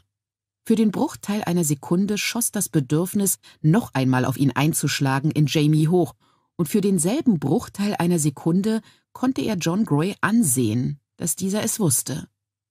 Er fuhr nicht zurück, und sein gesundes Auge starrte Jamie hellblau an. Diesmal würde er sich wehren. Jamie schloss kurz die Augen und zwang sich, seine Wut zu unterdrücken. Geht mit diesem Mann, sagte er zu den Craddocks. Er ist euer Gefangener. Er zog eine der Pistolen aus seinem Gürtel und reichte sie dem älteren Craddock, der sie mit großen Augen respektvoll in Empfang nahm. Er verzichtete darauf, dem Jungen zu sagen, dass sie weder geladen noch entsichert war. Und du, sagte er ruhig zu Gray, folge ihnen hinter die Linien. Falls Englishtown noch in Rebellenhand ist, führe sie dorthin. Gray nickte knapp, die Lippen aufeinander gepresst, und wandte sich zum Gehen. Er streckte die Hand aus und bekam Grays Schulter zu fassen. Der Mann fuhr herum, Blutdurst im Blick. Hör mir zu, sagte Jamie so laut, dass ihn die Craddock-Jungen auf jeden Fall hören mussten. Ich entbinde dich von deinem Ehrenwort. Er erwiderte Grays einäugiges Funkeln mit einem ähnlichen Blick. Verstehst du mich? Wenn ihr Englishtown erreicht, wirst du dich Oberst McCorkle ergeben. Grays Mund zuckte. Doch er sagte nichts und nickte kaum merklich, ehe er sich abwandte. Jamie wandte sich ebenfalls ab, um zu seinen wartenden Kompanien zu laufen, doch er riskierte einen kurzen Blick zurück. Gray war geradewegs nach Süden unterwegs, zu den amerikanischen Linien, falls der Begriff Linien in dieser gottverdammten Schlacht überhaupt eine Bedeutung hatte, und scheuchte dabei die beiden Craddocks vor sich her, die sich ungeschickt mit wedelnden Armen bewegten wie ein paar Gänse auf dem Weg zum Markt. Gray hatte ihn mit Sicherheit verstanden, und trotz der drängenden Lage fiel Jamie ein Stein vom Herzen. Nach der Befreiung von seinem Ehrenwort war Gray nun zwar erneut ein Kriegsgefangener in der Obhut seiner Häscher und konnte sich offiziell nicht frei bewegen, doch er war auch frei von der Verpflichtung durch seine Ehre, die ihn von sich aus gefangen hielt. Ohne Ehrenwort war seine erste Pflicht nun die eines jeden Soldaten in Feindeshand. Die Flucht. Sir? Bixby tauchte keuchend neben ihm auf. Das sind Rotröcke. Ei, Mr. Bixby, ich höre Sie. Zeigen wir es Ihnen. Ohne das Malbuch wäre es mir gar nicht so schnell aufgefallen. Im dritten oder vierten Schuljahr hatte Brianna ein Malbuch mit Szenen der amerikanischen Revolution gehabt. Beschönigende, reichlich romantische Szenen. Paul Revere, der im Galopp durch die Nacht flog, Washington, der den Delaware überquerte und dabei, wie Frank feststellte, einen traurigen Mangel an Seemannskunst demonstrierte, und eine Doppelseite mit Molly Pitcher, jener tapferen Frau, die den von der Hitze geplagten Soldaten Wasser gebracht hatte. Linke Seite. Und dann in der Schlacht von Monmouth die Stelle ihres verwundeten Mannes eingenommen hatte, um seine Kanone zu bedienen. Rechte Seite. Was, wie mir inzwischen aufgegangen war, sehr wahrscheinlich der Name war, den man der Schlacht geben würde, in der wir uns gegenwärtig befanden, sobald jemand dazu kam, ihr einen Namen zu geben. Monmouth Courthouse befand sich weniger als eine halbe Meile von meinem gegenwärtigen Standpunkt entfernt. Ich wischte mir noch einmal über das Gesicht, was zwar nicht gegen den Schweißfilm half, der sich umgehend neu bildete, was aber dem Zustand meiner drei klatschnassen Taschentücher nach jede Menge Schmutz entfernte, und blickte nach Osten, wo ich schon fast den ganzen Tag gedämpften Kanonendonner hörte. War sie dort? Nun, George Washington ist ja auch hier, murmelte ich vor mich hin, während ich mir frisches Wasser in meinen Becher goss und mich wieder an die Arbeit machte, blutige Tücher in einem Eimer Salzwasser auszuwaschen. Warum nicht Molly Pitcher? Das Bild auszumalen war kompliziert gewesen, und da Brianna gerade die Phase erreicht hatte, in der sie darauf bestand, den Dingen ihre richtige Farbe zu geben, konnten die Kanonen nicht rosa oder orange sein, und Frank hatte gehorsam mehrere simple Kanonen auf ein Blatt Papier gezeichnet und alles ausprobiert, von Grau mit Schattierungen in Schwarz, Blau, Blau-Violett und sogar Kornblumenblau, bis Braun mit Nuancen in gebranntem Sienna und Gold, ehe sie sich schließlich auf Schwarz mit dunkelgrünen Schattierungen einigten. Da Franks Meinung über das historische Aussehen von Kanonen hinreichend Gewicht besaß. Da mir die nötigen Qualifikationen fehlten, hatte man mir die Aufgabe zugewiesen, das Gras bunt zu malen, obwohl ich auch bei der dramatischen Einfärbung von Mrs. Pitchers zerlumpten, vom Winde verwehten Kleidern helfen durfte, als Brianna keine Lust mehr hatte. Ich blickte auf, den Geruch der Wachsmalstifte noch lebhaft in Erinnerung, und sah eine kleine Gruppe die Straße entlang kommen. Es waren zwei reguläre Kontinentalsoldaten und ein Mann, in dessen Bekleidung ich die hellgrüne Uniform des britischen Provinzialregiments erkannte, einer Loyalistentruppe. Er humpelte stark, obwohl er auf beiden Seiten von den Kontinentalsoldaten gestützt wurde. Der kleinere der beiden schien ebenfalls verwundet zu sein, er hatte einen blutigen Schal um den einen Arm gewickelt. Der andere Mann ließ zwar den Blick wachsam umherschweifen, schien aber nicht verletzt zu sein. Zuerst hatte mein Blick nur dem Provinzialsoldaten gegolten, der ein Gefangener sein musste, doch dann richtete ich ihn genauer auf den verletzten Kontinentalsoldaten, der ihn stützte. Und da ich Molly Pitcher noch so frisch im Kopf hatte, begriff ich mit einem kleinen Schreck, dass der Kontinentalsoldat eine Frau war. Der Uniformrock verdeckte zwar ihre Hüften, doch ich konnte deutlich sehen, wie sich ihre Beine zu den Knien hin nach innen wendeten. Bei einem Mann verlaufen die Oberschenkelknochen senkrecht, doch das breitere Becken einer Frau erzwingt eine etwas x-beinige Stellung. Als sie mich erreichten, wurde mir außerdem klar, dass die verwundeten Soldaten verwandt waren. Sie waren beide klein und dünn, mit kantigen Gesichtern und schmalen Schultern. Der Provinzialsoldat war jedoch definitiv ein Mann. Sein Gesicht war voller Bartstoppeln, während die Haut seiner Schwester? Der Altersunterschied schien nicht groß zu sein, so rein war wie Eierschale und beinahe genauso weiß. Der Provinzialsoldat dagegen war rot wie ein Hochofen und fühlte sich auch ähnlich heiß an. Seine Augen waren weiße Schlitze und sein Kopf wackelte auf seinem dünnen Hals. Ist er verletzt? fragte ich scharf und schob meine Hand unter seine Schulter, um ihm auf einen Hocker zu helfen. Sein Körper erschlaffte in dem Moment, in dem sein Hintern die Sitzfläche berührte, und er wäre auf den Boden gefallen, wenn ich nicht fester zugefasst hätte. Das Mädchen keuchte erschrocken auf und streckte eine Hand nach ihm aus, doch sie stolperte ebenfalls und wäre gestürzt, wenn der andere Mann sie nicht bei den Schultern gepackt hätte. Er hat einen Schlag vor den Kopf bekommen, sagte der Kontinentalsoldat. Ich habe ihn mit dem Schwertknauf erwischt. Das Eingeständnis klang verlegen. Helft mir, ihn hinzulegen. Ich fuhr mit der Hand über den Kopf des Provinzialsoldaten und entdeckte zwar eine böse Delle unter seinem Haar, doch es knirschte nirgendwo und nichts deutete auf eine Schädelfraktur hin. Wahrscheinlich eine Gehirnerschütterung, vielleicht aber nichts Schlimmeres. Doch er begann, unter meiner Hand zu zucken und seine Zungenspitze kam aus seinem Mund. Oh je, sagte ich leise, aber nicht leise genug, denn das Mädchen stieß einen verzweifelten Aufschrei aus.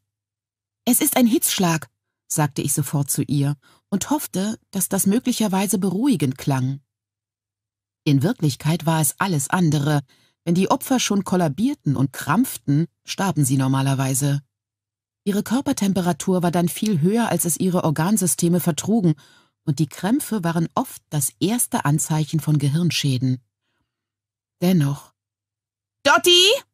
brüllte ich und gestikulierte drängend in ihre Richtung, dann wandte ich mich an den gesunden, aber sehr verängstigt aussehenden Kontinentalsoldaten. Seht ihr, die junge Frau in Grau. Zieht ihn hinüber in den Schatten zu ihr. Sie weiß, was zu tun ist. Es war ja auch einfach. Wasser über ihn schütten und, wenn möglich, in ihn hinein. Das war die Summe dessen, was getan werden konnte. Unterdessen, ich fasste die junge Frau bei ihrem unverletzten Arm und setzte sie auf den Hocker, während ich den Rest aus meiner Brandyflasche hastig in einen Becher goss. Sie sah so aus, als hätte sie nicht mehr viel Blut übrig. So war es auch. Als ich den Schal entfernte, entdeckte ich, dass ihr die Hand fehlte und ihr Unterarm übel zugerichtet war.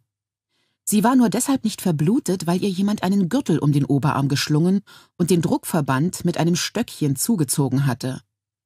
Es war lange her, dass ich bei irgendeinem Anblick ohnmächtig geworden war und auch jetzt geschah es nicht, doch im ersten Moment wankte die Welt unter meinen Füßen. Wie ist denn das passiert, Schätzchen? fragte ich so ruhig wie möglich. Hier, trink das. Ich. Granate, flüsterte sie. Sie hatte den Kopf abgewandt, um den Arm nicht zu sehen, doch ich hob ihr den Becher an die Lippen und sie trank die Mischung aus Brandy und Wasser in großen Zügen. Sie. Er hat sie aufgehoben, sagte eine leise, erstickte Stimme neben mir. Der andere Kontinentalsoldat war wieder da. Sie ist mir vor den Fuß gerollt und er. Sie hat sie aufgehoben. Beim Klang seiner Stimme wandte das Mädchen den Kopf, und ich sah seinen gepeinigten Blick. Sie ist wohl euretwegen in die Armee eingetreten. Es war klar, dass der Arm amputiert werden musste. Unterhalb des Ellbogens war nichts zu retten, und ihn in diesem Zustand zu lassen bedeutete, sie zum Tod durch Entzündung oder Wundbrand zu verdammen. Nein, das bin ich nicht, sagte das Mädchen und schnappte nach Luft. Für. Sie holte krampfhaft Luft und verdrehte den Kopf in Richtung der Bäume. Er hat versucht, mich zum Mitgehen zu bewegen. Im Gefolge der Loyalisten kam nicht in Frage. Da sie nur noch so wenig Blut im Körper hatte, hatte sie Schwierigkeiten, genügend Sauerstoff zu bekommen. Ich füllte den Becher nach und ließ sie noch einmal trinken. Am Ende spuckte und schwankte sie zwar, war aber wacher. Ich bin Patriotin. Ich, ich habe versucht, sie heimzuschicken, Ma'am, platzte der junge Mann heraus. Aber da war ja niemand mehr, der für sie sorgen konnte. Seine Hand schwebte dicht hinter ihrem Rücken, hätte sie so gerne berührt, harrte aus, sie aufzufangen, wenn sie fiel. Ich verstehe. Und er? Ich wies kopfnickend auf Dottys Posten unter den Bäumen. Euer Bruder? Sie hatte nicht die Kraft zu nicken, schloss jedoch zustimmend die Augen. Ihr Vater ist kurz nach Saratoga gestorben. Der junge Mann sah völlig am Boden zerstört aus. Himmel, er konnte nicht älter als siebzehn sein, und sie sah aus wie ungefähr vierzehn, obwohl sie älter sein musste. Philipp war schon fort. Er hatte mit seinem Vater gebrochen, als er den Provinzialern beigetreten ist. Ich. Äh, ihm versagte die Stimme, und er schloss krampfhaft den Mund und berührte ihr Haar. Wie heißt ihr denn, Liebes? sagte ich. Ich hatte den Druckverband gelockert, um zu sehen, ob noch Blut in den Ellbogen floss. So war es. Möglicherweise war das Gelenk zu retten. Sally, flüsterte sie. Ihre Lippen waren weiß, doch ihre Augen waren offen. Sarah. Meine Amputationssägen waren alle in der Kirche bei Denzel, ich konnte sie nicht dort hineinschicken. Ich hatte ein einziges Mal den Kopf hineingesteckt, und der Gestank nach Blut und Exkrementen hatte mich fast umgeworfen, noch mehr jedoch die Atmosphäre voller Schmerz und Grauen und die Geräusche der Schlachterei. Auf der Straße näherten sich weitere Verwundete, auch um sie musste sich jemand kümmern. Ich zögerte nicht länger als eine Minute. Rachel und Dottie besaßen die nötige Entschlossenheit, um mit der Lage fertig zu werden, und die körperliche Präsenz, verstörten Menschen Anweisungen zu geben. Rachels Verhalten war das Resultat monatelanger Erfahrung in Valley Forge. Bei Dottie war es die gewohnte autokratische Erwartung, dass die Leute selbstverständlich tun würden, was sie von ihnen wollte. Beide flößten den Leuten Mut ein, und ich war stolz auf sie. Gemeinsam kamen sie so gut zurecht, wie es nur zu erwarten war. Noch dazu, dachte ich, viel besser als die Stabsärzte und ihre Assistenten in der Kirche obwohl diese ihr blutiges Geschäft immerhin mit lobenswerter Geschwindigkeit erledigten. Dotti! rief ich erneut und winkte. Sie erhob sich und kam angelaufen, während sie sich das Gesicht an ihrer Schürze abwischte. Ich sah, wie ihr Blick auf das Mädchen fiel, Sarah, und sie beim Anblick ihres Arms erbleichte, wie sie kurz auf die Männer im Gras zurückblickte und sich dann mit einer Miene zu uns wandte, in der sich Neugier, Entsetzen und verzweifeltes Mitleid vermischten. Entweder war der Bruder also bereits tot, oder er lag im Sterben. Geh und hole Denzel, Dottie, sagte ich mit einer kleinen Bewegung, so dass sie den verstümmelten Arm sehen konnte. Sie wurde weiß und schluckte. Sag ihm, er soll mir meine Bügelsäge mitbringen und einen kleinen Liedhalter. Bei dem Wort Säge keuchten Sarah und der junge Mann entsetzt auf, und dann bewegte er sich schnell um sie endlich zu berühren, und fasste sie an der gesunden Schulter. Es wird alles gut, Sally, sagte er leidenschaftlich. Ich heirate dich. Es ist mir ganz egal, ich meine, dein, dein Arm. Er schluckte krampfhaft, und ich begriff, dass er ebenfalls Wasser brauchte und reichte ihm die Feldflasche. Du wirst den Teufel tun, sagte Sally. Ihre Augen waren dunkel und schimmerten wie kalte Kohlen in ihrem weißen Gesicht. Ich will nicht aus Mitleid geheiratet werden. Verdammt, oder aus schlechtem Gewissen. Brauche dich nicht. Das Gesicht des jungen Mannes war ausdruckslos vor Überraschung und, so dachte ich, Beleidigung. Aber wovon willst du denn leben? wollte er entrüstet wissen. Du hast doch auf der ganzen Welt nichts außer dieser verdammten Uniform. Du. du. Er schlug sich frustriert auf das Bein. Mit einem Arm kannst du doch nicht einmal Hure werden. Sie funkelte ihn an, atmete langsam und angestrengt. Im nächsten Moment lief ein Gedanke durch ihr Gesicht und sie wandte sich kopfnickend an mich. Meint ihr, die Armee zahlt mir vielleicht eine Pension? fragte sie. Ich konnte Denzel sehen, der blutbespritzt, aber gefasst mit der Instrumentenkiste über den Kies hastete. Ich hätte meine Seele für Äther oder Laudanum verkauft, hatte aber beides nicht. Ich holte meinerseits tief Luft. Ich denke schon. Sie werden ja Molly Pitcher eine zahlen. Warum nicht auch euch?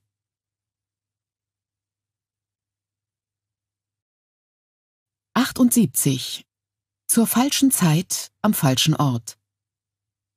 William fasste sich vorsichtig ans Kinn und beglückwünschte sich, weil Tartan sein Gesicht nur einmal getroffen hatte und nicht die Nase erwischt hatte. Seine Rippen, seine Arme und sein Bauch waren etwas anderes. Seine Kleider waren verdreckt und sein Hemd hing in Fetzen. Doch der flüchtige Beobachter würde daraus nicht schließen, dass er in eine Schlägerei verwickelt gewesen war. Vielleicht kam er ja glimpflich davon, solange Major Andrew die Depesche an die britische Legion nicht erwähnte. Sir Henry hatte schließlich den ganzen Morgen über alle Hände voll zu tun gehabt, wenn das, was er unterwegs gehört hatte, zutraf. Ein verwundeter Infanteriehauptmann auf dem Rückweg ins Lager hatte ihm erzählt, dass er gesehen hatte, wie Sir Henry als Kommandeur der Nachhut einen Angriff gegen die Amerikaner angeführt hatte und so weit vorausgeeilt war, dass er um ein Haar gefangen genommen worden wäre, ehe ihn die Männer einholten. William hatte ihm mit brennendem Herzen zugehört. Er wäre zu gern dabei gewesen. Doch wenigstens hatte er nicht in der Schreibstube festgesessen. Er hatte nicht mehr als eine Viertelmeile seines Rückwegs zu Cornwallis Brigade hinter sich gebracht, als Visigoth ein Eisen verlor. William sagte etwas ziemlich Unanständiges, blieb stehen und schwang sich vom Pferd, um sich die Sache anzusehen. Er fand das Eisen, aber zwei Nägel fehlten und tauchten auch bei einer raschen Suche nicht auf. Keine Chance, das Eisen mit dem Stiefelabsatz wieder festzuhämmern, was sein erster Gedanke gewesen war. Er steckte sich das Eisen in die Tasche und sah sich um. Überall schwärmten Soldaten aus, doch am anderen Ufer des steilen Flussbetts sammelte sich eine Kompanie hessischer Grenadiere am Brückenkopf. Er führte Visigoth vorsichtigen Schrittes hinüber. Hallo, rief er dem nächstbesten Soldaten zu. Wo ist der nächste Hufschmied? Der Mann sah ihn gleichgültig an und zuckte mit den Schultern. Ein jüngerer Kamerad jedoch zeigte auf die andere Seite der Brücke und rief Zwei Kompanien hinter uns kommen Husaren. Danke, rief William zurück und führte Visigoth in den spärlichen Schatten einiger dürrer Kiefern. Nun, das war ja Glück. Er würde das Pferd nicht weit führen müssen, er konnte einfach auf den Schmied und seinen Wagen warten. Dennoch ärgerte ihn die Verzögerung. Jeder Nerv seines Körpers war angespannt wie eine Cembalo-Saite. Er fasste sich immer wieder an den Gürtel, wo seine nicht existierenden Waffen hätten sein sollen. In einiger Entfernung konnte er Musketenfeuer hören, konnte aber nicht das geringste sehen. Die Landschaft war gefaltet wie ein Leporello, und die sanft gewellten Wiesen stürzten übergangslos in bewaldete Schluchten, aus denen sie abrupt wieder auftauchten, um dann erneut zu verschwinden. Er grub sein Taschentuch aus, das inzwischen so nass war, dass es nur noch ausreichte, um sich den gröbsten Schweiß aus dem Gesicht zu wischen. Er fing einen schwachen Hauch von Kühle auf, der zehn Meter unter ihm vom Bach aufstieg, und trat näher an den Rand, weil er auf mehr davon hoffte. Er trank warmes Wasser aus seiner Feldflasche, wünschte, er könnte hinunterklettern und aus dem Bach trinken, wagte es aber nicht. Er konnte die steile Böschung zwar gewiss problemlos hinuntersteigen, aber wieder hochzukommen würde eine umständliche Kletterpartie werden, und er konnte es nicht riskieren, den Schmied zu verpassen. Spricht Deutsch. Er hat uns gehört. Was? Er hatte dem sporadischen Gespräch der Grenadiere keine Beachtung geschenkt, doch diese gezischten Worte drangen jetzt deutlich zu ihm durch, und als er sich umschaute, sah er zwei der Grenadiere dicht hinter sich. Einer der Männer grinste ihn nervös an, und er erstarrte. Plötzlich waren sie zu viert zwischen ihm und der Brücke. Was soll das? fragte er scharf. Was macht ihr hier? Ein kräftiger Kerl zog ein entschuldigendes Gesicht. Bedaure. Ihr seid hier einfach am falschen Ort. Was? Ehe er noch etwas sagen konnte, gingen sie auf ihn los. Er trat und schlug wild um sich, doch es dauerte nicht mehr als ein paar Sekunden. Hände zogen ihm die Arme auf den Rücken, der kräftige Kerl sagte noch einmal bedaure und sah immer noch entschuldigend aus, als er ihm einen Stein vor den Kopf schlug. Er verlor das Bewusstsein erst ganz, als er am Boden der Schlucht auftraf. Es wurde an verdammt vielen Stellen gekämpft, dachte Ian, aber das war auch in etwa alles, was man sagen konnte. Überall war Bewegung, vor allem bei den Amerikanern, und wann immer sie auf eine Gruppe Rotröcke trafen, wurde gekämpft, oftmals heftig gekämpft. Aber die Landschaft war so unregelmäßig, dass die Armeen nur selten irgendwo in größeren Zahlen aufeinander trafen. Doch er hatte sich seinen Weg um mehrere britische Infanteriekompanien herumgebahnt und lag mehr oder weniger in Wartestellung. Jenseits seines Vorpostens sah er eine ordentliche Anzahl Briten, in deren Mitte Regimentsbanner wehten. Würde es helfen zu wissen, wer hier das Kommando hatte? Er war sich nicht sicher, ob er es würde erkennen können, selbst wenn er dicht genug herankam, um die Einzelheiten der Banner auszumachen. Sein linker Arm schmerzte und er rieb ihn geistesabwesend. Die Axtwunde war zwar gut verheilt, obwohl die Narbe nach wie vor wulstig und empfindlich war, doch der Arm war immer noch weit von seiner eigentlichen Kraft entfernt und seine Muskeln bebten und zuckten, seitdem er vorhin den Pfeil in Richtung der indianischen Kundschafter geschossen hatte, und tief in seinem Knochen brannte es. Besser, wenn ich das nicht noch einmal versuche, murmelte er Rollo zu, dann fiel ihm ein, dass der Hund ja gar nicht bei ihm war. Er blickte auf und stellte fest, dass stattdessen einer der Indianer bei ihm war. Zumindest dachte er das. Zwanzig Meter weiter saß ein Abenaki-Krieger auf einem hageren Pony und betrachtete Ian nachdenklich. Ja, Abenaki, dessen war er sich sicher, angesichts des Schädels, der von der Stirn bis zum Scheitel kahl rasiert war, des schwarzen Streifens, der sich quer über die Augen zog, und der langen Muschelohrringe, die die Schultern des Mannes streiften und deren Perlmutt in der Sonne glitzerte. Noch während dieser Beobachtungen wendete er sein Pferd und suchte Deckung. Der Haupttrupp befand sich in gut 200 Metern Entfernung auf einer offenen Wiese, doch hier und dort standen ein paar Kastanien oder Pappeln, und etwa eine halbe Meile hinter ihm stürzte das wellige Land in eine der großen Schluchten. Schlecht, wenn er dort unten in eine Falle geriet, aber mit genügend Vorsprung war es eine gute Art zu verschwinden. Er versetzte seinem Pferd einen scharfen Tritt, und sie schossen davon, um dann abrupt abzuwenden, als sie an einem dichten Gebüsch vorbeikamen. Und das war sein Glück, denn er hörte etwas Schweres an seinem Kopf vorübersausen und ins Gebüsch krachen. Wurfholz? Tomahawk? Es spielte keine Rolle. Das einzig Wichtige war, dass der Mann, der damit geworfen hatte, es nicht mehr hatte. Doch er sah sich um und sah den zweiten Abenaki von der anderen Seite um das Gebüsch biegen, um ihm den Weg abzuschneiden. Der zweite rief etwas, und der andere antwortete Jagdrufe. Beute in Sicht. Kuchishmi Ayia, sagte er und rammte seinem Pferd die Fersen fest in die Flanken. Claires Stute war ein gutes Pferd, und sie schafften es, das freie Gelände hinter sich zu lassen, rasten lärmend durch einen kleinen Hain auf der anderen Seite wieder hinaus, um sich vor einem Zaun wiederzufinden. Zu spät zum Anhalten, und das taten sie auch nicht. Das Pferd senkte die Hinterhand, setzte zum Sprung an und flog hinüber. Seine Hinterhufe berührten die obere Zaunlatte mit einem ordentlichen Wonk, bei dem sich Ian auf die Zunge biss. Er sah sich nicht um, sondern beugte sich tief über den Pferdehals, und sie rasten auf die Stelle zu, an der sich das Land absenkte. Er bog ab und ritt im spitzen Winkel darauf zu, denn er wollte nicht direkt auf den Rand der Schlucht treffen, falls es dort zu steil war. Kein Geräusch von hinten, außer dem Grummeln und Scheppern der sich sammelnden Armee. Keine Stimmen, keine Jagdrufe der Abenaki. Da war es, das dichte Gebüsch, das den Rand der Schlucht markierte. Er wurde langsamer und riskierte es jetzt, sich umzusehen. Nichts.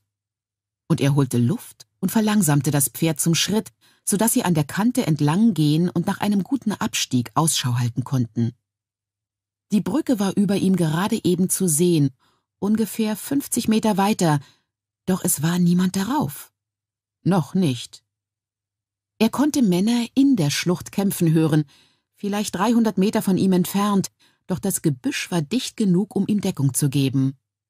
Nur ein kleiner Zusammenstoß den Geräuschen nach, das hatte er heute schon ein Dutzend Mal gesehen.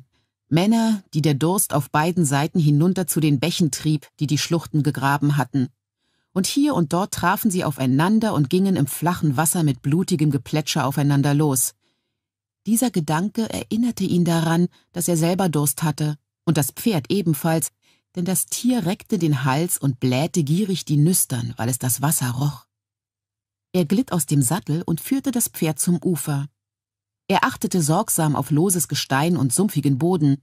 Das Ufer bestand hier zum Großteil aus weichem Schlamm mit Matten aus Entengrütze und kleinen Schilfgebüschen. Etwas Rotes fiel ihm ins Auge, doch es war ein britischer Soldat, der mit dem Gesicht im Schlamm lag und eindeutig tot war. Seine Beine hoben und senkten sich mit der Strömung. Er zog seine Mokassins aus und wagte sich ins Wasser. Der Bach war hier ziemlich breit und keinen Meter tief, der Grund war lehmig und er sank knöcheltief ein. Er kam vorsichtig wieder heraus und führte das Pferd tiefer in die Schlucht hinein, suchte nach besserem Untergrund, obwohl die Stute nach dem Wasser gierte und Ian mit dem Kopf anstieß, sie würde nicht mehr lange warten. Die Geräusche des Scharmützels waren verklungen. Oben und weiter entfernt konnte er Männer hören, hier unten aber nichts mehr. Da. Hier war es gut. Er ließ die Zügel des Pferdes los, und es stürzte sich auf das Wasser, stand mit eingesunkenen Vorderfüßen da, die Hinterfüße jedoch fest auf dem Kies und schluckte selig Wasser. Er selbst empfand den Sog des Wassers beinahe genauso stark und sank auf die Knie, spürte die herrliche Kühle, als es ihm Lendenschurz und Leggings durchtränkte, doch auch dieses Gefühl verblasste, als er mit beiden Händen Wasser schöpfte und trank schöpfte und trank wieder und wieder, sich verschluckte, wenn er versuchte schneller zu trinken, als er schlucken konnte. Schließlich hielt er, widerstrebend, inne und schüttete sich Wasser über Gesicht und Brust. Es kühlte ihn ab, obwohl das Bärenschmalz in seiner Farbe das Wasser abperlen ließ. Komm schon, sagte er zu dem Pferd, du platzt noch, wenn du so weitermachst, Omodan. Es ging nicht ohne Widerstand, doch dann bekam er die Nase des Pferdes aus dem Wasser, und es schnaubte und schüttelte den Kopf, so dass ihm Wasser und grüne Ranken aus den losen Lippen liefen. Und während er den Kopf des Pferdes herumzog, um es wieder nach oben zu führen, sah er den anderen britischen Soldaten. Auch dieser Mann lag fast am Boden der Schlucht, aber nicht im Uferschlamm. Er lag auf dem Bauch, hatte aber den Kopf zur Seite gedreht und Oh Himmel, nein! Ian warf die Zügel seines Pferdes hastig um einen Baumstamm und rannte auf die Stelle zu. Natürlich war er es. Ian hatte es sofort gewusst, als er die langen Beine sah, die Form seines Kopfes, doch das Gesicht gab ihm Sicherheit, selbst unter einer Maske aus Blut. William lebte noch. Sein Gesicht zuckte unter den Beinchen eines halben Dutzend schwarzer Fliegen, die sich an seinem trockenen Blut labten. Ian legte ihm die Hand unter das Kinn, so wie es Tante Claire immer tat, doch da er keine Ahnung hatte, wo er den Puls suchen oder wie er sich anfühlen sollte, wenn er gut war, zog er sie wieder fort. William lag im Schatten einer großen Platane, doch seine Haut war noch warm, was sie allerdings wohl selbst dann gewesen wäre, wenn er tot gewesen wäre, dachte Ian, an einem Tag wie diesem. Er war wieder aufgestanden und überlegte hastig. Er würde den Kerl auf das Pferd hieven müssen, aber vielleicht entkleidete er ihn besser erst, zog ihm zumindest den verräterischen Rock aus. Was jedoch, wenn er ihn zurück zu den britischen Linien brachte, dort jemanden fand, der sich um ihn kümmerte, ihn zu einem Arzt brachte, das war näher. Er musste ihm trotzdem den Rock ausziehen, sonst starb der Mann noch an der Hitze, ehe er ihn irgendwo anlangte. Mit diesem Entschluss kniete er sich wieder hin und rettete so sein eigenes Leben. Der Tomahawk grub sich genau dort in den Platanenstamm, wo kurz zuvor sein Kopf gewesen war. Und im nächsten Moment raste einer der Abenaki die Böschung hinunter und stürzte sich mit einem Schrei auf ihn, der ihm schlechten Atem ins Gesicht wehte. Dieser Bruchteil einer Warnsekunde reichte ihm jedoch, sich zum Sprung bereit zu machen, und er warf sich zur Seite und schleuderte den Abenaki mit einer ungeschickten Ringkampfbewegung über seine Hüfte hinweg, so dass der Mann aber immerhin anderthalb Meter weiter im Schlamm landete. Der zweite war hinter ihm, Er hörte die Schritte des Mannes auf dem bewachsenen Kies und fuhr herum, um seinen Hieb abzufangen, der auf seinem Unterarm landete, während er mit der anderen Hand nach dessen Messer tastete.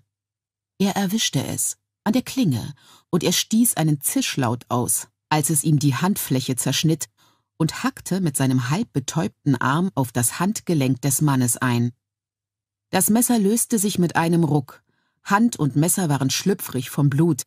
Er bekam zwar den Griff nicht zu fassen, hatte es aber in der Hand. Er drehte sich um und warf es flussaufwärts, soweit er konnte, und es versank glucksend im Wasser. Dann stürzten sich beide auf ihn, boxten ihn, traten ihn und zerrten an ihm. Er stolperte rückwärts, verlor das Gleichgewicht, hielt aber seinen Angreifer dabei weiter fest, und es gelang ihm, mit ihm zusammen ins Wasser zu fallen. Danach verlor er den Überblick. Er hatte einen der Abenaki auf dem Rücken im Wasser und gab sich alle Mühe, ihn zu ertränken, während der andere auf Ians Rücken klemmte und versuchte, ihm den Arm um den Hals zu legen. Und dann hörten sie Lärm auf der anderen Seite der Schlucht, und alle hielten einen Moment lang inne. Viele Männer, die sich ungeordnet bewegten, er konnte Trommeln hören, jedoch auch ein Geräusch wie fernes Meeresrauschen, zusammenhanglose Stimmen. Auch die Abenaki hielten inne, nur ganz kurz, doch das reichte. Ian verdrehte sich, schleuderte den Mann von seinem Rücken, schob sich ungeschickt durch das Wasser, auf dessen schlammigem Boden er rutschte und einsank, schaffte es aber ans Ufer und rannte auf das Erstbeste zu, was ihm ins Auge fiel, eine hohe Weißeiche. Er warf sich gegen den Stamm und kletterte hinauf, griff nach jedem Ast, der in Reichweite kam, um sich höher zu ziehen, schneller, ohne auf seine verletzte Hand zu achten oder auf die grobe Rinde, die ihm die Haut zerkratzte. Die Indianer waren hinter ihm, doch zu spät. Einer sprang hoch und schnappte nach seinem nackten Fuß, bekam ihn aber nicht zu fassen, und er zog sein Knie über einen großen Ast und hing in drei Metern Höhe keuchend an den Stamm geklammert.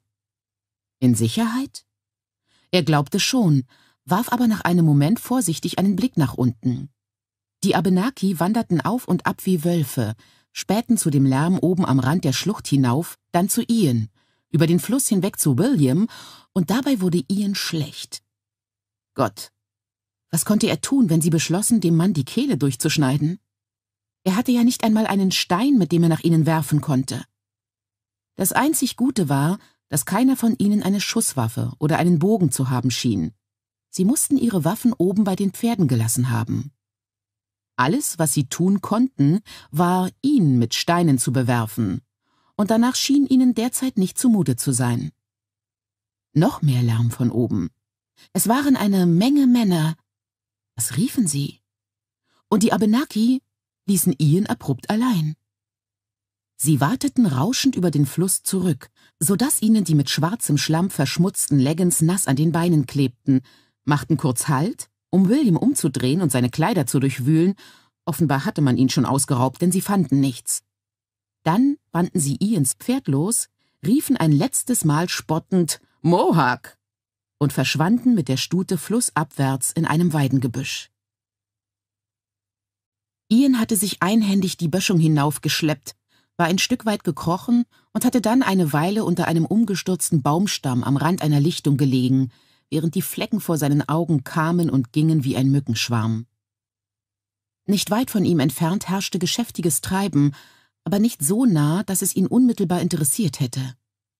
Er schloss die Augen, weil er hoffte, dass die Flecken dann verschwinden würden. Doch das taten sie nicht, sondern verwandelten sich stattdessen von schwarz in eine grauenvolle Konstellation aus schwimmenden rosa und gelben Klecksen, die Brechreiz bei ihm auslösten. Hastig öffnete er die Augen wieder, gerade rechtzeitig, um zu sehen, wie einige pulvergeschwärzte Kontinentalsoldaten, ein paar im Hemd, andere mit entblößtem Oberkörper, eine Kanone von der Straße herbeischleppten. Kurz hinter ihnen folgten noch mehr Männer mit einer weiteren Kanone, schwankend vor Hitze und zu Tode erschöpft. Er erkannte Oberst Owen, der zwischen den Munitionswagen umherhumpelte, das verrußte Gesicht verzweifelt und unglücklich. Eine Bewegung zog seinen wandernden Blick auf eine Gruppe von Männern, und er begriff schwach interessiert, dass es eine ziemlich große Gruppe von Männern war, deren Standarte schlaff wie eine Heckeshülle an ihrer Stange hing. Das wiederum sagte ihm etwas.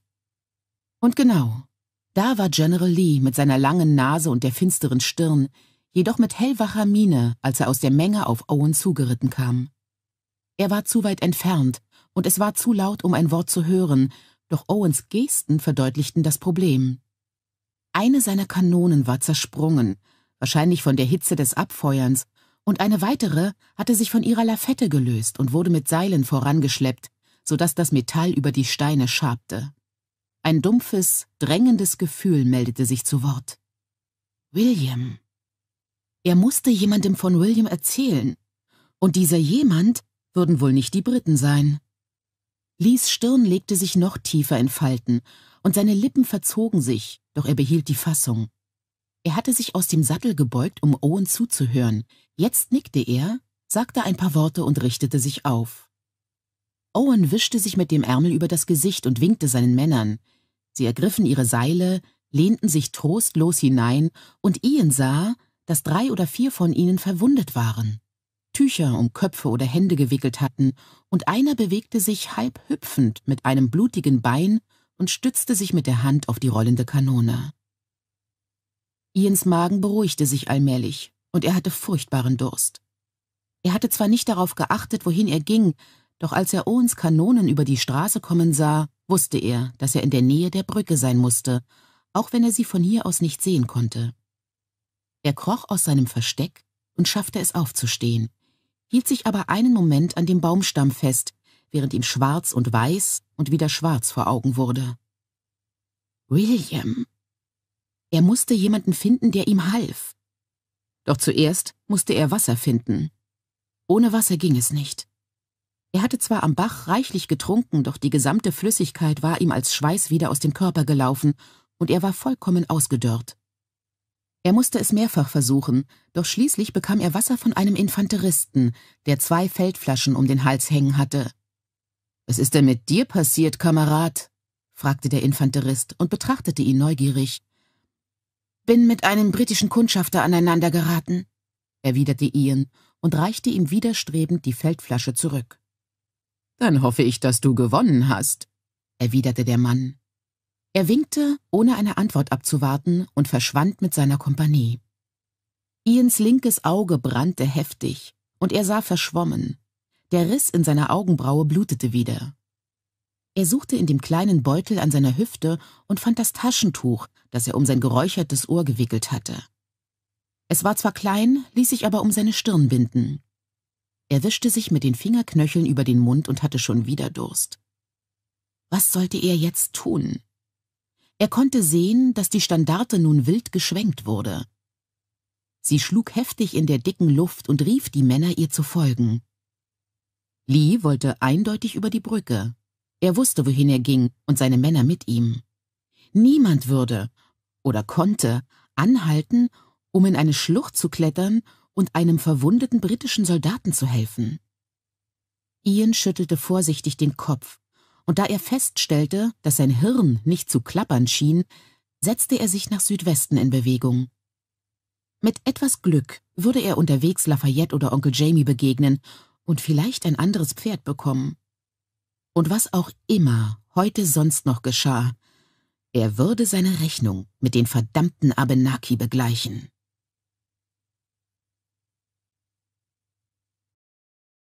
Neunundsiebzig. High Noon an diesem Punkt traf Major Filmer mit der Order ein, sich zurückzuziehen und in der Nähe einer der Farmen zwischen dem Spotswood Southbrook und dem Spotswood Middlebrook wieder zu Lafayettes Truppe zu stoßen. Jamie war froh, das zu hören. Es gab keine vernünftige Möglichkeit für ein paar halb bewaffnete Milizkompanien, die Artillerie im Obstgarten zu belagern, nicht, wenn Scharfschützen die Kanonen bewachten. Ruft eure Kompanien zusammen, Mr. Guthrie, und stoßt dort oben auf der Straße zu mir, sagte Jamie und wies mit der Hand auf die Stelle. Mr. Bixby, könnt ihr Hauptmann Kirby suchen? Sagt ihm dasselbe. Ich bringe Craddocks Männer mit. Hauptmann Craddocks Kompanien waren durch seinen Tod furchtbar demoralisiert worden, und Jamie hatte sie direkt unter sein Kommando genommen, um zu verhindern, dass sie sich wie die Hummeln zerstreuten. Sie bahnten sich den Weg über die Felder, holten Corporal Anderson und seine Männer am Farmhaus ab, es war verlassen, es war unnötig, jemanden hier zu lassen, und überquerten die Brücke, die über einen der Bäche führte.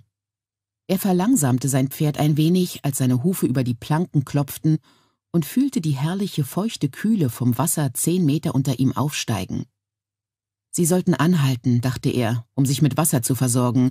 Das hatten sie seit dem frühen Morgen nicht mehr getan, und allmählich mussten die Feldflaschen leer sein. Doch es würde zu lange dauern, bis so viele Männer in die Schlucht zum Wasser und wieder zurückgeklettert waren. Sie würden es schon bis zu Lafayette schaffen. Dort gab es ausreichend Brunnen. Er konnte die Straße vor sich sehen und hielt Ausschau nach etwaigen Briten. Etwas gereizt fragte er sich, wo nur Ian steckte. Er hätte gern gewusst, wo die Briten waren. Er fand es im nächsten Moment heraus. Ein Gewehrschuss knallte, und sein Pferd rutschte aus und fiel. Jamie riss den Fuß aus dem Steigbügel und rollte aus dem Sattel, als das Pferd mit einem Krach, der die ganze Brücke erschütterte, auf die Planken traf einen Moment laut wiehern versuchte, sich hochzukämpfen und dann über die Kante in die Schlucht glitt. Jamie rappelte sich auf, seine Hand brannte, denn die groben Planken hatten ihm die Handfläche blank geschürft. Lauft! brüllte er mit der letzten Luft, die er noch in den Lungen hatte, und winkte wild mit dem Arm, um die Männer zu sammeln und auf einen Hain an der Straße zu zeigen, der ihnen Deckung geben würde. Los! Er fand sich mitten unter ihnen wieder, der Ansturm der Männer riss ihn mit, und keuchend vom Rennen stolperten sie in die Deckung. Kirby und Guthrie ordneten ihre Kompanien, die Männer des gefallenen Craddock drängten sich um Jamie. Atemlos wies er Bixby und Corporal Greenhow mit einem Kopfnicken an, die Köpfe zu zählen. Er konnte das Geräusch noch hören, mit dem das Pferd unter der Brücke am Boden aufgetroffen war. Er würde sich übergeben, er spürte, wie es ihm hochkam und versuchte erst gar nicht, es zurückzuhalten. Er wies Leutnant Schnell, der ihn sprechen wollte, mit einer Handbewegung an zu warten, trat hinter eine große Kiefer und sein Magen entleerte sich wie ein ausgeräumter Sporran. Er verharrte einen Moment in gebückter Haltung mit offenem Mund, die Stirn an die grobe Rinde gelehnt, während ihm der heranfließende Speichel den Geschmack aus dem Mund spülte. Herr, hilf mir. Doch sein Verstand hatte im Moment die Sprache verloren, und er richtete sich auf und wischte sich den Mund am Ärmel ab. Als er jedoch wieder hinter dem Baum hervortrat, verschwand jeder Gedanke daran, wie die Lage sein mochte und was er wohl unternehmen musste. Ian war aus einem anderen Hain gekommen und überquerte jetzt das freie Gelände. Der Junge war zu Fuß und bewegte sich langsam, aber hartnäckig voran. Selbst aus 15 Metern Entfernung konnte Jamie die Blutergüsse sehen. Einer von uns oder einer von denen? fragte ein Milizionär skeptisch und hob die Muskete, um vorsichtshalber auf Ian zu zielen. Einer der meinen, sagte Jamie. Nicht schießen, Ei. Ian! Ian! Er lief zwar nicht los, dazu schmerzte sein linkes Knie zu sehr, doch er bewegte sich so schnell wie möglich auf seinen Neffen zu und war erleichtert zu sehen, wie sich Ians glasiger Blick erhellte, als er ihn erkannte. Onkel Jamie, Ian schüttelte den Kopf, wie um ihn frei zu bekommen, blieb abrupt stehen und stöhnte auf. Bist du schwer verletzt, Avalach? fragte Jamie. Er trat einen Schritt zurück und suchte nach Blut. Er sah zwar ein wenig, aber es war nichts Schlimmes. Der Junge hielt sich nicht die Arme vor den Bauch, als seien seine Eingeweide verletzt. Nein, nein, es ist. Ian schluckte, weil sein Mund zu trocken zum Sprechen war, und Jamie drückte ihm seine Feldflasche in die Hand. Es war zwar leider nur noch wenig Wasser darin, doch etwas. Genug. Und Ian trank es gierig. William, keuchte er, als er die leere Feldflasche sinken ließ. Dein. Was ist mit ihm? unterbrach ihn Jamie. Es kamen jetzt noch mehr Männer über die Straße, manche halb im Laufschritt, die Köpfe zurückgewandt. Was? wiederholte er und packte Ians Arm. Er lebt noch, sagte Ian sofort, denn er hatte sowohl die Absicht als auch die Intensität der Frage richtig eingeschätzt. Jemand hat ihn auf den Kopf geschlagen und ihn am Boden der Schlucht liegen gelassen. Er deutete vage hinter sich, ohne sich umzudrehen. Etwa 300 Meter westlich der Brücke, ei? Er ist nicht tot, aber ich weiß nicht, wie schwer er verletzt ist.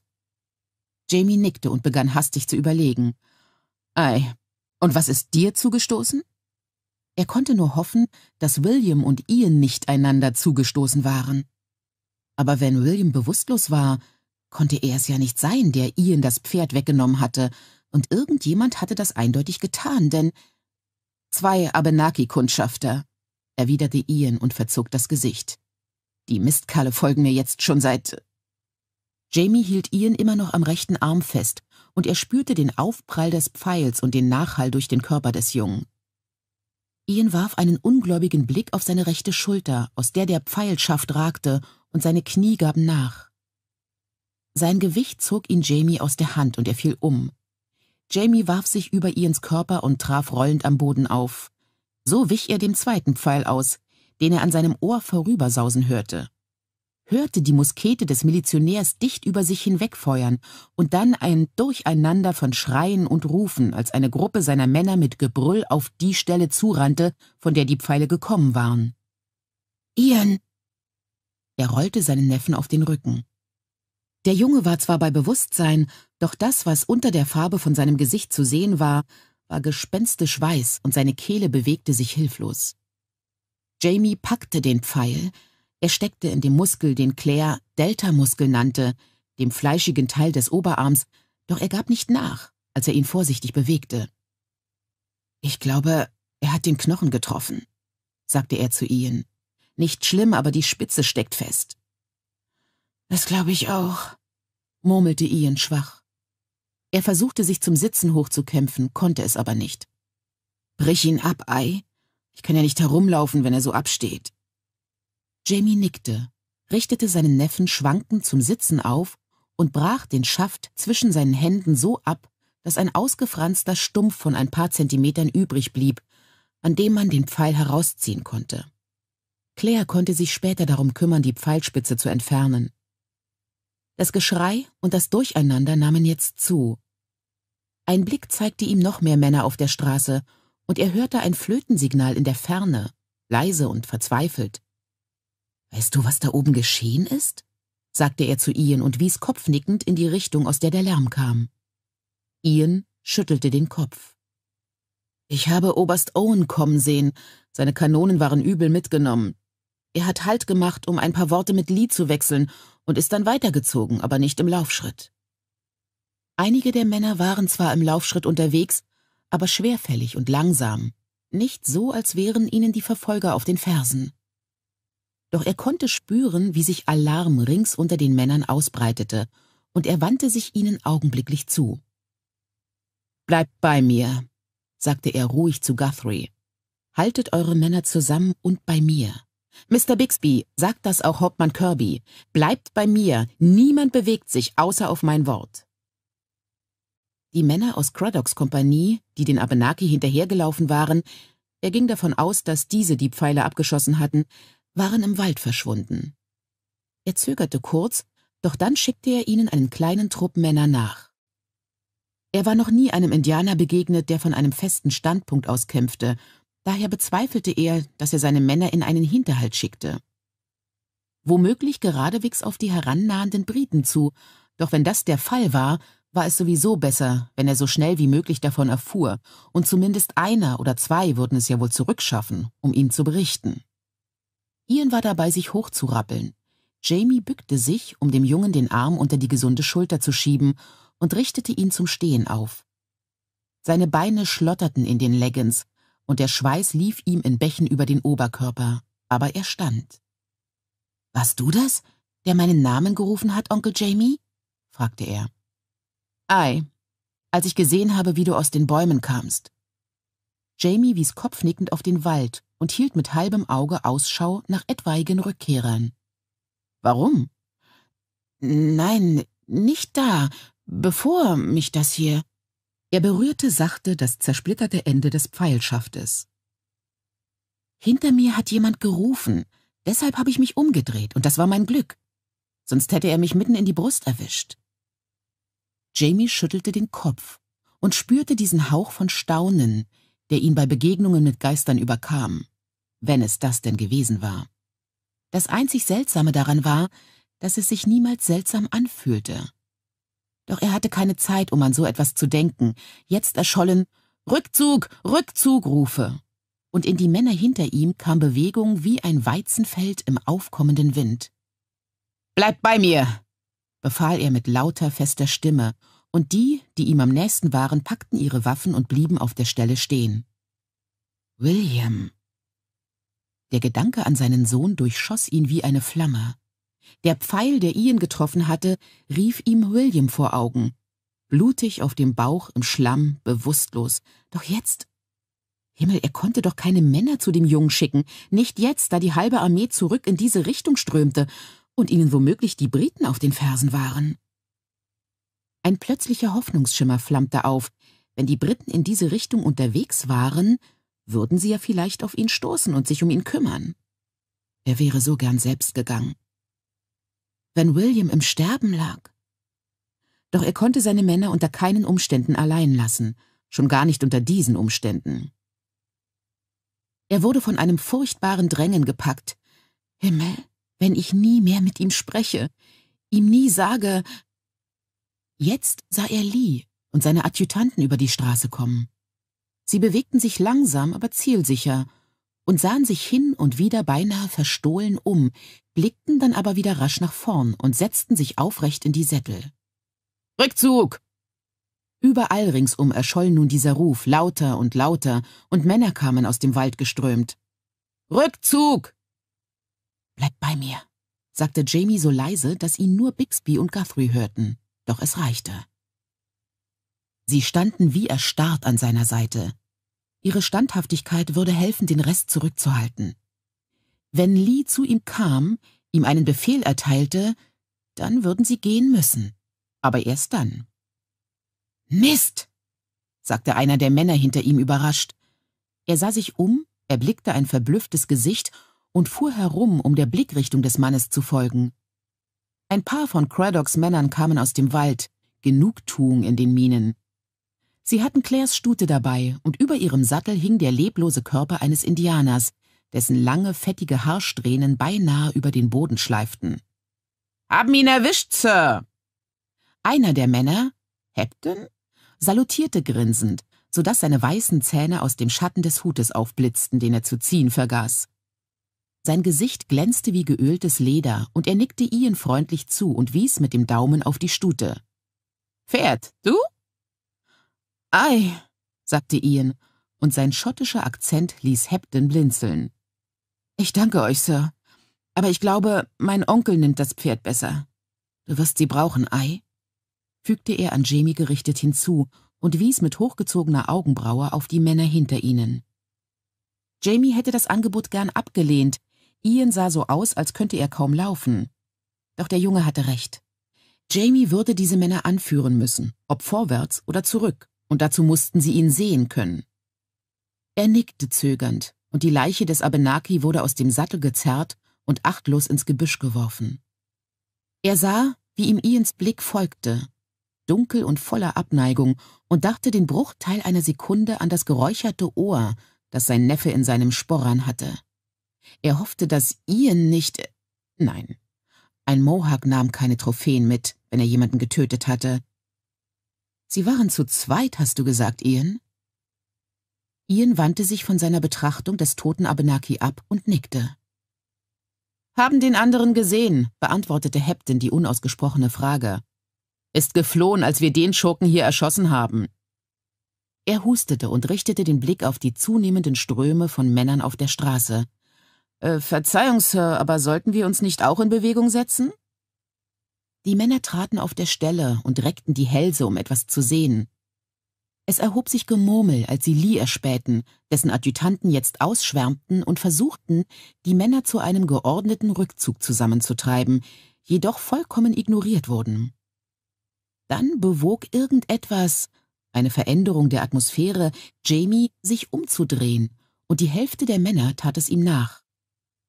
Und da kam Washington auf Jamies ehemaligem Schimmelhengst über die Straße galoppiert, und die Miene seines kräftigen, groben Gesichts hätte Messing zum Schmelzen gebracht. Die drohende Panik unter den Männern löste sich in Luft auf, und sie drängten vorwärts, weil sie erfahren wollten, was los war. Auf der Straße brach Chaos aus. Einige Kompanien zerstreuten sich oder blieben plötzlich stehen, um sich nach ihren Kameraden umzusehen, andere folgten auf der Straße und kollidierten mit den Haltenden, und mitten darin trieb Washington sein Pferd an Charles Lees Seite und beugte sich zu ihm hinüber, rot wie ein Apfel vor Hitze und Wut. Was soll das bedeuten, Sir? war alles, was Jamie klar verstehen konnte, weil eine Strömung der schweren Luft ihm die Worte deutlich zutrug, ehe sich Lärm und Staub und drückende Hitze so dicht über die Szene legten, dass es unmöglich war, irgendetwas aus dem Durcheinander herauszuhören, außer dem beunruhigenden Echo von Musketensalven und dem gelegentlichen schwachen Knallen von Granaten in der Ferne. Er versuchte erst gar nicht, den Lärm mit seiner Stimme zu übertönen, es war nicht nötig. Seine Männer blieben, wo sie waren, nicht weniger gebannt von dem Spektakel, als er es war. Lees Gesicht mit der langen Nase war vor Wut verkniffen, und eine Sekunde sah ihn Jamie als Punch, die aufgebrachte Marionette im Puppentheater. Ein wildes Bedürfnis zu lachen stieg in ihm auf, als sich die logische Konsequenz aufdrängte, George Washington als Judy, das zänkische Weibsbild mit dem Häubchen, das mit dem Stock auf seinen Mann losging. Im ersten Moment fürchtete Jamie, er wäre ein Opfer der Hitze geworden und hätte den Verstand verloren. Für einen Moment stand Jamie im Hyde Park und sah zu, wie Punch sein Baby in die Wurstmaschine steckte. Denn genau das war es, was Washington gerade unübersehbar tat. Es dauerte nicht mehr als drei oder vier Minuten, dann wendete Washington mit einer angewiderten Geste sein Pferd und trabte davon, vorbei an den Männern, die sich an der Straße drängten und ihm fasziniert zusahen. Jamie, der jetzt seinerseits mit einem Ruck aus seiner Faszination auftauchte, stellte den Fuß in den Steigbügel der Stute und schwang sich hinauf. Ian, sagte er, und sein Neffe nickte, während er ihm die Hand auf das Knie legte, genauso sehr um sich selbst zu stützen, dachte Jamie, wie um seinen Onkel zu beruhigen. Gib mir ein paar Männer, Onkel Jamie, sagte er. Ich kümmere mich um seine Lordschaft. Die Zeit reichte knapp, um Corporal Greenhow zu rufen und ihn dazu abzustellen, Ian mit fünf Mann zu begleiten, ehe Washington Jamie und seine Kompanien erspähte. Er hatte den Generalshut in der Hand, in seinem Gesicht brannten Wut und Verzweiflung gepaart mit Feuereifer. Seine ganze Person strahlte etwas aus, das Jamie noch nicht oft gesehen hatte, das er jedoch erkannte das er selbst schon einmal erlebt hatte. Es war der Blick eines Mannes, der alles riskiert, weil ihm nichts anderes übrig blieb. Mr. Fraser? Rief ihm Washington zu, und sein breiter Mund verbreiterte sich noch mehr, als er aufgrinste. Folgt mir!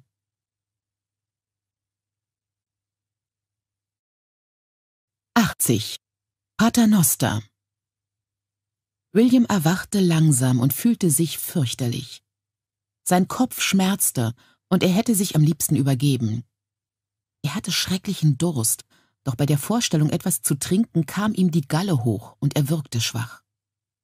Er lag im Gras, das voller Insekten war, Insekten krabbelten über ihn hinweg, einen heftigen Moment lang sah er eine Kolonne kleiner Ameisen geschäftig durch die dunklen Härchen auf seinem Handgelenk klettern und versuchte, mit der Hand auf den Boden zu klopfen, um sie abzuschütteln doch seine Hand bewegte sich nicht, und sein Bewusstsein schwand.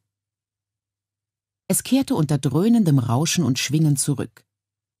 Die Welt bewegte sich schwindelerregend auf und ab, und er bekam keine Luft.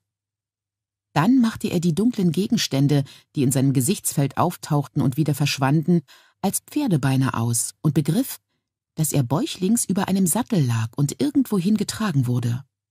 Wohin? In der Nähe herrschte großes Geschrei, und der Lärm schmerzte seinen Kopf noch mehr. Halt! Was macht ihr mit ihm? Halt! Halt, oder ich töte euch! Lasst ihn hier! Schubst ihn vom Pferd, lauft! Eine vage, bekannte Stimme. Schottisch.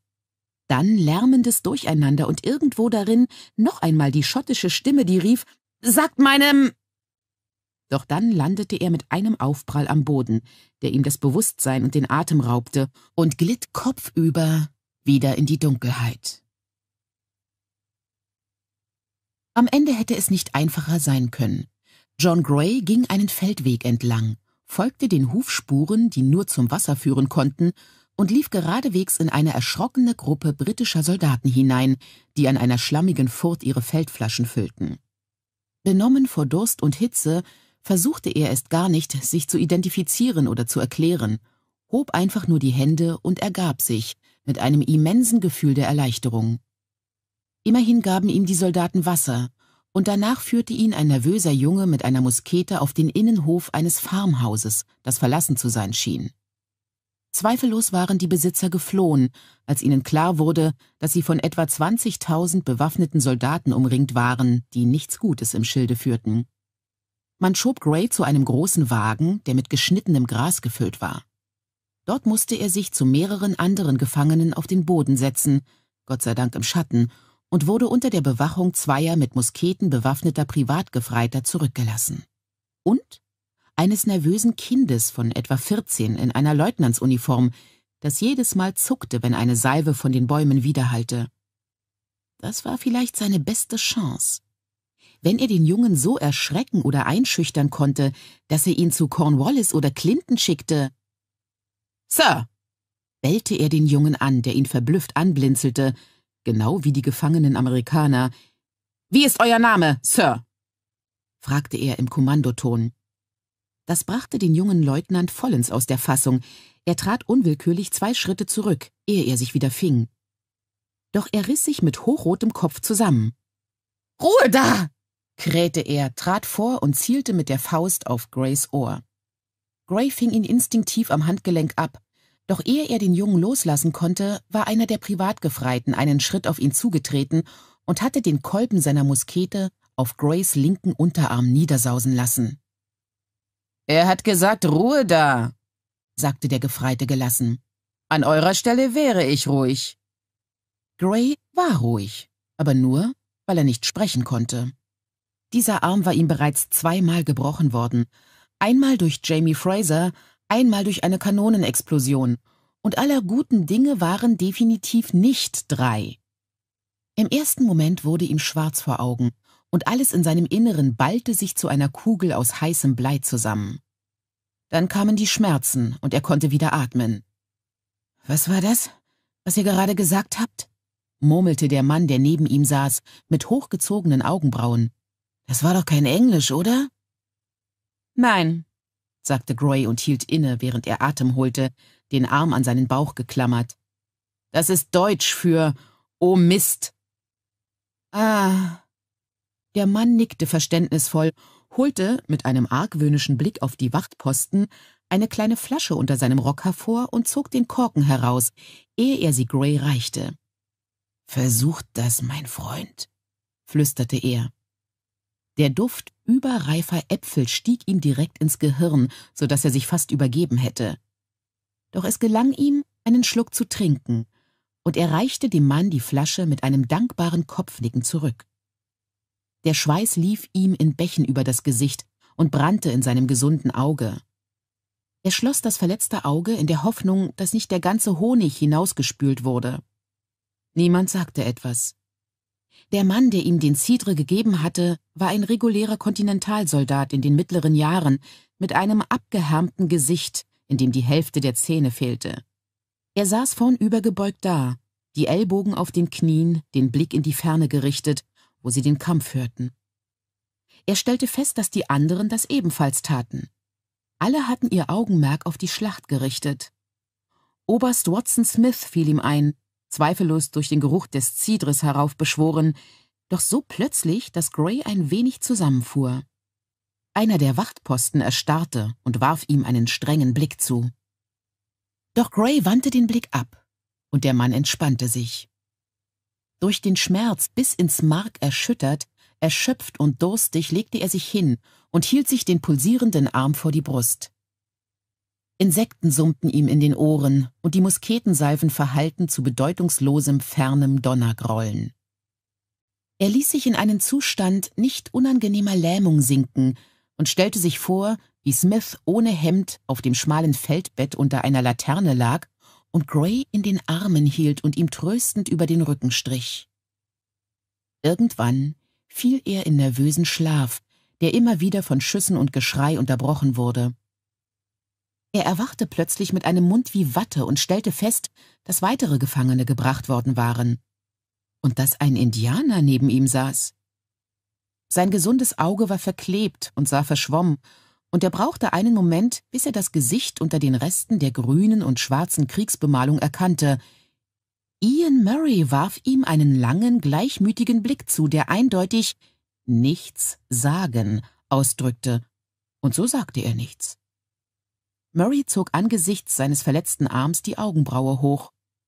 Gray zuckte mit der gesunden Schulter und richtete sein Augenmerk auf den Wasserkarren, der jetzt auf der Straße hielt.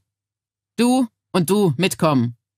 Einer der Privatgefreiten wies mit dem Daumen auf zwei der Gefangenen und ging mit ihnen zu dem Karren. Kurz darauf kamen sie mit Wassereimern zurück. Das Wasser war so warm wie Blut und schmeckte nach nassem, halb verrottetem Holz, doch sie tranken es so gierig, dass sie es in ihrer Hast auf ihre Kleider verspritzten. Gray wischte sich mit der nassen Hand über das Gesicht und fühlte sich jetzt ein wenig ruhiger. Er bewegte versuchsweise das linke Handgelenk. Vielleicht war es ja nur eine Prell... Nein, leider nicht. Er hatte zischend eingeatmet, und wie als Antwort schloss Murray die Augen, faltete die Hände und begann, das Paternoster zu intonieren. Was zum Teufel ist das? wollte der Leutnant wissen und stampfte zu ihm hinüber. Sprecht ihr etwa Indianisch, Sir? Ian öffnete die Augen und warf einen nachsichtigen Blick auf das Kind. Es ist Latein.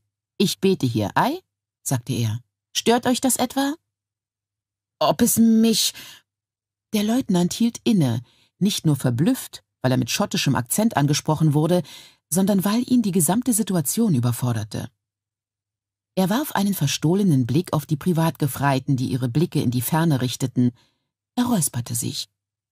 Nein, sagte er knapp und wandte sich ab, anscheinend um eine weiße Pulverdampfwolke zu betrachten, die in einiger Entfernung dicht über den Bäumen hing. Murray richtete den Blick auf Gray, und mit einem kleinen Kopfnicken begann er das Paternoster von vorn. Etwas verwirrt stimmte Gray mit ein, wenn auch ein wenig holprig. Der Leutnant erstarrte zwar, drehte sich aber nicht um. Wissen Sie nicht, wer ihr seid?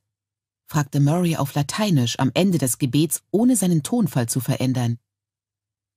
Ich habe es Ihnen gesagt, Sie glauben mir nicht, erwiderte Gray und fügte der Glaubwürdigkeit halber am Ende ein Ave Maria hinzu. Gratia plena Dominus tecum. Soll ich es Ihnen sagen? Ich habe keine Ahnung, was als nächstes kommt. Vermutlich kann es nicht schaden. Benedicta tu in mulieribus, et benedictus fructus ventris tui Jesu, erwiderte Murray und erhob sich. Die Wachtposten fuhren augenblicklich herum und hoben die Musketen an ihre Schultern. Murray beachtete sie nicht und wandte sich an den Leutnant. Es geht mich ja vielleicht nichts an, Sir, sagte er nachsichtig, aber ich würde es nicht gern sehen, dass ihr euch wegen eines kleinen Fehlers die ganze Laufbahn ruiniert. Maul halt, was denn für ein Fehler? wollte der Leutnant wissen. Er hatte die Perücke abgesetzt, weil es so heiß war, rammte sie sich jetzt aber wieder auf den Schädel, weil er offenbar glaubte, dass sie ihm Autorität verleihen könnte. Das war jedoch ein Irrtum, da ihm die Perücke deutlich zu groß war und sie ihm sofort seitwärts über das Ohr rutschte. Dieser Herr dort, sagte Murray und zeigte auf Gray, der sich aufrecht hinsetzte und den Leutnant gleichgültig anstarrte. Ich habe keine Ahnung, was ihn hierher geführt hat oder warum er so gekleidet ist, doch ich kenne ihn gut. Das ist Lord John Grey. Der, ähm, Bruder von Oberst Grey, des Herzogs von Partlow, fügte er vorsichtig hinzu. Die Gesichtsfarbe des jungen Leutnants änderte sich drastisch. Er ließ den Blick rasch zwischen Murray und Grey hin und her wandern, runzelte die Stirn und schob sich geistesabwesend die Perücke zurecht. Gray erhob sich langsam, ohne die Wachtposten aus dem Auge zu lassen. Das ist doch lächerlich, sagte der Leutnant, jedoch ohne Nachdruck. Warum sollte Lord John Gray hier sein, noch dazu in dieser dieser Aufmachung? Der Krieg hat es erforderlich gemacht, Leutnant, sagte Gray bewusst gelassen. Ich sehe, dass ihr zum 49. gehört, was bedeutet, dass Sir Henry Calder euer Oberst ist. Ich kenne ihn. Wenn ihr so gütig wärt, mir Papier und Stift zu borgen, schreibe ich ihm eine kurze Note und bitte ihn um die Entsendung einer Eskorte, um mich zu holen. Der Wasserfahrer kann die Note ja mitnehmen. fügte er hinzu, als er sah, dass die Augen des Jungen einen wilden Ausdruck annahmen, in der Hoffnung, ihn zu beruhigen, ehe ihn die Panik ergriff und er beschließen könnte, dass der einfachste Ausweg aus dieser Verwicklung lautete, Gray zu erschießen. Einer der Privatgefreiten, der Mann, der ihm den Arm gebrochen hatte, hüstelte. Wir werden so oder so mehr Männer brauchen, Sir. Drei von uns und ein Dutzend Gefangene, und es kommen doch bestimmt noch mehr. Der Leutnant sah ihn verständnislos an, und der Privatgefreite versuchte es erneut. Wollte sagen, vielleicht sowieso besser, wenn ihr Verstärkung anfordert. Der Mann fing Grays Blick auf und hüstelte erneut. Unfälle passieren nun einmal sagte Gray, wenn auch ohne große Sympathie, und die Wachposten entspannten sich. Also gut, sagte der Leutnant. Seine Stimme überschlug sich dabei, und er wiederholte Also gut in schroffem Bariton und sah sich streitlustig um. Niemand war so töricht zu lachen. Grays Knie hatten das Bedürfnis zu beben, und er setzte sich abrupt hin, um das zu verhindern. Murrays Gesicht nun, die Gesichter aller Gefangenen waren betont ausdruckslos. Tibi debeo, sagte Gray leise. Ich stehe in eurer Schuld. Deo gratias, murmelte Murray, und erst jetzt sah Gray das Blut, das ihm über Arm und Seite gelaufen war und einen Fleck auf seinem Lendenschurz hinterlassen hatte, und den Stumpf eines abgebrochenen Pfeils, der ihm aus der rechten Schulter ragte. Als William wieder zu sich kam, lag er Gott sei Dank auf etwas, das sich nicht bewegte. Eine Feldflasche wurde ihm an die Lippen gedrückt, und er trank in großen Schlucken, und seine Lippen schnappten weiter nach Wasser, als sie wieder fortgezogen wurde. Nicht so schnell, sonst wird dir schlecht, sagte eine vertraute Stimme. Hol erst einmal Luft, dann kannst du mehr haben. Er holte Luft und zwang sich trotz des gleißenden Lichtes die Augen zu öffnen. Ein vertrautes Gesicht tauchte über ihm auf, und er streckte schwach die Hand danach aus.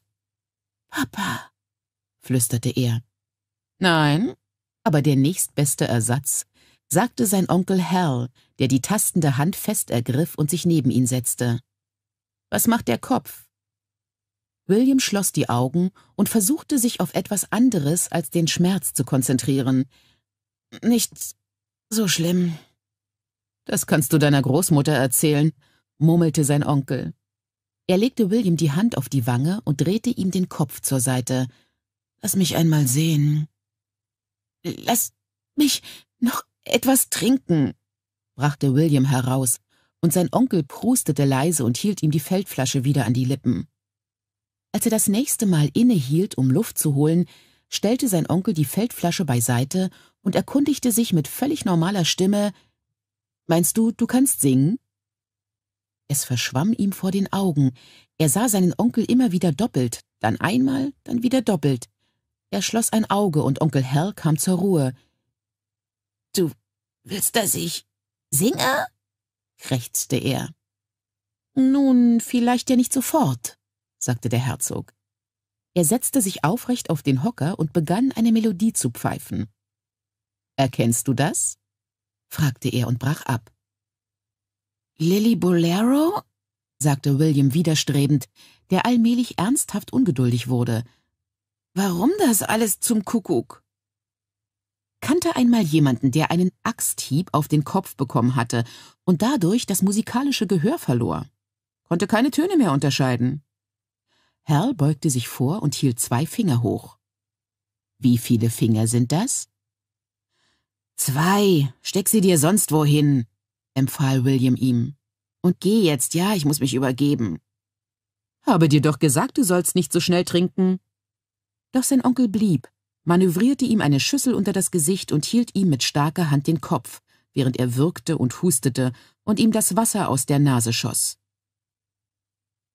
Als er wieder auf sein Kissen gesunken war, es war ein Kissen, er lag auf einem Feldbett, war er wieder so weit bei Sinnen, dass er sich umschauen und feststellen konnte, dass er sich in einem Armeezelt befand.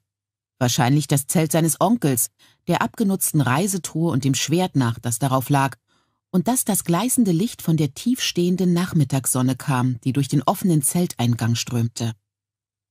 Was ist passiert? fragte er und wischte sich mit dem Handrücken über den Mund. Was ist denn das Letzte, woran du dich erinnerst? entgegnete Onkel Hal und reichte ihm die Feldflasche.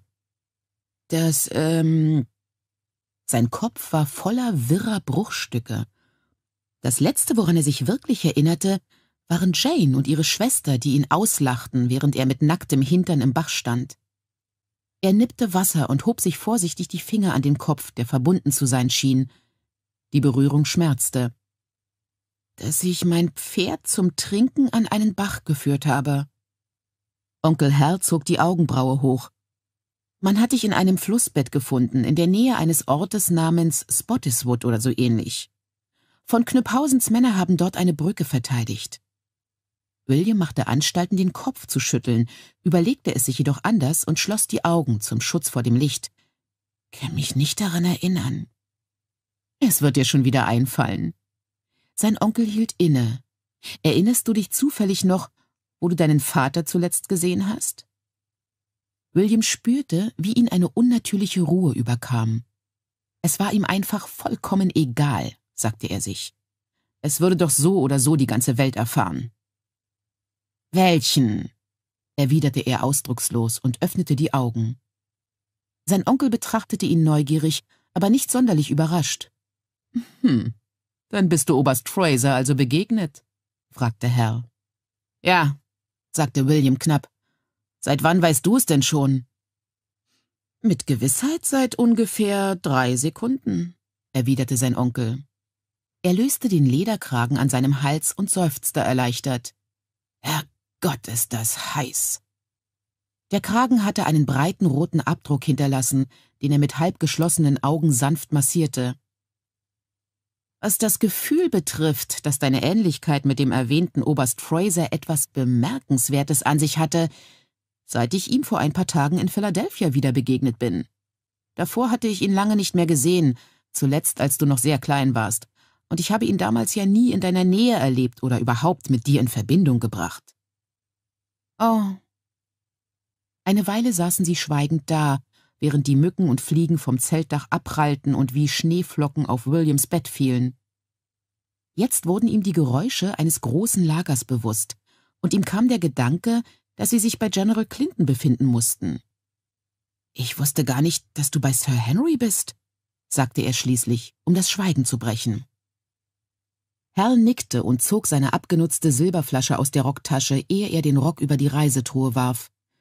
Das war ich auch nicht. Ich war bei Cornwallis. Wir, also das Regiment, sind vor etwa zwei Wochen in New York eingetroffen.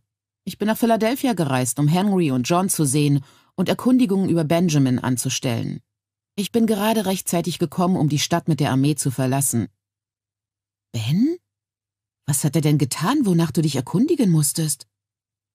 Offensichtlich hat er geheiratet, einen Sohn bekommen und die Dummheit besessen, sich von den Rebellen gefangen nehmen zu lassen, erwiderte sein Onkel unbeschwert. Dachte, er könnte vielleicht etwas Hilfe brauchen. Wenn ich dir einen Schluck abgebe, kannst du ihn bei dir behalten? William antwortete nicht, sondern griff nach der Flasche. Sie war mit gutem Brandy gefüllt. Er roch vorsichtig daran, doch sein empfindlicher Magen schien keine Schwierigkeiten damit zu haben, und er wagte einen Schluck. Onkel Hal beobachtete ihn eine Weile ohne zu sprechen. Die Ähnlichkeit zwischen ihm und Lord John war beträchtlich, und sein Anblick löste ein merkwürdiges Gefühl in William aus, irgendwo zwischen Trost und Trotz. Deinen Vater, sagte Hal kurz darauf, oder meinen Bruder, wenn dir das lieber ist, weißt du noch, wann du ihn zuletzt gesehen hast?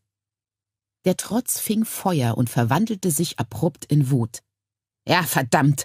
Am 18. morgens, in seinem Haus, mit meinem anderen Vater. Hal stieß ein leises Summgeräusch aus, um sein Interesse zu bekunden. Da hast du es herausgefunden? Ja. Hat John es dir gesagt? Nein, verdammt!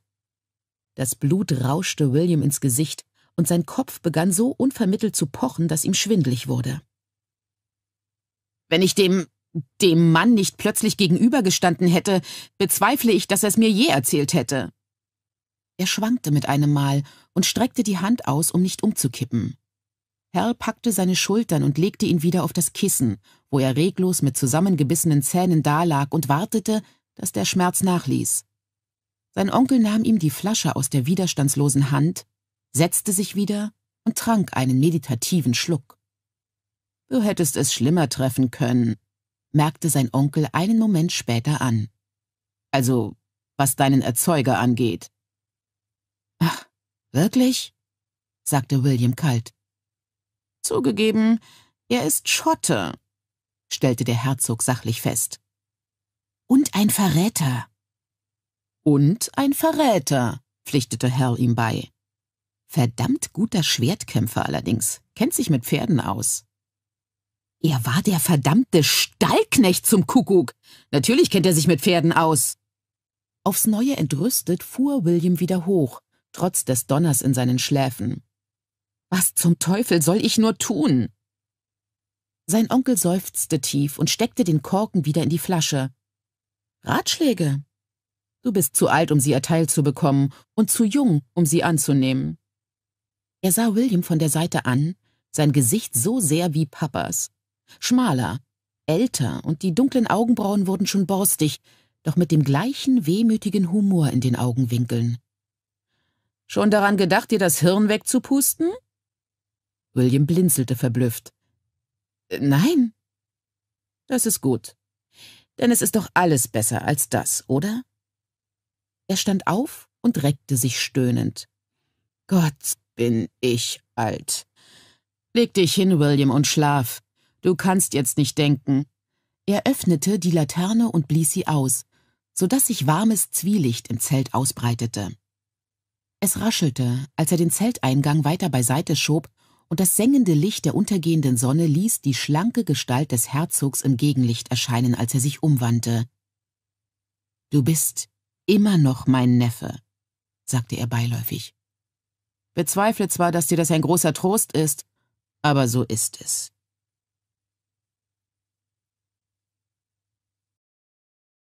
Einundachtzig. Bei den Grabsteinen. Die Sonne stand tief und schien mir direkt in die Augen, doch die Verletzten waren so schnell gekommen, dass mir die Zeit gefehlt hatte, mit meiner Ausrüstung umzuziehen. Sie hatten den ganzen Tag gekämpft. Es war auch jetzt nicht vorbei. Ich konnte es hören, dicht in der Nähe, sah aber nichts, als ich den Blick hob und in das Gegenlicht blinzelte. Dennoch, die Schreie und das Knallen der Musketen und das, was ich für Granaten hielt, ich hatte noch nie eine Granate explodieren gehört, doch irgendetwas erzeugte eine Art unregelmäßiges Pong, das ganz anders war als Kanonendonner oder das langsame Knattern der Musketen, war so laut, dass es das Stöhnen und Weinen aus dem Schatten der Bäume und das unablässige Summen der Fliegen übertönte.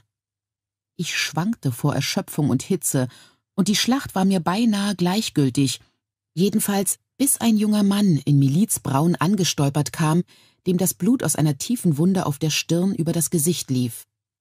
Ich hatte die Blutung schon gestillt und ihm das Gesicht halb abgewischt, ehe ich ihn erkannte. Corporal Greenhow? fragte ich zweifelnd, und ein kleiner Stoß der Angst durchdrang den Nebel der Erschöpfung. Joshua Greenhow war in einer von Jamies Kompanien. Ich war ihm schon begegnet. Ja, Ma'am. Er versuchte mir zuzunicken, doch ich hinderte ihn daran, indem ich fest gegen die Watte drückte, die ich ihm auf die Stirn gepresst hatte. Nicht bewegen. General Fraser, habt ihr. Mein Mund wurde trocken und meine Zunge klebte fest. Ich griff automatisch nach meinem Becher, nur um festzustellen, dass er leer war.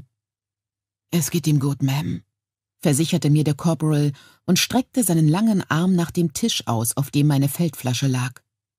Zumindest als ich ihn zuletzt gesehen habe, und das war vor nicht mehr als zehn Minuten. Er goss Wasser in meinen Becher, schüttete es sich in den Mund, atmete einen Moment erleichtert durch und goss dann noch etwas ein, das er mir reichte. Danke. Ich trank. Es war so warm, dass es kaum als nass wahrzunehmen war, doch es löste mir die Zunge. Sein Neffe, Ian Murray. Corporal Greenhow begann, den Kopf zu schütteln, hielt aber inne. Habe ihn seit dem Mittag nicht mehr gesehen. Aber ich habe ihn auch nicht tot gesehen, Ma'am. Oh, Verzeihung, Ma'am. Ich meinte, ich weiß, was ihr gemeint habt. Hier, haltet das fest und drückt es weiter an.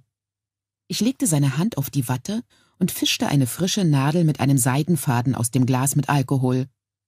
Meine Hände, die den ganzen Tag ruhig gewesen waren, zitterten ein wenig, und ich musste innehalten und kurz Atem holen. Nah. Jamie war so nah. Und irgendwo mitten in dem Kampf, den ich hören konnte. Corporal Greenhow erzählte mir gerade etwas über den Verlauf des Kampfes, doch ich hatte Schwierigkeiten, ihm zu folgen. Irgendetwas darüber, dass man General Lee des Kommandos enthoben hatte und Des Kommandos enthoben? entfuhr es mir. Warum denn zum Teufel? Meine heftige Reaktion schien ihn zu verblüffen, doch er antwortete bereitwillig Oh, ich weiß es nicht genau, Ma'am. Es ging um irgendeinen Rückzug, den er nicht hätte anordnen sollen, aber dann kam General Washington angeritten und hat geflucht wie ein Rohrspatz. Verzeihung, Ma'am, fügte er höflich hinzu. Jedenfalls habe ich ihn gesehen. General Washington. Oh, Ma'am, es war so. Er fand keine Worte, und ich reichte ihm mit der vorübergehend freien Hand die Wasserflasche. Jesus H. Roosevelt Christ, murmelte ich. Waren die Amerikaner nun im Begriff zu gewinnen? Hielten sie die Stellung? Hatte der verflixte Charles Lee am Ende doch alles versaut oder nicht? Corporal Greenhow hatte meine Ausdrucksweise zum Glück nicht bemerkt, sondern blühte im Verlauf seines Berichtes auf wie eine Blume im Regen. Und so sind wir ihm geradewegs hinterhergeeilt. Und er ist auf der Straße und dem Hügelkamm hin und her und hat gerufen und den Hut geschwenkt. Und die ganzen Männer auf dem Rückzug haben alle mit großen Augen aufgeblickt. Und dann haben sie kehrt gemacht und sich uns angeschlossen und die ganze Armee. Wir, wir haben uns auf die verdammten Rotröcke gestürzt. Oh, Mem, es war so wunderbar. Wunderbar, wiederholte ich pflichtschuldigst und fing einen Blutstropfen auf, der ihm ins Auge zu laufen drohte. Die Schatten der Grabsteine auf dem Kirchhof waren jetzt lang und violett, und die Fliegen summten mir in den Ohren, lauter als die Echos der Schüsse, die immer noch ertönten und sich jetzt dem zerbrechlichen Schutzwall der Toten näherten. Und mit ihnen näherte sich Jamie. Herr, pass auf ihn auf, betete ich in der Stille meines Herzens. Habt ihr etwas gesagt, Ma'am? Jamie rieb sich mit dem blutdurchtränkten Ärmel über das Gesicht. Die Wolle kratzte über seine Haut und der Schweiß brannte ihm in den Augen. Es war eine Kirche, in die sie die Briten gejagt hatten, oder vielmehr ein Kirchhof. Männer liefen zwischen den Grabsteinen hindurch, übersprangen sie auf der Verfolgung mit großen Sätzen. Doch die Briten hatten sich zur Gegenwehr gesammelt, ein Offizier formierte sie brüllend zu einer unebenen Linie und das Prozedere begann, die Musketen auf den Boden, Rammstöcke gezogen. Feuer! brüllte er mit der letzten Kraft seiner gebrochenen Stimme. Feuert auf sie! Schnell! Nur wenige seiner Männer hatten geladene Waffen, aber manchmal reichte ja eine. Hinter ihm erscholl ein Schuss, und der britische Offizier hörte auf zu brüllen und stolperte. Er hielt sich die Arme vor den Bauch, beugte sich vornüber und fiel auf die Knie, und jemand schoss noch einmal auf ihn. Er zuckte zurück und fiel zur Seite. Gebrüll stieg von der britischen Formation auf, die sich blitzartig in einen Ansturm auflöste. Einige Männer hielten inne, um ihre Bajonette aufzupflanzen, andere schwangen ihre Musketen wie Knüppel. Die Amerikaner stießen blindwütig kreischend mit ihnen zusammen, mit Musketen und Fäusten. Ein Milizionär erreichte den gefallenen Offizier, packte ihn bei den Beinen und begann, ihn auf die Kirche zuzuschleifen, vielleicht um ihn gefangen zu nehmen, vielleicht damit man ihm helfen konnte. Ein britischer Soldat warf sich auf den Amerikaner, der zurückstolperte und hinfiel, ohne jedoch den Offizier loszulassen. Jamie rannte, brüllte, versuchte die Männer zu sammeln, doch es war zwecklos. Sie hatten im Rausch des Kampfes jeden Verstand verloren und was auch immer der Grund gewesen war, warum sie den britischen Offizier gepackt hatten, auch dieser zählte jetzt nicht mehr. Ebenso erging es den führerlosen britischen Soldaten, von denen jetzt einige mit zwei Amerikanern ein groteskes Tauziehen um die Gliedmaßen des toten britischen Offiziers veranstalteten. Er musste jetzt tot sein, wenn er nicht auf der Stelle gestorben war. Angewidert lief Jamie auf sie zu, brüllte sie an, doch jetzt versagte ihm die Stimme ganz, so angestrengt und atemlos war er, und er begriff, dass er nicht mehr als leise Krächzlaute ausstieß. Er erreichte das Handgemenge, packte einen Soldaten bei der Schulter, um ihn zurückzuziehen, doch der Mann ging auf ihn los und hieb ihm mit der Faust in das Gesicht. Der Fausthieb glitt an seinem Kinn ab, doch er verlor den Halt und wurde von jemandem beiseite geschubst, der einen Teil des armen Offiziers zu packen versuchte. Trommeln. Eine Trommel. In einiger Entfernung hämmerte jemand etwas Drängendes, einen Ruf zum Sammeln. Rückzug! rief jemand mit heiserer Stimme. Rückzug! Es geschah etwas, eine kurze Pause, und plötzlich war alles anders, und die Amerikaner kamen an ihm vorbei, hastig, aber nicht länger panisch. Ein paar von ihnen trugen den toten britischen Offizier. Ja, definitiv tot. Der Kopf des Mannes rollte hin und her wie der einer Stoffpuppe. Gott sei Dank, dass sie ihn nicht über den Boden schleifen, war alles, was er denken konnte. Dann war Leutnant Bixby bei ihm, und das Blut lief ihm aus einem offenen Stück Kopfhaut über das Gesicht. Da seid ihr ja, Sir, sagte er erleichtert. Ach, wir dachten schon, Sie hätten euch. Er nahm Jamie respektvoll beim Arm und zog ihn hinter sich her. Kommt mit, Sir, ja? Ich würde es diesen Mistkerlen zutrauen, dass sie zurückkommen. Jamie blickte in die Richtung, in die Bixby zeigte. Ja, die Briten zogen sich zurück, unter der Anleitung einiger Offiziere, die aus einer Masse von Rotröcken hervorgekommen waren, die sich ein Stück weiter sammelte. Sie machten zwar keine Anstalten, näher zu kommen, aber Bixby hatte recht. Auf beiden Seiten fielen immer noch vereinzelte Schüsse. Er nickte und suchte in seiner Tasche nach seinem zweiten Halstuch, um es dem Mann für seine Verletzung zu geben. Der Gedanke an Verletzungen brachte ihn auf Claire, und plötzlich fiel ihm wieder ein, was Denzel Hunter gesagt hatte. Tennant Church. Dort wird das Lazarett eingerichtet. War das hier die Tennant Church? Er befand sich mit Bixby schon auf dem Rückweg zur Straße, blickte aber noch einmal zurück. Ja, die Männer, die den toten britischen Offizier hatten, trugen ihn in die Kirche, und an der Tür saßen Verletzte, noch mehr davon in der Nähe eines kleinen weißen Gott. War das etwa Claires Zelt? War sie. Er sah sie sofort, als hätte sein Gedanke sie herbeigeschworen, mitten im Freien.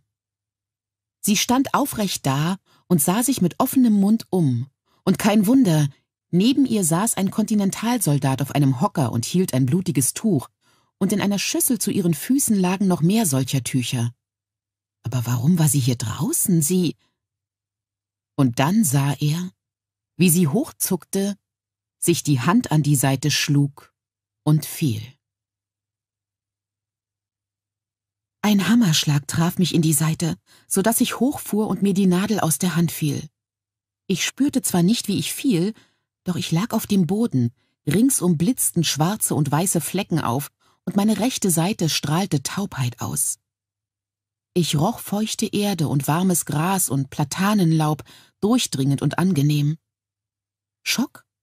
dachte ich dumpf und öffnete den Mund, doch es kam nur ein trockenes Klicken aus meiner Kehle, was? Die Taubheit des Aufpralls begann nachzulassen, und ich begriff, dass ich mich zusammengekrümmt hatte und den Unterarm automatisch vor den Bauch gepresst hielt.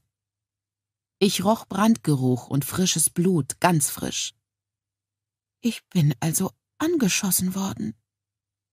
Saß nach! hörte ich Jamie durch das Dröhnen in meinen Ohren brüllen.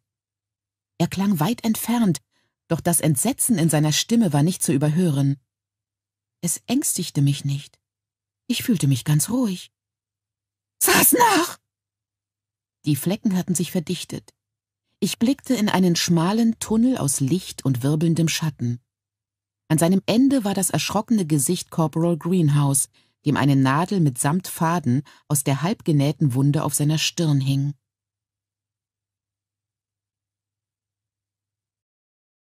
Fünfter Teil Köpfe zählen 82. Auch Leute, die in den Himmel wollen, möchten nicht sterben, um dorthin zu kommen. Ich schwamm benommen an die Oberfläche des Bewusstseins und dachte, was war es noch, dass Ernest Hemingway darüber gesagt hatte, dass man eigentlich doch vor Schmerzen ohnmächtig werden sollte, es aber nicht tut. Ich hatte es zwar gerade getan, aber eigentlich hatte er recht. Die Bewusstlosigkeit hatte nicht mehr als ein paar Sekunden gedauert. Ich lag zusammengekrümmt da, beide Hände gegen meine linke Seite gepresst, und ich konnte spüren, wie mir das Blut zwischen den Fingern aufquoll, heiß und kalt und klebrig, und alles begann jetzt zu schmerzen. Sehr zu schmerzen. Sasna! Claire! Wieder schwamm ich aus dem Nebel hinaus, und es gelang mir, ein Auge zu öffnen. Jamie kniete neben mir. Er berührte mich, hatte seine Hände auf mir, doch ich konnte es nicht spüren. Schweiß oder Blut oder irgendetwas lief mir brennend in die Augen. Ich konnte jemanden nach Luft schnappen hören, schnelles, flaches, keuchendes Atmen. Ich oder Jamie? Mir war kalt. Mir sollte nicht kalt sein. Es war doch heute brütend heiß. Ich zitterte wie Gallert. Und es schmerzte. Sehr.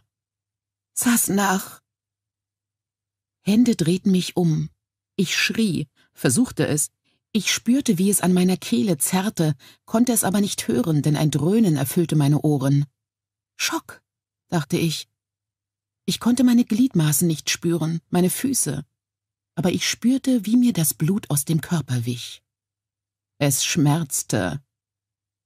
Der Schock lässt nach, dachte ich. Oder wird er schlimmer? Ich konnte die Schmerzen jetzt sehen, die mich durchzuckten wie schwarze Blitze, gezackt und sengend. Saß nach. Was? quetschte ich hinter zusammengebissenen Zähnen heraus. Au! Stirbst du? Wahrscheinlich. Bauchschuss. Das Wort formte sich unangenehm in meinem Kopf, und ich hoffte vage, dass ich es nicht laut ausgesprochen hatte. Doch selbst wenn, Jamie konnte die Wunde ja wohl sehen. Jemand versuchte meine Hände fortzuziehen, und ich wehrte mich, um sie dort zu lassen, weiter Druck auszuüben, doch meine Arme hatten keine Kraft, und ich sah die eine Hand schlaff in der Luft hängen, als sie hochgehoben wurde, die Nägel schwarz mit Blut umrandet, die Finger in Scharlachrot getaucht, triefend. Jemand drehte mich auf den Rücken, und ich glaubte, dass ich wieder schrie. Es schmerzte unaussprechlich. Gallert. Aufprallstoß. Die Zellen in Fetzen und Brei zersprengt. Keine Funktion. Organversagen. Enge. Bekam keine Luft. Ein Rucken und jemand, der über mir fluchte. Meine Augen standen offen. Ich sah Farben, doch die Luft war voller pulsierender Flecken. Rufe. Reden. Ich konnte nicht einatmen. Etwas engte mir die Mitte ein. Was ist zerstört? Wie viel?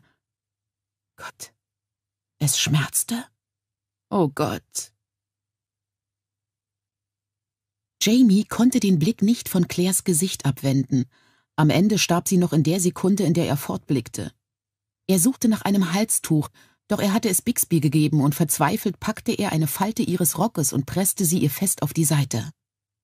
Sie stieß ein grauenvolles Geräusch aus, und fast hätte er losgelassen, doch das Blut färbte den Boden unter ihr schon dunkel, und er drückte fest dazu und schrie Hilfe. Helft mir, Rachel. Dottie. Doch es kam niemand, und als er es doch riskierte, sich den Bruchteil einer Sekunde umzuschauen, sah er nichts als Ansammlungen von Verwundeten und Toten unter den Bäumen und die flimmernden Gestalten von Soldaten, die teils im Laufschritt unterwegs waren, teils benommen zwischen den Grabsteinen umherwankten. Wenn die Mädchen in der Nähe gewesen waren, mussten sie zur Flucht getrieben worden sein, als das Scharmützel über den Kirchhof rollte. Er spürte, wie ihm Claires Blut langsam über den Handrücken rann und rief erneut, so angestrengt, dass seine trockene Kehle schmerzte. Irgend jemand musste ihn doch hören. So war es auch. Er hörte Schritte über den Kies laufen und sah, wie Hauptmann Lecky leichenblass auf ihn zurannte und dabei mit einem Satz über einen Grabstein sprang. Angeschossen? fragte Lecky atemlos und ließ sich neben Jamie auf die Knie sinken. Jamie konnte nicht sprechen, nickte aber. Der Schweiß lief ihm über Gesicht und Wirbelsäule, doch seine Hände schienen an ihrem Körper erstarrt zu sein. Er konnte sie nicht fortziehen, konnte nicht loslassen, bis Lecky, der einen von Claires Körben durchwühlte, ein dickes Stück Watte nahm und Jamies Hand fortriss, um es auf die Stelle zu drücken. Der Arzt schubste ihn nun rücksichtslos beiseite, und Jamie krabbelte noch ein kleines Stück weiter, dann erhob er sich hilflos, schwankend. Er konnte den Blick nicht von Claire abwenden, doch allmählich wurde ihm bewusst, dass sich eine Gruppe von Soldaten um ihn gesammelt hatte, die bestürzt von einem Bein auf das andere traten, ohne zu wissen, was sie tun sollten. Jamie holte krampfhaft Luft, packte den Mann, der ihm am nächsten stand, und schickte ihn schnellstens in die Kirche, um dringend Dr. Hunter zu suchen. Sie würde Danny wollen, wenn sie überlebte, bis er kam. Sir, General Fraser! Selbst als sein eigener Name gerufen wurde, wandte er den Blick nicht von dem Spektakel auf dem Boden ab. Das Blut. So viel Blut, dass ihre Kleider durchtränkte und sich in einer grausigen, dunkelroten Pfütze sammelte, die Leckys Hose durchtränkte, während er über ihr kniete, ihr Haar, das nicht zusammengebunden war und sich wild über den Boden breitete, voller Gras und Laub, ihr Gesicht. Oh Himmel, ihr Gesicht. Sir! Jemand packte seinen Arm, um ihn mit Gewalt auf sich aufmerksam zu machen. Er rammte dem Fremden den Ellbogen in den Bauch, und der Mann grunzte überrascht auf und ließ los. Geschwätziges Flüstern, Aufregung, Stimmen, als die Männer dem Neuankömmling sagten, dass es die Frau des Generals war, verletzt, angeschossen, tot oder kurz davor. Sie stirbt nicht! Bellte er sie an und wandte sich um. Er hatte das dumpfe Gefühl, dass er wie ein Irrer aussehen musste, ihre geschwärzten Gesichter waren entsetzt. Bixby trat vor und berührte ihn sacht an der Schulter, als sei er eine Granate mit brennender Lunte, die in der nächsten Sekunde losgehen könnte. Vielleicht würde er das auch. Kann ich helfen, Sir? sagte Bixby leise. Nein, brachte er heraus. Ich. er. Er deutete auf Lecky, der am Boden mit irgendwelchen Überlebensversuchen konzentriert an Claire zugange war. General, sagte der Neuankömmling, der auf der anderen Seite neben ihm stand. Als er sich zur Seite wandte, sah er einen blau gekleideten Kontinentalsoldaten, einen sehr jungen Mann mit einer viel zu weiten Leutnantsuniform, dessen Miene hartnäckigen Ernst ausdrückte. Ich störe ja nur ungern, Sir, aber da eure Frau ja nicht stirbt. Fort! Der Leutnant zuckte zwar zusammen, hielt aber die Stellung. Sir, sagte er stur, General Lee hat mir aufgetragen, euch zu suchen. Er verlangt, dass ihr ihn augenblicklich aufsucht. Lee kann uns mal, sagte Bixby böse, so dass sich Jamie die Worte sparen konnte. Er näherte sich dem Neuankömmling mit geballten Fäusten. Der Leutnant war ohnehin schon rot vor Hitze, aber jetzt verfärbte er sich noch mehr. Doch er ignorierte Bixby und richtete sein Augenmerk ganz auf Jamie. Ihr müsst kommen, Sir! Stimmen. Ich hörte Worte, zusammenhanglos wie Gewehrkugeln kamen sie aus dem Nebel, und hin und wieder trafen sie. Denzel Hunter suchen! General, nein! Aber man braucht euch in. Nein! Befehl, nein!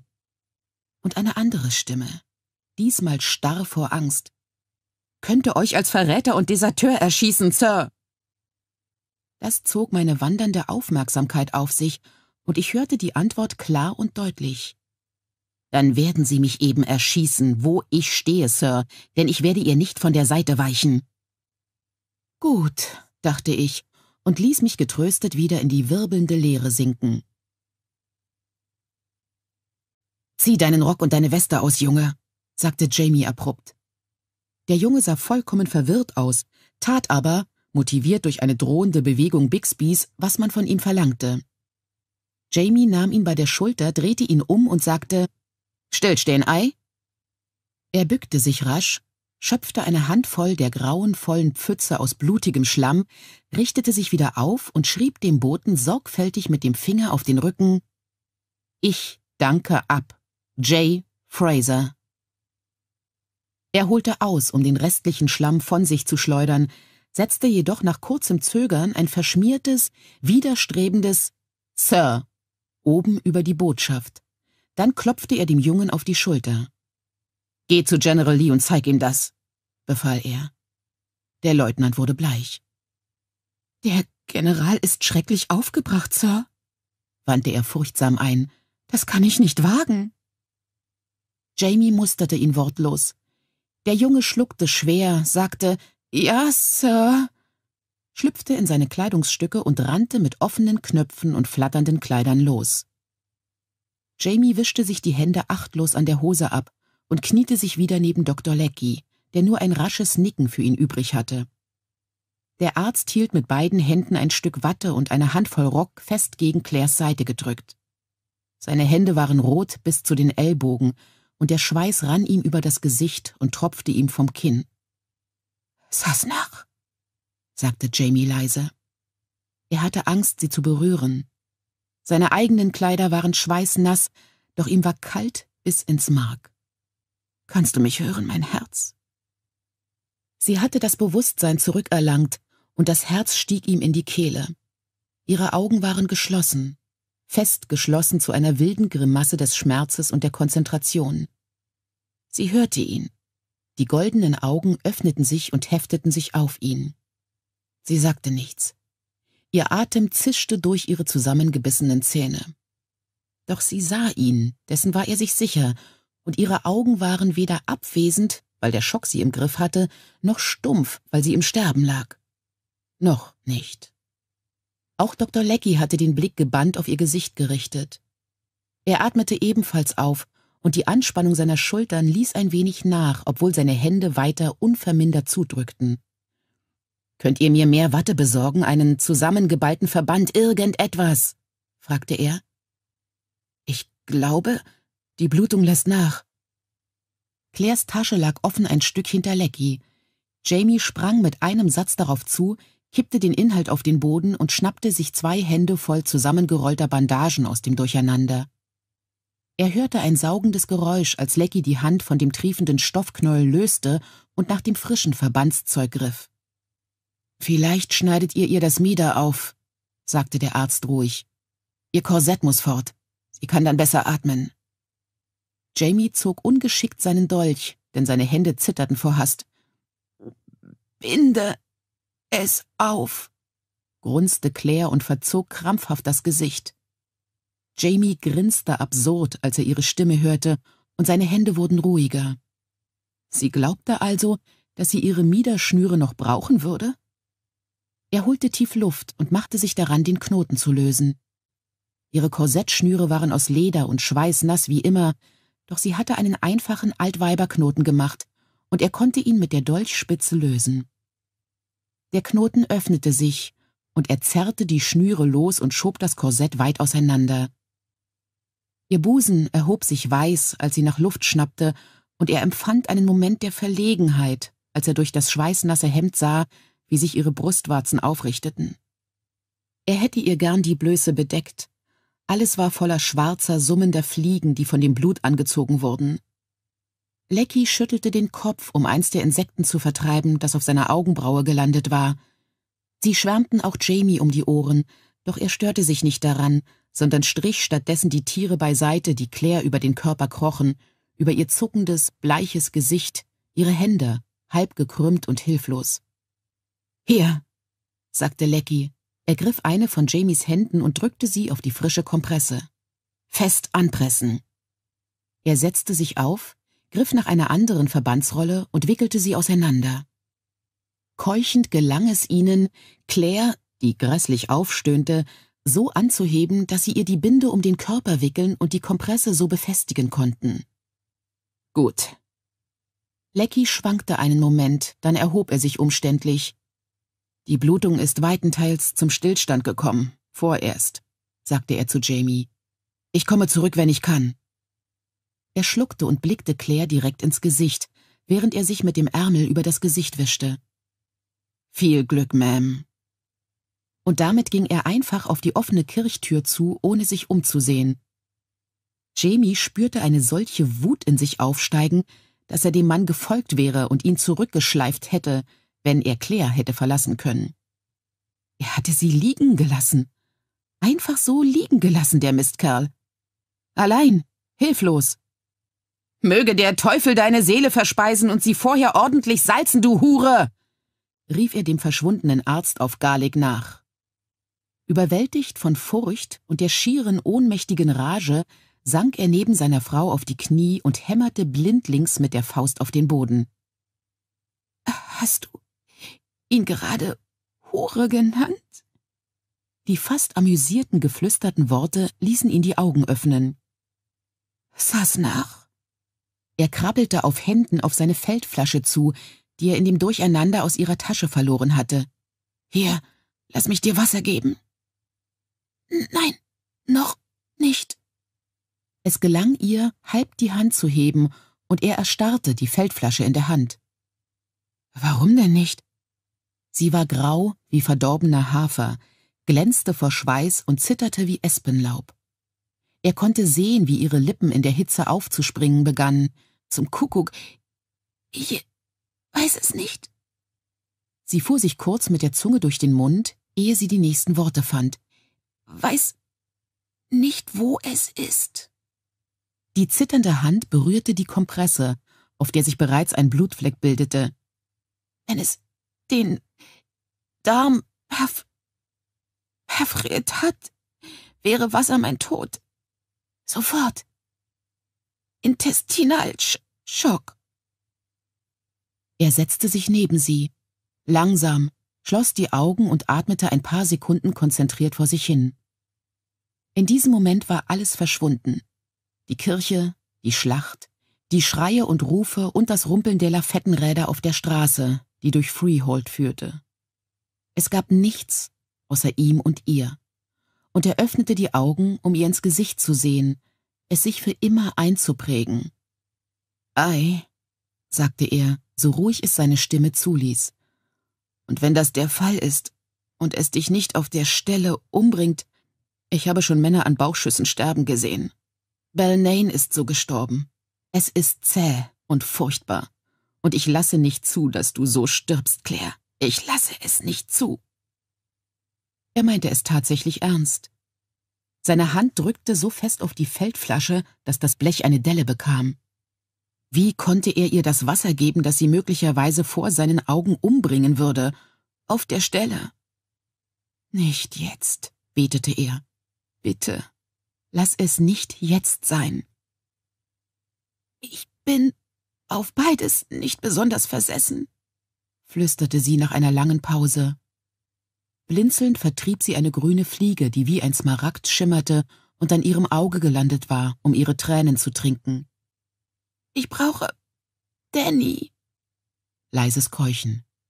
Schnell. Er ist unterwegs, sagte er und ließ sich wieder neben ihr auf die Knie sinken. Er konnte kaum atmen, und seine Hände schwebten über ihr, voller Angst, sie irgendwo zu berühren. Danny ist unterwegs, halte durch. Die Antwort darauf war ein leises Stöhnen. Ihre Augen waren fest geschlossen, die Zähne zusammengebissen, doch zumindest hatte sie ihn gehört. Weil er sich vage daran erinnerte, dass man Menschen zudecken muss, die unter Schock stehen und ihnen die Füße anheben muss, zog er seinen Rock aus und legte ihn über sie, dann zog er seine Weste aus, rollte sie zusammen und schob sie ihr unter die Füße. Wenigstens bedeckte der Rock das Blut, das jetzt die ganze Seite ihres Kleides durchtränkte. Der Anblick machte ihm Todesangst. Sie hatte beide Hände zu Fäusten geballt und fest auf ihre verletzte Seite gedrückt, er konnte ihr nicht die Hand halten. Er legte ihr die Hand auf die Schulter, damit sie wusste, dass er da war, schloss die Augen und betete mit Leib und Seele.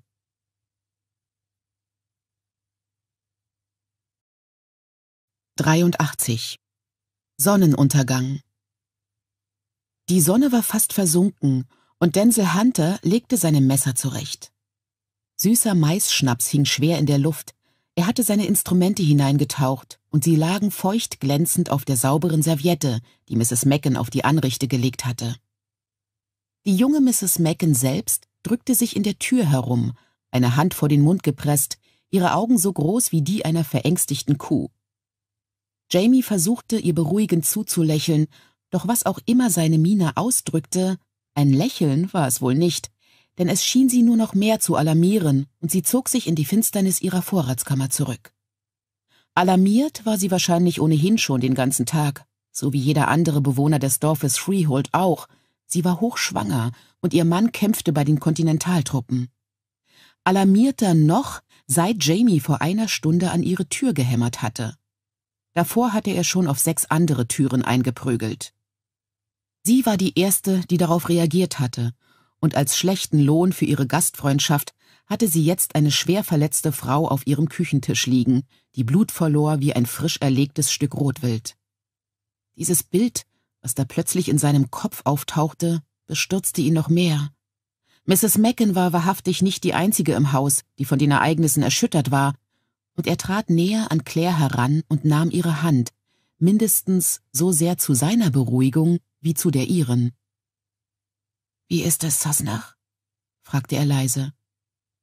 Verdammt furchtbar, erwiderte sie heiser und biss sich auf die Lippe, um nicht noch mehr zu sagen. Solltest du nicht besser einen kleinen Schluck trinken? Er ging zur Anrichte, um die Flasche mit dem Maisschnaps zu holen, doch sie schüttelte den Kopf. Noch nicht. Ich glaube zwar nicht, dass der Darm getroffen ist, aber ich möchte lieber an Blutverlust als an Sepsis oder Schock sterben, wenn ich mich irre. Er drückte ihr die Hand. Sie war kalt, und er hoffte, dass sie weiterreden würde, obwohl er doch wusste, dass er sie nicht zum Reden bringen sollte. Sie würde all ihre Kraft brauchen. Er versuchte mit aller Macht, etwas von seiner eigenen Kraft auf sie zu übertragen, ohne ihr weh zu tun. Die Tür öffnete sich, und Mrs. Macken betrat vorsichtig erneut das Zimmer. Sie brachte einen Kerzenhalter mit einer frischen Wachskerze. Er konnte das süße Bienenwachs riechen, und der Honigduft erinnerte ihn an John Gray.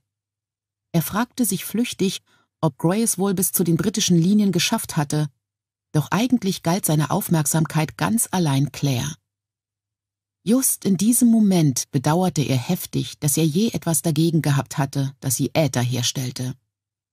Er hätte alles gegeben, was er besaß, um ihr das bewusste Erleben der nächsten halben Stunde zu ersparen. Die sinkende Sonne tauchte das Zimmer in Gold und ließ das Blut, das ihre Verbände tränkte, dunkel aussehen. Pass ja auf, dass du dich konzentrierst, wenn du ein scharfes Messer benutzt, sagte ich schwach. Sonst verlierst du noch einen Finger. Meine Oma hat es immer gesagt. Und meine Mutter auch. Meine Mutter war gestorben, als ich fünf war meine Oma ein paar Jahre später, doch ich hatte sie nicht oft gesehen, da Onkel Lamb mindestens die Hälfte seiner Zeit auf archäologischen Expeditionen rund um die Welt verbrachte und mich dabei im Gepäck hatte. Hast du denn als Kind oft mit scharfen Messern gespielt? fragte Danny. Er lächelte, obwohl sein Blick dabei fest auf das Skalpell gerichtet blieb, das er sorgfältig an einem kleinen Wetzstein schliff. Ich konnte das Öl des Wetzsteins riechen, ein sanfter, dumpfer Geruch unter der Schärfe des Blutes und dem Harzgeruch der unbehandelten Deckenbalken, die über uns in der Hitze buken. Andauernd, hauchte ich und änderte meine Lage, so langsam ich konnte. Ich biss mir fest auf die Unterlippe, und es gelang mir, meinem Rücken Entspannung zu verschaffen, ohne laut aufzustöhnen. Jamies Knöchel wurden jedes Mal weiß, wenn ich das tat. Im Moment stand er am Fenster und klammerte sich an die Fensterbank, während er hinausschaute. Ihn dort zu sehen, die breiten Schultern im Gegenlicht der untergehenden Sonne, rief mir plötzlich eine Erinnerung ins Gedächtnis, überraschend scharf. Oder vielmehr Erinnerungen, denn das Erlebte kehrte in einem Schwall zurück. Und ich sah Jamie, starr vor Angst und Schmerz, die schmale schwarze Gestalt Malva Christies, die sich an ihn lehnte, und erinnerte mich daran, dass ich sowohl ein vages Gefühl der Beleidigung als auch immensen Frieden empfunden hatte, als ich begann, auf den Flügeln des Fiebers meinen Körper zu verlassen. Ich schüttelte die Erinnerung augenblicklich ab, denn es machte mir Angst, auch nur an diesen verlockenden Frieden zu denken. Diese Angst war beruhigend. Ich war dem Tod noch nicht so nah, dass ich mich von ihm angezogen fühlte. Ich bin sicher, dass die Kugel durch die Leber gegangen ist, sagte ich zu Danny und biss die Zähne aufeinander. So viel Blut. Ich bin sicher, dass du recht hast, sagte er und drückte sacht gegen meine Seite. Die Leber ist eine große, dicht mit Gefäßen durchzogene Gewebemasse, fügte er hinzu, was an Jamie gerichtet war, der sich nicht vom Fenster abwandte, sondern schützend die Schultern hochzog, um gegen weitere grauenvolle Nachrichten gewappnet zu sein. Aber das Exzellente an einer Leberverletzung, fügte Danny fröhlich hinzu, ist, dass die Leber sich im Unterschied zu den anderen Organen des Körpers wieder regeneriert. Das sagt mir zumindest deine Frau. Jamie warf mir einen kurzen, gehetzten Blick zu und schaute dann wieder wortlos zum Fenster hinaus. Ich atmete so flach ich konnte, während ich versuchte, den Schmerz zu ignorieren und noch angestrengter versuchte, nicht über das nachzudenken, was Danny jetzt tun würde und musste. Diese kleine Übung in Selbstdisziplin dauerte etwa drei Sekunden. Wenn wir alle Glück hatten, würde es unkompliziert sein und schnell gehen. Er musste die Eintrittswunde so weit vergrößern, dass er sehen konnte, welche Richtung die Kugel genommen hatte, und dann eine Sonde einführen, in der Hoffnung, die Kugel zu finden, ohne dass er danach stochern musste. Dann, rasch, so konnte ich nur hoffen, diejenige seiner Pinzetten einführen, die er für die am besten geeignete hielt. Er hatte drei in diversen Längen, dazu eine Greifzange Gut, um einen runden Gegenstand zu packen, doch die Klemmbacken waren viel größer als die Spitzen einer Pinzette und würden eine stärkere Blutung verursachen. Wenn es nicht einfach war oder schnell ging, würde ich sehr wahrscheinlich vor Ablauf der nächsten halben Stunde tot sein. Das, was Danny zu Jamie gesagt hatte, war absolut korrekt. Die Leber ist dicht von Gefäßen durchzogen, ein enormer Schwamm aus kleinen Äderchen, die von großen Gefäßen wie der Pfortader gekreuzt wurden. Das war der Grund, warum die Wunde so alarmierend geblutet hatte, obwohl sie oberflächlich klein war. Es war keines der großen Gefäße verletzt. Noch nicht, denn sonst wäre ich innerhalb von Minuten verblutet. Ich versuchte flach zu atmen, weil es so schmerzte, doch ich verspürte das überwältigende Bedürfnis, tief und kräftig Luft zu holen. Ich brauchte Sauerstoff, weil ich so viel Blut verloren hatte. Sally huschte mir durch den Kopf und ich benutzte den Gedanken an sie, um mich abzulenken. Sie hatte die Amputation überlebt, schreiend, trotz des Lederknebels in ihrem Mund, während Gabriel, ja, Gabriel, das war der Name des jungen Mannes, der sie begleitete, mit weißen Augen wie ein verängstigtes Pferd darum kämpfte, sie ruhig zu halten und dabei nicht selbst ohnmächtig zu werden. Sie war zum Glück gegen Ende ohnmächtig geworden. So viel dazu, Ernest, dachte ich benommen und ich hatte sie beide in Rachels Obhut zurückgelassen. Wo ist Rachel, Danny? fragte ich, weil sie mir plötzlich einfiel. Ich hatte zwar den Eindruck, sie kurz auf dem Kirchhof gesehen zu haben, nachdem ich getroffen worden war, doch ich wusste nichts von dem, was in diesem Strudel aus Schwarz und Weiß geschehen war, mit Gewissheit. Dannys Hand hielt einen Moment inne, und sein Kautereisen schwebte über einem kleinen Kohlebecken, das qualmend am Ende der Anrichte stand. Sie ist auf der Suche nach Ian, glaube ich, sagte er leise und legte das Eisen ganz sacht in das Feuer. Bist du bereit, Claire? Ian, dachte ich. Oh Gott, er ist noch nicht zurück. So bereit wie nur möglich, brachte ich heraus und bildete mir jetzt schon den Gestank verbrannten Fleisches ein meines verbrannten Fleisches. Wenn die Kugel in der Nähe eines der großen Blutgefäße saß, war es möglich, dass Dannys Umhertasten es zum Platzen brachte und ich innerlich verblutete. Das Kauterisieren konnte dazu führen, dass ich plötzlich in einen Schockzustand geriet und ohne Vorwarnung starb. Am wahrscheinlichsten jedoch würde ich zwar die Operation überleben, aber dann an einer Infektion sterben. Tröstender Gedanke. Zumindest würde mir in diesem Fall Zeit bleiben, einen kurzen Brief an Brianna zu schreiben. Und vielleicht Jamie zu warnen, beim nächsten Mal besser aufzupassen, wen er heiratete. Halt! sagte Jamie. Er hob zwar die Stimme nicht, doch sie klang so drängend, dass Danny erstarrte. Ich schloss die Augen, legte meine Hand vorsichtig auf den Verband und versuchte mir vorzustellen, wo die verdammte Kugel wohl sein könnte. Saß sie nur in der Leber oder war sie ganz hindurchgegangen? Doch meine ganze rechte Seite war so quälend zugeschwollen, dass ich keine einzelne brennende Spur aus Schmerz ausmachen konnte, die zu der Kugel führte. Was ist, Jamie? fragte Danny, der es jetzt eilig hatte, zur Sache zu kommen. Deine Verlobte, sagte Jamie und klang verwundert, kommt mit einem Trupp Soldaten die Straße herauf. Meinst du, sie steht unter Arrest? fragte Danny, der sich große Mühe gab, Ruhe vorzutäuschen, doch ich sah das leichte Zittern seiner Hand, als er nach einer Leinenserviette griff. Ich glaube nicht, sagte Jamie skeptisch. Sie unterhält sich lachend mit Ihnen. Danny nahm seine Brille ab und wischte sie sorgfältig klar. Dorothea ist eine Grey, sagte er. Ein jedes Mitglied ihrer Familie würde noch am Galgen innehalten, um eine kleine Scharfsinnigkeit mit dem Henker auszutauschen, ehe es gnädigerweise mit eigener Hand den Kopf in die Schlinge steckt. Das entsprach so sehr der Wahrheit, dass ich lachen musste, obwohl mir der Humor durch den brennenden Schmerz verging, der mir den Atem raubte. Jamie sah mich scharf an, doch ich winkte mit einer schwachen Handbewegung ab, und er ging zur Tür, um sie zu öffnen.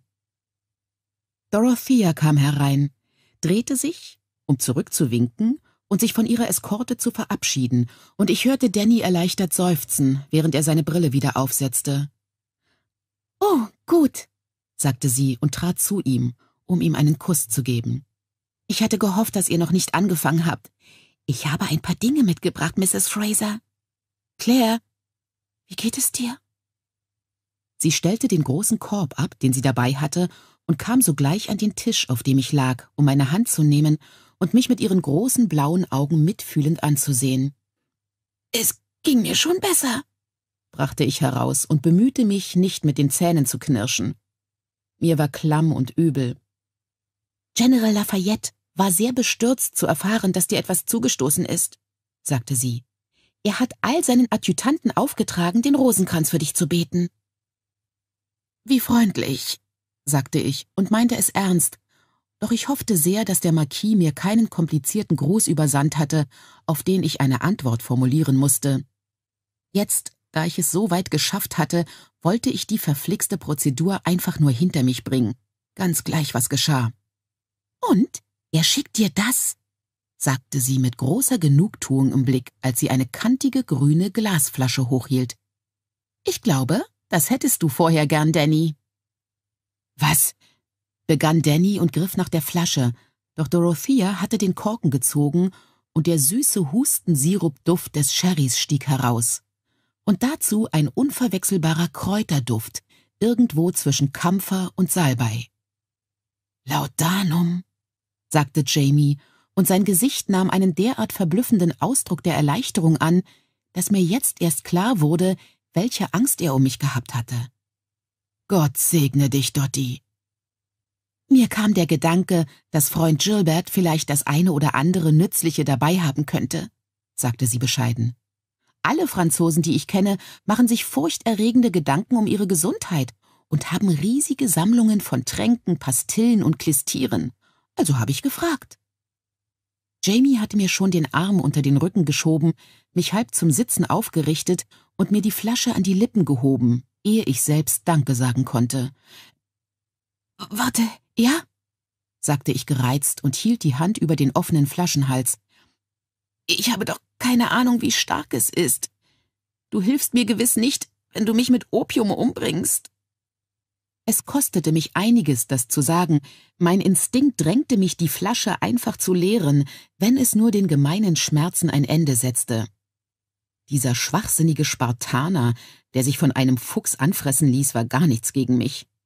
Doch vor allem wollte ich nicht sterben, weder durch die Schussverletzung noch durch Fieber oder durch ein medizinisches Missgeschick.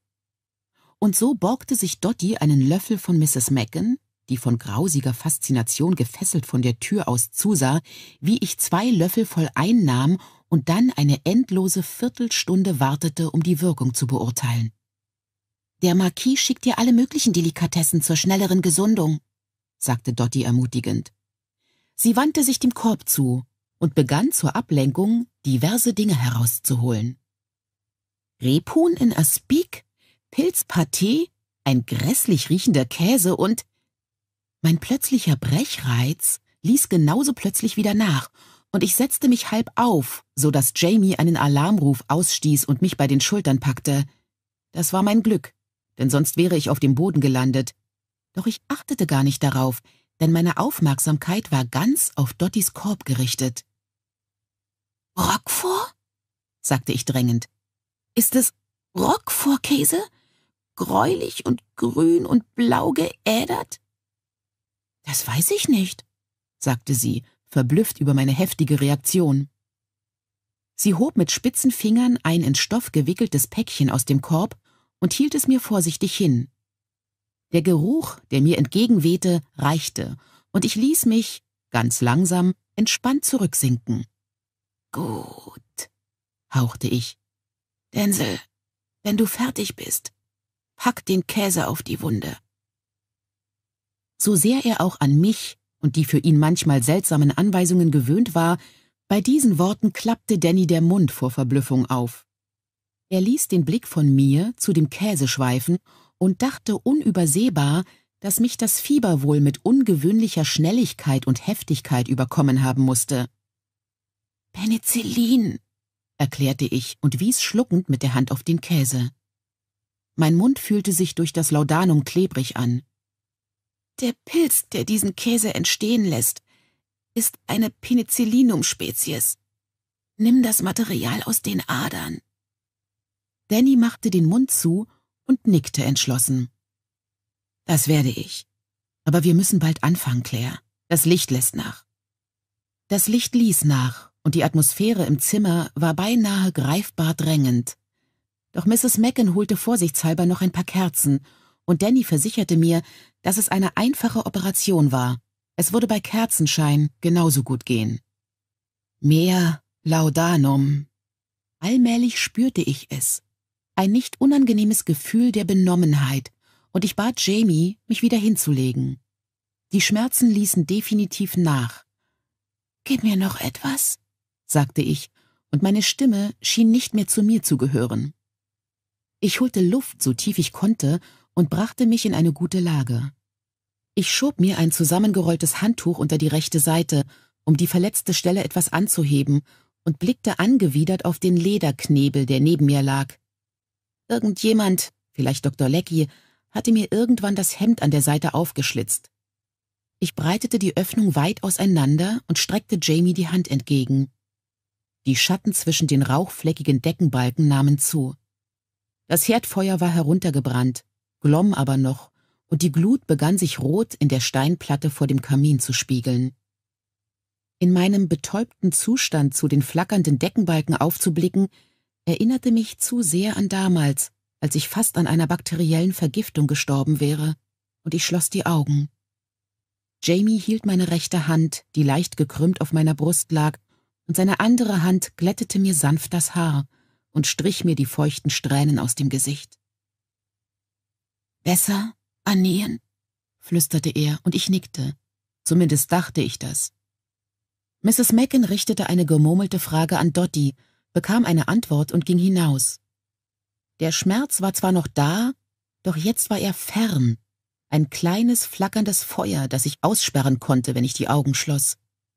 Das Pochen meines Herzschlags war mir näher, und allmählich kamen mir, nun, nicht ganz Halluzinationen. Aber es waren zusammenhanglose Bilder, die Gesichter von Fremden, die hinter meinen Augen auftauchten und wieder verschwanden. Einige sahen mich an, andere schienen mich nicht zu bemerken. Sie lächelten, höhnten und grinsten, doch eigentlich hatten sie nichts mit mir zu tun. Noch einmal, Sasnach, flüsterte Jamie, hob meinen Kopf und hielt mir den Löffel an die Lippen, klebrig von Sherry und bitter schmeckendem Opium. Einen noch. Ich schluckte und legte mich zurück. Wenn ich starb, würde ich meine Mutter wiedersehen? Fragte ich mich und empfand eine solch plötzliche Sehnsucht nach ihr, dass mich deren Intensität schockierte. Ich versuchte mir, ihr Gesicht vorzustellen, sie aus der Schar der Fremden herauszulösen, als mir meine Gedanken entglitten und ich in ein dunkles, dunkles Blau davonzudriften begann. Verlass mich nicht, Claire, flüsterte Jamie dicht an meinem Ohr. Diesmal flehe ich darum. Geh nicht von mir, bitte. Ich konnte die Wärme seines Gesichts spüren, das Leuchten seines Atems auf meiner Wange sehen, obwohl meine Augen geschlossen waren. Das tue ich nicht, sagte ich, oder ich dachte, dass ich es sagte, und ging. Mein letzter klarer Gedanke war, dass ich vergessen hatte, ihm zu sagen, dass er keine Idiotin heiraten sollte. Der Himmel im Freien war Lavendel, und Claires Haut war in Gold getaucht. Sechs Kerzen brannten im Zimmer verteilt, die Flammen groß und reglos in der schweren Luft. Jamie stand an ihrem Kopf, eine Hand auf ihrer Schulter, als könnte er ihr Beistand spenden. In Wirklichkeit war es das Wissen, dass sie unter seiner Hand lebendig war, das ihn auf den Beinen hielt. Danny stieß unter seiner Räubermaske einen kleinen Laut der Genugtuung aus, und Jamie sah, wie sich der Muskel seines entblößten Unterarms anspannte, als er Claire das Instrument langsam aus dem Körper zog. Aus der Wunde strömte Blut, und Jamie spannte sich an wie eine Katze, bereit, mit einer Kompresse zu Hilfe zu eilen, doch es folgte kein weiterer Strahl, und das Blut tröpfelte nur noch. Dann ein letzter kleiner Strom, als die Klemmbacken des Instrumentes zum Vorschein kamen. Dazwischen steckte etwas Dunkles.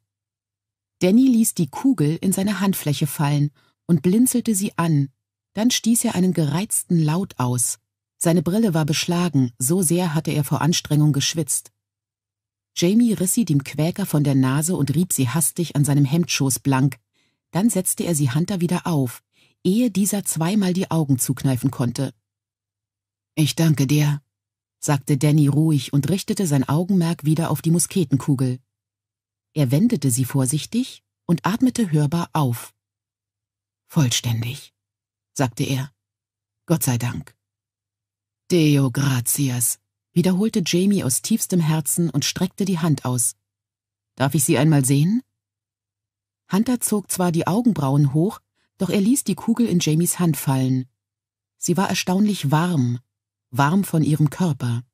Wärmer noch als die Luft oder Jamies ebenfalls verschwitzte Haut, und das Gefühl ließ ihn die Faust darum schließen. Er warf einen verstohlenen Blick auf Claires Brust, sie hob und senkte sich, wenn auch mit alarmierender Langsamkeit. Beinahe genauso langsam öffnete er die Hand. Wonach suchst du, Jamie? fragte Danny und hielt inne, um seine Hakensonde neu zu sterilisieren. Ritzen, ein Schlitz, ein Kreuz, irgendein Anzeichen dafür, dass die Kugel manipuliert wurde. Er drehte die Kugel sorgfältig zwischen den Fingern hin und her, dann entspannte er sich, und ein kleiner Stoß der Dankbarkeit ließ ihn noch einmal Deo gratias murmeln. Manipuliert? Danny hatte zwei senkrechte Falten zwischen den Augenbrauen, die sich jetzt vertieften, als er aufblickte. Du meinst, damit die Kugel zersplittert? Das. Oder schlimmer. Manchmal reibt jemand etwas in die Ritzen, Gift zum Beispiel. Oder, oder Kot. Nur für den Fall, dass die Wunde selbst nicht tödlich ist, ei? Hunter war schockiert. Seine entsetzte Miene war auch unter dem schützenden Taschentuch deutlich zu erkennen. Wenn man jemanden töten will, will man ihm ja nichts Gutes, sagte Jamie trocken. Ja, aber. Hunter senkte den Blick und legte sein Instrument vorsichtig auf das Handtuch, als wäre es aus Porzellan, nicht aus Metall. Sein Atem ließ das Taschentuch vor seinem Mund flattern. Aber es ist doch wohl eine Sache, in der Schlacht zu töten, auf einen Feind zu schießen, wenn es um das eigene Leben geht, und kaltblütig zu beabsichtigen, dass der Feind einen schrecklichen, langsamen Tod sterben soll. Claire stöhnte markerschütternd auf und zuckte unter seinen Händen, als Danny vorsichtig auf die Wundränder drückte. Jamie fasste sie bei den Ellbogen, um zu verhindern, dass sie sich umdrehte. Danny griff noch einmal nach der Pinzette. Du würdest es aber nicht tun, sagte Hunter mit Gewissheit. Sein Blick war ganz auf sein Vortasten konzentriert, und er hielt eine Kompresse unter die Wunde, um das langsam heraustropfende Blut aufzufangen. Jamie spürte den Verlust jedes einzelnen Tropfens, als liefe er ihm selbst aus den Adern, und ihm war kalt, wie viel konnte sie verlieren und trotzdem weiterleben. Nein, so etwas wäre feige. Doch seine Worte kamen mechanisch, beinahe abwesend. Sie war erschlafft, er sah, wie sich ihre Finger lösten und blickte ihr ins Gesicht, auf den Hals, suchte nach einem sichtbaren Puls. Er spürte es in seinem Daumen schlagen, dort, wo er gegen den Knochen ihres Arms drückte, doch er konnte nicht sagen, ob es ihr Herz war, das dort schlug, oder das seine. Dannys Atem war ihm deutlich bewusst, hörbar hinter der Maske. Es gab eine kurze Pause, und Jamie hob den Blick von Claires Gesicht und sah die Konzentration des Quäkers, als er das Instrument ein weiteres Mal hervorzog. Diesmal, um einen kleinen, nicht identifizierbaren Klumpen geklammert. Danny öffnete die Pinzette und ließ den Klumpen auf das Handtuch fallen. Dann benutzte er das Instrument, um ihn zu wenden und zu versuchen, ihn auszubreiten. Jamie sah, wie sich winzige dunkle Fädchen aufrichteten, als das Blut das Handtuch mit einem leuchtend roten Fleck tränkte. Stoff. Was meinst du? fragte ihn Danny und sah den Gegenstand stirnrunzelnd an. Ist es von ihrem Hemd oder dem dem Mieder oder von ihrem Korsett? Dem Loch in ihrem Korsett nach würde ich sagen. Jamie grub hastig in seinem Sporran, zog den kleinen Seidenbeutel hervor, in dem er seine Lesebrille aufbewahrte und setzte sie auf. Es sind mindestens zwei verschiedene Stücke, verkündete er nach nervöser Betrachtung. Leinen aus dem Korsett und ein leichteres Stoffstück, siehst du? Er nahm eine Sonde und schob die Fragmente vorsichtig auseinander. Ich glaube, das eine Stück ist ihr Hemd. Danny blickte auf den traurigen Berg blutiger Kleider am Boden und Jamie, der sofort begriff, was er wollte, griff hinein, suchte und zog die Überreste ihres Kleides hervor. Das Loch ist sauber, sagte Danny mit einem Blick auf den Stoff, den Jamie auf dem Tisch ausbreitete. Vielleicht. Er ergriff die Pinzette und wandte sich zurück, ohne seinen Satz zu beenden. Noch einmal tastete er sich vor, tiefer, und Jamie biss die Zähne zusammen, um keinen Protestlaut auszustoßen. Die Leber ist so stark durchblutet, hatte sie gesagt, als sie mit Danny besprach, was er zu tun hatte. Das Risiko zu verbluten. Ich weiß, murmelte Danny, ohne aufzublicken. Der Schweiß hatte ihm das Taschentuch an das Gesicht geklebt, so dass sich Nase und Lippen abmalten und seine Worte sichtbar waren. Ich bin ganz vorsichtig. Ich weiß, sagte Jamie, jedoch so leise, dass er nicht wusste, ob ihn Hunter gehört hatte. Bitte, bitte lass sie leben. Selige Mutter, rette sie. Rette sie, rette sie, rette sie. Seine Worte liefen ineinander, und er war sich ihrer nicht länger bewusst, wusste nur noch, dass er verzweifelt flehte. Der rote Fleck auf dem Handtuch unter ihr hatte alarmierende Ausmaße angenommen, als Hunter schließlich sein Instrument ablegte und seufzend die Schultern zusammensacken ließ. Ich glaube, ich hoffe, ich habe alles. Gut, ich. Was tust du jetzt? Er sah Danny hinter dem nassen Tuch ein wenig lächeln, während seine braunen Augen sanft und ruhig darüber hinwegleuchteten. Die Wunde kauterisieren und verbinden und dann beten, Jamie.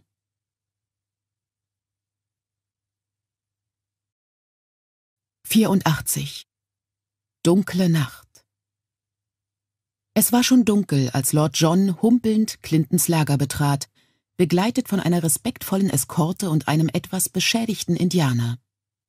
Die Stimmung war so, wie es nach einer Schlacht zu erwarten war, eine Mischung aus Erregung und Erschöpfung, wobei letztere überwog. Keine Albereien zwischen den Zelten, keine Musik. Doch überall saßen Männer an den Lagerfeuern und um die Feldküchen und aßen, kamen allmählich wieder zu Atem, redeten leise über den Tag. Keine Feierstimmung, eher Verärgerung und mürrische Überraschung. Kräftiger Geruch nach gebratenem Hammel durchdrang die Mischung aus Staub, Maultieren und schwitzenden Menschenmassen, und Gray lief so heftig das Wasser im Munde zusammen, dass er schlucken musste, ehe er Major Andrews höfliche Frage nach seinen Wünschen beantworten konnte.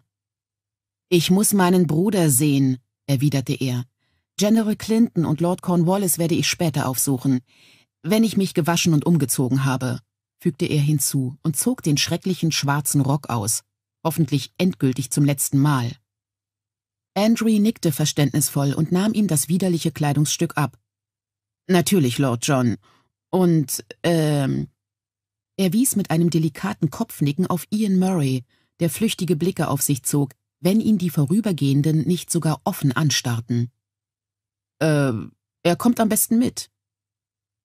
Er folgte Andrew zwischen den geordneten Zeltreihen hindurch, hörte Feldgeschirr scheppern und spürte geradezu tröstend, wie rings um ihn die unerschütterliche Armeeroutine ihren Lauf nahm. Murray folgte ihm schweigend auf dem Fuße. Er hatte keine Ahnung, was der Mann dachte und war viel zu erschöpft, um sich dafür zu interessieren. Doch er spürte, wie Murrays Schritt innehielt und sah sich automatisch um. Murray hatte sich umgewandt und seine Aufmerksamkeit war ganz und gar auf ein Feuer in der Nähe gerichtet, ein offenes Lagerfeuer, an dem mehrere Indianer saßen. Gray fragte sich dumpf, ob es wohl Murrays Freunde waren, und korrigierte diesen Eindruck in der nächsten Sekunde, als Murray mit drei Riesenschritten auf einen der Indianer zuging, ihm den Unterarm um die Kehle legte und ihn so heftig in die Seite boxte, dass dem anderen mit einem hörbaren Keuchlaut der Atem verging. Dann warf Murray den Indianer zu Boden, ließ sich mit beiden Knien auf ihn plumpsen, Gray zuckte zusammen, als er landete, und packte den Mann an der Kehle. Die anderen Indianer sprangen lachend aus dem Weg und stießen schrille Japslaute aus. Ob zur Ermunterung oder aus Verachtung konnte Gray nicht sagen. Blinzelnd stand er da und schwankte sacht, genauso unfähig einzugreifen wie den Blick abzuwenden.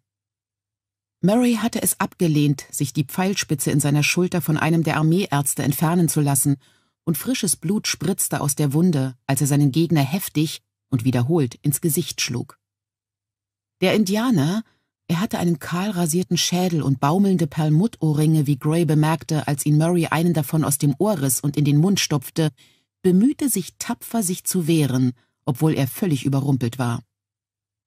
Meint ihr, Sie sind miteinander bekannt? fragte Major Andrew Gray. Er hatte kehrt gemacht, als er die Rufe hörte, und nun stand er neben Gray und beobachtete die Schlägerei voll Neugier. Ich gehe davon aus, erwiderte Gray geistesabwesend. Er warf einen kurzen Blick auf die anderen Indianer, von denen keiner Interesse daran zu haben schien, ihrem Kameraden zu Hilfe zu kommen, obwohl einige von ihnen anscheinend Wetten auf den Ausgang abschlossen. Sie hatten zwar eindeutig getrunken, schienen aber nicht berauschter zu sein, als es die anderen Soldaten um diese Tageszeit waren. Die Kämpfenden wälzten sich jetzt auf dem Boden und rangen offensichtlich um ein großes Messer, das dem Mann gehörte, den Murray angegriffen hatte. Die Schlägerei zog jetzt weitere Aufmerksamkeit auf sich. Einige Männer waren von den Feuern ringsum gekommen und drängten sich hinter Gray und Andrew, wo sie Spekulationen anstellten, hastige Wetten abschlossen und Ratschläge riefen. Inmitten seiner Erschöpfung war sich Gray einer gewissen Sorge um Murray bewusst, und das nicht nur um Murrays willen.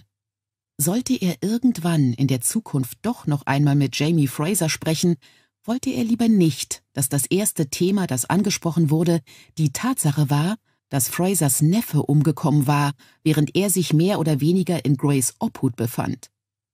Ihm fiel jedoch ums Verrecken nichts ein, was er hätte unternehmen können, und so stand er einfach weiter da und schaute zu. Wie die meisten Schlägereien dauerte es nicht lange. Murray bekam das Messer in die Hand, und zwar auf ebenso brutale, aber effektive Weise, indem er nämlich einen Finger seines Gegners rückwärts bog, bis er brach, und die Waffe ergriff, als der Mann laut stöhnend losließ. Als Murray seinem offensichtlichen Feind dann die Klinge an den Hals drückte, kam Gray verspätet der Gedanke, dass er tatsächlich vorhaben könnte, ihn umzubringen. Die Männer ringsum dachten das mit Sicherheit. Alles schnappte nach Luft, als Murray seinem Gegner die Klinge quer über die Kehle zog. In der kurzen Stille, die dadurch entstand, konnten die meisten Anwesenden hören, wie Murray mit merklicher Überwindung sagte Ich gebe dir dein Leben zurück. Schwankend und blicklos, als sei er selbst stockbetrunken, erhob er sich vom Körper des Indianers und schleuderte das Messer in die Finsternis, was ihm bestürzte Ausrufe und heftige Flüche seitens derjenigen einbrachte, in deren Richtung er es geschleudert hatte. Die Antwort des Indianers hörten die meisten in der allgemeinen Aufregung wahrscheinlich nicht, doch Gray und Andrew hörten sie. Er setzte sich langsam auf, und seine Hände zitterten, als sie ein Stück seines Hemds auf den flachen Schnitt an seinem Hals drückten. Fast im Konversationston sagte er, Das wirst du noch bereuen, Mohawk. Murray keuchte wie ein überanstrengtes Pferd, und seine Rippen waren mit jedem Atemzug deutlich zu sehen. Der Großteil der Farbe in seinem Gesicht war jetzt verschwunden. Er hatte rote und schwarze Schmierspuren auf der glänzenden Brust, und es war ihm nur ein Querstreifen in einer dunklen Farbe auf den Wangen geblieben, das und ein weißer Fleck auf der Schulterkuppe oberhalb der Pfeilwunde. Er nickte vor sich hin, einmal, dann zweimal. Dann trat er ohne Hast wieder in den Feuerschein, ergriff einen Tomahawk, der auf dem Boden lag, holte mit beiden Händen aus und ließ ihn auf den Schädel des Indianers krachen. Das Geräusch ließ Gray erstarren und brachte alle Anwesenden zum Schweigen. Einen Moment stand Murray still und atmete schwer, dann wandte er sich ab und ging. Als er an Gray vorüberkam, sah er ihm ruhig in die Augen und sagte in völlig ungerührtem Ton Er hatte recht. Ich hätte es bereut, ehe er in der Nacht verschwand. Etwas verspätet kam Bewegung in die Zuschauer, und Andrew sah Gray an, doch er schüttelte den Kopf. Die Armee nahm keine offizielle Notiz von dem, was unter den Indianerkundschaftern vor sich ging, es sei denn, es gab einen Zwischenfall, in den reguläre Soldaten verwickelt waren. Und irregulärer als bei dem Herrn, der sie gerade verlassen hatte, ging es ja wohl nicht. Andrew räusperte sich. War er euer, ähm, Gefangener, my Lord? Äh, nein, ein angeheirateter Verwandter. Oh, ich verstehe. Die Schlacht endete nicht, bevor es vollständig dunkel war. Das entnahm William den Worten des Laufburschen, der ihm das Abendessen brachte, und er konnte die Geräusche eines Lagers hören, das langsam den Betrieb wieder aufnimmt, während die Kompanien zurückkehrten, abtreten durften und die Männer sich verstreuten, um ihre Ausrüstung abzulegen und sich etwas zu essen zu suchen. Es hatte nichts von der üblichen Entspannung, die nach Sonnenuntergang über einem Lager lag. Alles war erregt und rastlos. So auch William. Er hatte furchtbare Kopfschmerzen. Jemand hatte ihm die Kopfhaut genäht, die Naht war empfindlich und juckte. Onkel Hal war nicht mehr zurückgekommen und alles, was er wusste, entstammte dem oberflächlichen Bericht des Laufburschen. Der besagte nur, dass es keinen klaren Sieg über die Amerikaner gegeben hatte, sondern dass sich alle drei Teile der Armee Clintons geordnet, aber unter beträchtlichen Verlusten, zurückgezogen hatten. Eigentlich war er sich überhaupt nicht sicher, ob er mehr wissen wollte. Irgendwann würde ihn Sir Henry sowieso wegen des missachteten Befehls zur Rede stellen, obwohl Sir Henry ja vielleicht anderes zu tun haben würde als... Dann hörte er Schritte und setzte sich hin. Sein Grübeln endete in der Sekunde, als sich der Zelteingang hob und er seinen Vater sah. Lord John, verbesserte er sich, jedoch nur flüchtig. Sein Vater kam ihm überraschend klein vor, beinahe zerbrechlich, und als er langsam in das Licht der Laterne humpelte, sah William den Verband um seinen Kopf und die improvisierte Schlinge. Dann senkte er den Blick und sah auch den Zustand der nackten Füße seines Vaters. Bist du... begann er schockiert, doch Lord John unterbrach ihn. Mir fehlt nichts, sagte er und versuchte zu lächeln, obwohl sein Gesicht kreidebleich und von Erschöpfung zerfurcht war. Es ist alles gut, Willy. Solange du am Leben bist ist alles gut. Er sah, wie sein Vater plötzlich schwankte und die Hand ausstreckte, als suchte er Halt. Da er nichts fand, zog er die Hand zurück und zwang sich aufrecht zu stehen. Lord Johns Stimme war heiser, sein sichtbares Auge blutunterlaufen und erschöpft, aber sanft. William schluckte. Wenn wir miteinander reden müssen, Willy, du und ich, und das müssen wir natürlich. Lass es bis morgen warten. Bitte, ich bin nicht... Seine Hand vollführte eine vage Geste, die im Nichts endete. Der Kloß in Williams Hals kam plötzlich und schmerzhaft. Er nickte, die Hände fest in die Bettwäsche gekrallt. Sein Vater nickte ebenfalls, holte tief Luft und wandte sich zum Eingang, wo, wie William sah, sein Onkel Hal wartete, den Blick auf seinen Vater gerichtet und die Stirn voll Sorgenfalten. Sein Herz ballte sich zusammen, schmerzhafter als der Kloß in seinem Hals. Papa. Sein Vater blieb abrupt stehen und sah sich um. Ich bin froh, dass du nicht tot bist, entfuhr es William. Ein Lächeln erblühte langsam im geschundenen Gesicht seines Vaters. Ich auch, sagte er. Auf seinem Weg hinaus aus dem britischen Lager blickte Ian weder nach rechts noch nach links. Rings um ihn pulsierte langsam die Nacht.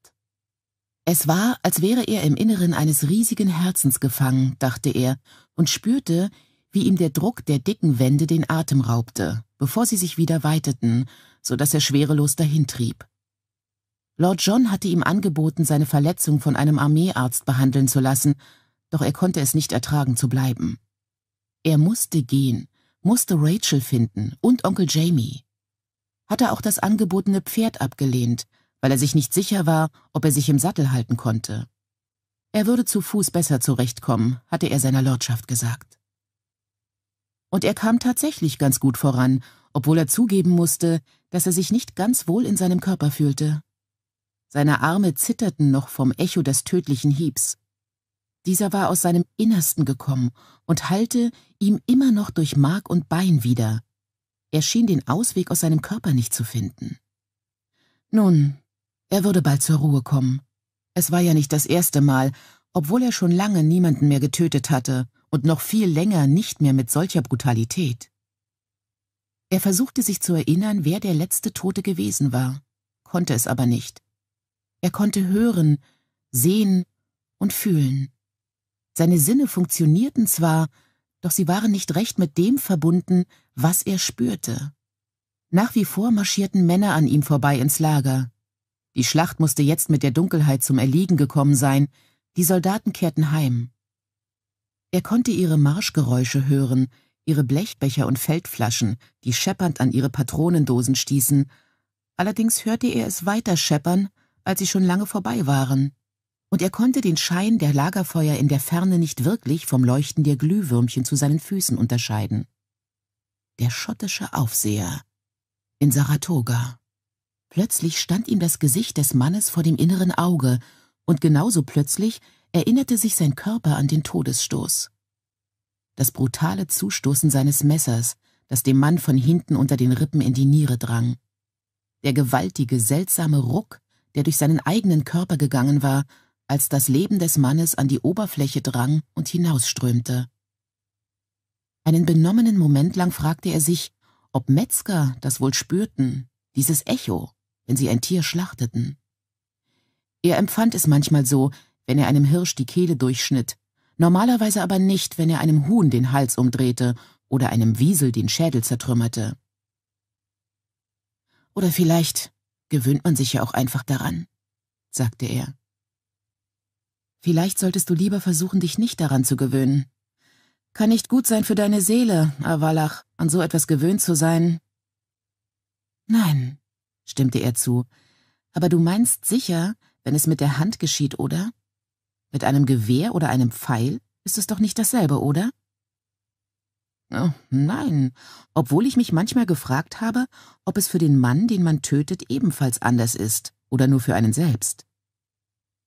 Ians Füße stolperten in ein knietiefes Pflanzenbüschel, und er begriff, dass er von der Straße abgekommen war. Der Mond war gerade untergegangen und die Sterne leuchteten schwach am Himmel. Anders, murmelte er und nahm wieder Kurs auf die Straße. Wie meinst du das anders? Er wäre doch so oder so tot. Ei, das stimmt. Aber vielleicht ist es ja schlimmer, wenn man das Gefühl hat, es ist etwas Persönliches. In der Schlacht erschossen zu werden, ist so ähnlich, als würde man vom Blitz getroffen. Aber wenn du einen Mann mit den Händen umbringst, musst du es eindeutig persönlich meinen. Hm. Ein kleines Stück ging Ian schweigend weiter, und die Gedanken schwammen ihm durch den Kopf wie Blutegel in einem Glas, hierhin und dorthin. Ei, nun ja, sagte er schließlich und begriff plötzlich, dass er zum ersten Mal laut gesprochen hatte. Es war ja auch persönlich. Das Beben in seinen Knochen hatte im Gehen nachgelassen. Der gewaltige Puls der Nacht war zusammengeschrumpft und hatte sich auf die Pfeilwunde gesenkt, deren Schmerz im Rhythmus seines Herzens schlug. Das jedoch lenkte seine Gedanken auf Rachels weiße Taube, die gelassen über der schmerzenden Stelle flog, und er wurde ruhig. Jetzt konnte er Rachels Gesicht sehen, und er hörte Heimchen zirpen.